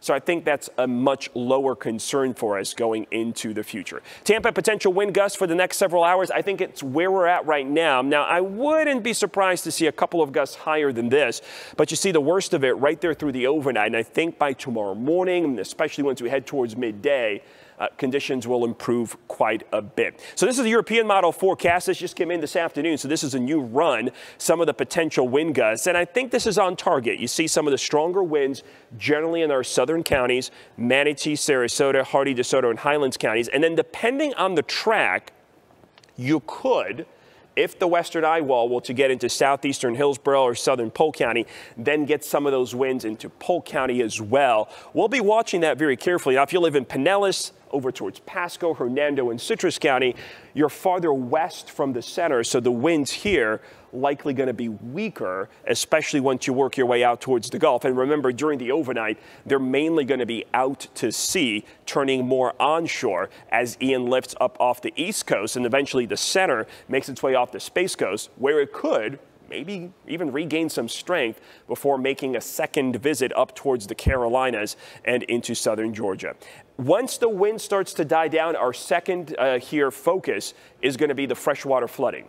And that is still a concern for some places. Flood watches are up. Rivers are running high. We're kind of at the tail end of a rainy season. We've seen a lot of rain.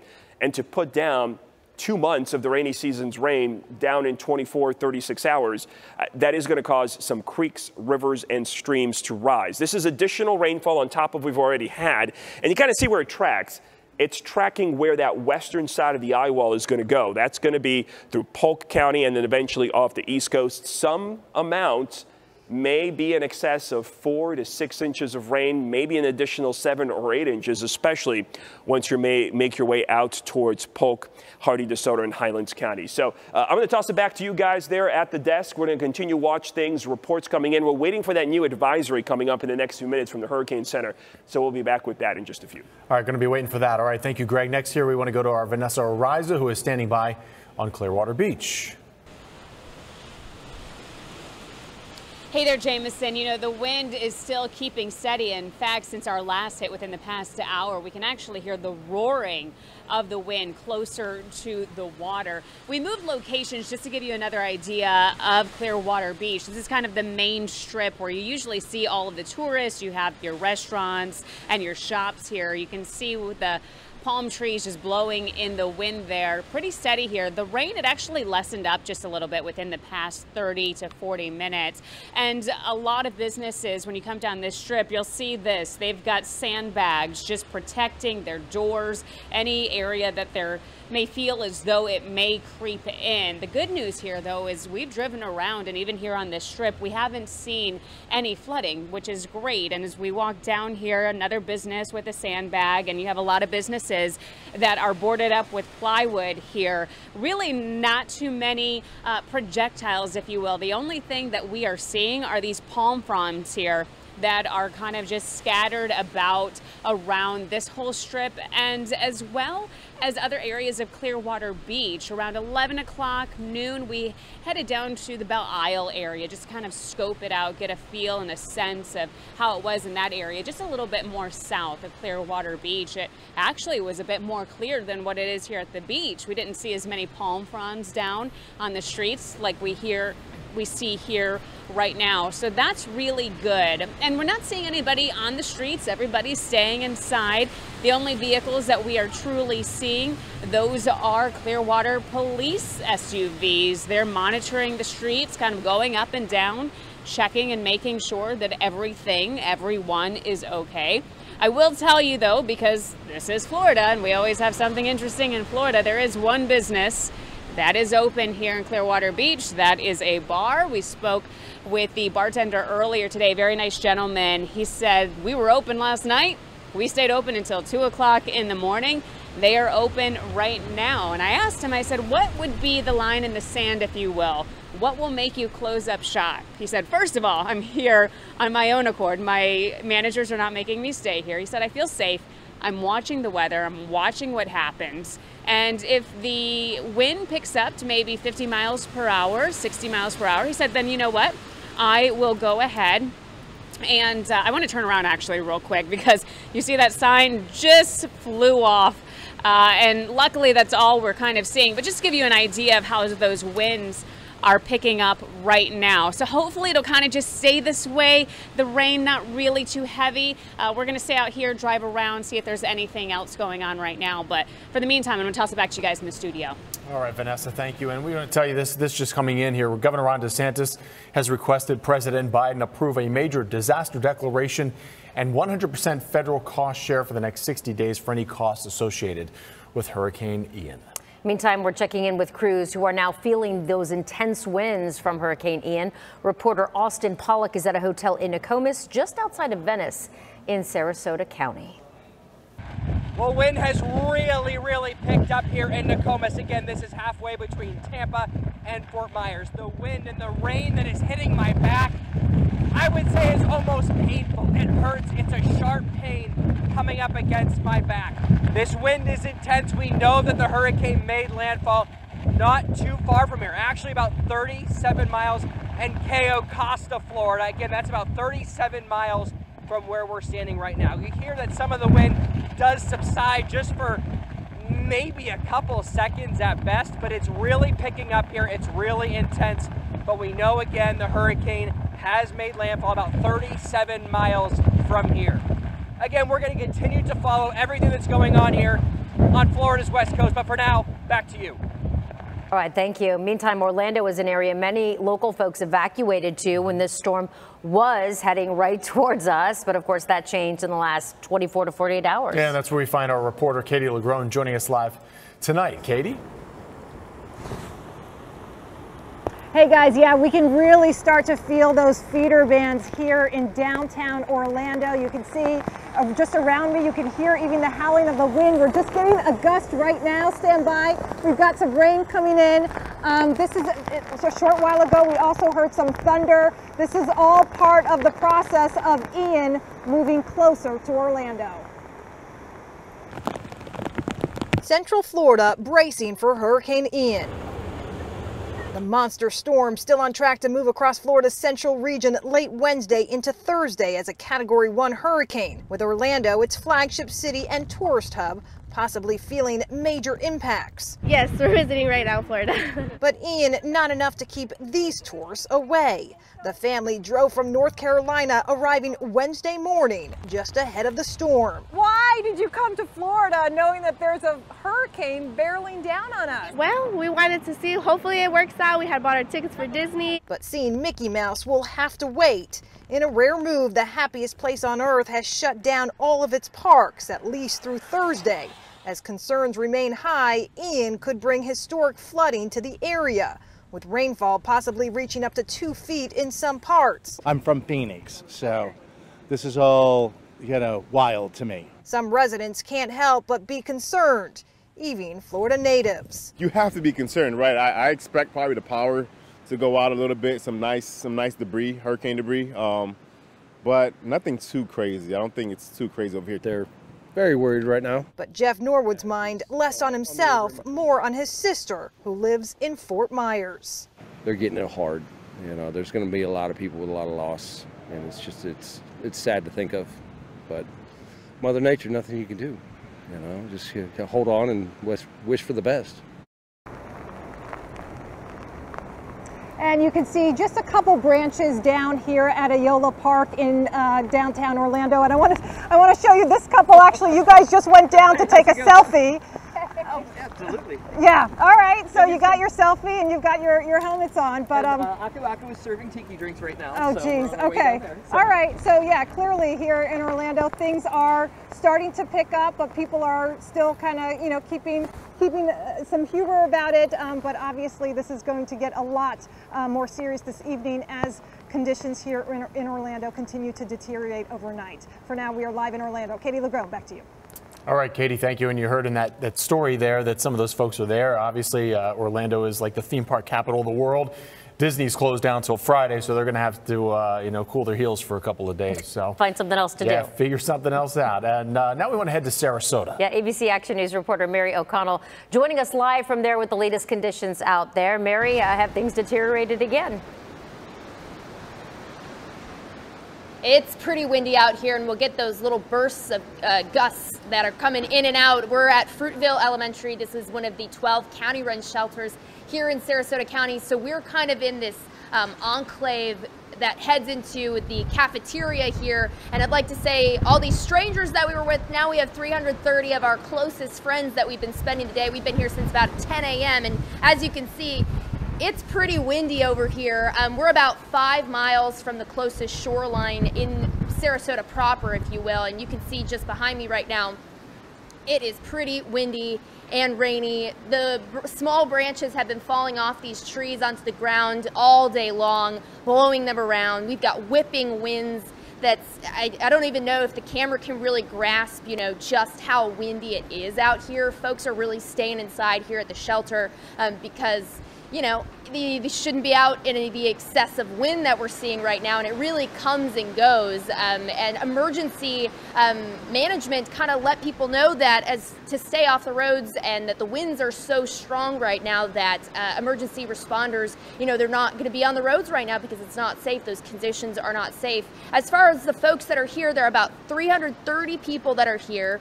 That's 60 pets, about 60 pets. We've got cats, we've got dogs, we even got a betta fish that's here sheltering and hunkering, uh, hunkering down at this uh, elementary school. And um, for now, we're just kind of keeping an eye on the conditions. Obviously, you can see there it's very, very windy, and uh, we'll keep an eye on it and we'll send it back to you. And taking a look, guys, there is a live look right now at the latest advisory. Again, we just got it out. I mean, I had to run over to the weather computer, make a new one. Winds are down another five miles an hour, down to 140, and the track really hasn't changed very much. There it is. So, 2 a.m., we have a track that takes it in northeastern Polk County, and by tomorrow afternoon at 2 o'clock, down to a tropical storm and moving offshore and eventually moving back north. And by the way, it could make a second landfall, it looks like, somewhere up in the Carolinas. But for the time being, we have a track that brings through Hardee County, through central and eastern Polk County, staying east of Lakeland, going right through Lake Wales. And I bring up Lake Wales because anybody who was back here in 2004, Lake Wales was hit three times. Dead smack bullseye on Lake Wales with Jeanne, with Frances, and with Charley. And this storm, I mean, it's Charley 2.0. Second landfall occurred on the mainland, pretty much right at about Punta Gorda. So we have a similar situation, a similar strength, a little bit bigger storm. With this one, we're going to be seeing more video out of Fort Myers and out of Naples, and that's where most of the water has been so far but we are far from done with a surge issue. And this is something I've been stressing for most of the day. You still have an offshore flow across the Tampa Bay area, but there is still very heavy rain that's now moving into Hillsborough County. But even with that heavy rain, while there might be some flooding issues, and I think there will be, just because the rain is going so much, this is not from the surge. Remember, surge has nothing to do with rainfall. Surge is the storm pushing water either in or out, I guess you could say, of a body of water, whether it's a bay, whether it's an inlet. And over the last six to 12 hours, we've had a pretty pronounced offshore flow. In other words, the winds are blowing away. So there's no way, I don't care how much water's out there, you're not going to have an increase in water and surge when you have such a strong push out. I've been getting reports all afternoon, water anywhere from four to 10 feet below normal, and the bay has been dry yet again, just like it was with Irma five years ago. But at least for the time being, this is the area from southern Polk southern Hillsborough County, and now southern St. Pete or southern Pinellas County. Matter of fact, I think we just had a wind gust of close to 75 miles an hour in St. Petersburg with this band. And these all continue to rotate. So if you live anywhere from downtown Tampa, eventually this is moving into Pinellas Park, over into Clearwater, this very heavy downpour. In the orange area, there's even more wind with it. So now we are just about to start experiencing the very heavy gusty winds, ones that I would compare almost identically to Irma five years ago. Most folks, and there was some, there were some trees down, there were some fences down, there were some issues with Irma as most of Pinellas and Hillsborough County had winds between about 55 and 70 miles an hour.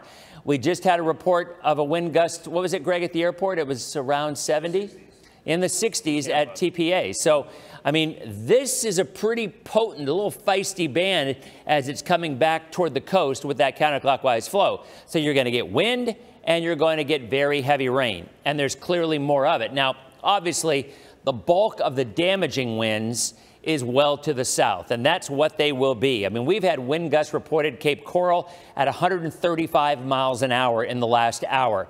We have had reports of water surge about 14 to 16 feet in Fort Myers. In the immediate viewing area, now again, I understand, first of all, we have people listening to us, and second of all, with our streaming app, we have folks watching us from Charlotte and Lee County. So unfortunately, those are the areas that were hit the hardest. I mean, there's just no other way to spin it. We had winds of 100 to 110 sustained, and we had some areas just north and east of the eye with that water of about 14 to 16 feet. The extreme wind warning remains in effect in the purple area until 6 o'clock tonight. Now, I'm going to take this off so you can see what's going on. There is the eye. And the second landfall, it made two landfalls. The first was on a barrier island. The second landfall on the mainland was pretty much right around Punta Gorda. So again, it is Charley 2.0. That is now moved in and I would be interested to see how Mike Paluska is doing. We're going to try to reach him again because Venice been picking up some very, very heavy wind as well. But that orange area right there, not only are you picking up lightning, it's still showing some lightning. So there's packing a punch there with winds probably of about 80 to 100 miles an hour. And it extends into Hardee and DeSoto and even farther north across Polk and into Hillsborough County. Grove City a wind gust in the last half hour of 110 miles an hour. That is right there to the west southwest of Port Charlotte. It's moved into Sarasota, it's moved into Manatee County, it's moved into Hillsborough County, and it's starting to rotate because think about it. As this moves north, all of this rotating backwards is going to move back toward coastal Manatee, Bradenton, up toward Longboat Key, up toward Pinellas County, although the track will probably keep it maybe in eastern Pasco, but I think much of Pasco County will likely be more of a near miss. So this is that updated track. Again, Cat 4 right now, winds of 140 miles an hour in a very small area. Yes, you are going to get wind reports of 120 and 125. But overall, by the time this moves into northern Hardee County and in through Polk County, it will have weakened significantly. And as a matter of fact, overnight as a Category 1 hurricane moving into Polk County.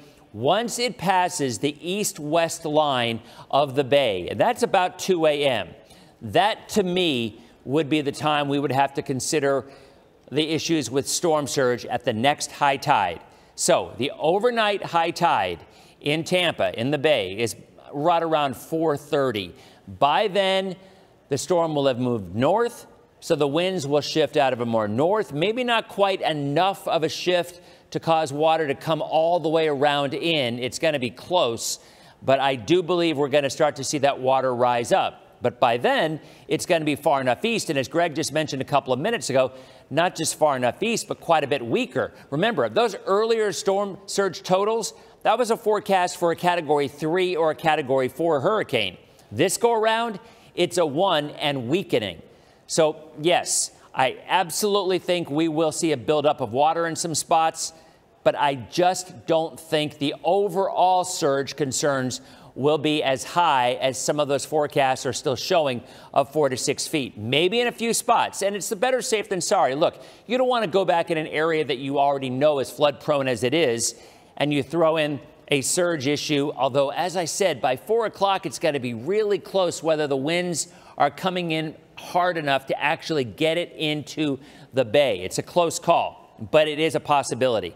And then after that, the next high tide, 12 hours later, which brings us into about 5 o'clock in the afternoon on what is today, Wednesday? On Friday, I think at that point, by then, it will have moved offshore more. So we'll keep our eyes on it. It is certainly not imminent in seeing a surge, but it is not a given that we're going to bypass it either. The faster this weakens, the less likely we're going to see a surge as that track continues north and takes it into the rest of Polk County and eventually out to sea. Again, Greg is going to have another look right now at that updated track and what that means wind wise for the rest of the area, especially Hardee and Polk County. Greg? Yeah, really looking at the radar analysis now of this, Denis, as it continues to roll up. Uh, so if, if, this track, and, it, and, you know, it took a little jog to the east, you see a couple of points, and now it seems to be resuming a track to the north-northeast. This has been the story with Ian, little jogs and shifts in the track, and the Hurricane Center just trying to keep up with it.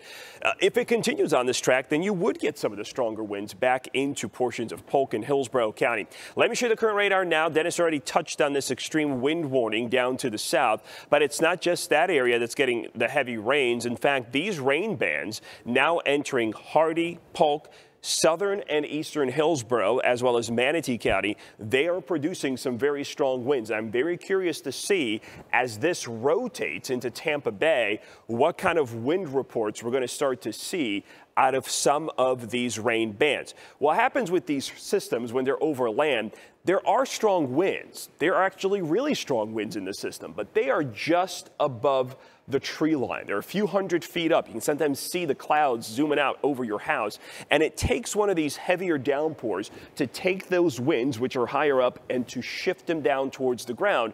And that's when you get some of those stronger gusts. That's why in the inland areas, the rain and the wind tend to ebb and flow. You get long periods of just quiet weather without any rain, without any strong winds. Then as soon as that rain picks up, the winds increase as well. And that's when you really start to feel the impact of the storm. So take a look at southern Pinellas over towards Hillsborough County, Manatee County back over towards Sarasota. This is just heavy rain Parrish, Lakewood Ranch, the Meadows over towards Bradenton, Bayshore Gardens, back over towards Anna Maria, the Skyway. Uh, in the reds here at 301 and 75, you're really getting some very heavy rain. So there's one really heavy rain band north of 64 up through the Parrish area. That's one. And then there's a second one coming in out of the south and east. You see that in the corner there. It's heading down 70 and 64. So this is all going to pinwheel back to 301. So if you're in Bradenton Parrish, you may get a bit of a break, Lakewood Ranch, and then you're going to get another heavy rain band. And the second one may even have stronger winds. That's kind of how this is going to work out. Each subsequent